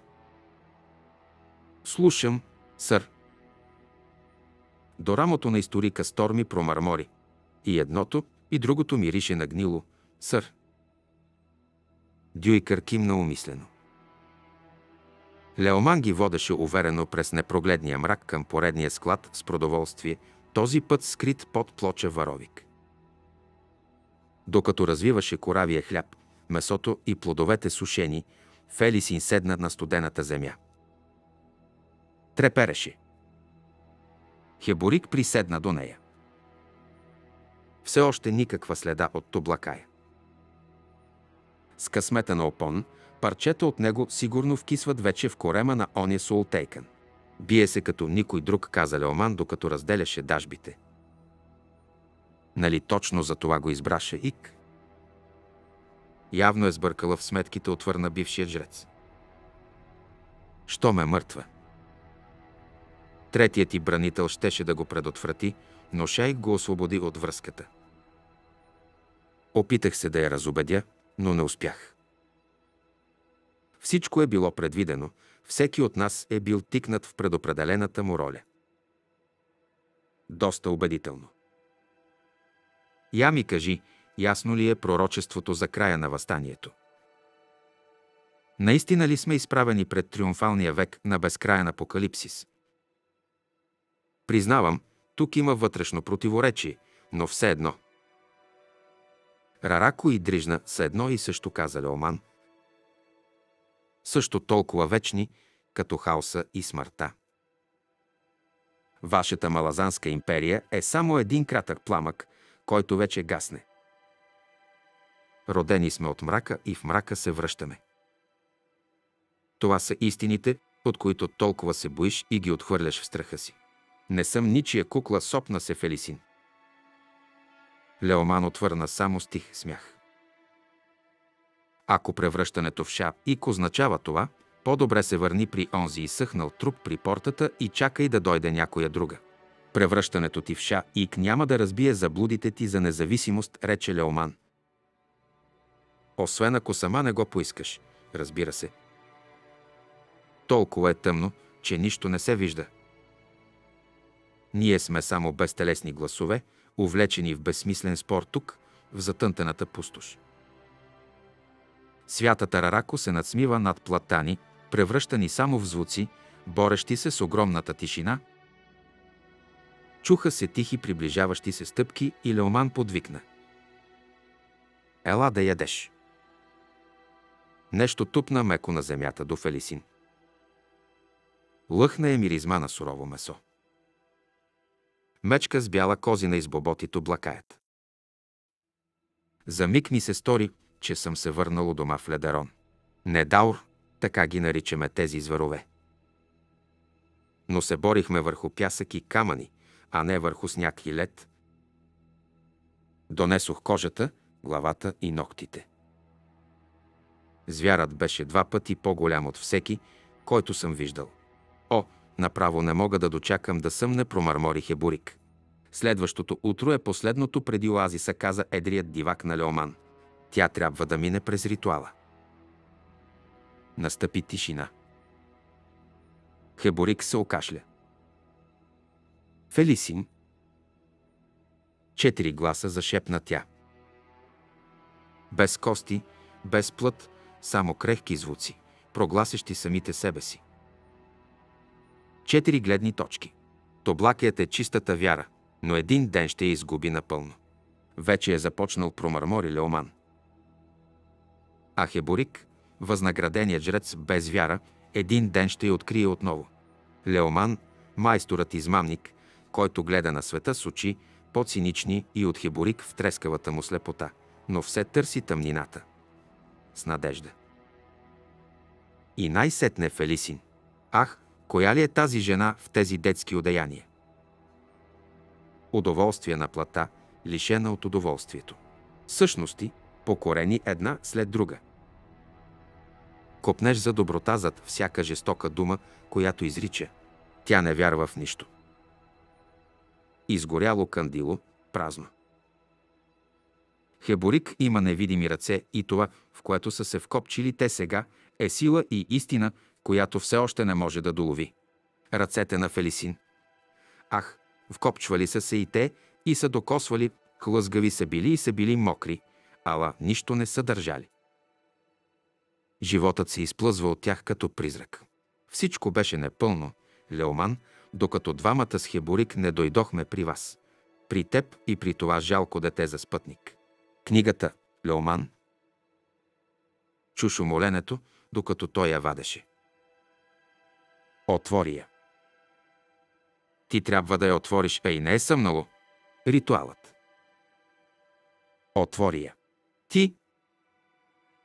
Къде ти е вярата, Леоман? Не разбираш, нали? Изпитът не е само за мен. Изпитът е за всеки от нас. Тук. Сега. Отвори книгата, Леоман. Чу дрезгавия му дъх, чу как се забави, чу как се окрути под натиска на някаква свирепа воля. Кожената подвързия тихо изпука. Какво виждаш, Леоман? Нищо, разбира се, и сумтя той. Няма светлина, за да видя. Чу как и тримата ахнаха. Сияние с цвета на предено злато бе започнало да строи от книгата на Дрижна. От всички страни до ушите им стигна далечен шепот, а после рев. Вихърът се пробужда, но не тук, не в сърцето на Рарако. Книгата Леоман Какво виждаш? Той отгърна първата страница, после следващата и следващата и следващата. Но това е невъзможно. Тя е празна. Всички страници са празни. Виждаш това, което виждаш, Леоман. Затвори книгата и я дай над облакая. Веднага. Великанът пристъпи и се наведе, огромните му, отцапани с кръв ръце, взеха книгата без никакво колебание.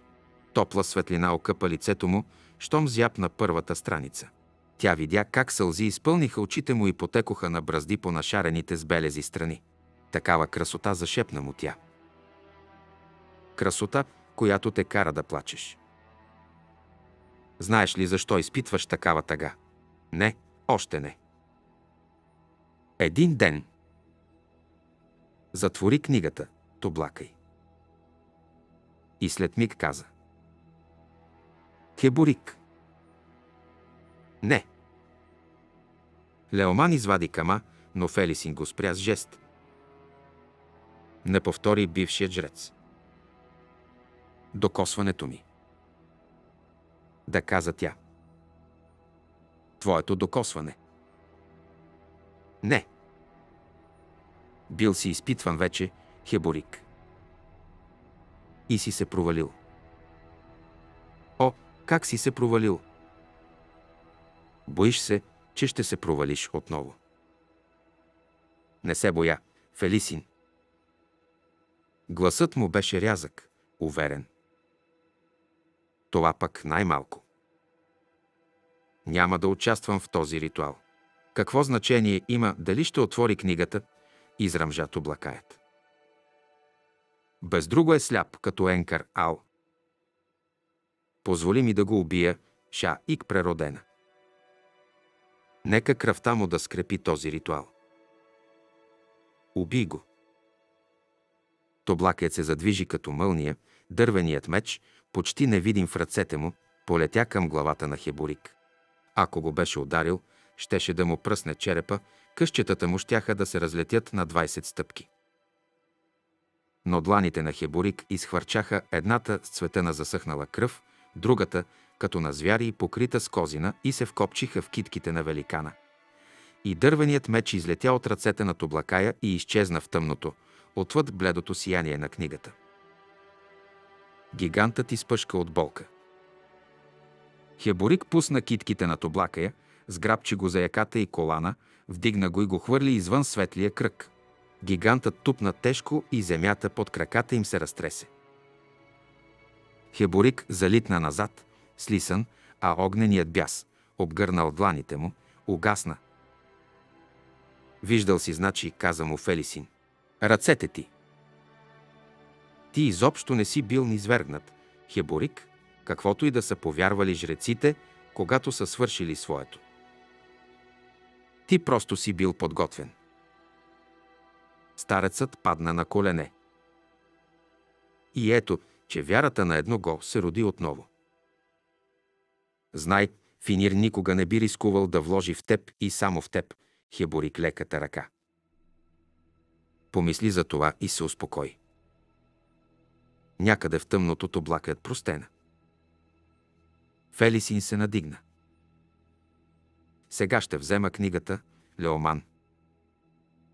Като съмне. Фелисин, която отново се предава. Пресътворена. Преродена. Дали ще е за последен път? О, не. Най-вероятно не. Час преди разсъмване Икариум ги доведе до границата на лабиринта. Фидлър подаде фенера на Крокъс и се обърна към Маппо. Трелът свира мене.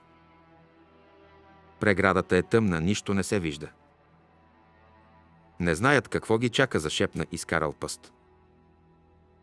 Вечна огнена болка, но дали да си хъбя думите, че да ги подготвя?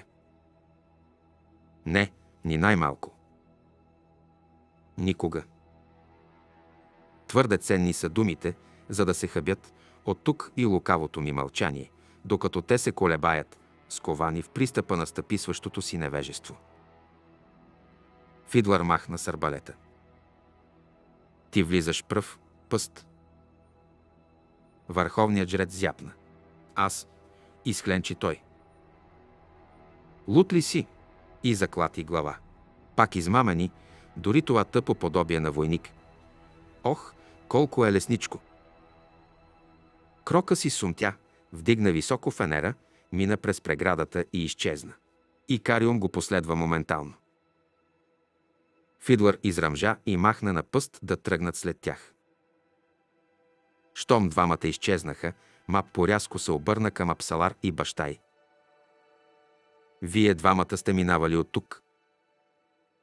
Аурата на лабиринта е полепнала по двама ви. Релок кимна. Лъжливата диря. Трябваше да се погрижим за Да Айвърс и Суолтейкен. Трелът се обърна към Апсалар. Какъв лабиринт е това?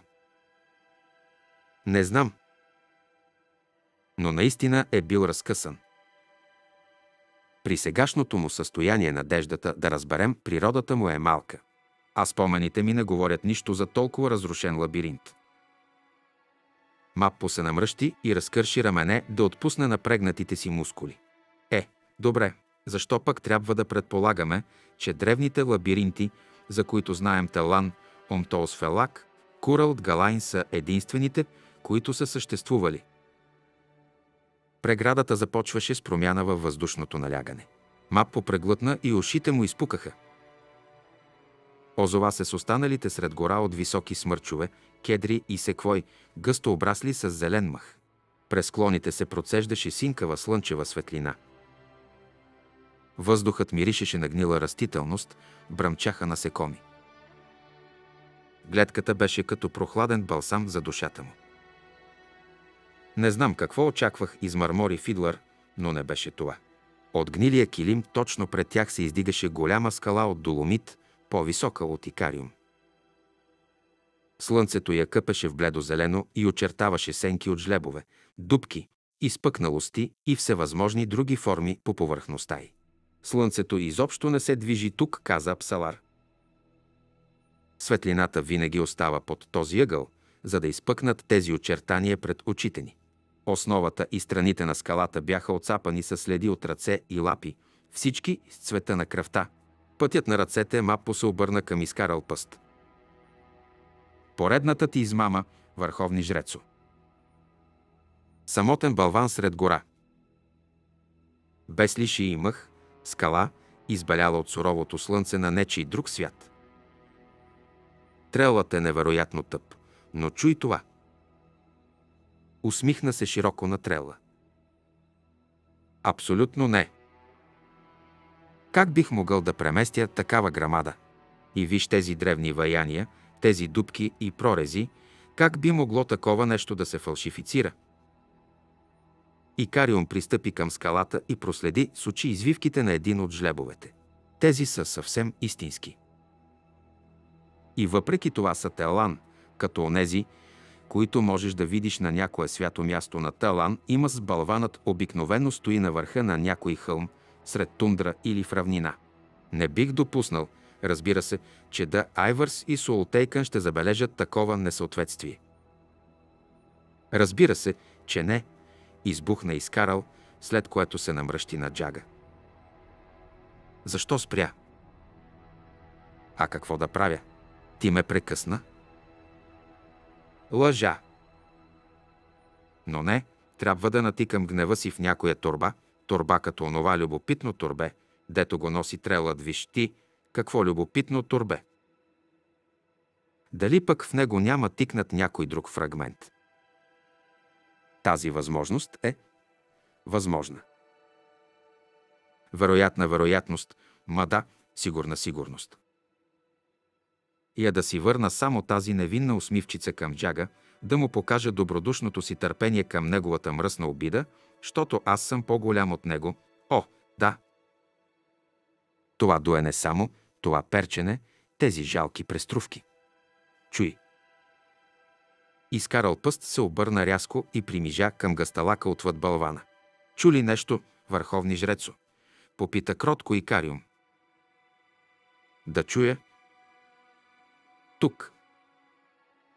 Пъст се намръщи. Защо ме питаш? Мапо се обърна към Апсалар. Колко навътре сте влизали? Тя поклати глава. Не много.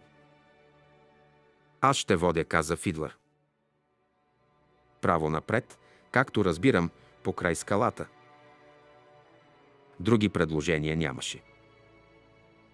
Фидлър поведе, стиснал арбалета с заредена моранска стрела. И Кариум застъпва след него, с лъка през рамо и мече в ножницата. След тях тръгнаха пъст, Апсалар и баща и Крокъс на няколко крачки пред Маппо, който беше ариергардът на колоната. Маппо не беше сигурен, че ще е толкова бърз като Икариум, ако се появи заплаха, затова извади костения си буздоган от турбата. Наистина ли нося парче от този лабиринт в това протъркано турбе? Как ли я карат окаяните ми жертви тогава? А може би съм ги пратил в рая мисъл, която да утеши съвестта ми. Трелът беше вървял през гори много пъти. Тази не беше много по-различна. Птичи песни се чуваха съвсем нарядко и освен жуженето на дребните твари и самите растения нямаше други признаци на живот.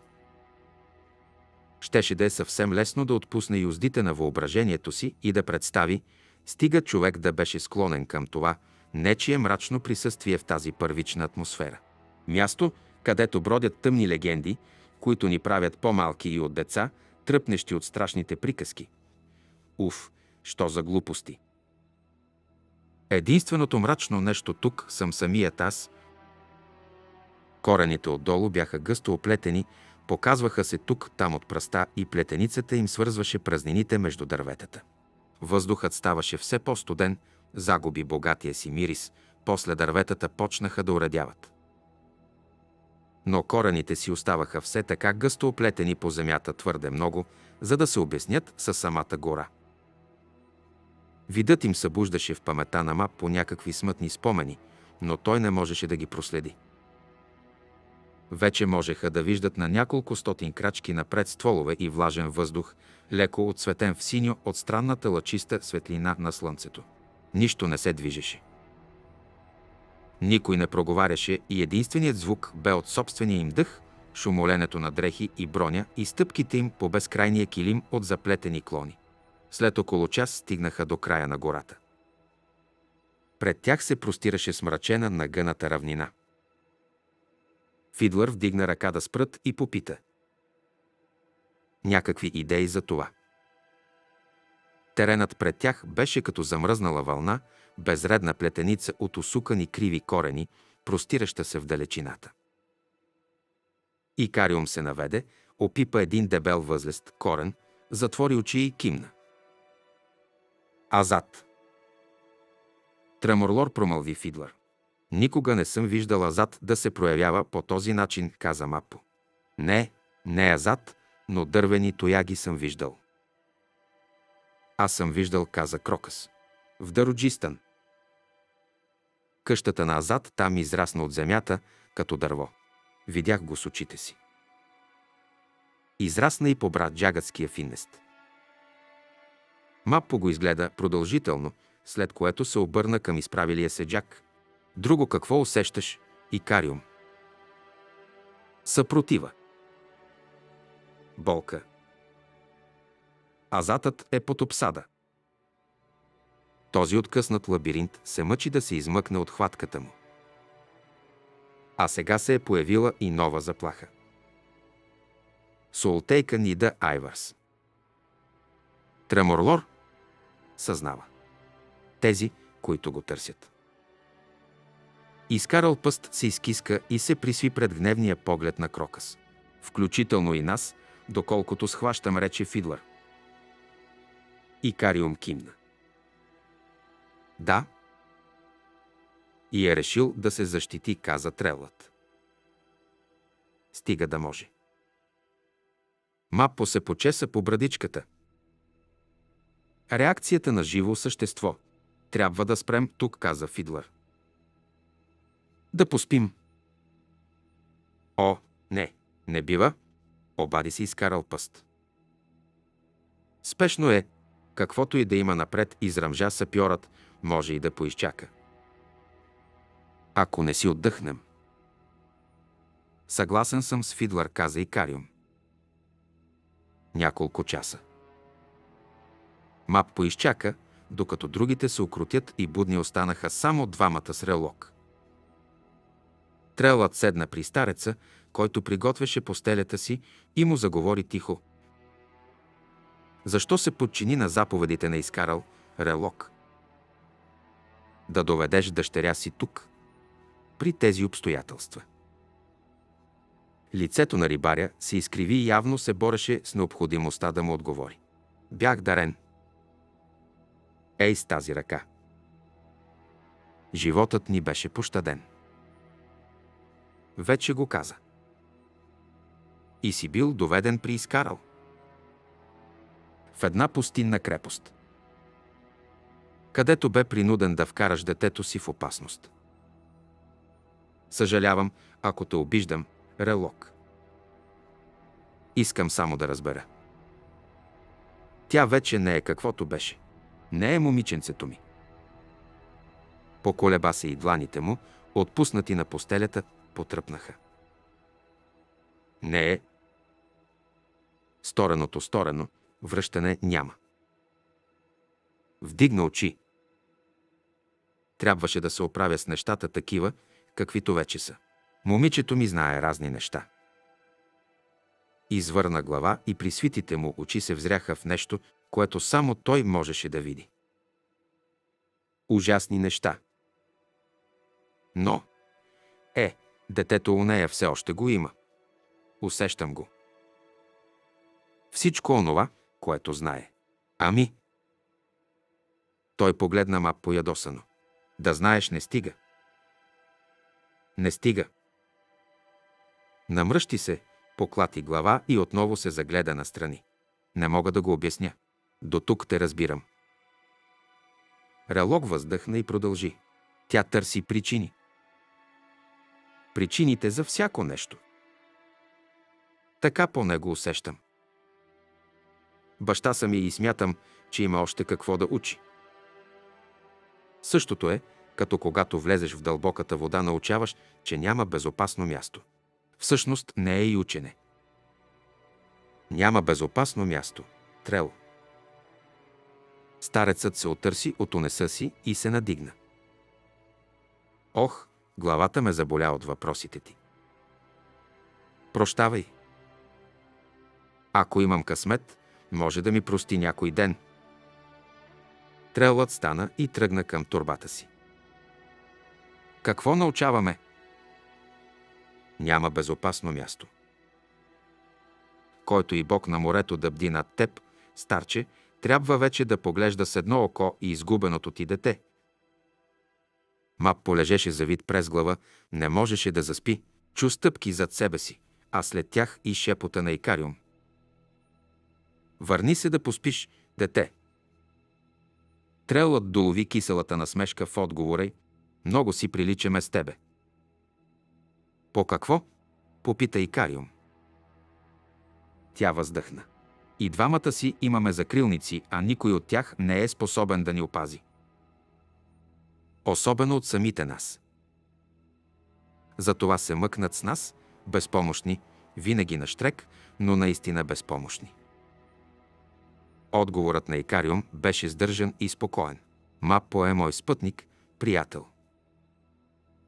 Релок е твоят баща. Разбирам желанието му да те опази какво друго би направил един баща, но ние с Мапо сме нещо друго. Нима. Мапо затъй дъх, готов да стане, да спре този разговор веднага. След миг Апсалар продължи. Може и да си прав, и Кариум. Не сме чак толкова еднакви, колкото изглежда на пръв поглед. Кажи ми, какво ще направиш с спомените си, след като ги намериш. Успокоението на Трела изтрая само миг. Но сега вече той не се бореше с порива да се намеси. По-скоро се затъи съвсем, очаквайки да чуе отговора на въпрос, който ни веднъж не се беше осмелил да зададе на Икариум. Въпросът ти ме стъписва Апсалар. А ти какво правиш със своите? Те не са мои. Повечето поне. Пазя няколко образа от живота ми като рибарско момиче. Как се пазаря на някакъв пазар за кълбовръв. Как държа ръката на татко над една купчина камъни с пръснати по тях цветя, допира на лиши, когато пипнах веднъж някаква кора. Загуба, объркване. Сигурно съм била много малка. Други спомени са от една вещица на Восека, старица, която пожела да ме защити, докато бях обсебена от котилон, продължи тя. Беше изгубила мъжа си, децата, всички принесени в жертва на имперската слава. Човек би си помислил, че горчивината ще наделее над всичко останало от такава жена, нали? Но не е така. Безпомощността е да опази онези, които е обичала. Инстинктите, издържани толкова дълго, обгърнаха мен. Така е и до днес, и Кариум. Необикновен дар е това, момиче. Наистина. И най-сетне, последната група заети спомени, най-объркващите от всичко. Спомените на един професионален убиец. Някога смъртен, след това асцендент. Убийците се кланят пред алтара на ефикасността и кариум, а ефикасността е жестока. Тя принася в жертва смъртен живот без колебание. Всичко заради онова, което е схващано като по-висша цел.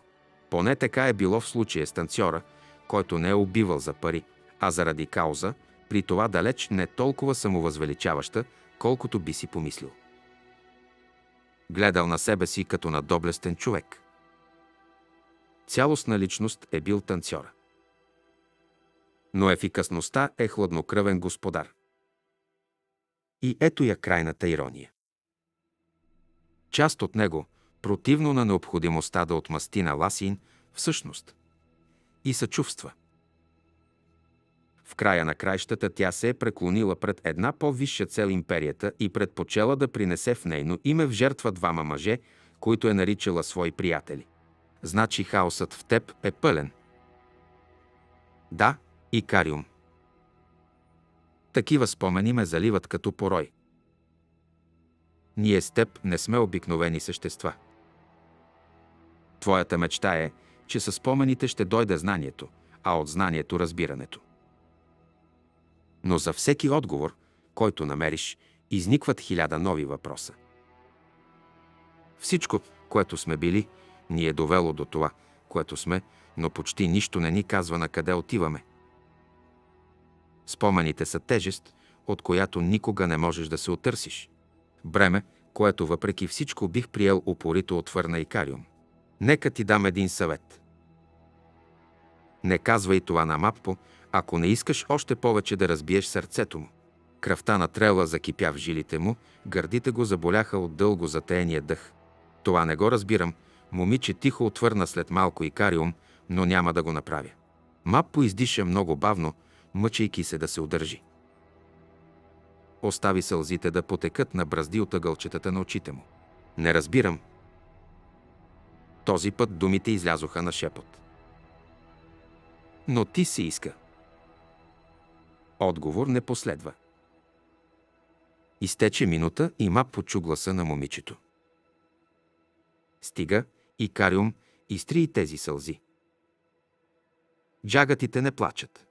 Сънят не идваше и Мап поподозираше, че в групата има и други, за които отдихът не предлага спасение от гнетящите мисли. Само изкарал пъст, като че ли спеше безметежно, ако можеше да се съди по шумното му похъркване. Скоро Мап отново чу раздвижване и Икарион проговори, спокойно и сдържано. Време е.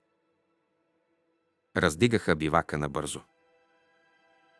Маппо все още стягаше каишките на турбата си, когато Фидлър пое напред като воин, приближаващ към бойното поле предпазлив, но изпълнен с увереност. Върховният жрец на сянка закрачи след него. Когато Икариум понечи да тръгне, Маппо се пресегна и стисна ръката на джага над лакътя. Приятелю, къщата Азад се кани да плени всеки, който притежава сила, имаш ли представа какво рискуваш? Икариум се усмихна. Не само аз, Мапо. Подценяваш себе си, онова, в което си се превърнал след всички тези столетия. Ако искаме да продължим напред, трябва да повярваме, че Азатът ще разбере, че не му мислим злото. Всички други бяха тръгнали, само Апсалар се беше озърнала през рамо към тях и сега двамата бяха сами. Как можем да се доверим на нещо, което не можем да разберем? Запита Трелът. Ти каза, че съзнава. Как? Какво точно е съзнаването? Нямам представа. Усещам присъствие, нищо повече. А щом аз мога да го усетя, значи на свой ред и то може да ме усети. Тремор Лор страда, Маппо. Сражава се сам, а каузата му е справедлива. Решен съм да помогна на Азата, така че изборът е в ръцете на Треморлор да приеме помощта ми или не. Трелът едва потисна отчаянието си. О, приятелю мой, предлагаш помощ, без да разбираш колко бързо може да се обърне този нож. Толкова си чист, толкова си благороден в невежеството си. Ако Треморлор те познава по-добре, отколкото ти самият, дали ще посмее да приеме предложението ти? Какво има, приятелю? Смътна подозрителност се четеше в очите на Джага и Мапо се принуди да погледне настрани. Какво има? Би трябвало да те предупредя, приятелю. Ако Треморлор те вземе, светът ще е освободен от една огромна заплаха, но аз губя приятел. Не, предавам те на вечен затвор. Древните и безименните, които ми повериха тази задача, изрекоха повелята си с непоколебима увереност. Изобщо не ги интересуваше обичта, нито младият воин Трел, чиято клетва тъй открито се поколеба, защото още не познаваше мъжа, с когото трябваше да тръгне. И нямаше съмнение. Не и тогава, толкова отдавна. Моля те, Икариум, нека се върнем. Рискът е твърде голям, приятелю мой. Очите му, зареяни на равнината, се насълзиха. Приятелю мой, ето, че най-сетне се разкрих пред вас, древни. Аз съм страхливец. Бих искал заговори треперливо и Кариум, бих искал да те разбера. Войната, която виждам от теб, къса сърцето ми, Мапо. Трябваше вече да си разбрал. Какво да съм разбрал? Проплака трелът, все тъй безсилен да срещне погледа на Джага. Че съм готов да дам живота си за теб, мой единствен приятелю, мой братко. Мапо се обгърна с ръце и прошепна. Не. Не казвай това.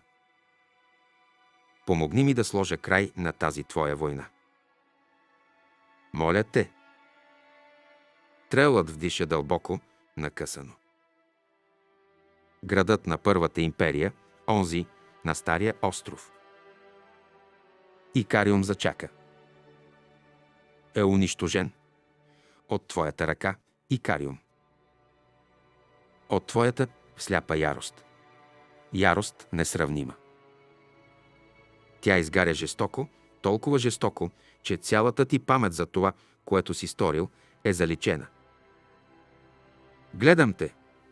Гледал съм те как ровиш в онези истинали пепелища, все търсиш и търсиш да откриеш кой си, а аз стоя до теб, обвързан с клетва да ти попреча да извършиш отново такова дело.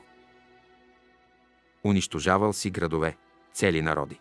Започнеш ли да убиваш, не можеш да спреш, докато всичко около теб не се превърне в безжизнена пустош. Джагът не отвърна нищо. Маппо не можеше да го погледне. Мъката кипеше като буря в душата му и трябваше да впрегне цялата си сила, за да я надвие. А Треморлор знае, проговори хладно и Кариум. Азатът знае, че не му остава нищо, освен да ме вземе. Стига да може, подложен на такова тежко изпитание, преди да е започнало още усилието. В гнева си ти можеш да го унищожиш. Духове на бездната, какво рискуваме тук? Вярвам, че този лабиринт те е оформил и Кариум. След всичкото това време ти най-после се върна от дома си. Където е започнало, там трябва да свърши. Отивам при Треморлор. Приятелю. Не. С това знание не мога да крача на воля по земята, трябва да разбереш това. Мапо. Не мога. Ако Треморлор те вземе, ти няма да умреш, и Кариум. Затворът ти ще трае вечно и въпреки това ще си в съзнание. Да, достойно наказание за такива престъпления. Трелът проплака. Ръката на Икариум падна на рамото му. Придружи ме до моя затвор, Мапо. Направи каквото трябва, каквото явно си правил и преди, за да спреш гнева ми. Не бива да ми се позволи да се съпротивявам. Моля те, направи онова, което е длъжен да направи един приятел. И се освободи, ако се окаже толкова нагъл, че ти предложа дар в замяна. Трябва да сложим край на това. Трелът поклати глава за отказ. Страхливец. Повали го на земята, още сега. Извлечи го от тук далече, ще се върне в съзнание, без да помни нищо от това. Мога да го изведа навън, в някоя друга посока и можем да сме си каквито бяхме, каквито винаги сме били. Стани, моля те, другите ни чакат. Трелът не беше осъзнал, че е на земята, свит на кълбо. Надигна се като пиян, с замая на глава. Маппо, иначе не мога да те нарека приятел. Това за мънка трелът не беше чест. Да, май трябва да направя от теб това, което, изглежда, съм самият аз. Нека гневът се превърне в желязото на твоята решимост. Не оставяй място за съмнение, винаги си бил твърде сантиментален, трел.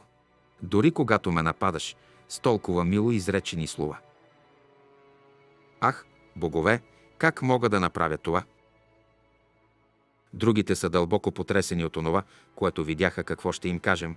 Маппо поклати глава. Все още си е дете в толкова много отношения. Нашият икариум. Те знаят. Хайде. Думът ми очаква завръщането на блудния си син. Трябваше да се случи, каза Фидлър, след като ги настигнаха. Маппо ги огледа един по един и видя разбирането, изписано ясно и с всички оттенъци. На бръчканото лице на изкарал пъст се бе изкривило в трескава усмивка страх, очакване и още цяло гъмжило чувства, които само той можеше да обясни, стига да искаше. А Псалар като че ли бе отхвърлила всякакво съчувствие, което доскоро бе изпитвала и сега поглеждаше на криво Икариум, сякаш преценяваше потенциалния си враг. За първи път показваше неувереност в себе си.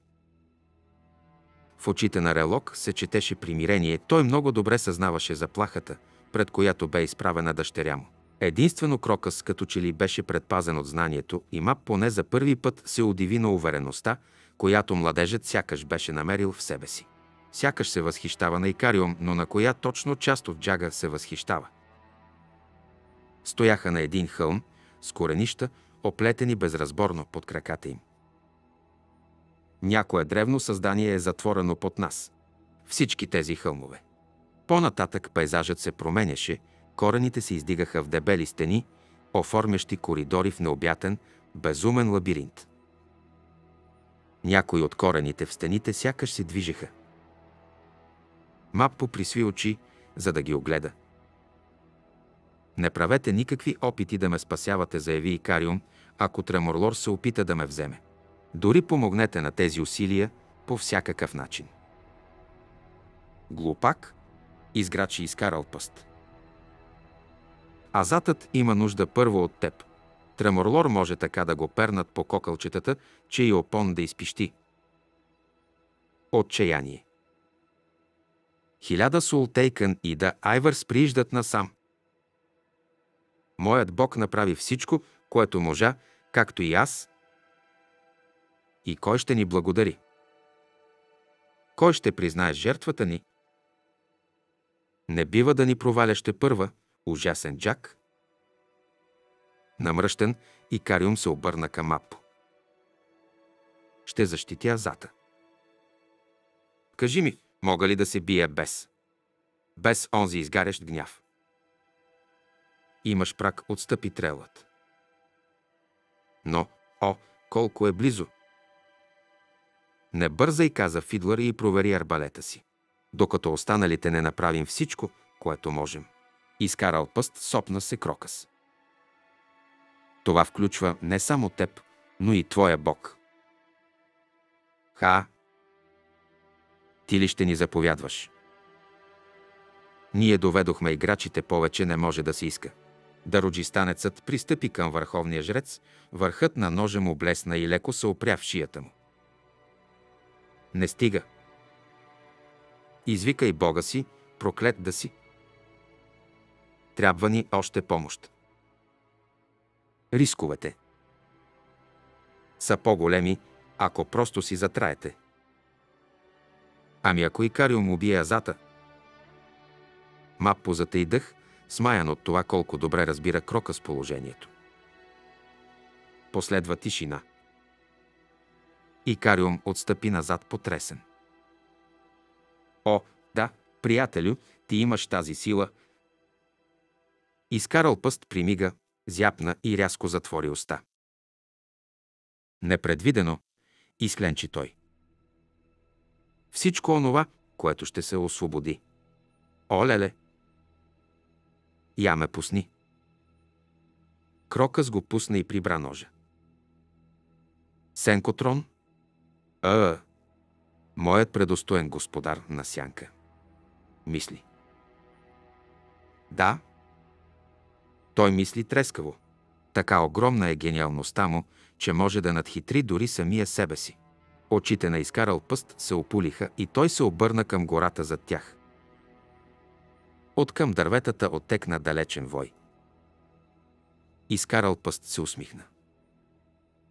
Проклета да съм промълви Апсалар. Не допусках, че го може.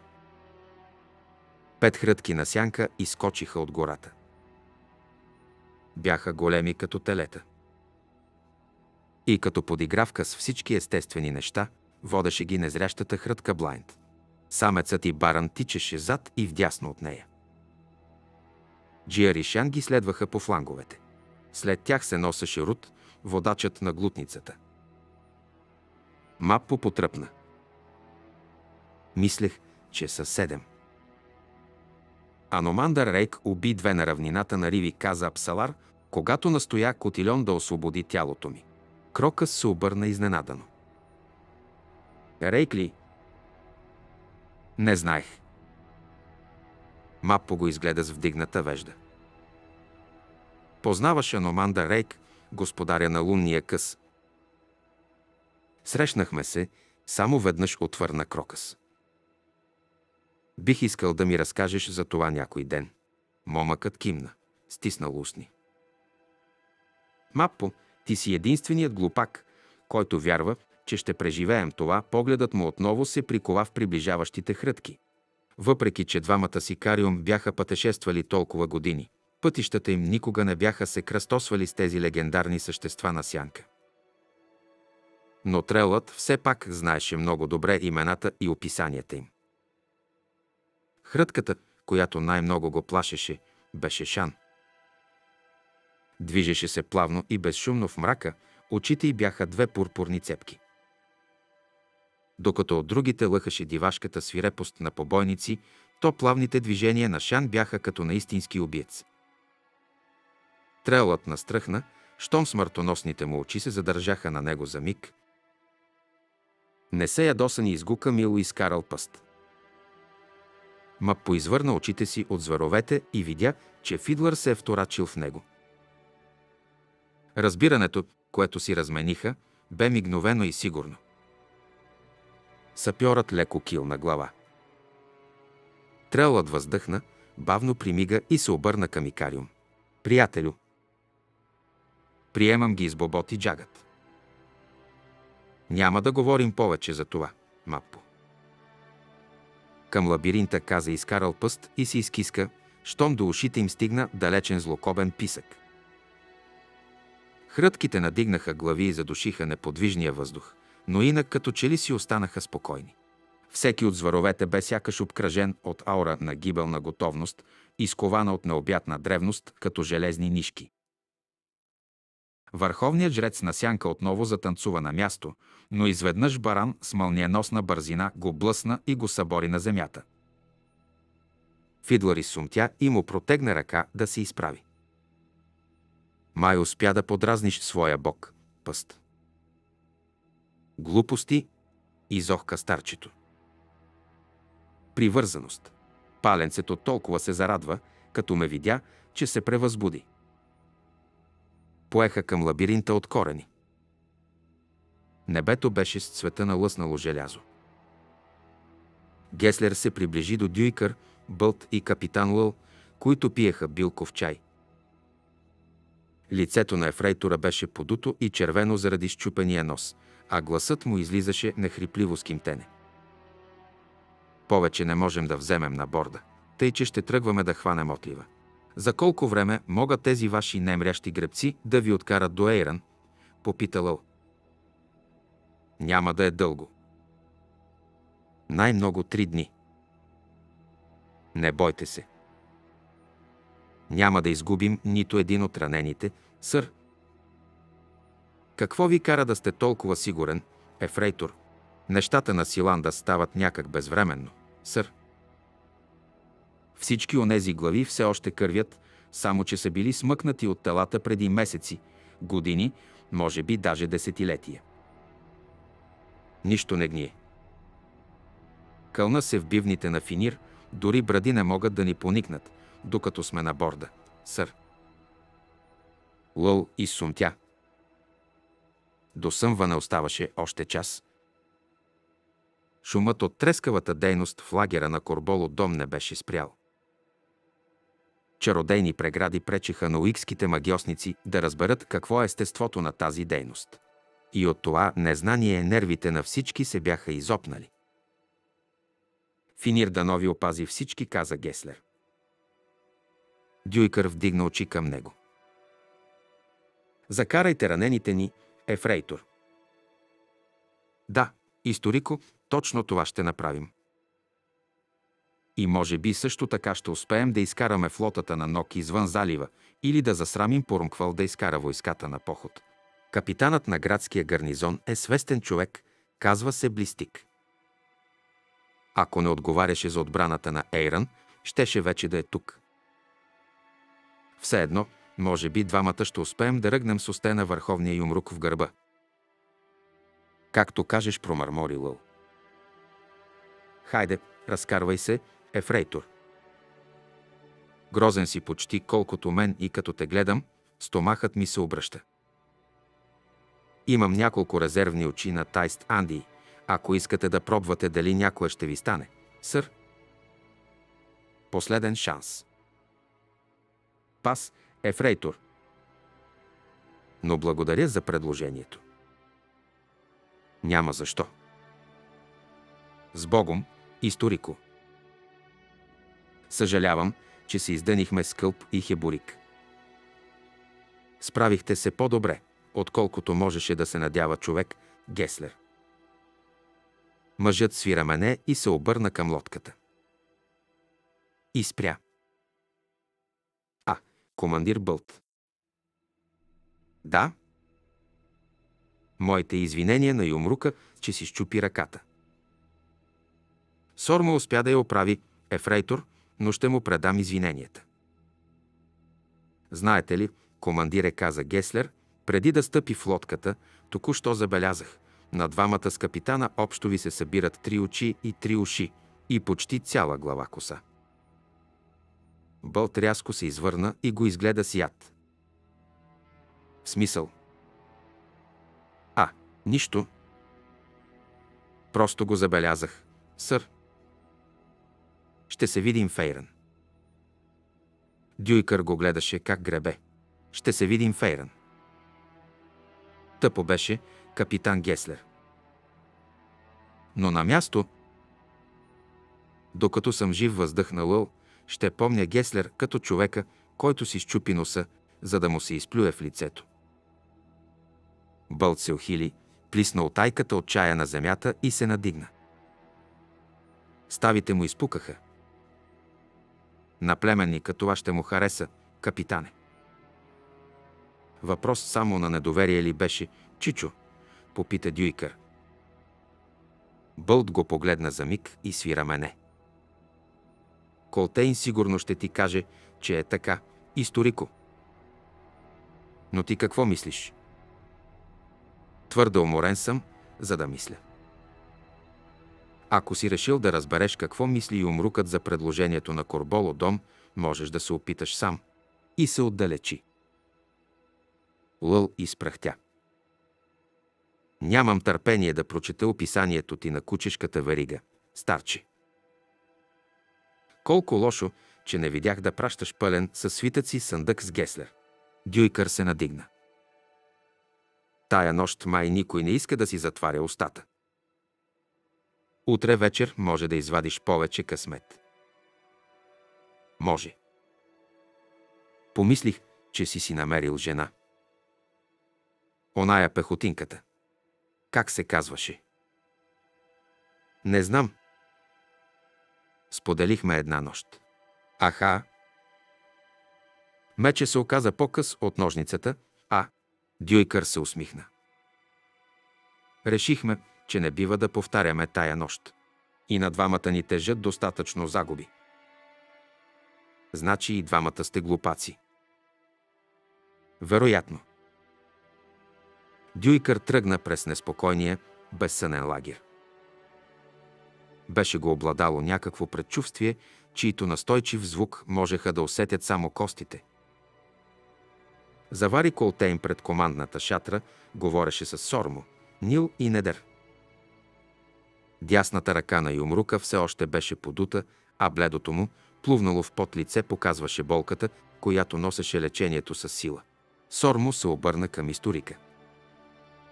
Къде е вашият ефрейтор лист? Дюйкър примига изненадано. Не знам. Защо?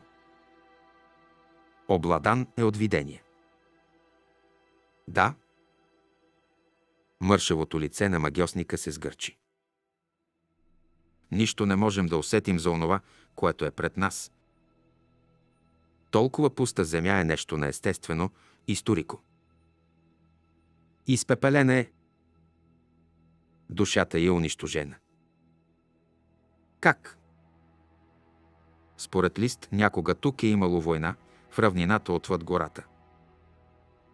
Толкова отдавна, че споменът за нея е заличен. Но ехото е останало, впечатано е в самата скала. Кой е водил тази война? Боя се, че те първа ще се разбере. Някакъв призрак води лист в сънищата му, но разбулването няма да ни даде сигурен знак. Дюйкър въздъхна. Призракът е джагът. Колтейн се загледа на изток, към избледняващия хоризонт. Юмрук проговори след малко Дюйкър. Корболо дом. Чу се шум, обърнаха се и видяха тичещ към тях благородник. Историкът възкликна. Тъмлит. Какво ли е станало? Старецът спря, изгледа ги навъсено и се обърна към Колтейн.